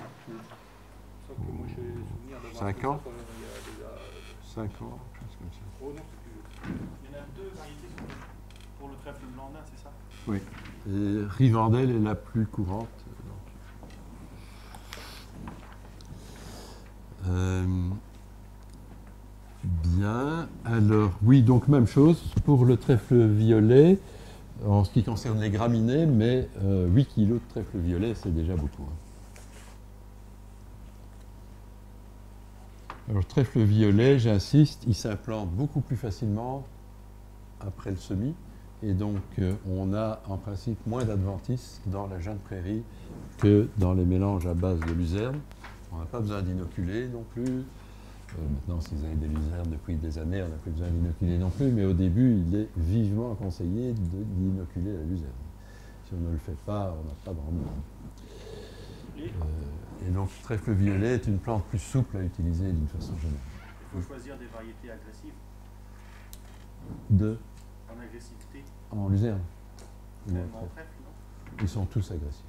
Oui, oui, trèfle violet on met 8 kilos, euh, Ouais. si tu sèmes ça comme il faut. Et le dactyle, c'est une graminée qui s'implante relativement lentement hein, par rapport à un régras. La graminée qui s'implante le plus vite, c'est le régras d'Italie, puis le régras anglais, et puis déjà loin derrière le dactyle. Euh, Et, et puis il y a la fléole, et puis la fétuque élevée, et on attend qu'elle sorte. Une fois qu'elle est là, elle est bien là, mais au début, elle démarre lentement. Et donc ce sont des prairies, euh, si la légumineuse ne s'implante pas vite, euh, ben, elles ont tendance à se faire envahir euh, d'adventices. Donc on, on est tête au printemps. Et pourquoi pas privilégier des mélanges plus complexes, justement Même pour la vie du sol, quand on parlait de. Oui. Par exemple, sur le modèle des biomax qui sont très complexes, pourquoi pas la même approche avec les prairies temporaires? Oui, ben évidemment, j'aimerais bien avoir des mélanges plus euh, diversifiés. hein. Je suis pour la diversité, mais ces mélanges sont tellement productifs euh, qu'il n'y a pas d'espèce qui parvient à se maintenir dans des mélanges comme ça. quoi. Euh, vous pouvez rajouter euh, éventuellement un peu de trèfle blanc, surtout si vous pâturez le mélange. Euh, le lotier n'a aucune chance, la fléole pas tellement non plus, etc. Euh, plantain, pas trop non plus, c'est trop haut, quoi, voilà. Et donc, on peut mélanger les, la luzerne et le trèfle violet, plus de dactyle, plus de la fétique élevée. Mais euh, comme on l'a dit hier, euh, pour la vie du sol, ce qui est important, c'est d'avoir des familles différentes. Donc ici, on a deux familles. Et qu'est-ce qu'on pourrait aj- ajouter comme espèce qui appartient à une troisième famille qui puisse vivre là-dedans? La chicorée, ça ne se fane pas, les feuilles sont Ça cassantes, pas, il faut la pâturer. Système pâturage, c'est bien. Non, Oui. la- en pur si tu veux, mais euh, avec autre chose, c'est pas la peine.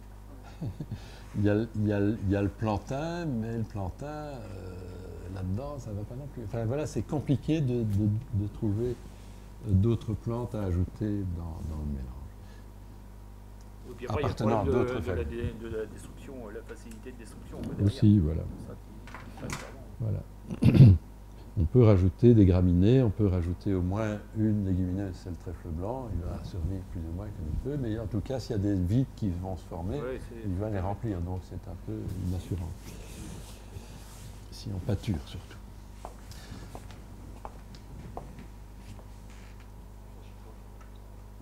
Oui, enfin les images, vous les connaissez, les trèfles violets et la luzerne.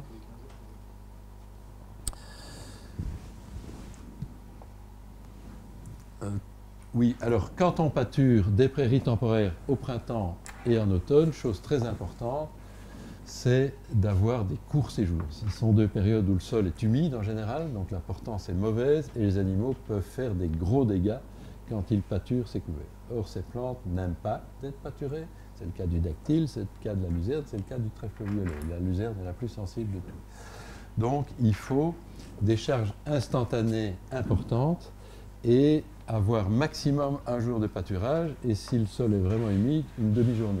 On avance le fil euh, une fois ou deux fois par jour. Ça, c'est essentiel animaux légers. aussi. Par contre, on peut laisser euh, une surface à l'arrière parce que les animaux sont essentiellement dans la zone où il y a de l'herbe. Ils peuvent aller se reposer dans la zone qu'ils ont déjà pâturée.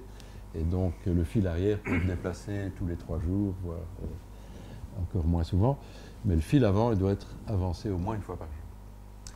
Moi, je laisse toujours un râtelier avec euh, de la paille ou du foin parce que euh, le fourrage est très aqueux euh, au printemps, très riche en azote et donc les animaux utilisent très très peu, je dois dire.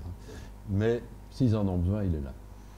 Concrètement, comment ça se passe? Parce qu'en dépassant le fil tous les jours ou tous les deux jours, faut bouger le râtelier de la même manière. Non, parce qu'il reste à l'arrière.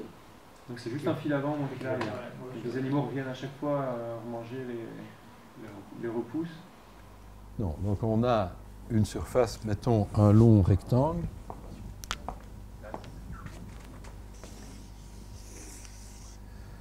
Et donc on avance le fil avant tous les jours.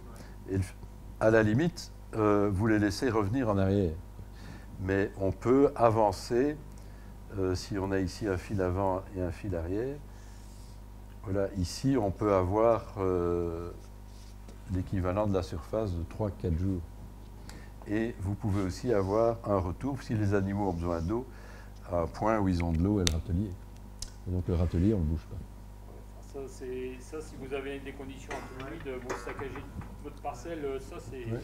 c'est gagner d'avance. Mais il faut quand même qu'ils aient de l'eau. Oui, mais l'eau, il faut qu'elle soit mobile, il faut qu'elle suive, il faut qu'elle suive le. Idéalement, le oui. Sinon, c'est, Ouais. c'est vous pour à la catastrophe. Là. Des bacs mobiles, mais. Ah oui. Non, non, ça, c'est. Ça, tu cours à la catastrophe. Oui, c'est un, c'est, c'est casse-pied de, de- de condamner un passage. Ça peut être un chemin aussi. hein. Oui, ou après, il y a une autre solution, c'est d'avoir des chemins euh, d'accès et, déplacer les animaux euh, et puis les, les laisser bouffer 3-4 heures et puis vous les ressortez. Moi, je- j'en rubane des bouts de. Et je les, pla- je les place avant. Mais bon, c'est un, peu la galère, c'est plus cher pour la baille. Quoi. Et je les place avant, puis je joue le. Ouais. pour prennent l'humidité pendant toute la saison. Après, tu le mets sur le rond, euh, la pluie, Bah, du coup, il dire- Après, on peut mettre, si on veut, un râtelier qu'on roule à la main tous les jours par-dessus, mais déjà, la boule. euh, Avoir la boule place. Mais c'est pas non plus. euh, Après, ça piétine toujours. hein. Si c'est un peu humide, ils vont piétiner autour et puis euh, après, elle est saccagée. Ah, donc il faut être hyper vigilant là-dessus. euh. Surtout là, si c'est une temporaire qu'on ne veut pas trop abîmer. Ah oui, oui, bah oui. Mais d'abord, avancer régulièrement le fil. Oui, oui, ça, oui. Et puis trouver une solution pour l'eau et le râtelier. Bon, ça, ça dépend un peu de la conformation. faire rails. Pas parce que le râtelier est nécessaire à ce moment-là. Non, on super. Oui. Ils en mangent peu, mais voilà, moi je le fais. Je trouve que c'est plus sûr. Euh, et donc oui, si on parvient à réduire la période de stabulation pendant 2 à 3 semaines, ça fait environ 10% de, de diminution de la ration hivernale, ce qui n'est pas nul. La santé des animaux est améliorée. Quand les animaux sont dehors, qu'ils peuvent bouger, ils sont a priori en meilleure santé que dans des bâtiments. Donc on réduit les coûts d'alimentation, il y a moins de main-d'œuvre pour l'affouragement et le nettoyage des bâtiments, bien-être animal amélioré, meilleure qualité des produits. Il y a évidemment aussi des inconvénients. Il faut déplacer le fil euh, journalièrement, le fil électrique avant. Ramener les vaches laitières chaque jour à l'étable pour la traite, oui, euh, il fait mauvais à cette période-là souvent, donc il pleut, euh, il fait froid, il y a du vent. euh, pas que des aspects positifs.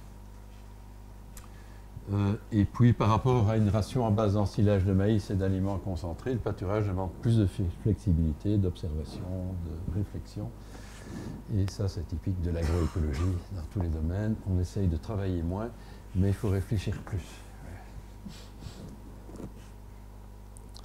En été, donc en juillet-août, en gros, hein, on a toujours nos mêmes mélanges. Le dactyle et la fétuque élevée sont très résistants à la sécheresse. La fétuque élevée est aussi très euh, résistant aux hautes températures. Euh, nos graminées des régions tempérées, euh, à 25 degrés, elles commencent à souffrir. hein. La fétuque élevée, elle, elle se porte bien jusqu'à 30 degrés sans problème.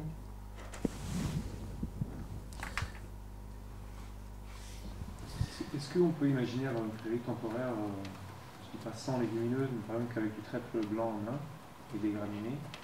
Ça parce que moi j'ai un, voisin qui, a des chevaux qui du séchage en manche, il veut que du foin, ses clients veulent que du foin. Très, enfin ils achètent une couleur et puis une texture quoi. Donc il y a du trèfle dedans, il, ça ne correspond pas.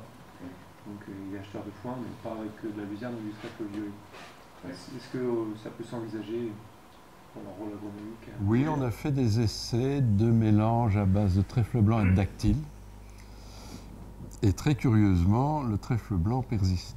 Mais il faut prendre des trèfles blancs agressifs ce coup-ci, donc des hollandicum, hein, pas des ladino.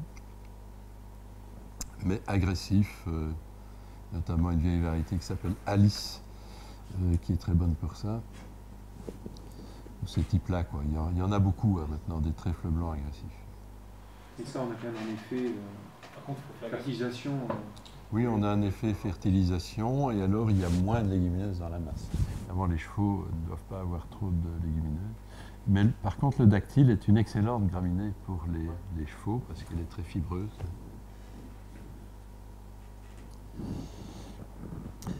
Et donc, en été, on a moins de problèmes de portance euh, sur ces prairies. Donc, euh. Et puis, euh, ces dernières années, mais bon, ça date d'il y a quand même une vingtaine d'années en Nouvelle-Zélande, où ces mélanges ont été conçus, développés, on a ces mélanges à base de plantain, de chicorée, avec des trèfles sans graminées. Voilà quelques exemples. Vous aurez tout ça, je pense même aujourd'hui, sur vos, dans votre boîte mail. Ça, c'est aussi des prairies qu'on implante. euh, Alors, je vais aborder le. Voilà, voilà à quoi ça ressemble. Il y a un agriculteur français qui est très actif sur Facebook et qui est très bon dans, ces mélanges, c'est Kevin Morel euh, en, en Ardennes. Voilà, couvert de chicorée. La chicorée, c'est la santé. Euh, et donc, on peut les semer avant l'hiver ou au printemps. hein. En fait, le plantain et la chicorée sont deux plantes qui à la fois se ressemblent et sont très différentes. C'est-à-dire que la chicorée est une plante bisannuelle. On la sème, si on la sème avant l'hiver, elle monte en tige au printemps suivant. Et ça, c'est pas top. Il n'y a pas d'intérêt à la semaine d'automne. Non, mais c'est un cas théorique. Oui, oui, non, mais- Donc, il faut la semer au printemps. Tandis que le plantain, euh, on, on peut le, le semer aux deux saisons. C'est une plante vivace qui, de toute façon, épie euh, dans les mois qui suivent. quoi, hein. Mais le plantain ne fait pas des grandes tiges fibreuses et indigestes comme la chicorée. Donc, il a des petites tiges florales, mais qui peuvent être consommées par les animaux. Donc, il n'y a pas de problème de le semer avant l'hiver. L'intérêt de semer avant l'hiver, c'est que la production l'année suivante est beaucoup plus importante.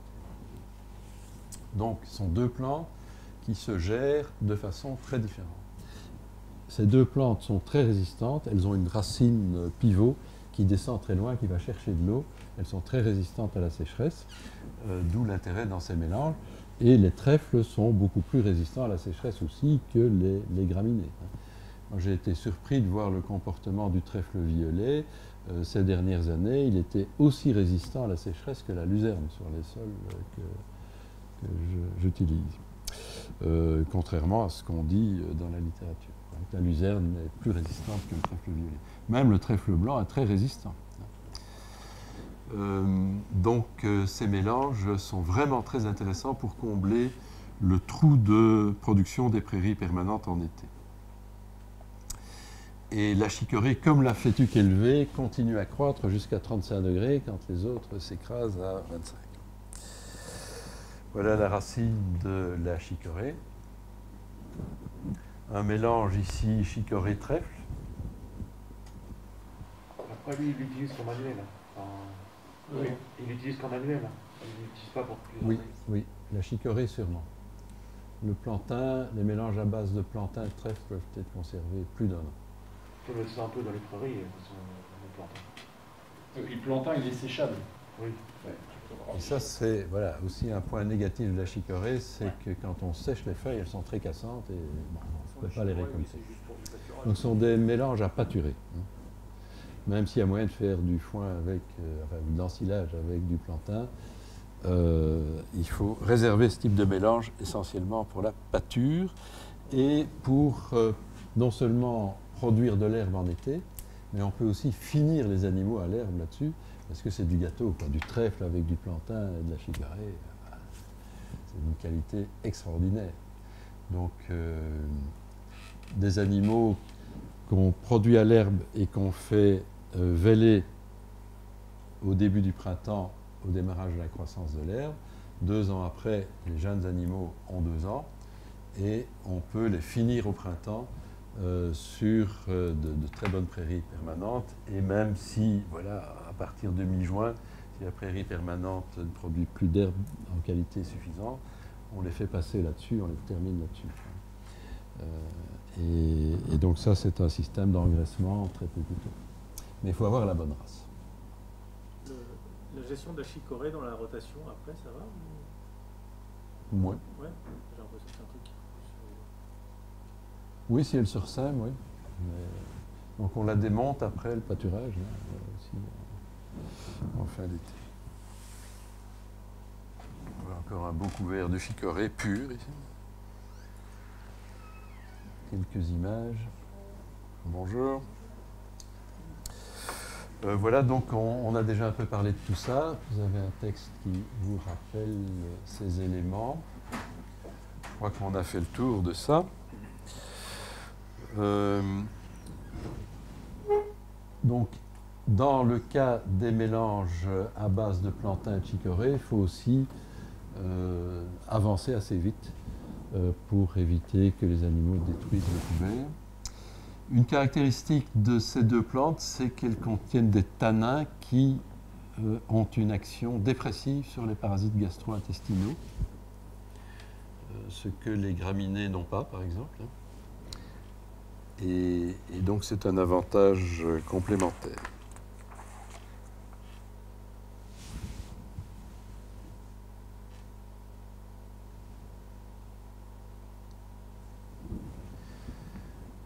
Donc ce type de mélange évite d'entamer les stocks hivernaux constitués au printemps. Et le rendement estimé euh, sur euh, l'été de ces couleurs-là? C'est beaucoup moins que des mélanges à base de luzerne et de graminées. hein. Euh, de l'ordre de 4-5 tonnes, euh, 6 tonnes.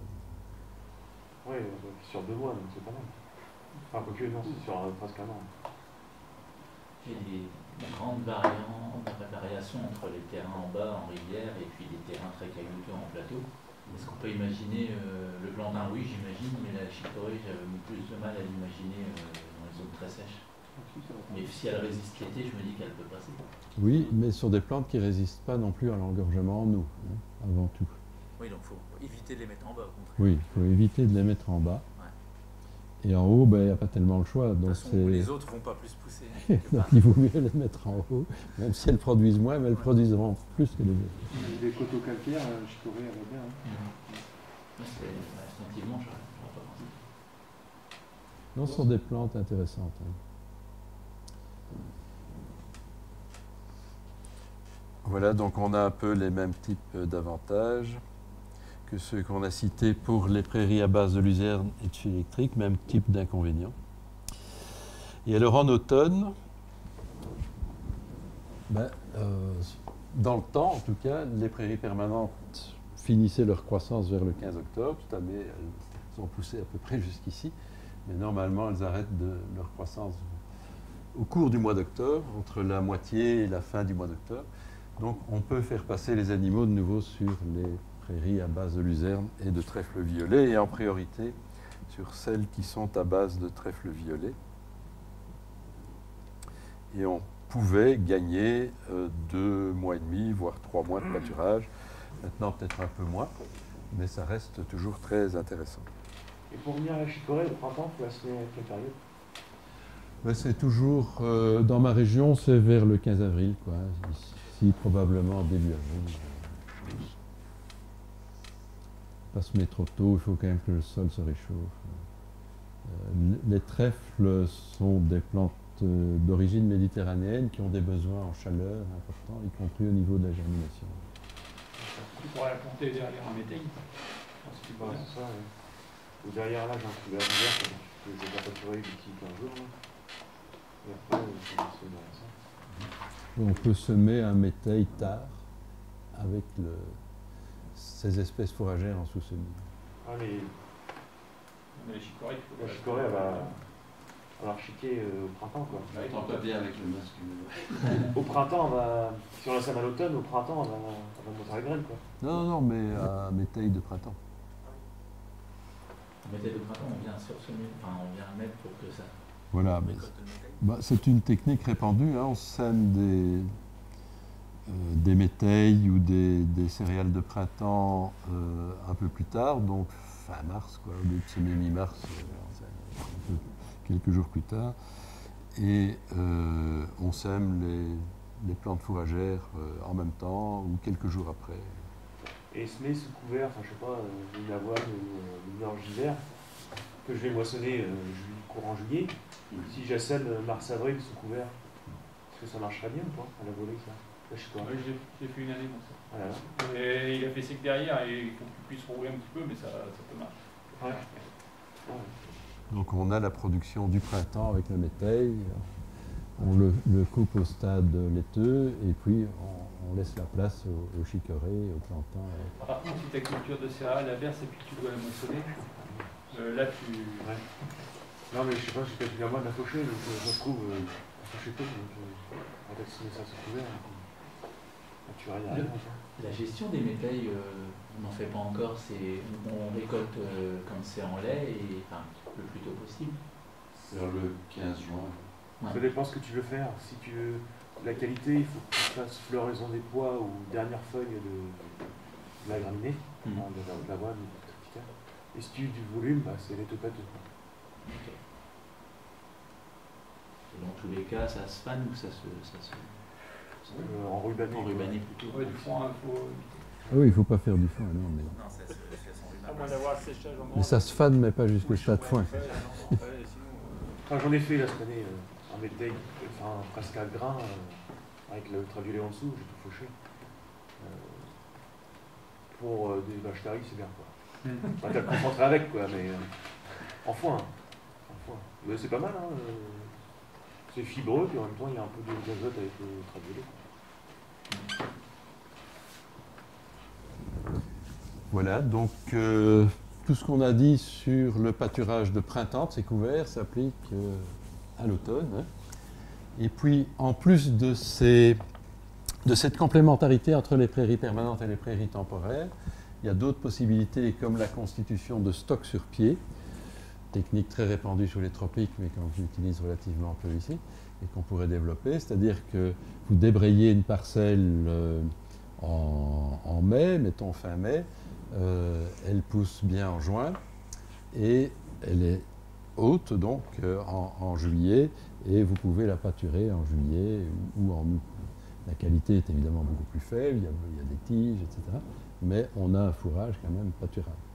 Donc ça, c'est la constitution de stock sur pied. Finalement, on donne du foin sur pied euh, aux, aux animaux. Il y a le pâturage des chaumes, s'il y a quelque chose à manger dans les chaumes. Donc, s'il y a du trèfle blanc, et c'est le cas ici, euh, avec ce pâturage par des moutons, euh, mais on a euh, de, quoi, de quoi manger. Et puis, il y a le pâturage des couverts, qu'on implante en juillet août, fin juillet, début août, et qui peuvent être pâturés à partir du mois de septembre, disons mi-septembre. Donc tout ça sont des possibilités qu'on peut développer davantage et qui sont intéressantes. Euh, bien entendu, si on pâture les couverts, on n'a pas l'effet mulch euh, qu'on a mentionné hier, mais on a d'autres avantages. On nourrit les animaux, euh, on a plein d'éléments nutritifs dans le sol facilement disponibles pour la culture qu'on sème juste après.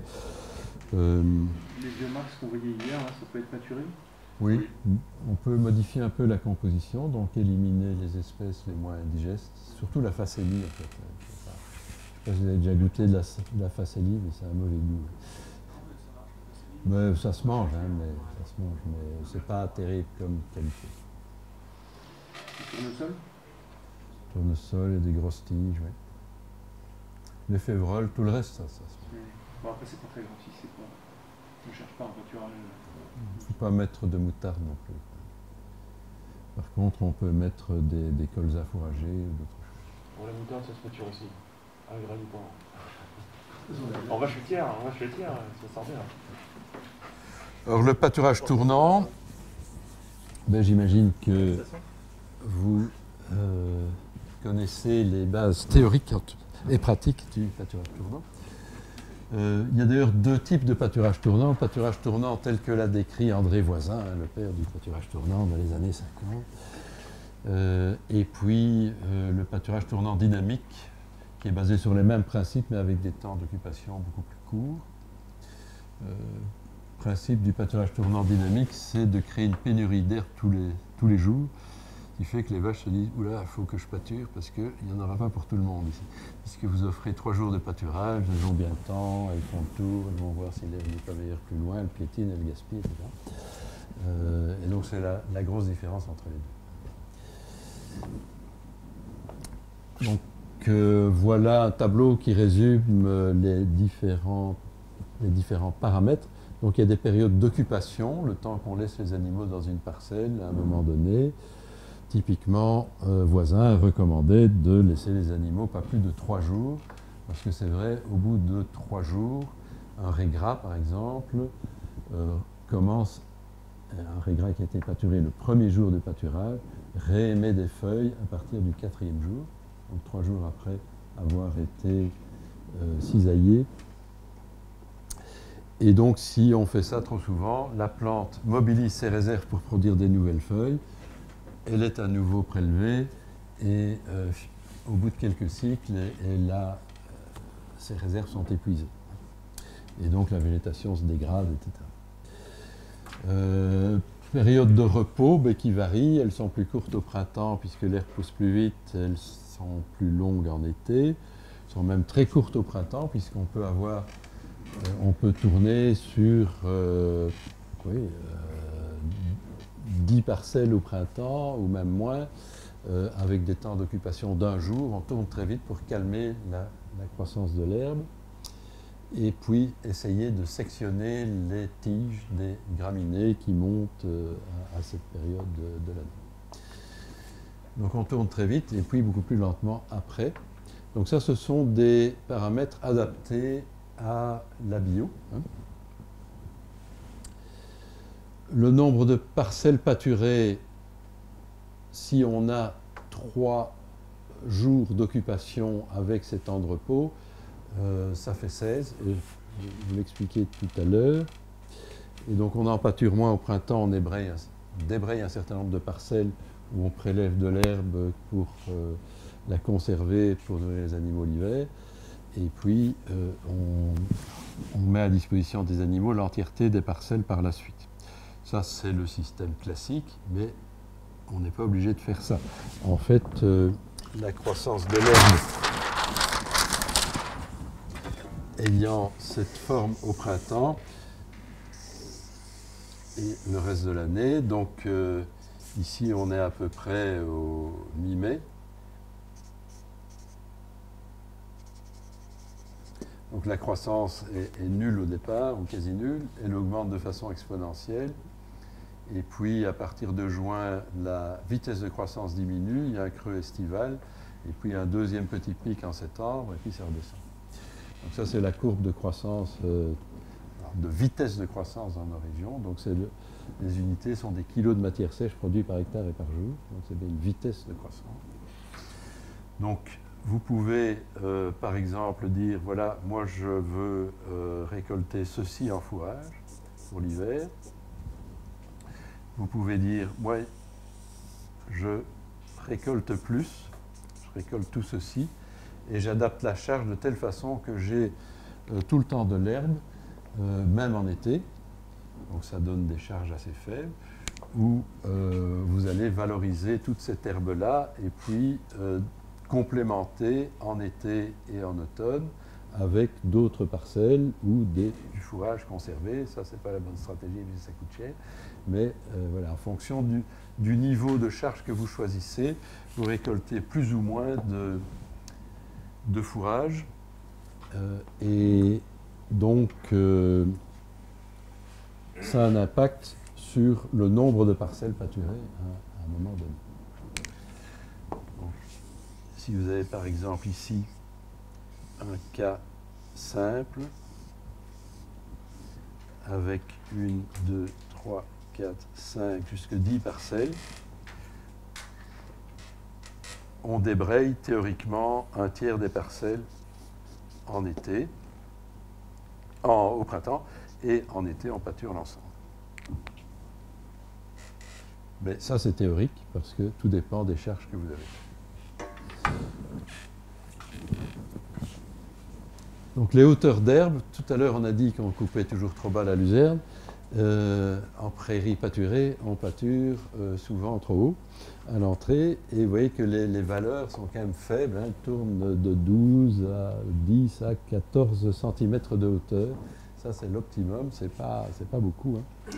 Euh, mais il faut laisser environ la moitié à la sortie aussi. De façon, et ça c'est exactement le même raisonnement que pour la luzerne, il faut laisser de la masse pour que l'herbe repousse bien après. Il ne faut pas raser, sauf si on a des raisons particulières de le faire. La charge de bétail en bio, donc sur des prairies permanentes à base de graminées de trèfle blanc, et il faut pas mal de trèfle blanc, est de l'ordre de 2 à 2,5 UGB par hectare de prairies permanentes. C'est un ordre de grandeur. Euh, sur les prairies, dans les prairies permanentes installées sur des sols plus secs, plus superficiels, mais c'est moins évidemment. Euh, la densité de charge à un moment donné est de 30, environ 30 animaux par parcelle, par hectare, pardon. Euh, et la surface euh, pâturée par UGB au printemps, donc par vache, hein, de- d'environ 25 Là, vous parlez en, en hauteur en centimètres. Certains préconisent de compter en nombre de feuilles. Oui. Et le stade repère est de trois feuilles. hein, c'est ce qu'on voit dans la littérature. Et ça, ça n'est valable que pour le gras. Parce que chaque graminée est capable d'accumuler un certain nombre de feuilles. Et puis, quand la feuille suivante apparaît, euh, la première feuille entre en sénescence. Donc le riz gras, il n'a jamais qu'un maximum de trois feuilles. Quand la quatrième feuille apparaît, la première. Mais c'est une spécificité du riz gras et ça ne marche pas du tout sur dactyle, sur fléole, sur les autres graminées. Et donc ce critère euh, voilà, euh, n'est pas généralisable. En fait, de toute façon, euh, je crois que on a autant de sons de cloche sur ces principes-là que, que de formateurs. Oui. C'est vrai que Quand on regarde 10 bouquins différents, il y en a, pas plusieurs, la même chose. il y a plusieurs théories différentes. Et puis surtout, ça évolue au cours du temps. Ouais. Euh, maintenant, Voisin n'a jamais parlé de la hauteur d'herbe à la sortie des animaux. Il n'a jamais parlé de cette ligne-là. Euh, et la tendance aujourd'hui, c'est d'insister sur le fait de laisser suffisamment d'herbe à la sortie. Et on parle de plus en plus de ça. Oui, mais pour laisser suffisamment, il faut, il faut rentrer avec euh, un minimum, parce que si vous rentrez à 12 et que vous voulez sortir à 8, euh, Bien sûr, bien sûr. euh, les animaux, ils n'ont rien bouffé. Quoi. Ici, on parle de situation optimale. hein. Ouais. Euh, et c'est comme ici, quoi, dans, dans mon graphique, en fonction de ce que vous voulez, de la production de la prairie, euh, ces paramètres bougent. Donc ça, ce sont des paramètres de référence. La différence entre la charge du bétail et la densité de charge. Euh, ben, la charge de bétail, c'est sur- c'est le nombre d'animaux sur la totalité de la surface, et la densité, c'est le nombre d'animaux dans une parcelle à un moment donné. La, den- la densité de charge, c'est la, la quantité d'herbe que tu as bouffé. euh, Oui, non, mais l'instant. je- je On parle aussi de la charge sur la instantanée. même surface, mais non, il y en a un, c'est sur la surface globale. Comme il y a 15 à 16 parcelles, si vous multipliez 2 par 15, ça fait 30. Ouais. Non, mais 3 jours, ah, c'est 3 jours, ça fait 100, c'est ça Il y a une tonne et demie à bouffer, euh, ça, fait, ça fait ça. Et donc, si vous voulez faire du pâturage tournant dynamique, eh ben, euh, vous pouvez avoir des, parcelles comme ça ou euh, avancer un fil électrique ou, ou rajouter des, fils électriques. Hein, donc dans les clôtures externes, euh, ben, elles sont fixes et puis à l'intérieur, c'est quand même recommandé de garder des clôtures mobiles, comme ça on peut s'adapter. Quand on veut faire des coupes, ben, c'est évidemment plus facile d'enlever les clôtures intermédiaires pour pouvoir circuler avec un tracteur. Donc c'est un gros avantage d'avoir des clôtures mobiles euh, à l'intérieur euh, du périmètre. Puis si le nombre d'animaux change, tout ça, on peut s'adapter. Les clôtures électriques sont quand même facilement déplaçables. Donc voilà un exemple d'un circuit de pâturage en prairie permanente dans une des fermes dont je m'occupe. Ben, il y avait notamment deux parcelles assez proches. Euh, Celle-ci était en pente vers le nord, là, et puis euh, ici, dans un fond, il y avait une surface plus importante. Et avec un petit logiciel maintenant qu'on trouve assez facilement euh, sur le web, le logiciel pose les limites des parcelles pour garder une surface constante de parcelle en parcelle. Alors les formes de parcelles sont très différentes, vous voyez, celle-là est très étroite, celle-là est très large, mais elles ont toutes la même surface. Et c'est plus facile à gérer parce que alors on garde en principe ces, ces trois jours d'occupation. Et il ne faut pas retenir que dans telle parcelle c'est un jour et demi, dans la suivante c'est quatre et demi. voilà. Donc euh, même comme ça c'est théorique parce qu'évidemment la croissance de l'herbe n'est pas la même dans chaque parcelle, mais on standardise quand même un peu. quoi. Et ça simplifie la vie. Après, tu joues avec les temps de les temps de trottoir. Une fois qu'on a établi un sens, c'est difficile d'inverser le sens après. Donc on est obligé quand même de. Si, non, non, il faut être, Ah non, vigilant et tu peux, tu peux passer. de, de l'herbe, faire des, de- des mesures régulières pour comment dans un sens après. Tu peux commencer 1, 2, 3, 4 jusqu'à jusqu'à 12, euh, enfin jusqu'à 16. Et le tour d'après, euh, tu peux passer de, de la 1 à la 5 euh, parce que les deux Oui, c'est ça. poussent, euh, Exactement. Exactement. Voilà. Et il est recommandé aussi de ne pas commencer le pâturage chaque année avec la même parcelle. C'est pas parce qu'elle s'appelle 1 qu'il faut la pâturer en premier chaque année. Mais là, si vous commencez euh, une année avec la 1, commencez avec la 16 l'année suivante et tournez dans le sens contraire.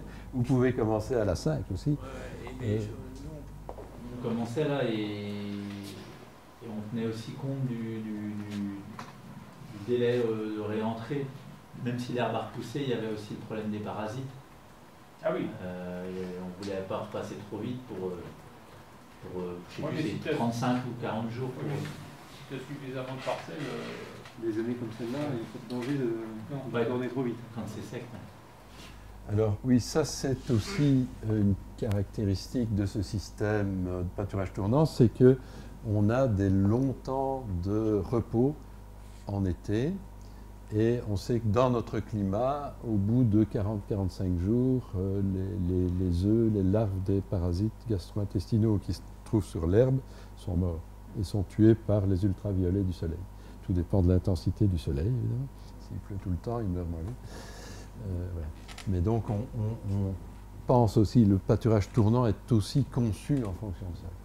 mais Ça, ça, c'est vrai que pour les, les jeunes animaux, une fois qu'ils ont acquis une immunité, euh, c'est moins, gênant. quoi. Oui, pour les adultes, oui, ça surtout pour les jeunes animaux. Enfin, dans des, des systèmes à vache allaitante, par exemple, c'est quand même bien d'avoir des longs temps. De. Donc voilà à quoi ça, ça ressemble.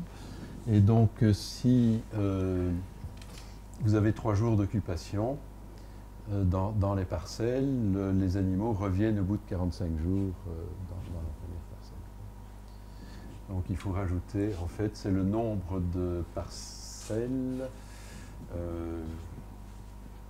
Nombre de parcelles.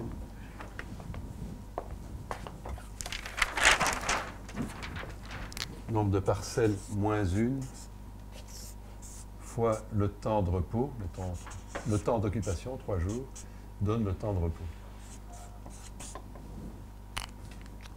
Donc s'il y a 16 parcelles moins une, ça fait 15, fois 3, ça fait 45. Parce que comme les animaux restent trois jours... Pas dans à trois le- jours près non plus. Non. Mais Pas si on fonctionne. je dis comment on calcule le temps de, de repos en fonction du temps de séjour et surtout comment on calcule le nombre de parcelles parce qu'à un moment donné vous êtes face à une surface et dit il me faut combien de parcelles? Faut être, euh, 45 à 16. Mais 16 parcelles, quand on a 3, jours d'occupation, c'est le nombre optimum. Dans le pâturage tournant classique. Dans le pâturage tournant dynamique, ben, vous multipliez par 3. Les animaux changent tous les jours.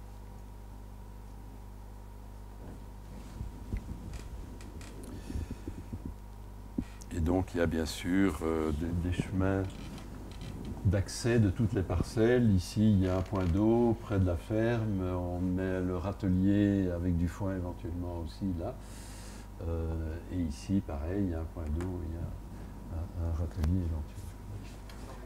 Et donc tout ce qui est en rouge sont des clôtures fixes, tout ce qui est en noir sont des clôtures mobiles. Moi, je suis pas d'accord sur le, un seul point d'eau sur des trucs comme ça, parce que là, là, vous, vous faites voyager vos animaux pour rien. Quand ils seront dans la douce, il faut qu'ils reviennent au pied de l'assise pour boire. Là. Ce ne sont pas des surfaces considérables. Oui, oui, mais les animaux, ils reviennent boire plusieurs fois par jour, et c'est, pour moi, c'est trop loin. Il faut, il faut qu'il y ait des, quasiment un point Pour des laitières, oui. Pour des laitières, mais même Ici, des des- hein, Parce des que les allaitants, quand ils font des kilomètres, ils ne prennent pas de poids vif non plus. hein. Ouais. Mais il faut aussi avoir. euh, ah oui, on peut évidemment Ah non, mais quand, quand tirer on part dans des, les systèmes comme des ça, il faut- socarex. euh, il faut mettre tous les champs de son côté, il faut Ouais. avoir un- des, des- des bons chemins et euh, là c'est pas, c'est pas insurmontable. hein. Regarde l'échelle, elle est pas énorme. Oui mais 300 mètres, euh, quand ils sont dans la douce, il faut qu'ils reviennent boire au point Ouais. d'assise. Tu peux mettre euh, juste un bac intermédiaire. Il faut qu'il y ait un 300 bac au, au minimum. Oui, mais c'est mieux. Et l'inconvénient quand ils reviennent, ils ont tendance à bouger un peu euh, partout. Et. Alors que s'ils ont un point d'eau dans, dans la parcelle, euh, ils restent, ils restent autour et ils bougent euh, un peu, un peu partout dans la parcelle. Alors, ce que j'essaye de faire aussi avec les, les vaches allaitantes, c'est euh, donner accès aux animaux à un petit bois à côté, à une petite surface de feuillus. Euh, parce qu'ici, bon, on a planté un verger haute tige de, de pommiers. Ben, il faut euh, 10 ou 20 ans avant qu'il y ait un peu d'ombre. Euh, donc ici, par exemple, c'est un bois. Et donc on peut donner une petite parcelle de, bois accessible et alors on la change un peu euh, en fonction des possibilités euh, pour que les animaux n'abîment pas trop les racines. Les feuillus sont beaucoup plus résistants que les résineux de ce point de vue-là. Surtout certaines espèces qui ont un système racinaire plus profond, comme les chênes, les érables. Le hêtre a un système racinaire superficiel, il est plus sensible. L'épicéa est très sensible, il a aussi un système racinaire superficiel. Mais voilà, et ça, ça augmente euh, très fort le, le confort des animaux. Et on voit que quand euh, il y a du soleil, ils vont dans le bois. Euh, on pourrait penser que quand il y a de la pluie et qu'il y a du vent, ils vont dans le bois. Non, à ce moment-là, ils pâturent, mais quand il y a du soleil, ils vont dans le bois. Et bon, c'est toujours bien de favoriser le bien-être des animaux. Il faut se rappeler aussi que l'ancêtre de la vache, l'auroch, était un animal forestier. Il sortait de la forêt pour aller pâturer dans les marais, mais il passait l'essentiel de son temps en forêt. Remplacé par chevreuil maintenant. Ben, le chevreuil existait déjà, mais... Oui, il sort du bois pour pâturer les, les champs. Il rentre dans le bois dès qu'il voit. Oui, c'est ça. Même les cerfs font ça. hein.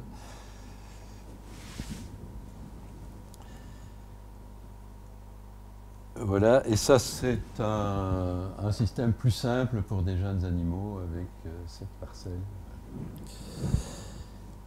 Et vous voyez aussi que bon, chaque parcelle a la même surface, là, mais la première est très longue. Et quand on, on gère plusieurs lots, parce qu'en finalement il y, a, il y a forcément plusieurs lots de- d'animaux, euh, vous conseillez le pâturage tournant dynamique pour tout le monde ou Non. Principalement pour les. Non, moi non. non. C'est toujours mieux. Toujours mieux, mais après. euh, C'est, pas, c'est pas, c'est toujours mieux. C'est, c'est- pour moi, c'est impératif. C'est impératif. Si tu veux gagner sur tous les tableaux, il faut, il faut être bon euh, dans, sur toutes les noms. Ouais. Sauf si après tu as des bricoles, euh, si tu as une parcelle euh, de 4 mètres, mais si tu as des, des îlots, il, il faut cloisonner tout. Il ne faut pas chercher à. Je suis d'accord sur le principe, mais quand on a des parcelles éloignées à 20 km, Ah, avec des génisses. Vous n'allez pas être une semaine sans aller les voir. Non, Non. mais de là à aller y aller deux fois par jour euh, pour Non, je ne dis pas deux fois par jour, mais Oui, c'est ça. tu peux les laisser trois jours dans une Bah, parcelle, euh, mais il faut un minimum de, de 15-16 parcelles pour, euh, pour être efficace. on, s'est autorisé euh, de passer à six jours. Oui, on on- se dit oui. oh, c'est la repousse machin, mais voilà, on était sur un pâturage tournant. euh, peu dynamique. Oui, c'était tu rentrais les bêtes au 15 avril et puis tu les ressortais le mois de novembre. Mais euh, ouais, c'était histoire de, de pouvoir allonger pour pas y aller euh, tous les jours et tout ça. Mais non, l'idéal, c'est 3 jours. Ouais. Moi, les vaches, c'est tous les jours. Les génisses, c'est 3 jours. Les taureaux, on va jusqu'à 5-6 jours. Quoi. Faut Mais même pour les génisses, de plus en plus, euh, j'organise euh, le mieux possible. Et puis après, on se rend compte que c'est tellement de temps gagné. Même si on y va tous les jours, mais c'est juste pour bouger une poignée ou un fil. euh, En fait, euh, C'est beaucoup plus rapide de s'en occuper tous les jours en bougeant une poignée que d'y aller une semaine où il faut bouger une tonne à eau, il faut bouger un râtelier. Et tu, et tu mets le râtelier quand même euh, en plus, en complément Du coup, non? Bah, sauf quand euh, là on arrive dans des périodes où ils ont besoin un peu de sec, mais sinon. euh, ouais. Oui, quand l'herbe est de qualité, pas besoin de complément de fourrage. Euh, non, mais c'est magnifique. Moi, je peux dire que ça, je suis tout à fait d'accord avec ça. Oui, bah oui, de toute façon, Euh, il faut mettre- mais il y a très peu d'éleveurs qui font ça. et donc, Et là, c'est parce qu'il y en a qui disent que bah, la prairie euh, permanente, ça ne produit pas, mais déjà, quand vous commencez par faire ça, vous, vous pouvez doubler votre chargement déjà. Au lieu d'être à une giga hectare, vous passez à 200. Ça, on, sait- on- on a vu ça tout de suite parce qu'on a, on a gardé les 8 veaux du troupeau de 9 mères et on a tenu sur la même surface que tenait l'ancien éleveur. euh, Oui, avec plus de bêtes. On a quasiment on a doublé la charge, non parce que ça mange moins. Mais Oui. euh, juste en faisant le pâturage tournant, c'est vrai qu'on a vu la différence parce qu'il n'aurait jamais pu faire ça l'année d'avant. euh. Il avait Du coup, c'est, euh, ça fertilise, ça pousse ça fertilise, et l'année d'après, t'as encore plus d'herbe. Et on améliore la végétation. Parce que les, les mauvaises graminées qui montent vite en tige, ben, elles sont déprimées, elles disparaissent avec le temps. Ne sont pas adaptées au pâturage. Et puis on favorise le trèfle blanc parce qu'on a une herbe de hauteur raisonnable. Et le trèfle blanc, il a besoin de lumière. Donc si on laisse monter les graminées trop haut, il est étouffé. On a plus de trèfle blanc, plus d'azote fixé, plus de production. Et en fait, c'est d'abord l'effet sur le trèfle blanc qui est important. Parce que plus d'azote fixé, plus de rendement, plus de charge. Mais on a aussi cet aspect d'amélioration générale de la végétation, disparition des mauvaises plantes. On, on maîtrise même les rumex dans une certaine mesure. Euh, et donc tout ça, c'est important. On repasse beaucoup moins souvent, on n'est pas là à piétiner. C'est- Oui, parce qu'après, quand tu laisses les animaux tout le temps dans ta même parcelle, dès, dès que l'herbe a pris un centimètre, il passe, il rase. Et puis donc, tu épuises ta plante et puis tu te retrouves avec un rendement euh, ridicule à la fin. Il y a, en conventionnel, on a pu développer des systèmes de pâturage continu. Et donc ça, c'est un petit peu contraire, si vous voulez, à, à- à ce que disaient voisins. Il faut les trois jours maximum parce qu'après, on épuise la plante. Et, et là, on pâturait tout le temps l'herbe et ça fonctionnait quand même. Et avec des rendements intéressants, mais avec une condition, c'est avec des, des fortes fertilisations azotées. Oui, donc ça, on a, renfort de- voilà. Et donc on- d'amonitrate. par rapport au, au système de pâturage tournant, il fallait surdoser en nitrate. Donc nous, on n'a pas cette possibilité-là. Donc il faut faire du pâturage tournant avec des, euh, temps de séjour courts. Alors, on peut améliorer la gestion avec des outils euh, comme l'herbomètre. Il y a des outils plus simples, par exemple développé en Écosse, un trait blanc sur la botte hein, qui donne la hauteur idéale. C'est le plus simple. Euh, L'herbomètre qui permet de calibrer l'œil, parce qu'au au bout d'un temps, quand on est habitué, on n'a plus besoin d'herbomètre. Mais c'est bien de se calibrer un peu l'œil. Et alors, on a maintenant des systèmes où vous vous promenez dans, dans une prairie avec un herbomètre, vous faites le tour de toutes les parcelles. L'herbomètre enregistre les données, euh, envoie les données sur une application de votre téléphone portable. Euh, quand vous revenez au bureau, ben, les données se trouvent sur votre ordinateur et il vous fait un graphique euh, qui vous donne les quantités de matière sèche disponible puisqu'il transforme la hauteur d'herbe en kilos de matière sèche. La, droite de régression fonctionne bien. Et on voit effectivement qu'il n'y a pas nécessairement de logique de 1 à, à- à 16 ou à je ne sais pas combien ici, 12. Euh, et qu'il ne faut pas nécessairement passer à un moment donné, quand euh, euh, vous, êtes, vous pâturez la 9, à, la 10, mais il faut passer à la 12, puis à la 8, puis à la 7 dans ce cas-ci, puis à la 5, puis à la 4, etc. Donc il faut s'adap- s'adapter hein, euh, aux quantités de matière sèche disponibles. Il y a des logiciels gratuits sur Internet pour faire ça. Et donc la contrainte, c'est de faire le tour des parcelles, par exemple, une fois par semaine avec l'herbomètre. Il faut un certain nombre de prises, au moins 10 prises euh, par parcelle, enfin 10 prises, 10 lâchers de la plaque de l'herbomètre. Donc ça va encore relativement vite. Et ça permet quand même de, bien gérer. Euh, maintenant, quand l'œil est bien calibré, euh, ça fonctionne aussi. Mais il faut se calibrer l'œil. Et même quand on pâture depuis quelques années, de temps en temps, c'est bien de recalibrer un peu son œil.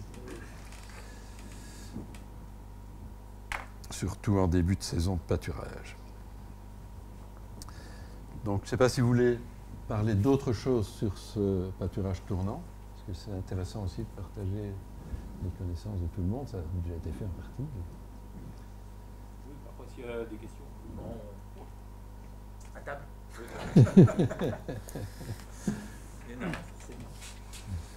voilà. Euh, alors, en hiver, euh, dans les, les fermes où il n'y a pas d'étable, par exemple, s'il y a une étable, évidemment, on l'utilise pendant les trois mois, par exemple, de période hivernale. Euh, mais ça, c'est aussi une technique euh, importée de Nouvelle-Zélande euh, pour réduire les coûts de, construction de bâtiments. On peut faire hiverner les animaux sur euh, des copeaux de bois. Alors, c'est très différent d'un paillot parce que c'est un peu plus sophistiqué et ça fonctionne surtout beaucoup mieux. Donc en fait, si vous avez une prairie, on fait une excavation d'environ un mètre de profondeur. Euh, puis on met un film plastique qui ne doit pas être de très grande qualité d'ailleurs. Euh, on met euh, un feutre.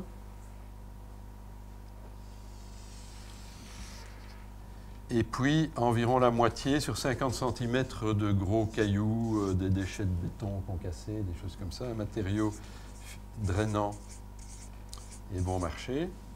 Et puis on met un bon 50 cm. Donc ici 50 cm. Là 50 cm de copeaux de bois diamètre 7, donc assez gros.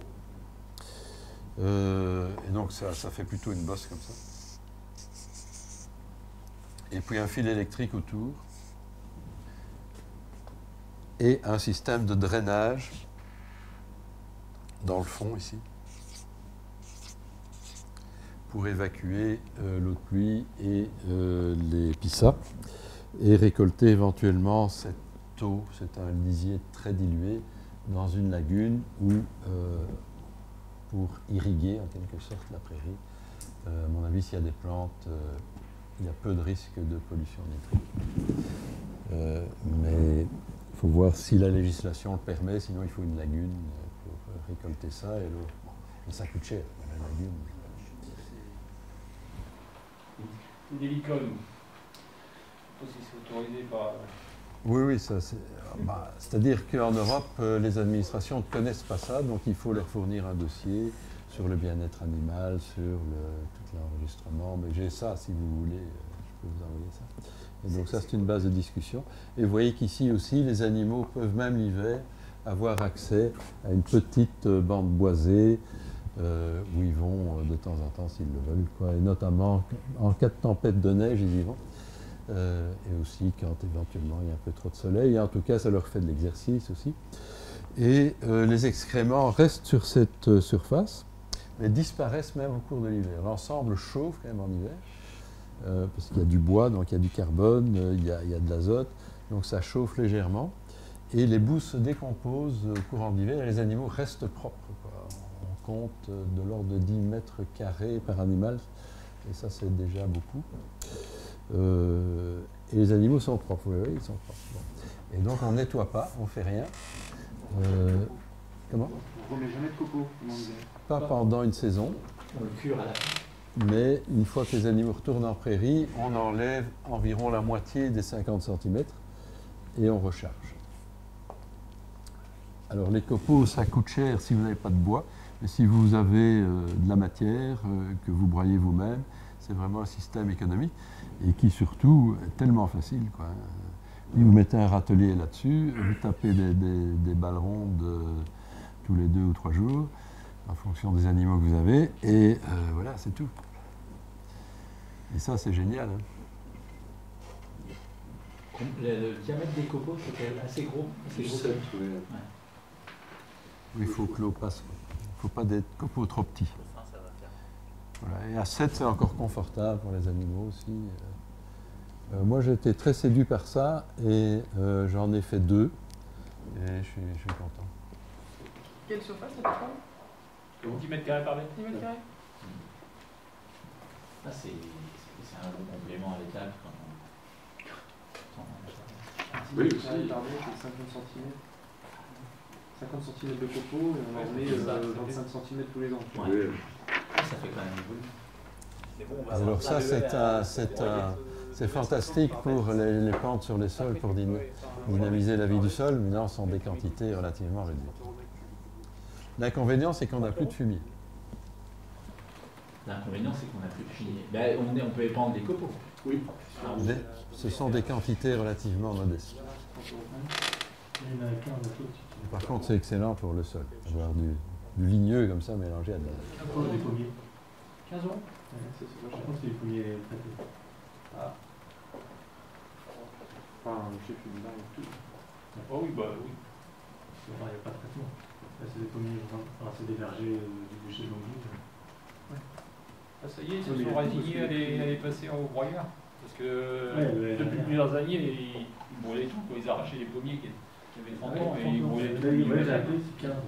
Là, ils ont commencé C'est pas très cher. à broyer. à Il broyer vaut mieux tout que ce soit une parcelle euh, pas trop, pas trop humide. Oui, le mieux, c'est de les mettre à une limite de pente. Quoi. Euh, Parce qu'il faut que ça se vide aussi. faut que ça- faut- faut faire le- créer le drainage. ouais. Ah ben, euh, oui, il ne faut pas que l'eau monte. Ouais, c'est ça, après ça. Les bassins versants, ils doivent pas trop aider. Pour les phoques, c'est bien, mais pour les bovins. Ouais, Alors on peut mettre des, on peut mettre des moutons là-dessus. On peut même mettre des vaches laitières. On peut avoir une plateforme comme ça à côté de la salle de traite. Euh, Mais c'est surtout indiqué pour des bovins à viande, ici des angus. Ouais, ou si, si, ou si t'as une parcelle assez fais que tu laisses tout le monde là-bas. euh, Et alors il y a des petits malins qui, euh, quand les animaux sont repartis en prairie, comme c'est bien tassé, euh, jettent un peu de maïs et font venir des cochons. Alors ils retournent tout ça, et puis c'est beaucoup plus facile de décharger après. Il faut absolument mettre un- une bâche dessous. un- Bah oui. Sinon on pollue beaucoup la nappe. Donc ça, ça ne sera jamais accepté par une administration de ne pas mettre de bâche. Mais c'est drôlement plus euh, performant que de taper de la paille comme ça euh, dans la prairie. Oui. Parce Ça, devient, ça devient un tas de fumier. Oui, c'est un tas de fumier, et puis à chaque coup qu'il va, euh, tu restes en fouille, tu saccages tout. Non, non, il vaut mieux sacrifier un, un- une petite parcelle. enfin, Oui, c'est rien quoi, en surface. C'est considéré comme un bâtiment, comment, comment on déclare ça Il n'y a pas de case, c'est ça le problème des administrations, ils ne trouvent pas la case. Mais, mais les animaux sont très bien là-dessus. En fait, euh, bon, le grand public a du mal à comprendre ça, mais les animaux sont beaucoup mieux dehors que dans des bâtiments. De toute façon, ils sont faits pour vivre dehors. hein. Ben oui, c'est c'est- Ils ont des millions d'années d'évolution derrière eux. euh, ils n'ont jamais vécu en bâtiment. hein. Donc euh, oui, moi j'aime ça, mais il faut que ça soit bien, bien fait, comme tout. quoi. Sinon, Donc ça, euh, en Belgique, c'est autorisé euh. Oui, on a obtenu des autorisations avec le dossier des Irlandais. En fait, le- la technique des Néo-Zélandais a été évidemment importée par des Anglais et des Irlandais. Et donc là, ils ont produit des documents euh, que j'ai et que je peux vous transmettre euh, en anglais. On va faire bouger les lignes. Il reste deux mois, trois mois? Oui, c'est ça, oui. oui. Et alors, quand euh, il gèle, ben, vous lâchez vos animaux dans la prairie, ils se dégourdissent les jambes ils reviennent sur la plateforme. Ça peut se faire. Après, il y a certains chez nous, les gars, enfin, moi, je copains en Bretagne, ils, ils gardent suffisamment de couverts euh, pour faire clôturer l'hiver, et ils, ils placent des ballons, de, ils placent en place. Et, Ouais. ils-. Euh, Mais ça, ça abîme la prairie. En fait, ça pourquoi est-ce peu la qu'on. prairie, mais s'il y a un temps de 6 jours court avec des animaux légers, euh, ma foi. euh, Ouais. c'est des, En fait, des compromis, de toute façon. Le but de tout ça, d'une étable, c'est de protéger la prairie, c'est tout. Oui, oui, bah Sinon, les animaux, l'amour la prairie. Aux États-Unis, Dans le centre des États-Unis, il gèle tous les hivers. Les animaux hivernent dehors, on tape oui, des balles de foin et puis ils n'ont pas besoin de façon, si bâtiment c'est moins dix, puisqu'ils n'abîment pas les prairies. Et il y a ça de neige. euh, bon.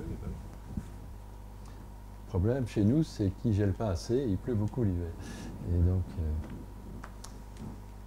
si on a aussi des parcelles euh, sur des rochers, sur des pentes, euh, ben, on peut aussi faire hiverner les animaux là, hein, c'est sûr. Il n'y a pas besoin d'investir dans ce genre de choses. Il faut que la morphologie du terrain s'y prête. Voilà euh, pour... Oui, bon, il est plus que temps de faire un bac.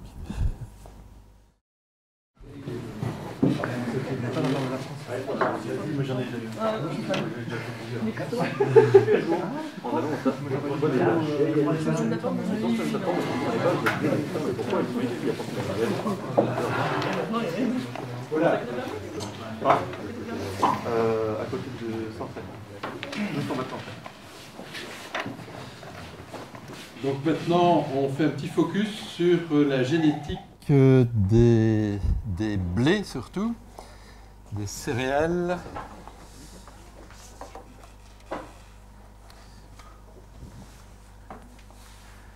Pour vous présenter ça sous forme de témoignage, euh, quand euh, j'ai commencé à développer ce système de bio sans labour, euh, un jour j'ai eu une conversation avec un copain agriculteur qui était dans le même esprit et il m'a dit Alain, il faudrait qu'on trouve du blé qui a des racines. Ah oui. Parce que les blés modernes, ils n'ont pas, ils ont pas de racines, ils sont comme des oisillons dans un nid et ils attendent qu'on leur apporte la béquille de nitrate. Et euh, ils ont été sélectionnés dans ces conditions où les facteurs euh, n'étaient pas limitants en fait, hein, c'était ça le but. euh, tous ces- toutes ces cultures de la Révolution verte, en particulier les céréales de la Révolution verte, euh, ils ont, elles ont été sélectionnées dans des conditions où l'azote, phosphore, potassium, l'eau euh, n'étaient pas limitants, sous une couverture euh, antifongique parfaite, etc. Ils sont adaptés à ça. Nous, on a besoin d'autres plantes. On a besoin de plantes qui couvrent vite le sol, qui soient suffisamment hautes, avec des feuilles horizontales qui ombragent les adventices. On a besoin de plantes qui ont des racines profondes, qui aillent chercher de l'eau, des éléments nutritifs, qui mycorhizent aussi, euh, puisqu'on sait que apparemment c'est la grande majorité des blés modernes sont même plus capables de mycorhizer, donc développer des symbioses avec les champignons. Donc on a besoin d'une génétique totalement différente. Et bon, euh, oui, euh, j'ai rêvé pendant des années à ces blés-là. Et en attendant, j'ai utilisé du triticale et de l'épeautre surtout. Euh, bon, l'épeautre, on peut quand même en faire du pain, et c'est une excellente céréale pour faire du pain. Mais euh, au bout de 4 à 5 ans, je crois qu'il m'a fallu 4-5 ans pour trouver ces petits sélectionneurs euh, en Allemagne, en Suisse et en Autriche qui ont sélectionné des blés dans des conditions bio. Donc voilà, sans engrais de synthèse, sans produits phyto. Et euh, voilà quelques exemples. Ce sont les, les blés que j'ai testés. Graziaro se dé- détache très fort. Euh, et c'est un blé allemand. Et puis euh, les quelques blés, suisses comme Tengri, Wiwa, Royal sont pas mal non plus, mais presque dans, dans l'ordre décroissant d'intérêt. quoi. Euh, Graziaro est très intéressant. Puis il y a plutôt Wiwa, puis Tengri, puis Royal, dans mes conditions. Euh, et est-ce que c'est un hasard Mais Graziaro a été sélectionné à peu près à la même latitude que les, fermes où je travaille? Ça joue peut-être aussi. Mais en tout cas, ce sont des blés nettement plus hauts et qui ont toutes les caractéristiques que je viens de, de citer euh, et qui ont aussi des très bonnes caractéristiques boulangères. En fait, Graziaro est le meilleur de ces quatre-là d'un point de vue phytotechnique. Il a les des rendements supérieurs, il a, voilà, il a une plus grande capacité de dominer les adventices, mais c'est aussi euh, la variété qui a les meilleures euh, valeurs boulangères de ces quatre-là. Et de l'intérêt de les mélanger, c'est bénéfique euh?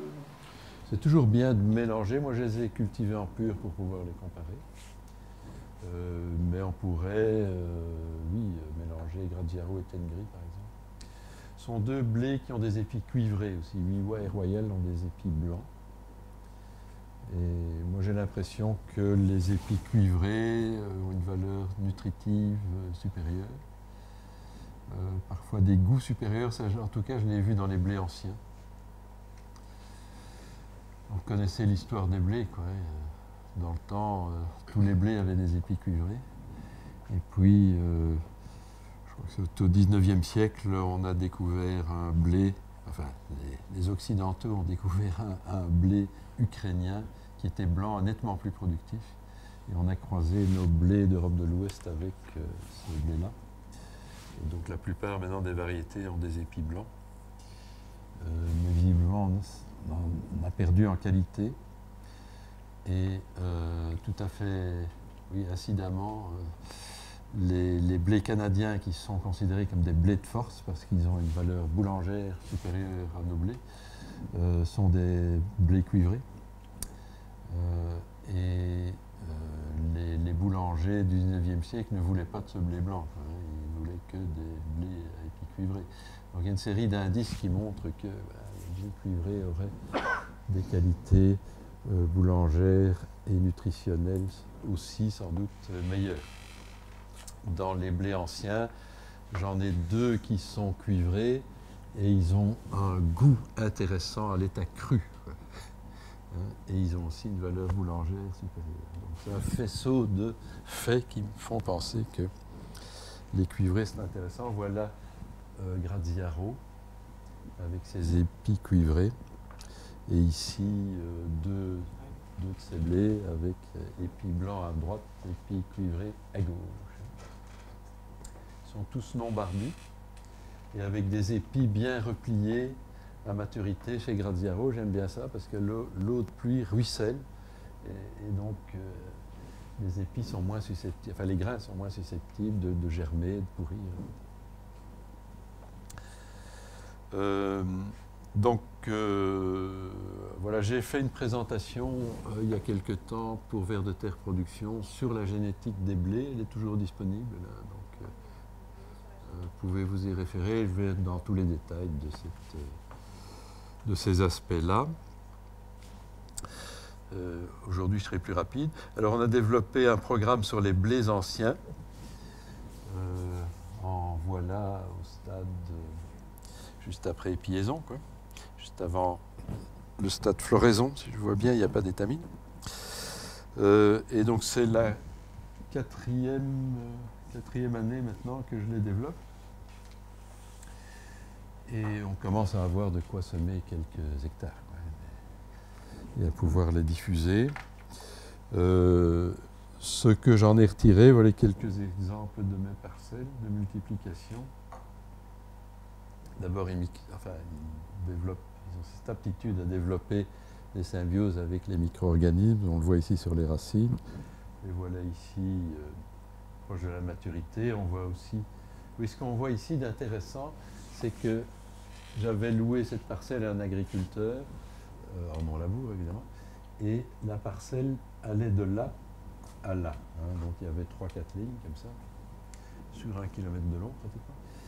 Euh, et donc de chaque côté, c'était une parcelle en conventionnel, non labour, mais en conventionnel. Ceci, les blés anciens ont été euh, cultivés dans des conditions bio.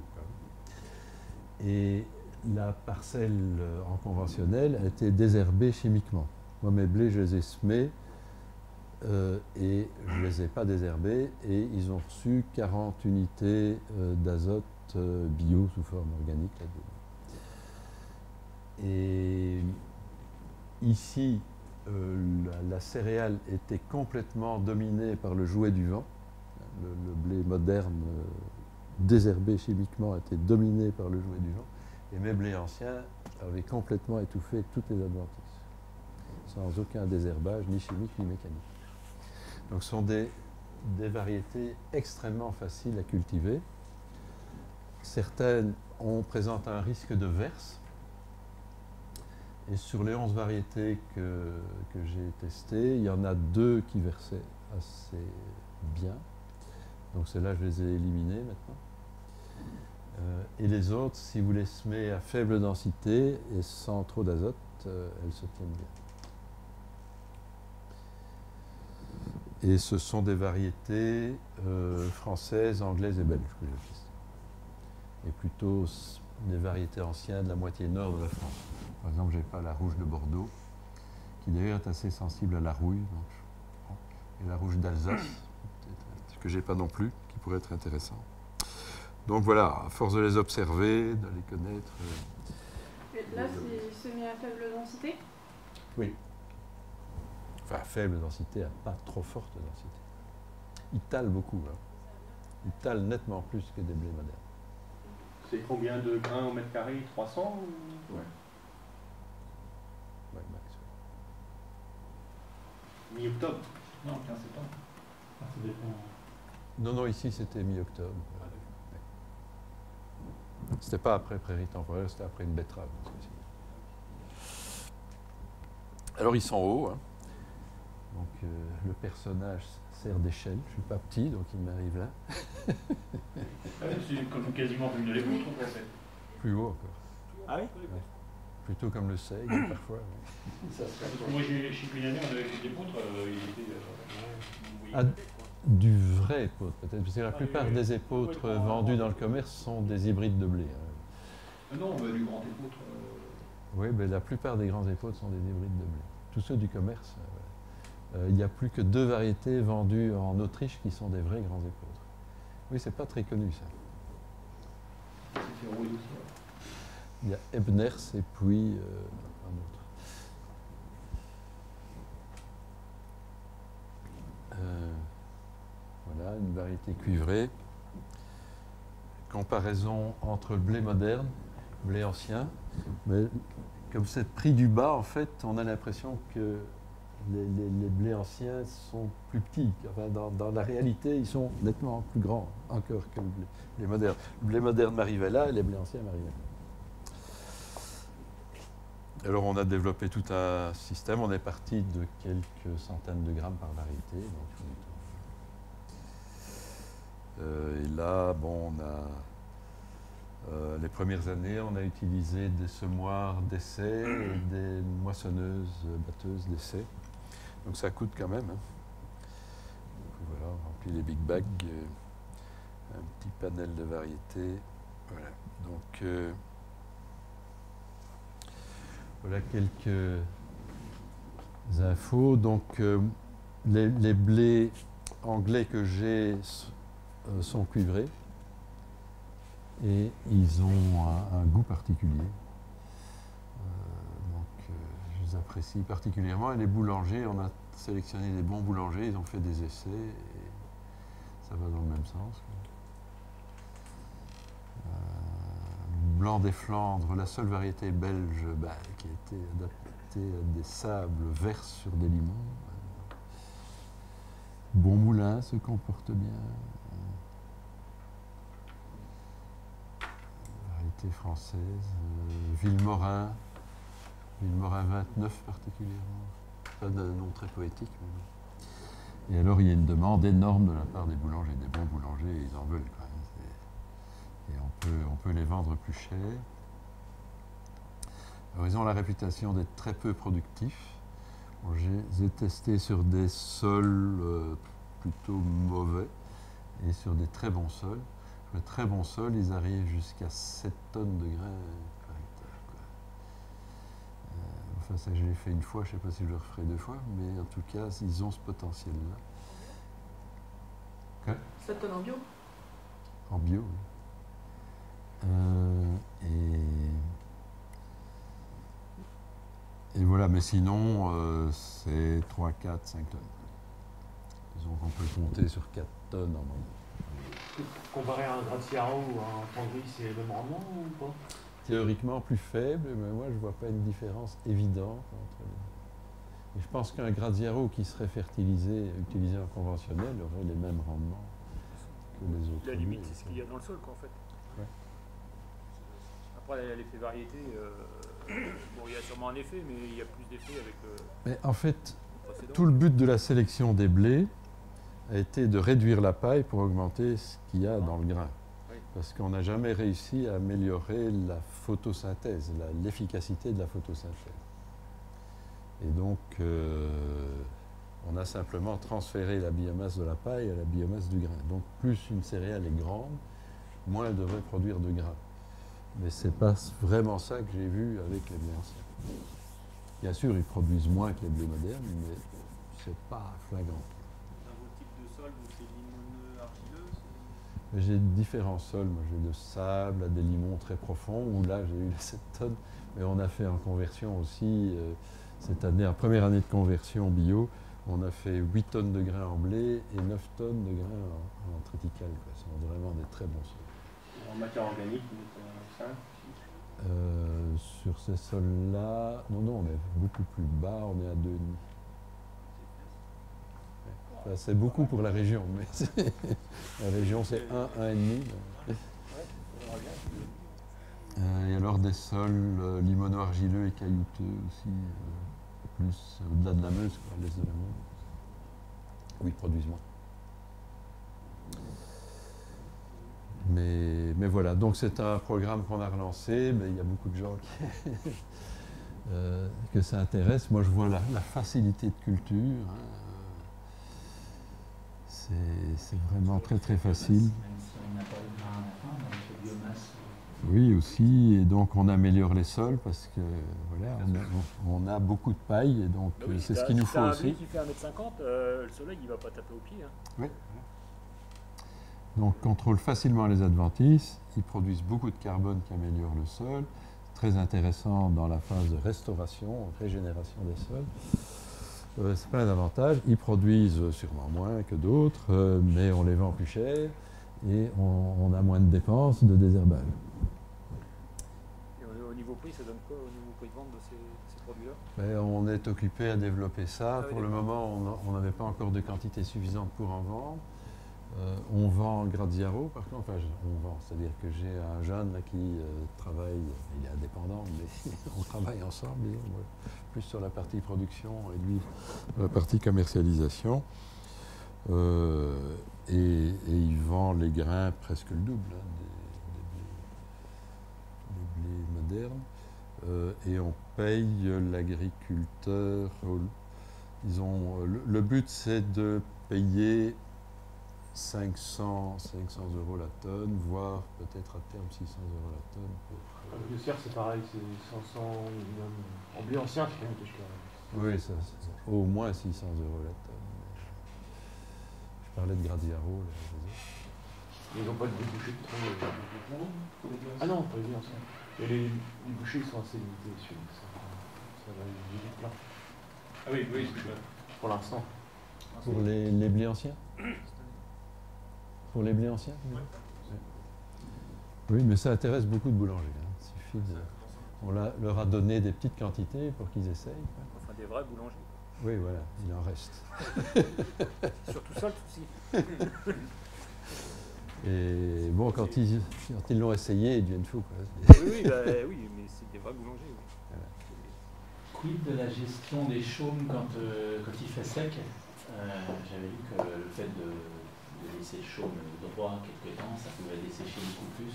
Certains roulent pour casser le, le chaume euh, pour éviter l'évapotranspiration. Oui, mais on peut se mettre directement dans les choux. Non, aussi. Mais si on peut pas. Oui. Est-ce que enfin, c'est quelque chose que vous avez observé? Des, des chaumes comme ça Ouais. Non, je vois pas. Non, je sais pas, j'avais personne n'a entendu parler. de ça. Non. De toute façon, l'int- l'intérêt de. Dès que la sèmes, tu sèmes quelque chose derrière. Quoi. Les gars, ils roulent le, le chaume. Il y en a, ils roulent, ils roulent le chaume pour, euh, pour casser cette Ah ouais transpiration qui continue apparemment. euh, Non, si on moissonne haut, alors je pourrais comprendre l'intérêt de rouler, mais sur des chaumes normaux, courts, je vois pas très bien. Non, mais le fait de, de, de le coucher, c'est que tout est plaqué au sol et en fait, ça protège plus le sol que, que si tu les laisses droits. C'est sûrement Ouais, ça. bah le- ouais, Mm. bah, c'est-. C'est peut-être comme ça, Ah mais il n'y a pas d'intérêt, il vaut mieux, vaut mieux semer et puis euh, à la limite euh, Oui, qu'à oui, rouler à ce moment-là. Ouais. faut les écraser. mais- faut essayer d'avoir tout le temps des plantes. Donc. Et par rapport à un maïs grain, euh, il n'y a pas besoin de giro broyer après, du, après un battage. Parce que c'est pareil, ça reste euh, 20-30 cm de canne. Mais là, elles sont pas gênantes, ça, ça se dégrade bien ou... Bah oui, ça finit par se dégrader. Oui. De toute façon, si tu sèmes un couvert dedans, euh, dès que le couvert il va monter, la feuille elle va, prendre l'humidité, elle, va- elle va se dé- elle va se décomposer euh, rapidement. quoi. Le broyage, ça va plus être par rapport à ton, ton outil de semis euh, qui va être adapté ou pas à des Oui. de. Ouais, voilà. C'est ça Mais qui si limite. un semis direct, euh, Ouais, à tisque ça va, mais si t'as un semoir direct à dents avec des Ah grands oui, non, mais là, tiges, oui, c'est.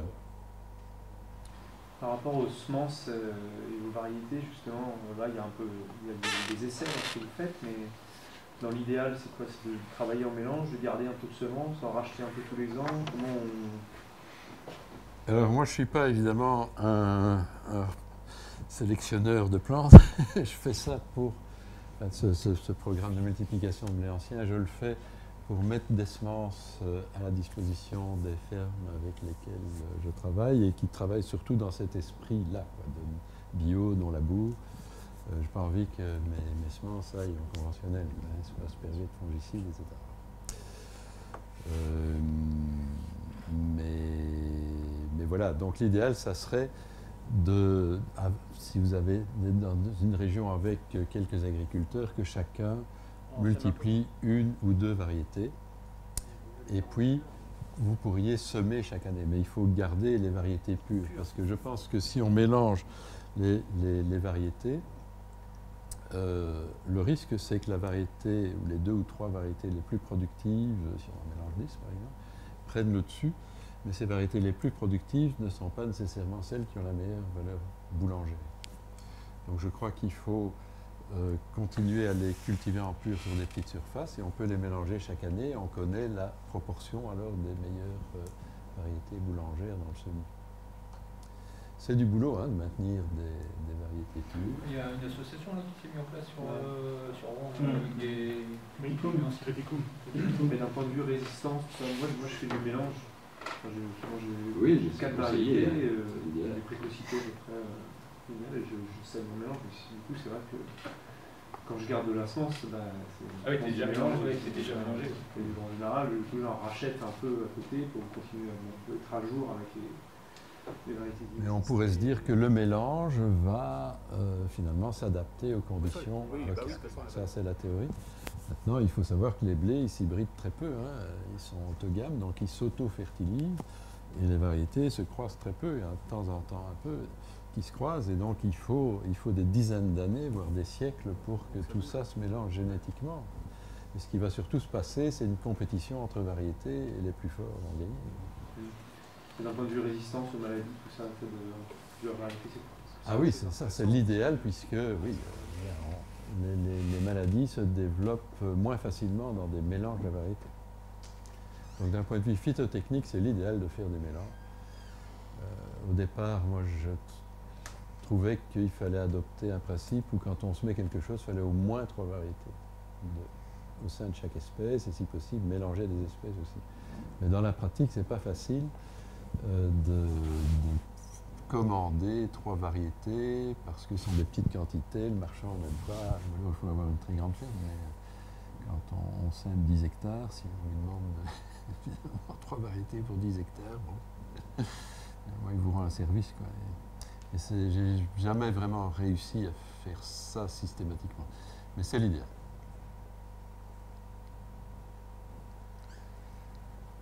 Voilà, donc ce sont simplement quelques idées un peu rapides là-dessus, mais je pense que ce sont des pistes intéressantes et en tout cas ici on a des alternatives au blé moderne. hein. Et, donc euh, avant de faire des blés anciens, moi je conseillerais de prendre d'abord des blés de type euh, Graziaro, ce sont des blés récents, je ne parle pas de blés modernes puisque les modernes ce sont ceux de la Révolution verte, mais ils ont été aussi sélectionnés récemment. Euh, mais ils sont adaptés à nos systèmes et on pourrait euh, les utiliser dans des systèmes de, semi-direct et même avec, euh, dans le système avec trèfle blanc. Parce qu'ils peuvent démarrer rapidement et, prendre le dessus sur le trèfle blanc alors que les blés modernes ne le peuvent pas. Alors si vous voulez, je peux dire quelques mots sur les étapes du changement de la conversion. Si ça vous intéresse de, voir ce que je pense à ce niveau-là. Donc euh, j'ai développé une petite méthode euh, en sept points euh, quand on part du conventionnel et qu'on va vers l'agroécologie. Et d'abord, il faut choisir une voie de transition. Donc, je vais développer euh, ces différentes étapes. D'abord, choisir une voie de transition, puis développer le réseau écologique, puis concevoir des rotations diversifiées et restaurer euh, la fertilité du sol, intégrer les cultures, l'élevage et les arbres, transformer et commercialiser les produits et développer un réseau de conseillers, d'autres agriculteurs, aussi de clients, etc. Développer son réseau. Euh, ce qui se fait tout au long d'ailleurs du processus. Les autres paramètres se suivent plus ou moins euh, dans l'ordre. Et euh, quand on, part du conventionnel et de peut-être 60 ans de conventionnel, on rencontre un certain nombre de problèmes, dont une très faible fertilité du sol, puisque les taux de matière organique ont chuté en terre arable, plus dans les régions de culture que dans les régions euh, d'élevage où, où il y a des fermes mixtes, parce que les gens ont encore du fumier. Mais dans, dans des zones de culture spécialisées, les niveaux de matière organique sont tombés à 1, 1,5%, et ça c'est très faible. Donc on a peu de libération d'azote, peu de vie dans le sol. On a une mauvaise structure du sol, présence d'une semelle de labour, des adventices résistance aux herbicides, très faible population d'alliés de culture, pas de bétail. Voilà. Ça, c'est les problèmes. Mais les adventices résistance aux herbicides, c'est pas un problème pour nous? Non, sauf que ce sont, euh, ce sont des adventices qui sont là. Si on a des vulpins résistants aux herbicides. euh, après transition, on n'utilise plus d'herbicides, mais ça veut dire qu'on a une forte pression de vulpins. Alors, conséquence de ces problèmes, il faut restaurer la fertilité du sol avec les différentes techniques qu'on a mentionnées, améliorer la structure du sol, arrêter de labourer d'abord, contrôler les maladies, les adventices et les ravageurs. Ben, C'était le plan de mon exposé depuis hier. Donc on gère les maladies par le sol vivant, les adventices par la rotation des cultures et des cultures compétitives surtout, hein, c'est- une- liste qui n'est pas limitative, et contrôler les ravageurs par le réseau écologique. Alors la trajectoire de changement dépend aussi du type de ferme au départ. C'est une ferme spécialisée en élevage, alors là c'est beaucoup plus facile. Une ferme de polyculture, élevage, a des- pas mal d'atouts. Une ferme spécialisée en grande culture, c'est plus compliqué. Mais c'est possible quand même. Euh, alors, choisir une voie de transition, il y en a trois principales. On part du conventionnel et on passe à l'agriculture de conservation. Donc on supprime le labour et tous les travaux du sol, théoriquement. Il n'y a plus aucun travail du sol dans l'agriculture de conservation euh, au sens strict du terme. On diversifie déjà les rotations et on couvre les sols en permanence. Mais on continue à utiliser des pesticides et des engrais de synthèse. Et puis, progressivement, quand le sol a été restauré, parce que l'agriculture de conservation, même quand vous utilisez du Roundup, en fait, il y a, un impact positif sur la vie du sol, sur l'augmentation des teneurs en matière organique des sols, la structure du sol, tout ça s'améliore. Euh, et puis, au bout d'un moment, euh, on peut décider de- d'arrêter d'utiliser euh, les intrants de synthèse et on arrive à un système plus agroécologique. Ou bien on part du conventionnel et on passe au bio avec la en général. Donc là, on supprime les pesticides et les engrais de synthèse, mais comme on continue à labourer euh, et qu'on n'utilise peut-être pas nécessairement des couverts, etc., l'amélioration du sol est plus lente. Je dirais que dans les fermes d'élevage où il y a une très grande proportion de prairies, peu de culture, que le labour n'est pas trop profond, là ça va. Mais euh, sinon, en bio, si on a des labours euh, ordinaires, c'est-à-dire labour euh, 30 cm, mettons, euh, l'amélioration du, du sol est plus lente. Et puis, à un moment donné, on peut décider de passer au sans labour avec couvert et utiliser, adopter toutes les techniques qu'on a décrites depuis hier. On arrive à l'agroécologie aussi. ou on peut passer d'un coup à l'agroécologie en supprimant le labour, les pesticides et les engrais de synthèse. C'est possible et les trois voies sont possibles. Et euh, tout dépend en fait de, du caractère de l'agriculteur. Est-ce qu'il aime les risques ou est-ce qu'il est très prudent? Euh, Est-ce qu'il se sent en confiance? Est-ce qu'il pense qu'il a les, les- connaissances suffisantes pour passer directement à l'agroécologie Ben euh, Ça dépend un peu. Est-ce qu'il est euh, accompagné par quelqu'un qui a de l'expérience, un voisin, un agriculteur un conseiller. Euh, je conseille à personne de passer du conventionnel à directement à l'agroécologie sans accompagnement, par contre. Euh, et la voie qui est sans doute la plus sécurisante, c'est la première, puisque on a encore la possibilité d'utiliser euh, ces produits de synthèse, donc de gérer les adventices, d'apporter de l'azote, etc. Et quand le sol est amélioré, on passe à l'agroécologie. Mais celle-ci est bonne aussi. Donc voilà, c'est un premier choix à faire. Et on peut intégrer l'élevage, ce qui est recommandé, mais pas obligatoire, à différents stades. On peut déjà l'intégrer quand on passe du conventionnel à l'agriculture de conservation, ou ici, en agriculture de conservation, en fait, ce que les gens voient, c'est que le sol s'améliorant, la vie du sol se développant, ils ont moins de maladies et ils suppriment au bout d'un temps les fongicides. Euh, ils mettent moins d'azote aussi. Et puis il y a un moment où ils se disent, ben, comme j'ai réduit les intrants de plus en plus, j'ai plus tellement d'efforts à, faire pour passer à un système bio sans labour.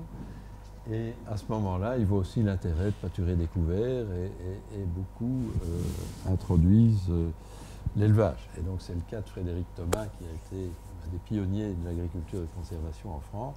Maintenant, il a intégré l'élevage dans sa ferme. Donc ça, ça devient un peu naturel parce que il y a une logique derrière tout ça.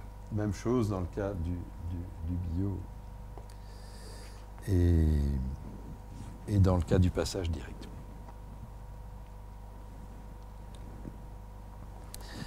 Alors, euh, il y a aussi plusieurs séquences possibles dans, dans les couverts.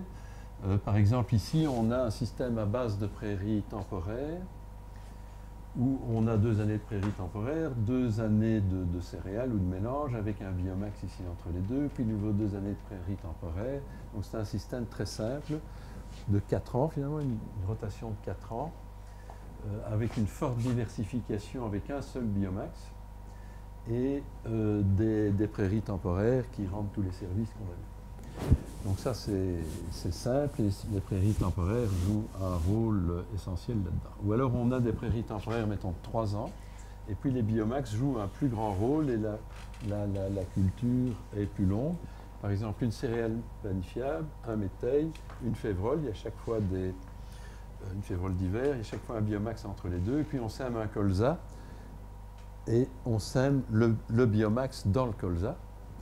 Et ça permet d'ailleurs de réduire les attaques d'insectes. Le gros problème après colza, c'est qu'il y a des repousses de colza, et donc si vous faites une céréale, euh, vous avez plein d'ennuis. Et donc, euh, pour nettoyer le sol, c'est judicieux d'avoir trois années de prairies temporaires. Euh, et puis, on recommence de nouveau le cycle avec donc trois années de prairies temporaires et quatre années de culture annuelle. Ce sont des choses qui sont possibles. Ou alors, un couvert à base de couvert permanent, surtout dans des fermes où il n'y a pas d'élevage et où on n'a donc pas de prairies temporaires. Et on travaille avec ce trèfle blanc en nain, qui est une sorte de prairie temporaire qu'on injecte dans la culture. En fait, on établit une prairie temporaire euh, d'un type un peu particulier, le trèfle blanc en nain, et on injecte plutôt des cultures dans cette prairie temporaire. Vous voyez, dans cet exemple-ci, ben, on, on peut faire pendant plusieurs années des céréales planifiables ou d'autres cultures, mais ça, on a aussi cette possibilité de faire euh, des, des céréales planifiables. Alors, ce n'est pas permis par la PAC d'avoir. euh, il faut une certaine diversification de cultures, je suppose que euh, c'est la même chose ici en France. Et, et donc, on, on peut, on, peut, on peut faire du blé et de l'épeautre, sont deux cultures différentes.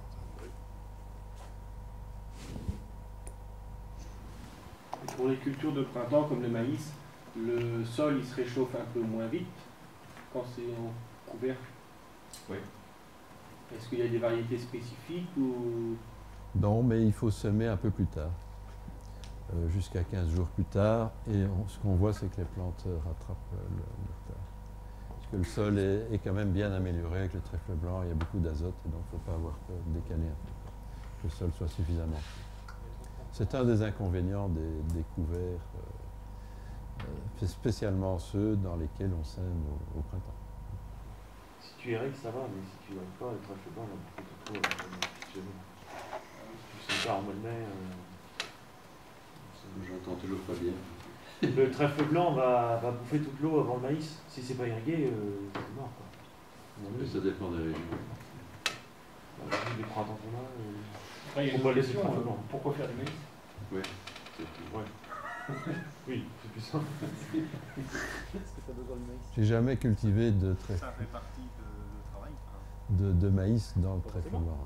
tu en as vraiment besoin? Non, je le prends. Technique dans le nublé euh, planifié. Ouais. Ça te simplifierait ton, ton truc. hein. Excellente remarque. Ah, mais le- peut-être que l'acheteur va, va plus acheter la Non, mais lui, il s'en fout. euh, Le principal, c'est qu'il- que ça rentre. Ouais. Si tu vends du, du blé planifiable à, à 500 euros. Je le voyais aussi parce qu'il y a une restitution de carbone pour avec le maïs. Oui. Ouais. C'est vrai. Euh, Oui, mais sauf- en dehors du système à trèfle blanc, tu peux mettre du sorgho dans ton biomax, euh, c'est bien noté. Tu produis aussi beaucoup. Moi, je, je ne cultive pas le maïs parce que c'est trop juste pour le maïs grain. Et donc, on ne peut faire que des maïs fourrage. Et pourquoi faire du maïs fourrage Alors que l'herbe euh, produit euh, Bah beaucoup oui. plus facilement. Et puis, euh, c'est. L'herbe, c'est comme le Club Med, quoi. C'est all inclusif. Il y a des protéines, l'énergie. euh, Dans le maïs, il n'y a que de l'énergie. Il faut acheter du soja.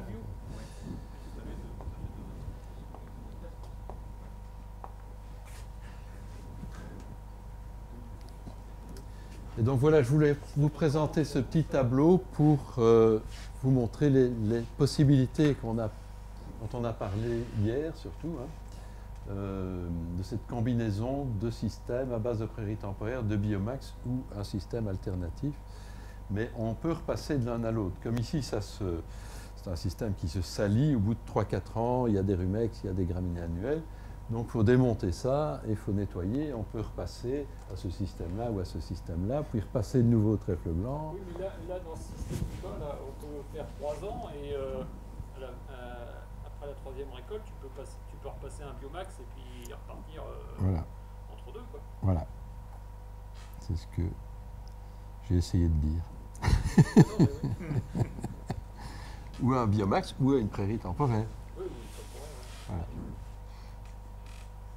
Donc on repart en fait ici ou là, euh, ou euh, après la dernière céréale panifiable, on, met un biomax et puis un métal et puis une. Enfin, Il y a une infinité de possibilités, ce sont exemples. Mais il y a une logique, c'est la, c'est la proportion de légumineuses dans la rotation, ça c'est très important, d'avoir à peu près la moitié de légumineuses, dont euh, 30 à 40% de prairies temporaires. Mais celui qui veut aller assez vite, euh, il, faut, il faut cumuler les, les- les deux options. Parce que sinon, euh, le temps que tes prairies temporaires ils fassent tout le tour de ta rotation, euh, tu vas tirer la langue. Voilà. Et donc pour ça, il faut avoir une source de euh, fiente de volaille, de fumier, parce que les premières années, évidemment, les prairies temporaires n'ont pas fait le tour, on est bien d'accord. Donc ça, c'est la période de transition où il faut avoir des mesures particulières, des prairies temporaires de plus courte durée, puisque si on les tient moins longtemps, elles tombent plus vite. Oui. Euh, mais ça suffit quand même pas, et il faut euh, des, des fientes et, et- et du fumier. J'aime bien le mélange des deux. hein. Euh, 20 tonnes d'hectares de fumier et, suivant la richesse du sol, 3, 4, 5 tonnes de fientes. Ah oui. Ouais. Un tonne de fumier, c'est pas mal. Ah ouais. Pour un biomax Pour mettre sur le biomax On met ça sur le biomax, mais pour la culture qui suit. Ouais, je comprends que j'ai pas. Combien de tonnes de fientes 3, 5. C'est pour ça que vous faites des gros rapports. Ah bah oui, ça, on n'a rien sans rien. Mais toute façon, au Mais les fientes c'était- coûtent pas cher, hein, on les achète oula. à 40 euros la tonne. Ah oui, 40 euros, c'est pas cher. Ah oui, parce Bah, que ça ça, dépend de en la- train de... Ouais. Ah oui, oui, c'est la folie, là. Oui, oui, euh, Ah, mais ça dépend de. Ouais, tout dépend du taux de matière sèche des fientes. hein. Aussi. Parce que si t'as des. Et de la teneur en azote. Ouais. Parce qu'il y a il, il faut distinguer le fumier de volaille des fientes, c'est pas la même chose. hein, donc, là, euh, euh, les gens présentent souvent des- du Ouais, fumier comme des fientes, mais c'est moins 40% riche en matière azote. sèche et puis à 60, euh, 75%. Ah oui, c'est pas pareil, oui, d'accord. Il n'y a que 10% d'écart de prix. euh. Oui, oui, non, ça vaut pas le coup, il faut acheter à 70. Non, non, ça il faut, quoi. Il faut, euh, Oui, non, mais.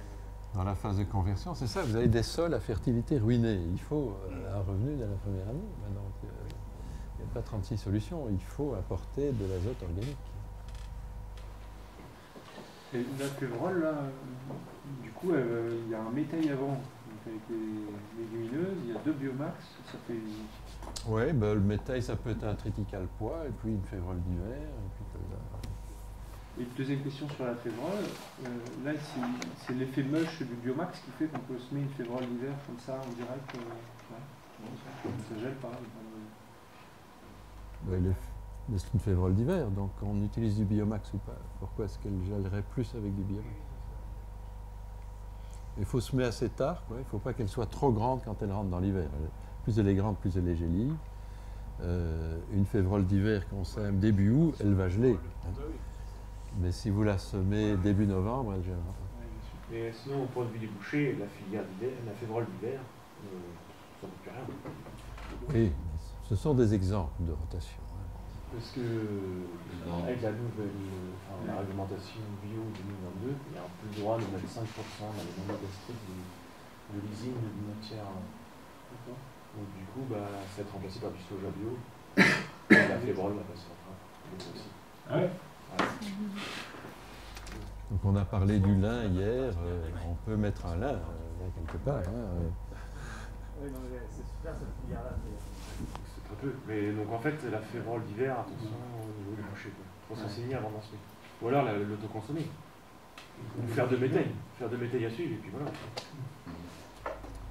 Alors j'ai pas trop parlé des pommes de terre, on a simplement euh, fait une petite allusion hier qu'on peut faire des petites buttes, euh, donc travailler pas trop profondément le sol, hein, faire des petites buttes et puis mulcher avec euh, des prairies temporaires, euh, donc du fourrage de prairies temporaires, euh, éventuellement conservé, donc on peut dérouler des balles d'ensilage euh, ou récolter la première coupe.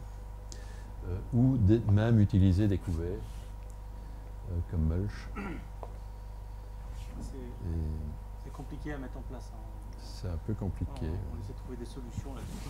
Donc on épand le fourrage avec euh, un épandeur à fumier. Et puis on couvre et puis c'est fini. quoi. De nouveau, c'est un peu compliqué au début, mais après on fait plus rien. Parce qu'on ne désherbe plus. Et les maladies sont fortement réduites. Donc ça vaut la peine, je pense. Après, il y a le problème de la récolte aussi, peut-être après. Comment ça se passe euh, si vous mulchez pour récolter euh, Après, s'il faut récolter à la main euh, Non, non, non, non, tu récoltes- non, parce que ça se dégrade. euh, Ça ça se récolte, dégrade. c'est Ouais, dégradé, ouais, euh, ouais, bah, quand ta vie du sol elle est correcte, ça se dégrade assez facilement, ça rentre dedans. Mais euh, enfin, c'est facile à mettre en place sur des bancs, sur quelques bandes ou des choses comme ça, mais. euh, Mais pas sur 50 hectares. euh, ouais, moi j'ai 20 hectares en pommes de terre, c'est. Il faut du volume déjà de matière. Ah, il faut un de ratio matière de verte. presque 2 hectares pour un hectare. Voilà. 2 hectares de fourrage pour un hectare de Ah oui. pommes de terre. Après, j'avais en, essayé, euh, en une coupe, mais après les autres coupes, euh, on les utilise à. Ouais, tu pourrais, ça couvre pas pareil, je pense. C'est- C'est pas assez riche. hein. Le, père Wines, euh, euh, qui était pionnier en la matière, disait euh, les- tout, ce que les, tout ce que les vaches aiment, les pommes de terre aiment. Ah, ah oui, d'accord. Et bon, bah oui. Et donc, une pomme de terre, elle a besoin d'azote et de potasse, c'est-à-dire une herbe d'assez bonne qualité avec un mélange graminé légumineux. Et donc, euh, miscanthus, euh, c'est pas ça. Mais on peut rajouter une couche de miscanthus Oui, oui, au-dessus, ou un peu de BRF, euh, même à 2-3 tonnes hectare. Et le BRF réduit fortement aussi les attaques de mildiou. Euh, enfin, c'est- il ne réduit pas dire- directement, mais par l'intermédiaire des champignons qu'il favorise. donc euh, oui, en tout cas, ça vaut la peine d'essayer euh, dans un coin de champ et puis vous verrez. Et après, bon, ben, on peut restaurer la structure parce qu'elle est quand même un peu abîmée, mais comme on apporte beaucoup de matière organique, il y a quand même une vie intense pendant la culture de la pomme de terre et donc l'impact euh, sur la- le sol est, est raisonnable. Il faut faire ça qu'un coup tous les, tous les 10 ans. Quoi. Oui, pas trop souvent. Et euh, dans cette idée-là, avoir le, un, un- planter les pommes de terre dans un, enfin, faire un mulch dans, dans un super biomax juste avant la pomme de terre. Qu'on aurait un biomax qu'on Ouais. détruirait à la plantation de la pomme de terre en fait. euh. Mais alors, il va être incorporé dans le sol, il fera pas de ah ben oui, il sera. Sinon, il faut une planteuse euh, en direct. Enfin, parce que moi, par exemple, moi, je fais des patates dans mon potager. Enfin, c'est pas la même surface non plus. mais je mets euh, 20-30 cm de paille, puis je plante mes patates en dessous. Parce que c'est pas possible avec du sec. Donc, tu mets du sec, tu le roules, et derrière, tu mets un, je sais pas, une sous-soleuse avec un disque devant, et puis tu plantes. Ouais. Mais je crois qu'il y a. Oui. Aux États-Unis, il y en a un qui fait ça. Oui, ouais, on a regardé ces machines, mais euh, enfin, c'est vraiment ultra expérimental. euh, Oui, c'est ça.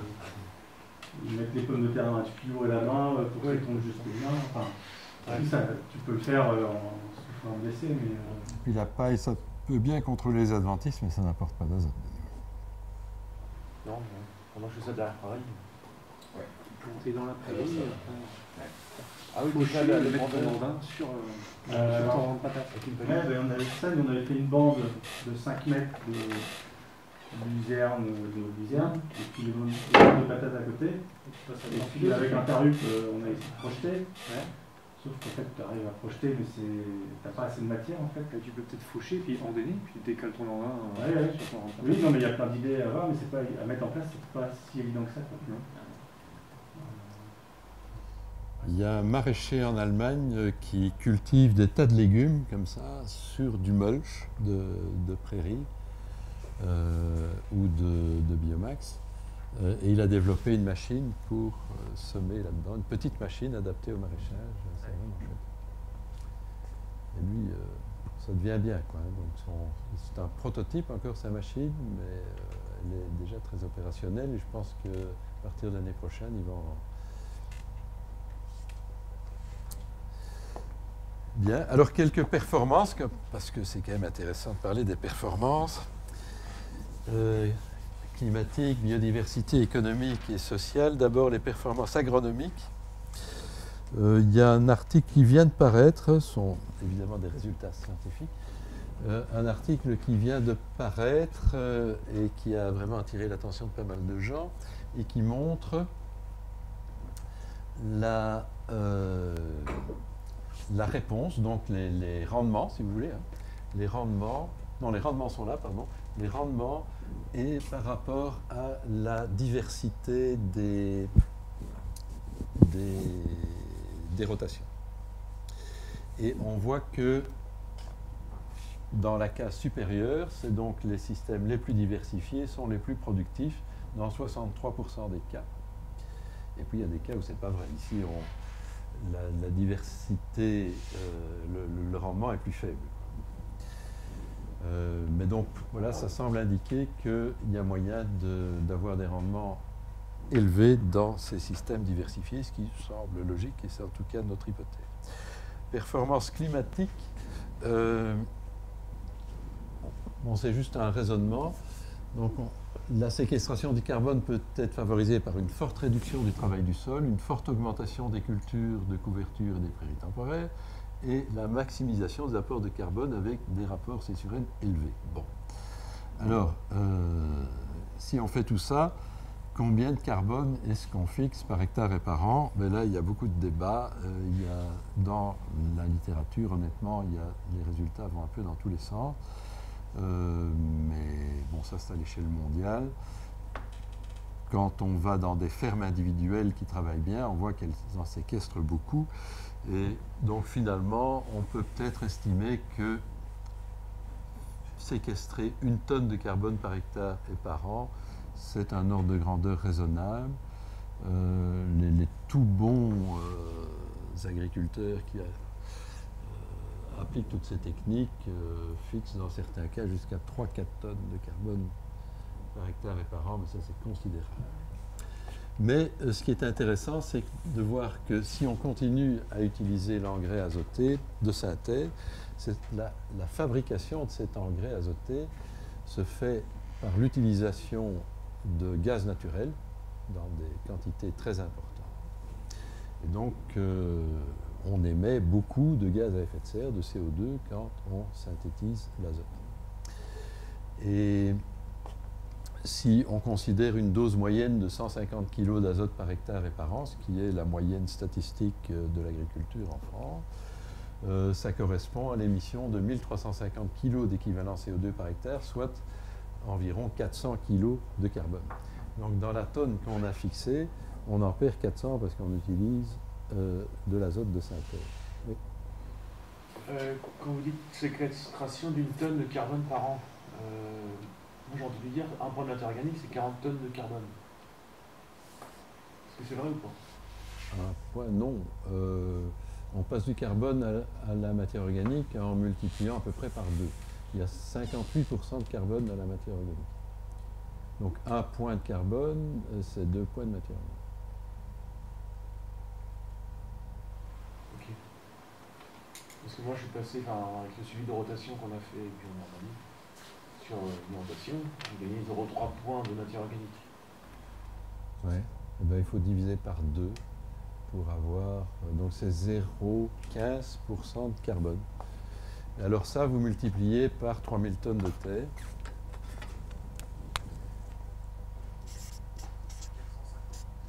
« 0,15 fois 3000, ça fait combien ça? Ça fait euh, 450.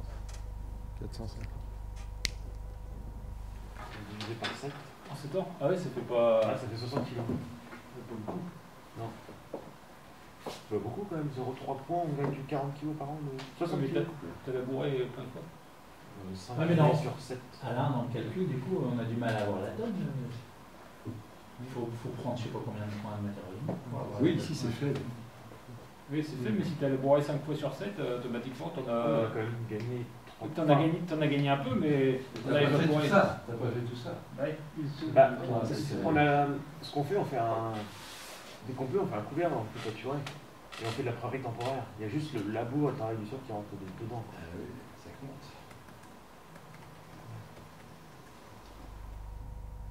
Ou alors la donnée n'est pas correcte. Peut-être que tu reprennes tes chiffres. Parce que ça paraît très peu. Ça paraît, ça paraît. Et c'est pas l'inverse. C'est le, un point de matière organique fait deux points de carbone ou c'est l'inverse? Non, il y a 58%, donc à peu près la moitié, de carbone dans la matière organique. 0,3, ça fait 0,15. Ouais. Et donc, vous voyez l'impact de l'utilisation d'azote au niveau de la société, de la, planète. Hein. Euh, et donc, le solde net doit être euh, réduit. Donc, si on séquestre une, une tonne, euh, on n'en a en fait gagné que 600 kilos. et donc, dans les systèmes bio sans labour, comme on n'utilise pas d'azote de synthèse, quand on séquestre une tonne, c'est plus une tonne. En bio classique, où on utilise euh, beaucoup de carburant pour le tracteur pour désherber les cultures, on doit aussi décompter ça. Euh, mais si on sème et on récolte, ou on, adopte le plus souvent cette, euh, cette solution-là, on séquestre quand même beaucoup de carbone. Alors ceci, c'est aussi une autre échelle, mais ça concerne aussi les émissions de CO2 c'est une série de, systèmes de production de tomates en Italie. Euh, et en bleu, vous avez les émissions dues à la production, et en rouge, les émissions euh, liées à la manutention, à l'emballage et à la distribution des produits. Et on peut comparer deux systèmes. Voilà. Le meilleur système qui produit le moins de CO2, et celui-là c'est le, moins bon système. C'est un, système où les tomates sont cultivées en champ, sont emballées de façon régionale et donc consommées à l'échelle régionale, est distribué dans un système de panier. Et donc il y a très peu d'émissions à la sortie du champ. Et ici, on est dans un système de, de, serre. Euh, les tomates sont vendues dans d'autres régions, typiquement d'Espagne en France, euh, emballées et vendues dans un supermarché. Et vous avez toute une série de cas intermédiaires. Donc on voit l'importance aussi de, bah, du système de production d'abord, parce que la partie en bleu, là, elle est beaucoup plus petite qu'ici, et puis l'importance de la distribution euh, du, produit.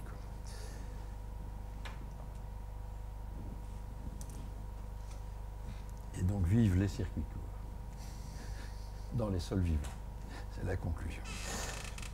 Alors, l'agroécologie est aussi une réponse à la crise de la biodiversité. On, voit ici euh, une comparaison entre les systèmes conventionnels en bleu, bio en jaune et l'agriculture de conservation en vert. Un premier graphique avec euh, l'effet de ces trois systèmes sur les quantités de vers de terre par unité de surface, ici en grammes par mètre carré. En conventionnel, il y a peu de verre, peu de poids de verre. En bio, il y en a nettement plus. Et en agriculture de conservation, encore plus. Et la deuxième, deuxième figure concerne les nématodes pour les mêmes systèmes. On voit qu'en conventionnel, il y a très peu de nématodes. En bio, euh, nettement plus. Et en conservation, encore plus. À peu près les mêmes rapports que pour les vers de terre.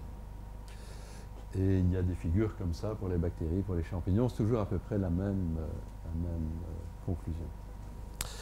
Et donc, euh, comme on essaye de combiner les, les, avantages des deux systèmes, on peut penser qu'en agroécologie pure, on est au moins aussi performant qu'en agriculture-conservation et probablement même un peu meilleur, puisqu'on n'a plus l'impact des pesticides sur la biodiversité. Alors, euh, dans les fermes dont je m'occupe, on voit un, impact très positif du développement du réseau écologique, des biomax, euh, donc des bandes herbeuses, euh, et de la rotation d'une façon générale et des pratiques sur une série de passereaux, dont la linotte, le verdier et le chardonneret, sont nettement en augmentation. Les rapaces sont très favorisés, le faucon cresserelle, la buse variable, mais aussi des espèces plus rares comme le milan royal, qui est une espèce Natura 2000. Et puis dans la première ferme dont je me suis occupé, il y avait encore quelques perdrix, parce qu'il y a des régions où il n'y a plus du tout de perdrix en Belgique, donc là on a du mal à remonter les populations, parce que 0 x 10, ça ne fait jamais que 0. Euh, mais euh, dans la première ferme, il y avait encore quelques, quelques perdrix. Et dans la ferme elle-même, il ne restait plus qu'un couple dont euh, un des, des, membres avait une patte cassée et il ne se reproduisait plus. Et au bout d'un an de conversion, donc l'installation des bandes, Biomax, on a planté des, mais ça, n'avait aucun effet parce que c'était des petites baguettes, euh, des prairies temporaires, etc.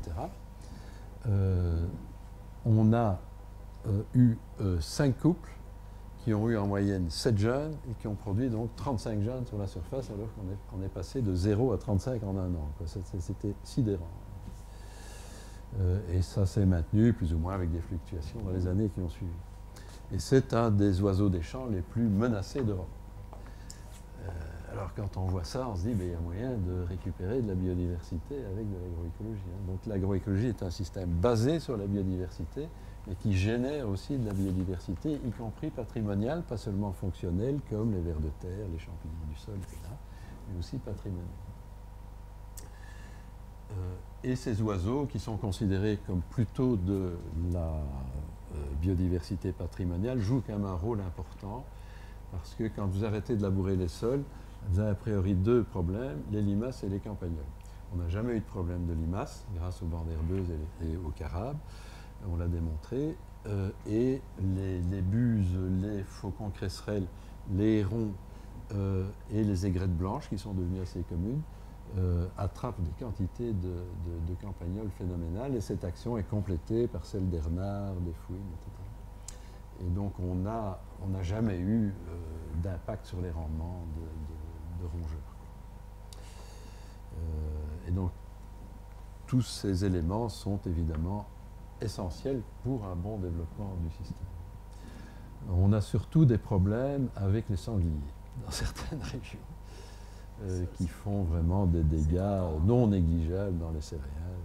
Ils adorent les biomax aussi, euh, ils campent dans les biomax.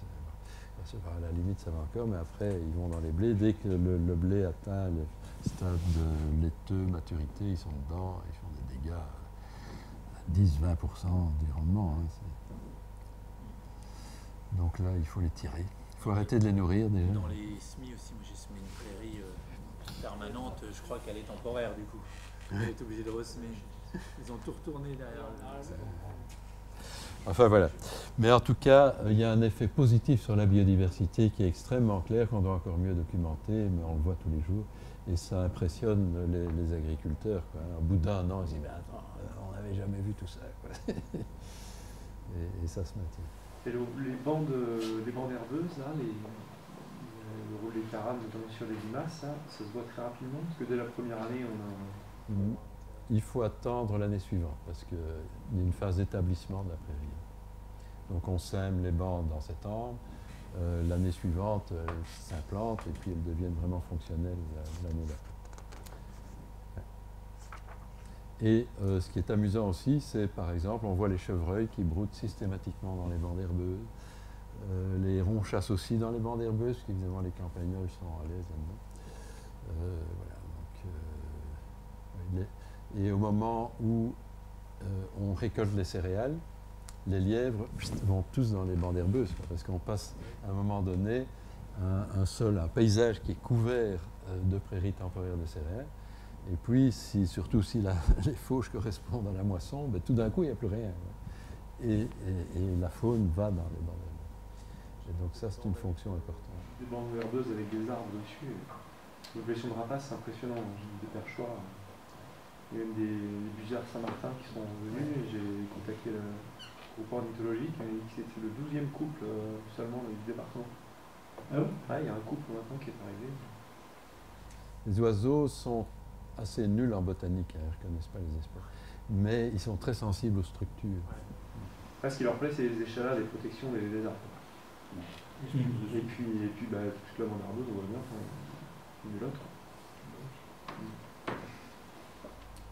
Alors si vous voulez avoir des perdrix, gardez des haies basses, à pas plus de 2 mètres, maximum 3.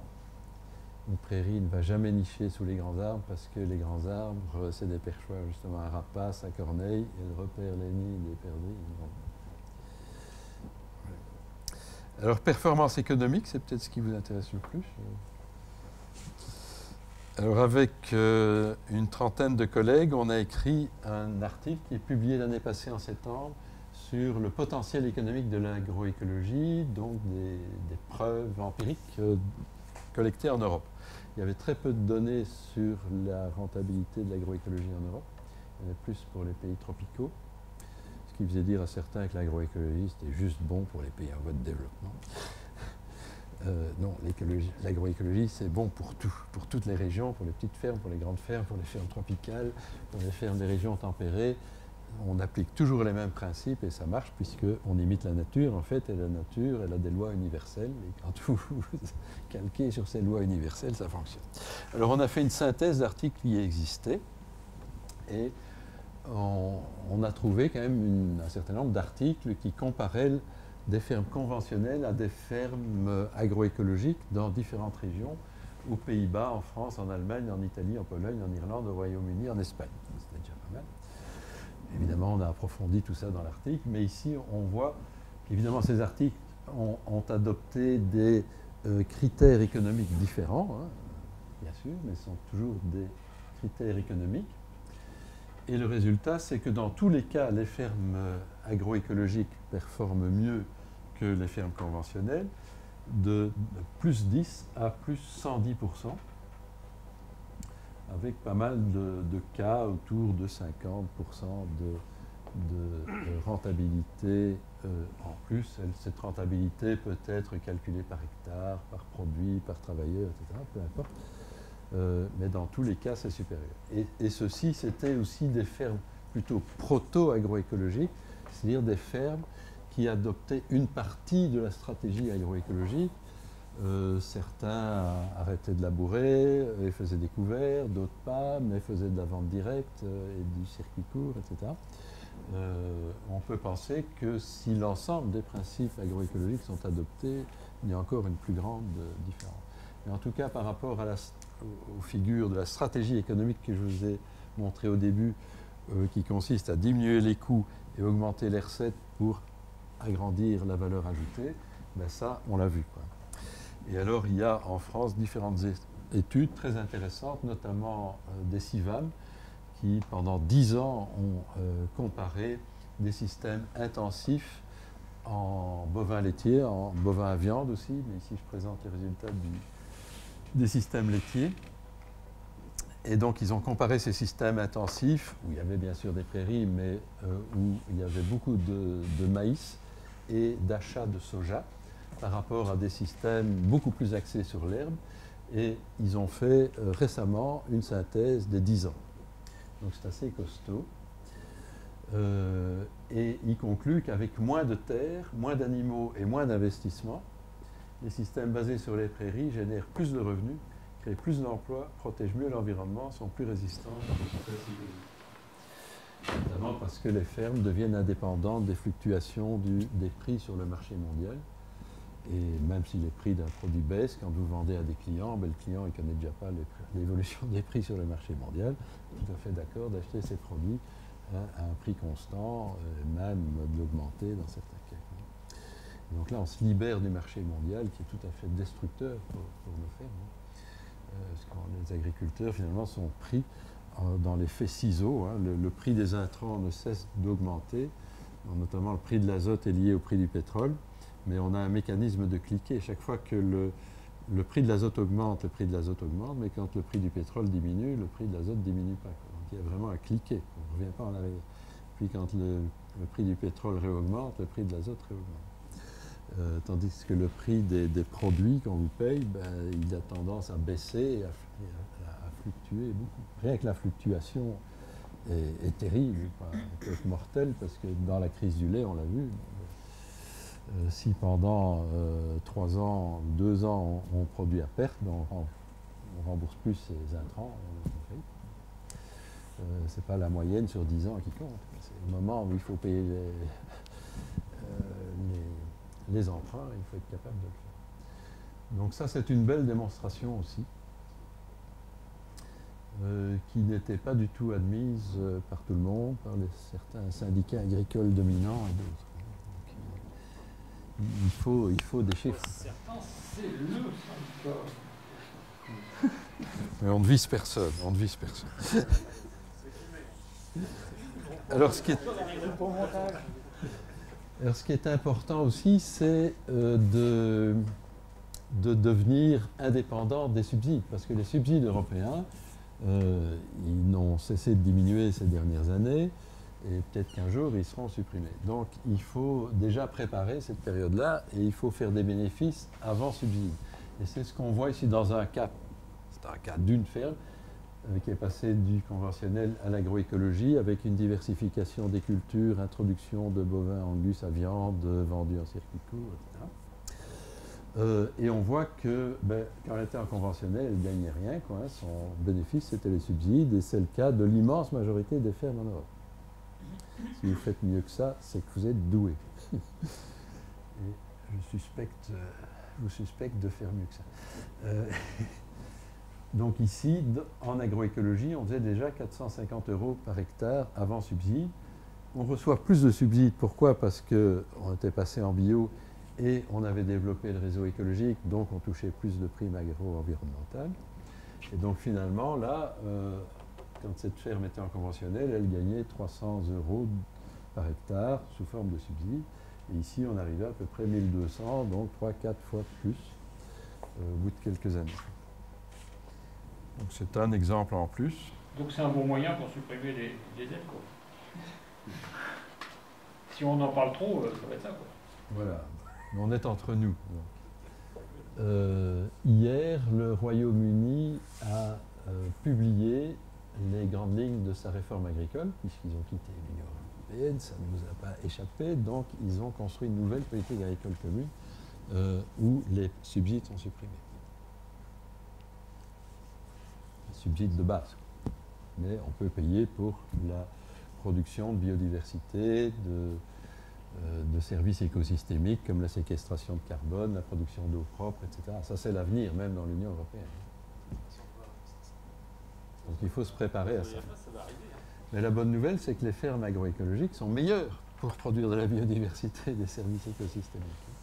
Ce qui me frappe très fort dans les fermes agroécologiques, que je considère comme agroécologiques en Belgique, euh, sont des fermes où il y a des successeurs, systématiquement, et souvent il n'y en a pas qu'un, il y en a deux ou trois. Donc on passe de ferme, on va passer de, ferme, ou en une génération, on passe d'un emploi à trois ou quatre. C'est régulier, c'est chaque fois comme ça. Alors que dans les fermes conventionnelles, il y a rarement un successeur. Euh, donc ça aussi, c'est un indicateur de performance de l'agroécologie. Euh, bon, si on combine ça à la prime par euh, unité de travail, ça devient très intéressant. Mais on peut aussi, parce qu'il y a des tas de gens originaires du milieu urbain, qui ne sont pas originaires du milieu agricole, qui aujourd'hui veulent donner du sens à leur vie, on en parlait hier à table. Euh, et, donner du sens, c'est notamment euh, développer des activités agricoles, souvent sur des petites surfaces, des petites fermes, du maraîchage, etc. Et le problème de ces gens-là, c'est la compétence, c'est aussi l'accès à la terre. Et on peut, dans, si on est propriétaire terrien ou agriculteur comme vous, euh, imaginer des systèmes où on donnerait accès sur un ou deux ou maximum trois hectares à ces porteurs de projets euh, qui payent une sorte de, location euh, qui représente au moins le bénéfice que vous pouvez faire avec des, des grandes cultures d'élevage. Euh, et bon, ben, c'est intéressant, il y a des échanges d'expériences, euh, vous pouvez avoir des, légumes de qualité de votre terre sans les produire vous-même, euh, vous pouvez leur apprendre des tas de choses. Il faut aussi les encadrer par des organismes comme Vers de Terre Production pour leur apprendre la technique, ils doivent étudier ça dans la pratique aussi. mais on a aussi besoin d'eux, notamment dans des ceintures autour des villes, etc. Et quand les conditions sont réunies, euh, notamment ce couple-là, euh, qui maintenant fonctionne depuis des années, je suis aussi dans un, projet qui s'appelle Perma Project en Belgique, euh, où on donne accès à la terre à des jeunes, mais il y a un encadrement technique et scientifique. Euh, ils reçoivent, euh, donc le propriétaire des terres paye les terres, euh, la petite mécanisation, etc. il y a une coopérative qui associe l'agriculteur principal ou le propriétaire avec les, les jeunes porteurs de projets. Et puis, donc, ils commencent leur business. Au bout de deux ou trois ans, ça commence à tourner. Et puis, alors là, ils commencent à rembourser les investissements qui ont été faits pour des serres, de la petite mécanisation, par exemple. Euh, et donc, l'encadrement est assez serré. Et, ça, ça marche bien aussi. Et il y a une association win-win entre la grande ferme et la petite ferme. Tout le monde y gagne les, les, jeunes doivent, ont accès à la terre, ils ne doivent pas l'acheter, euh, et, l'agriculteur principal, bah, il, a d'autres bénéfices, il, a une sécurité puisqu'il il, il, a un revenu qui est au moins égal à ce qu'il gagne sur ses terres, qui peut être supérieur, puisque la production de valeur ajoutée est supérieure en maraîchage qu'en agriculture. Donc c'est réaliste de faire ça. Euh, et puis il y a tous ces aspects sociaux, relationnels, qualité des produits, diversification de de la ferme. Donc ce sont des idées nouvelles, mais qu'il ne faut peut-être pas rejeter. Et alors c'est amusant de voir que quand les clients viennent dans la ferme, c'est une des possibilités, mais il y a d'autres possibilités de commercialisation. Ici, ils vendaient leurs légumes euh, tous les vendredis après-midi. Euh, bon, bah alors les acheteurs, les mangeurs, comme on les appelle, viennent dans la ferme et alors ils se rendent compte de ce que c'est que de produire des aliments. Et tout d'un coup, on voit des jeunes enfants qui, à leur grande surprise, comprennent que les aliments ne sont pas produits dans les grands magasins, mais dans un sol. Et même les parents apprennent des tas de choses parce que, notamment ce monsieur-là, il pensait que les pommes de terre pendaient aux arbres, comme les pommes. Et, du coup, ça réduit le gaspillage alimentaire parce que les consommateurs euh, voient tout le travail euh, qu'il y a derrière la production d'aliments. Et, donc, ils respectent plus l'aliment, les, contacts entre agriculteurs et, les, citoyens des villes euh, qui sont fort déconnectés de, de, tout de la nature, de la- de l'agriculture, s'améliorent. Enfin, il y a des tas d'avantages à. Et puis les gens recherchent du local maintenant. euh, la crise du Covid a renforcé ça. Euh, et donc tout ça va un peu dans le même sens. Voilà. Et donc euh, l'agroécologie peut donner un futur à votre ferme hein, en créant des emplois dans la ferme, en assurant la succession. Un cas d'une jeune femme qui a dit à son père, qui a près de 65 ans, elle a dit Bon, papa, je veux bien reprendre ta ferme, mais à une condition, c'est qu'elle passe en agroécologie. Et je veux dire que c'est souvent les femmes qui poussent aussi les mères, qui soutiennent leur, leur fils ou leur fille pour euh, passer en agroécologie. Il faut reconnaître que les femmes sont plus sensibles à la toxicité des pesticides, par exemple, que les hommes. Euh, nous, les hommes, on aime la technologie, les grosses machines et tout ça, et les femmes plus- sont plus sensibles à la fertilité du sol, à la vie du sol, et évidemment à l'impact sur leurs enfants. Il faut nouer des contacts entre les clients et les mangeurs, enfin les clients qui sont les mangeurs, redonner du sens au travail agricole aussi, on a pu nourrir euh, l'agro-industrie euh, dans le modèle classique, vous produisez du blé, vous produisez euh, je ne sais pas quoi, vous savez même pas qui va utiliser ça. Est-ce que le blé va partir en Chine? Est-ce qu'il va nourrir des cochons à 500 km ou à 10 km On n'en sait rien. À partir du moment où on a des contacts avec les mangeurs, euh, ça redonne du sens. Et quand on voit la fertilité du sol aussi qui s'améliore, la vie du sol, la biodiversité en général, ça aussi, ça donne du sens. Essayer de s'insérer dans des ceintures alimentaires autour des villes, développer des réseaux de producteurs, de transformateurs, de, distributeurs. Et euh, tout ça peut recréer, et c'est mon rêve, mais qui ne me semble pas totalement irréaliste, et c'est le rêve de plus en plus de gens, c'est de recréer des milliers d'emplois en agriculture et dans les zones rurales autour de cette agriculture, pour le développement de l'artisanat, les meuniers, les, les boulangers, les, les qualités, euh, les, les gens... Comment Les vanniers. les vanniers, euh, les, les gens qui produisent des, des teintures aussi, euh, des types qui se mettraient à faire du thé de compost euh, pour vous proposer ce service-là, types qui regardent le sol pour voir s'il s'améliore et c'est comme une analyse de sol, quoi, plutôt que faire une analyse chimique, faire une analyse biologique du sol. Euh, il y a des, tas de nouveaux métiers qui peuvent être euh, créés. Euh, ça redonne une autonomie et du pouvoir aux citoyens. On reprend le pouvoir sur la région. le 21e siècle sera un des siècles les plus dangereux dans l'histoire de l'humanité. Ça, je pense que ça n'a échappé à personne. Et donc, assurer une autonomie alimentaire, ça devient stratégiquement euh, très important, ne pas devoir dépendre de, sources d'approvisionnement au bout du monde. Euh, c'est c'est plus raisonnable au XXIe siècle. Et renforcer tout ça avec des monnaies locales qui font que euh, l'argent circule dans une région donnée, dans une grande mesure.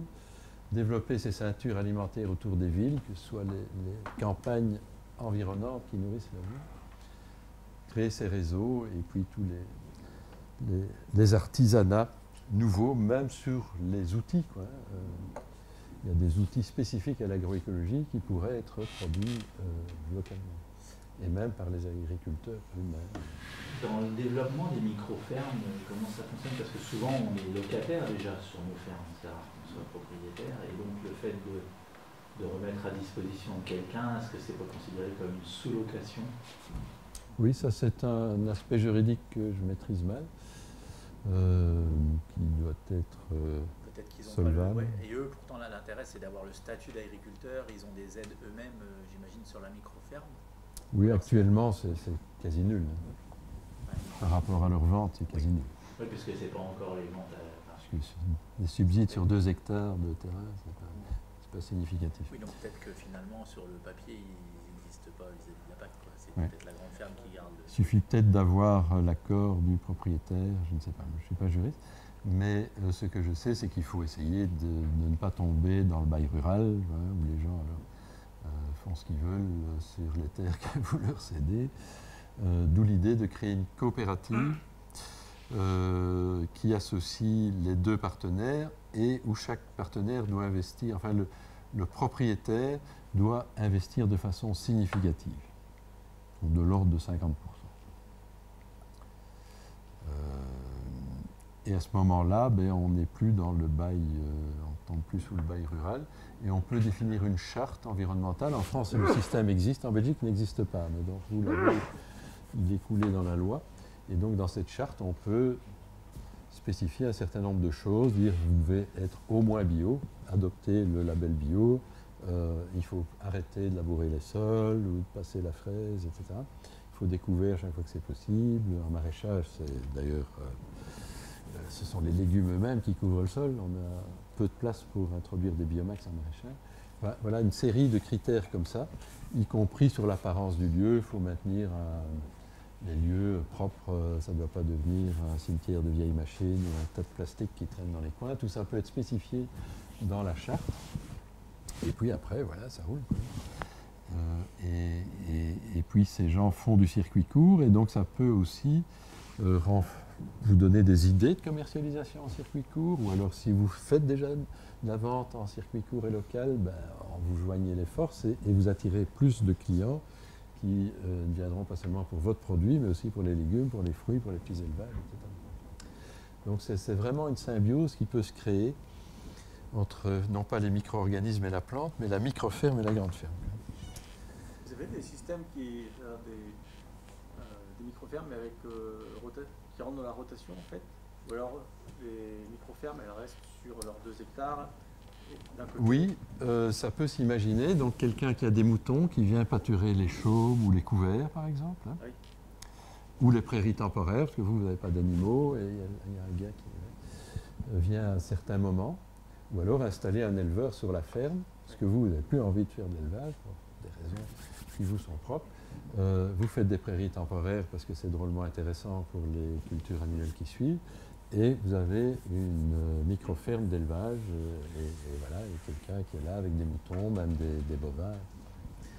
Tout ça est possible.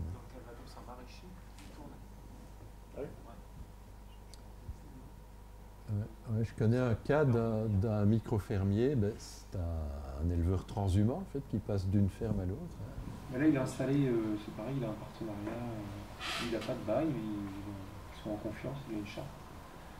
Mais il reste, euh, il va sur des prairies euh, temporaires en fait, et, et du coup, il tourne tous les deux ans, je pense. D'accord. Ouais. En maraîchage. souvent maraîchage. Ah oui, ça aussi. sa oui. euh, un raccord, ouais. Parce que ça pourrait être Il est vraiment rotation. dans l'intérêt de tout le monde, enfin de lui entre autres, euh, ça peut être sympa de faire de la rotation. Oui, tout à fait. Oui, dans, dans ce cadre-là, oui. Je pensais à la rotation entre fermes. Oui, non, c'est dans. Non, ceci est très intéressant aussi, oui. Oui, parce qu'on loue des hectares et ces- les hectares ne doivent pas être désignés. Puisque c'est une coopérative. En fait, le propriétaire met la terre ou loue la terre à la coopérative. Et donc, c'est l'ensemble des terres qui rentrent dans le panier de la coopérative. Et donc, on n'a pas besoin de rester, la microferme n'est pas attachée à des hectares spécifiques.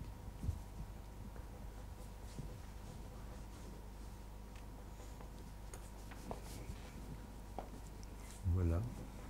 Voilà ce que je voulais vous dire, en tout cas.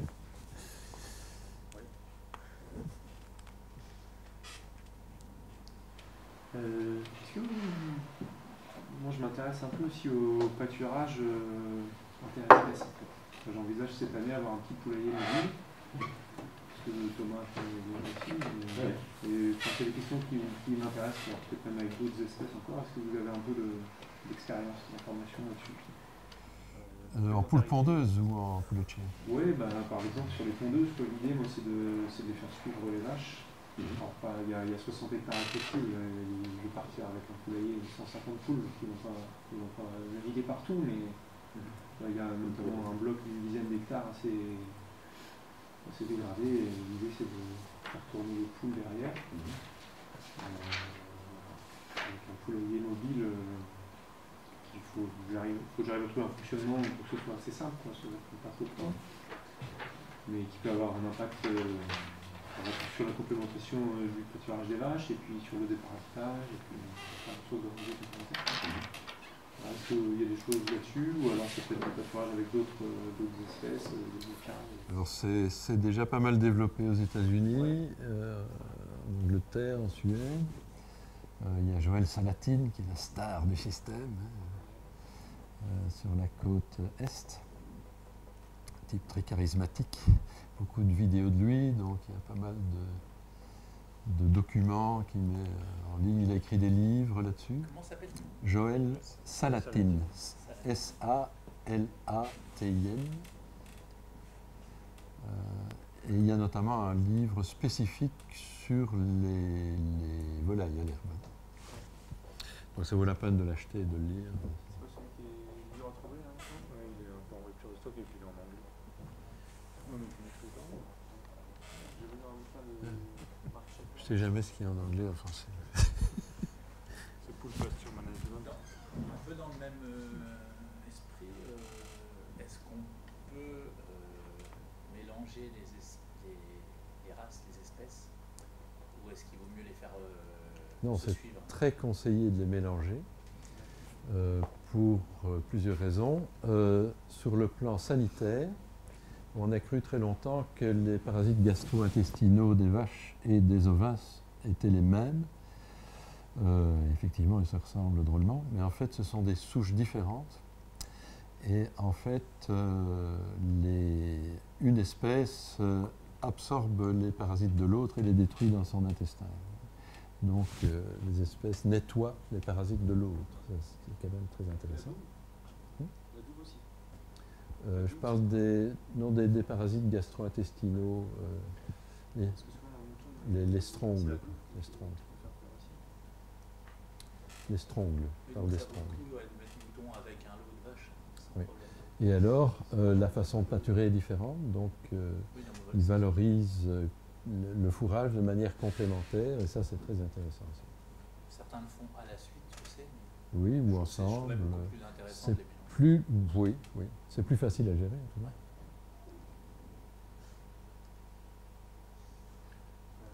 Après, c'est la gestion des clôtures. Les moutons et les bovins. euh, Oui. Bah, ouais, Les de toute clôtures ne sont pas les mêmes. oui. Dans les, dans les pâtures très humides ou dans les pâtures vraiment les prairies permanentes à vaches, je- on est parti sur des clôtures classiques. Mais dès que c'est euh, un peu les plateaux, Mhm. où finalement on, a pas- euh, on sait que les vaches vont pas y être de trop, mais on part direct avec des clôtures à, pour pouvoir être faire les deux. quoi. Alors à propos des poules pondeuses, il y a un équipement qui est vendu en Allemagne qui est vraiment le top du top et amortissable en quelques années, je ne sais plus si c'est deux ou trois ans. Donc il y a un investissement Ouais. Qui est autonome en énergie, avec des panneaux solaires, euh, facile à nettoyer, etc. Oui, donc Euh, Je dis pas qu'il faut acheter ça, mais ça existe. Donc on peut au moins s'en inspirer pour construire un poulailler soi-même. Et euh, bon, on peut euh, utiliser des vieilles roulottes aussi. Euh, le problème, c'est qu'à ce moment-là, il y a des acariens, des trucs qui se mettent dans le bois, et donc il faut aussi traiter tout ça, ce qu'on n'a pas dans des surfaces qui sont métalliques ou en plastique. Euh, donc il faut, faut bien, faut bien réfléchir à ça. Dans le système euh, allemand, euh, donc les, les poules bougent et sont, le parcours est clôturé avec euh, un, fi- un- un film et un, un filet, un filet électrifié à mouton, euh, qui ne sert pas tellement aux poules, mais qui sert à empêcher les renards de venir attraper les poules, même en journée. c'est- tout de suite beaucoup plus de temps, quoi, dès qu'il faut mettre un filet. euh. Mais quand on, oui, mais quand on déplace le poulailler, on déplace le filet. Ouais. Ah, mais c'est déplacer le poulailler il y a pas trop longtemps, ramasser les œufs, euh, Oui, oui. manger un peu de temps, faut se faire bouger le filet. Parce que tu vas bouger le poulailler régulièrement? Bah, tous les trois jours à peu près. Mm. euh, bouger. Mais sinon, elles font des trous dans la prairie. hein. Elles, elles font des trous dans la prairie. Alors, moi, je pense qu'on peut accrocher un bain de sable derrière le poulailler.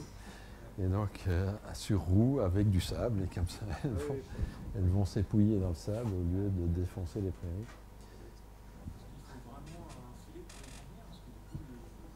Non, c'est pas pour les contenir, c'est pour éviter que le renard vienne et mange. Sinon, euh, demain matin, euh, il faut les enfermer tous les soirs. hein. Enfin, c'est la journée. Oui, dans tous les cas, il faut les mettre au poulailler.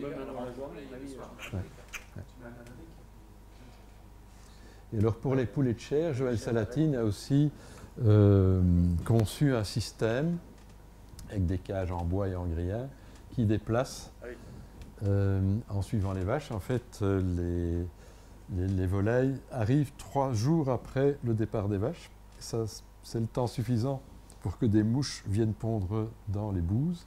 Donc il y a des asticots qui se développent dans les, bouses et c'est une source de protéines euh, intéressante pour, et d'acides aminés de qualité pour les volailles. Ils mangent de l'herbe et, et ça. quoi. Et donc vous pouvez compléter avec une ration qui est relativement peu riche en, en azote euh, et qui est produite dans la ferme. Lui utilise du triticale euh, pour complémenter. Le blé est peut-être encore supérieur. Euh, voilà, donc ça peut être produit dans la ferme en tout cas. Et donc il déplace ça manuellement. Ces, cages ne, sont pas lourdes il les déplace avec Un. Oui, un truc qui déplace, qui permet de déplacer les, les cartons. Là. Je sais pas comment ça s'appelle. Euh, voilà, il fait ça comme ça. Évidemment, euh, les, les poulets euh, ne, ne valorisent pas toute la prairie puisqu'ils ne savent pas manger toute la surface. Donc, chaque fois qu'on déplace les vaches, on, on déplace les poulets trois jours après. Combien de poulets par vache? Et donc ce système-là demande du travail, mais le gros intérêt, c'est que la prédation est, nulle.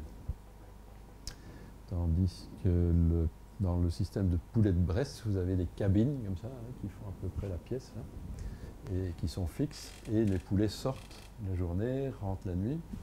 Mais dans la journée, euh, il y a quand même de la prédation par les corneilles, par les rapaces, par les fouines, par les renards. Euh, et donc il y a moins de travail, mais euh, il y a plus de pertes. Donc tout ça, voilà. Moi je pense que le système en cage mobile est quand même intéressant dans le cas des poulets. Puisque dans le cas des poules pondeuses, comme elles sont adultes, elles ne sont pas des jeunes poulets, euh, il y a beaucoup moins de prédation sur des poules On avait vu, on avait vu euh, en formation avec Ulrich, euh, quelqu'un qui posait des pommiers et puis des poules pondeuses dessous. En fait, il- Dans la manche? Non, euh, dans, en Picardie, euh, enfin, à côté de Senlis. Et en fait, il a arrêté. En fait, il, a, il déplaçait ses poulets dans les vergers. Il, avait beaucoup de vergers, hein, 80 hectares. je crois. Et en fait, au début, ça va. Sauf qu'à force de déplacer les poulets, euh, ils sont perdus et puis ils rentrent pas tous. Et puis à un moment, tout, le monde est perdu. Et puis euh, le système, il a foiré euh, parce que le, poulailler bougeait trop et que toutes les poules ne rentraient pas. Et au bout d'un moment, il y en a qui sortaient même plus parce qu'elles étaient. Oui, euh, Joël Salatine insiste beaucoup sur le fait qu'il faut euh, laisser les poules rentrer dans le poulailler et puis déplacer le poulailler. Quand elles sortent le lendemain, elles ont repéré où est le poulailler, elles y vont. quoi. Mais si on, les, on déplace le poulailler quand elles sont à l'extérieur, là, ça va pas du tout. Ouais, mais je sais pas, je sais pas justement comment il a Oui, fait. mais même de 50 mètres, ça va être 100 Mais il en, a, il en avait pas mal, hein, euh. Il en avait pas mal. Et, et- ça dépend aussi, je pense, que c'est des Et alors les enfermer, quoi. Les systèmes où on compte sur des fermetures automatiques le soir, ça marche pas très bien. Alors un copain de Joel Salatine, mais ça c'est tout à fait américain, il restait dans son salon, il attendait que les poules rentrent, et alors il tirait sur un mécanisme qui fermait la trappe. Il faut être américain pour penser à ça.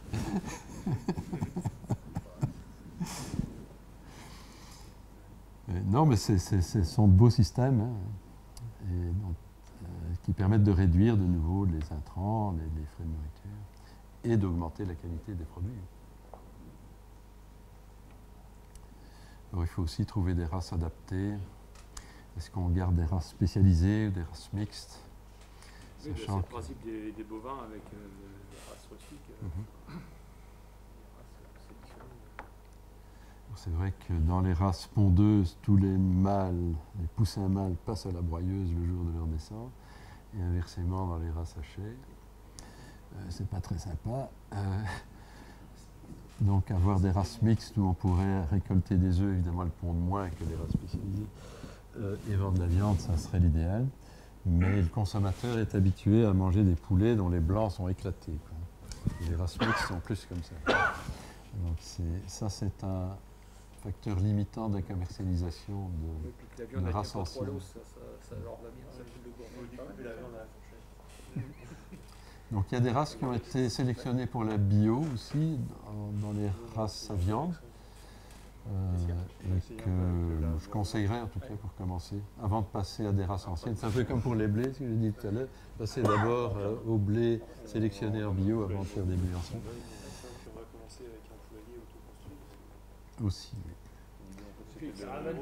Mais il y a des plans dans le livre de Salatine ou sur Internet, on trouve des plans, c'est pas très compliqué. Ouais, c'est les débuts. Parce que sinon, si tu déplaces la tonne d'eau, tu fais un cabane sur la tonne d'eau, comme ça tu déplaces On la avait 50 Ouais. en Une paire de couches, on a fait deux séries de Se 50 déplacer sans utiliser un tracteur, donc le également, c'est. Même si c'est bien fait, euh, sans tracteur. Oui.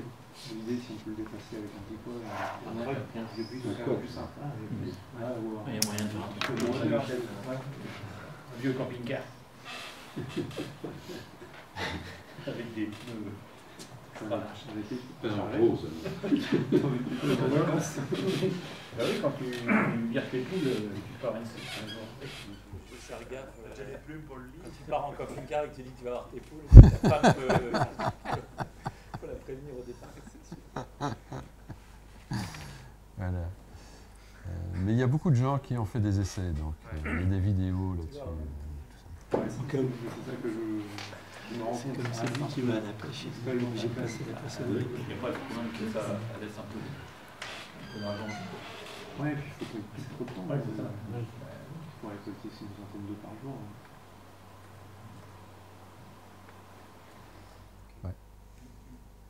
Essayez d'avoir des réserves d'aliments aussi et d'eau pour plusieurs jours, pour pouvoir apporter chaque jour. Et, et les aliments, ça c'est un- une grosse partie du boulot.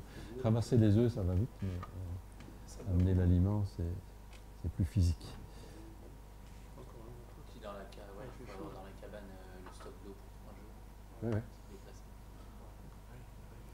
Dans système allemand, la, réserve d'eau est un gros tuyau qui fait toute la longueur de, de la roulotte. disons. C'est pas un gros machin.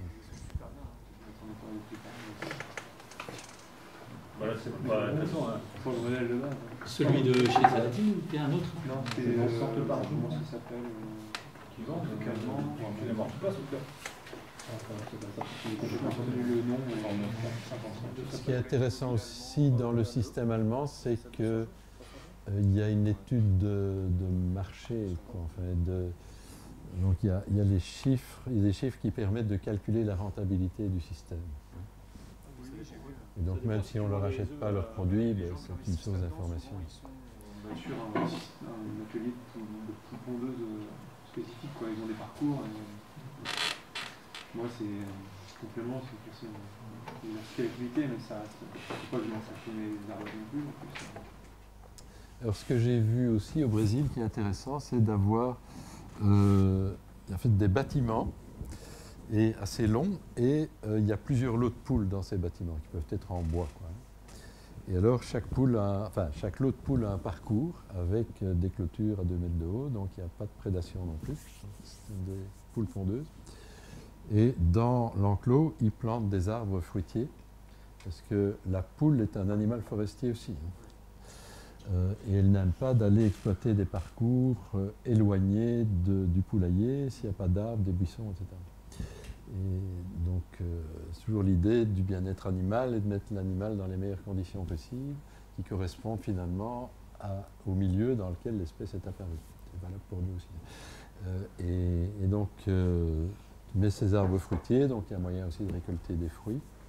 En dessous, ben, elles détruisent la végétation parce que l'espace est quand même limité. Euh, et alors, euh, euh, dans l'élevage que j'ai vu, ils apportaient de la verdure tous les jours, plus des, donc aliments qui sont servis dans la partie, dans le bâtiment, de façon à ce que les oiseaux ne viennent pas manger les graines. Et je trouvais que ça fonctionnait vraiment bien. Et les pondoirs sont à l'intérieur aussi. Il n'y a pas à bouger le bâtiment. il y a juste- Non, on ne bouge pas, voilà. Et c'est pas un élevage industriel. Enfin, on peut avoir beaucoup de poules, mais elles ne sont pas toutes ensemble. Il y en a qui alternent aussi euh, présence des, des poules à un an et l'année après ils jardinent dessus. Oui, Ils tournent aussi, j'ai vu ça l'autre jour sur un oui évidemment, le sol devient riche à la longue. Ouais, ouais. Et- Ouais, mais une, année, une année poule et puis l'année d'après tu passes à côté, tu pétais. Ouais. Et puis euh, Il y a peut-être moyen, oui, de, pour chaque lot, avoir les deux. quoi. Ouais, le maraîchage tournant. Ouais, maraîchage tournant quoi. Le système Ouais. de port, ça se fait aussi. En port plénière. Oui, ça c'est conseillé d'ailleurs. Euh, Qu'est-ce que je voulais dire? Oui, et et cet éleveur-là, enfin, j'en ai vu plusieurs, mais il y en avait un qui mettait aussi un coq avec les poules, ce qui n'arrive plus évidemment dans les élevages industriels. Et évidemment, euh, ben, le- il faut nourrir le coq, et, et donc c'est un peu de perte, mais il disait que les, les- les poules étaient beaucoup plus calmes quand il y a un coq. La hiérarchie sociale est Ah, totalement ouais, différente. ouais, que les, les races anciennes, elles sont prévues pour couler. ouais. Elles vont pondre et puis euh, on va chercher à trouver euh, entre les races pondeuses. Ils ont oublié ça. Quoi. Combien que ma chienne elle va faire bravo aussi. puis j'aime bien, quoi. Moi, je crois que le, le coup du coq ou du bélier ou du, du taureau, enfin, c'est une évidence, euh, ça a été montré. chaque fois, les troupeaux sont plus calmes. Et... Quand il y a un bonhomme. Ouais, ouais, il Mais la chef du troupeau est toujours une vache, hein, c'est jamais le taureau qui est le, chef. Euh, et, dans la nature, en fait, euh, on a pu reconstituer ça sur la base d'observations de gardes-chasse polonais. Il y a un Hollandais qui a appris le polonais, il a décrypté tout ça, puisque le roc a disparu. On ne peut plus l'observer aujourd'hui. Et donc, comme chez les cerfs, en fait, les femelles et les mâles ne, vivent ensemble qu'une partie de l'année. La plus grande partie de l'année, les mâles vivent dans leur coin. Il y a des mâles solitaires, il y a des, groupes de mâles, et puis il y a les femelles avec les jeunes, par. Euh, et donc, il, y a une s- il se retrouve à l'époque de, la lutte, et, et puis euh, c'est organisé de telle façon que les, les veaux naissent en fin d'hiver, début de printemps. Donc c'est ce qu'on retrouve aussi dans des systèmes plus agroécologiques. On n'a rien inventé. On n'invente rien, on imite. Mais si on laisse des taureaux avec des vaches euh, domestiques, bah, on a des veaux toute l'année. Donc euh, nous, on doit quand même enlever les taureaux à un moment donné. Ouais, sauf s'ils sont toutes euh, gestantes en, en deux mois de temps et là, t'es tranquille. Oui, voilà. On les met ensemble en juillet-août, début septembre. Voilà, je crois qu'on doit aller manger, non?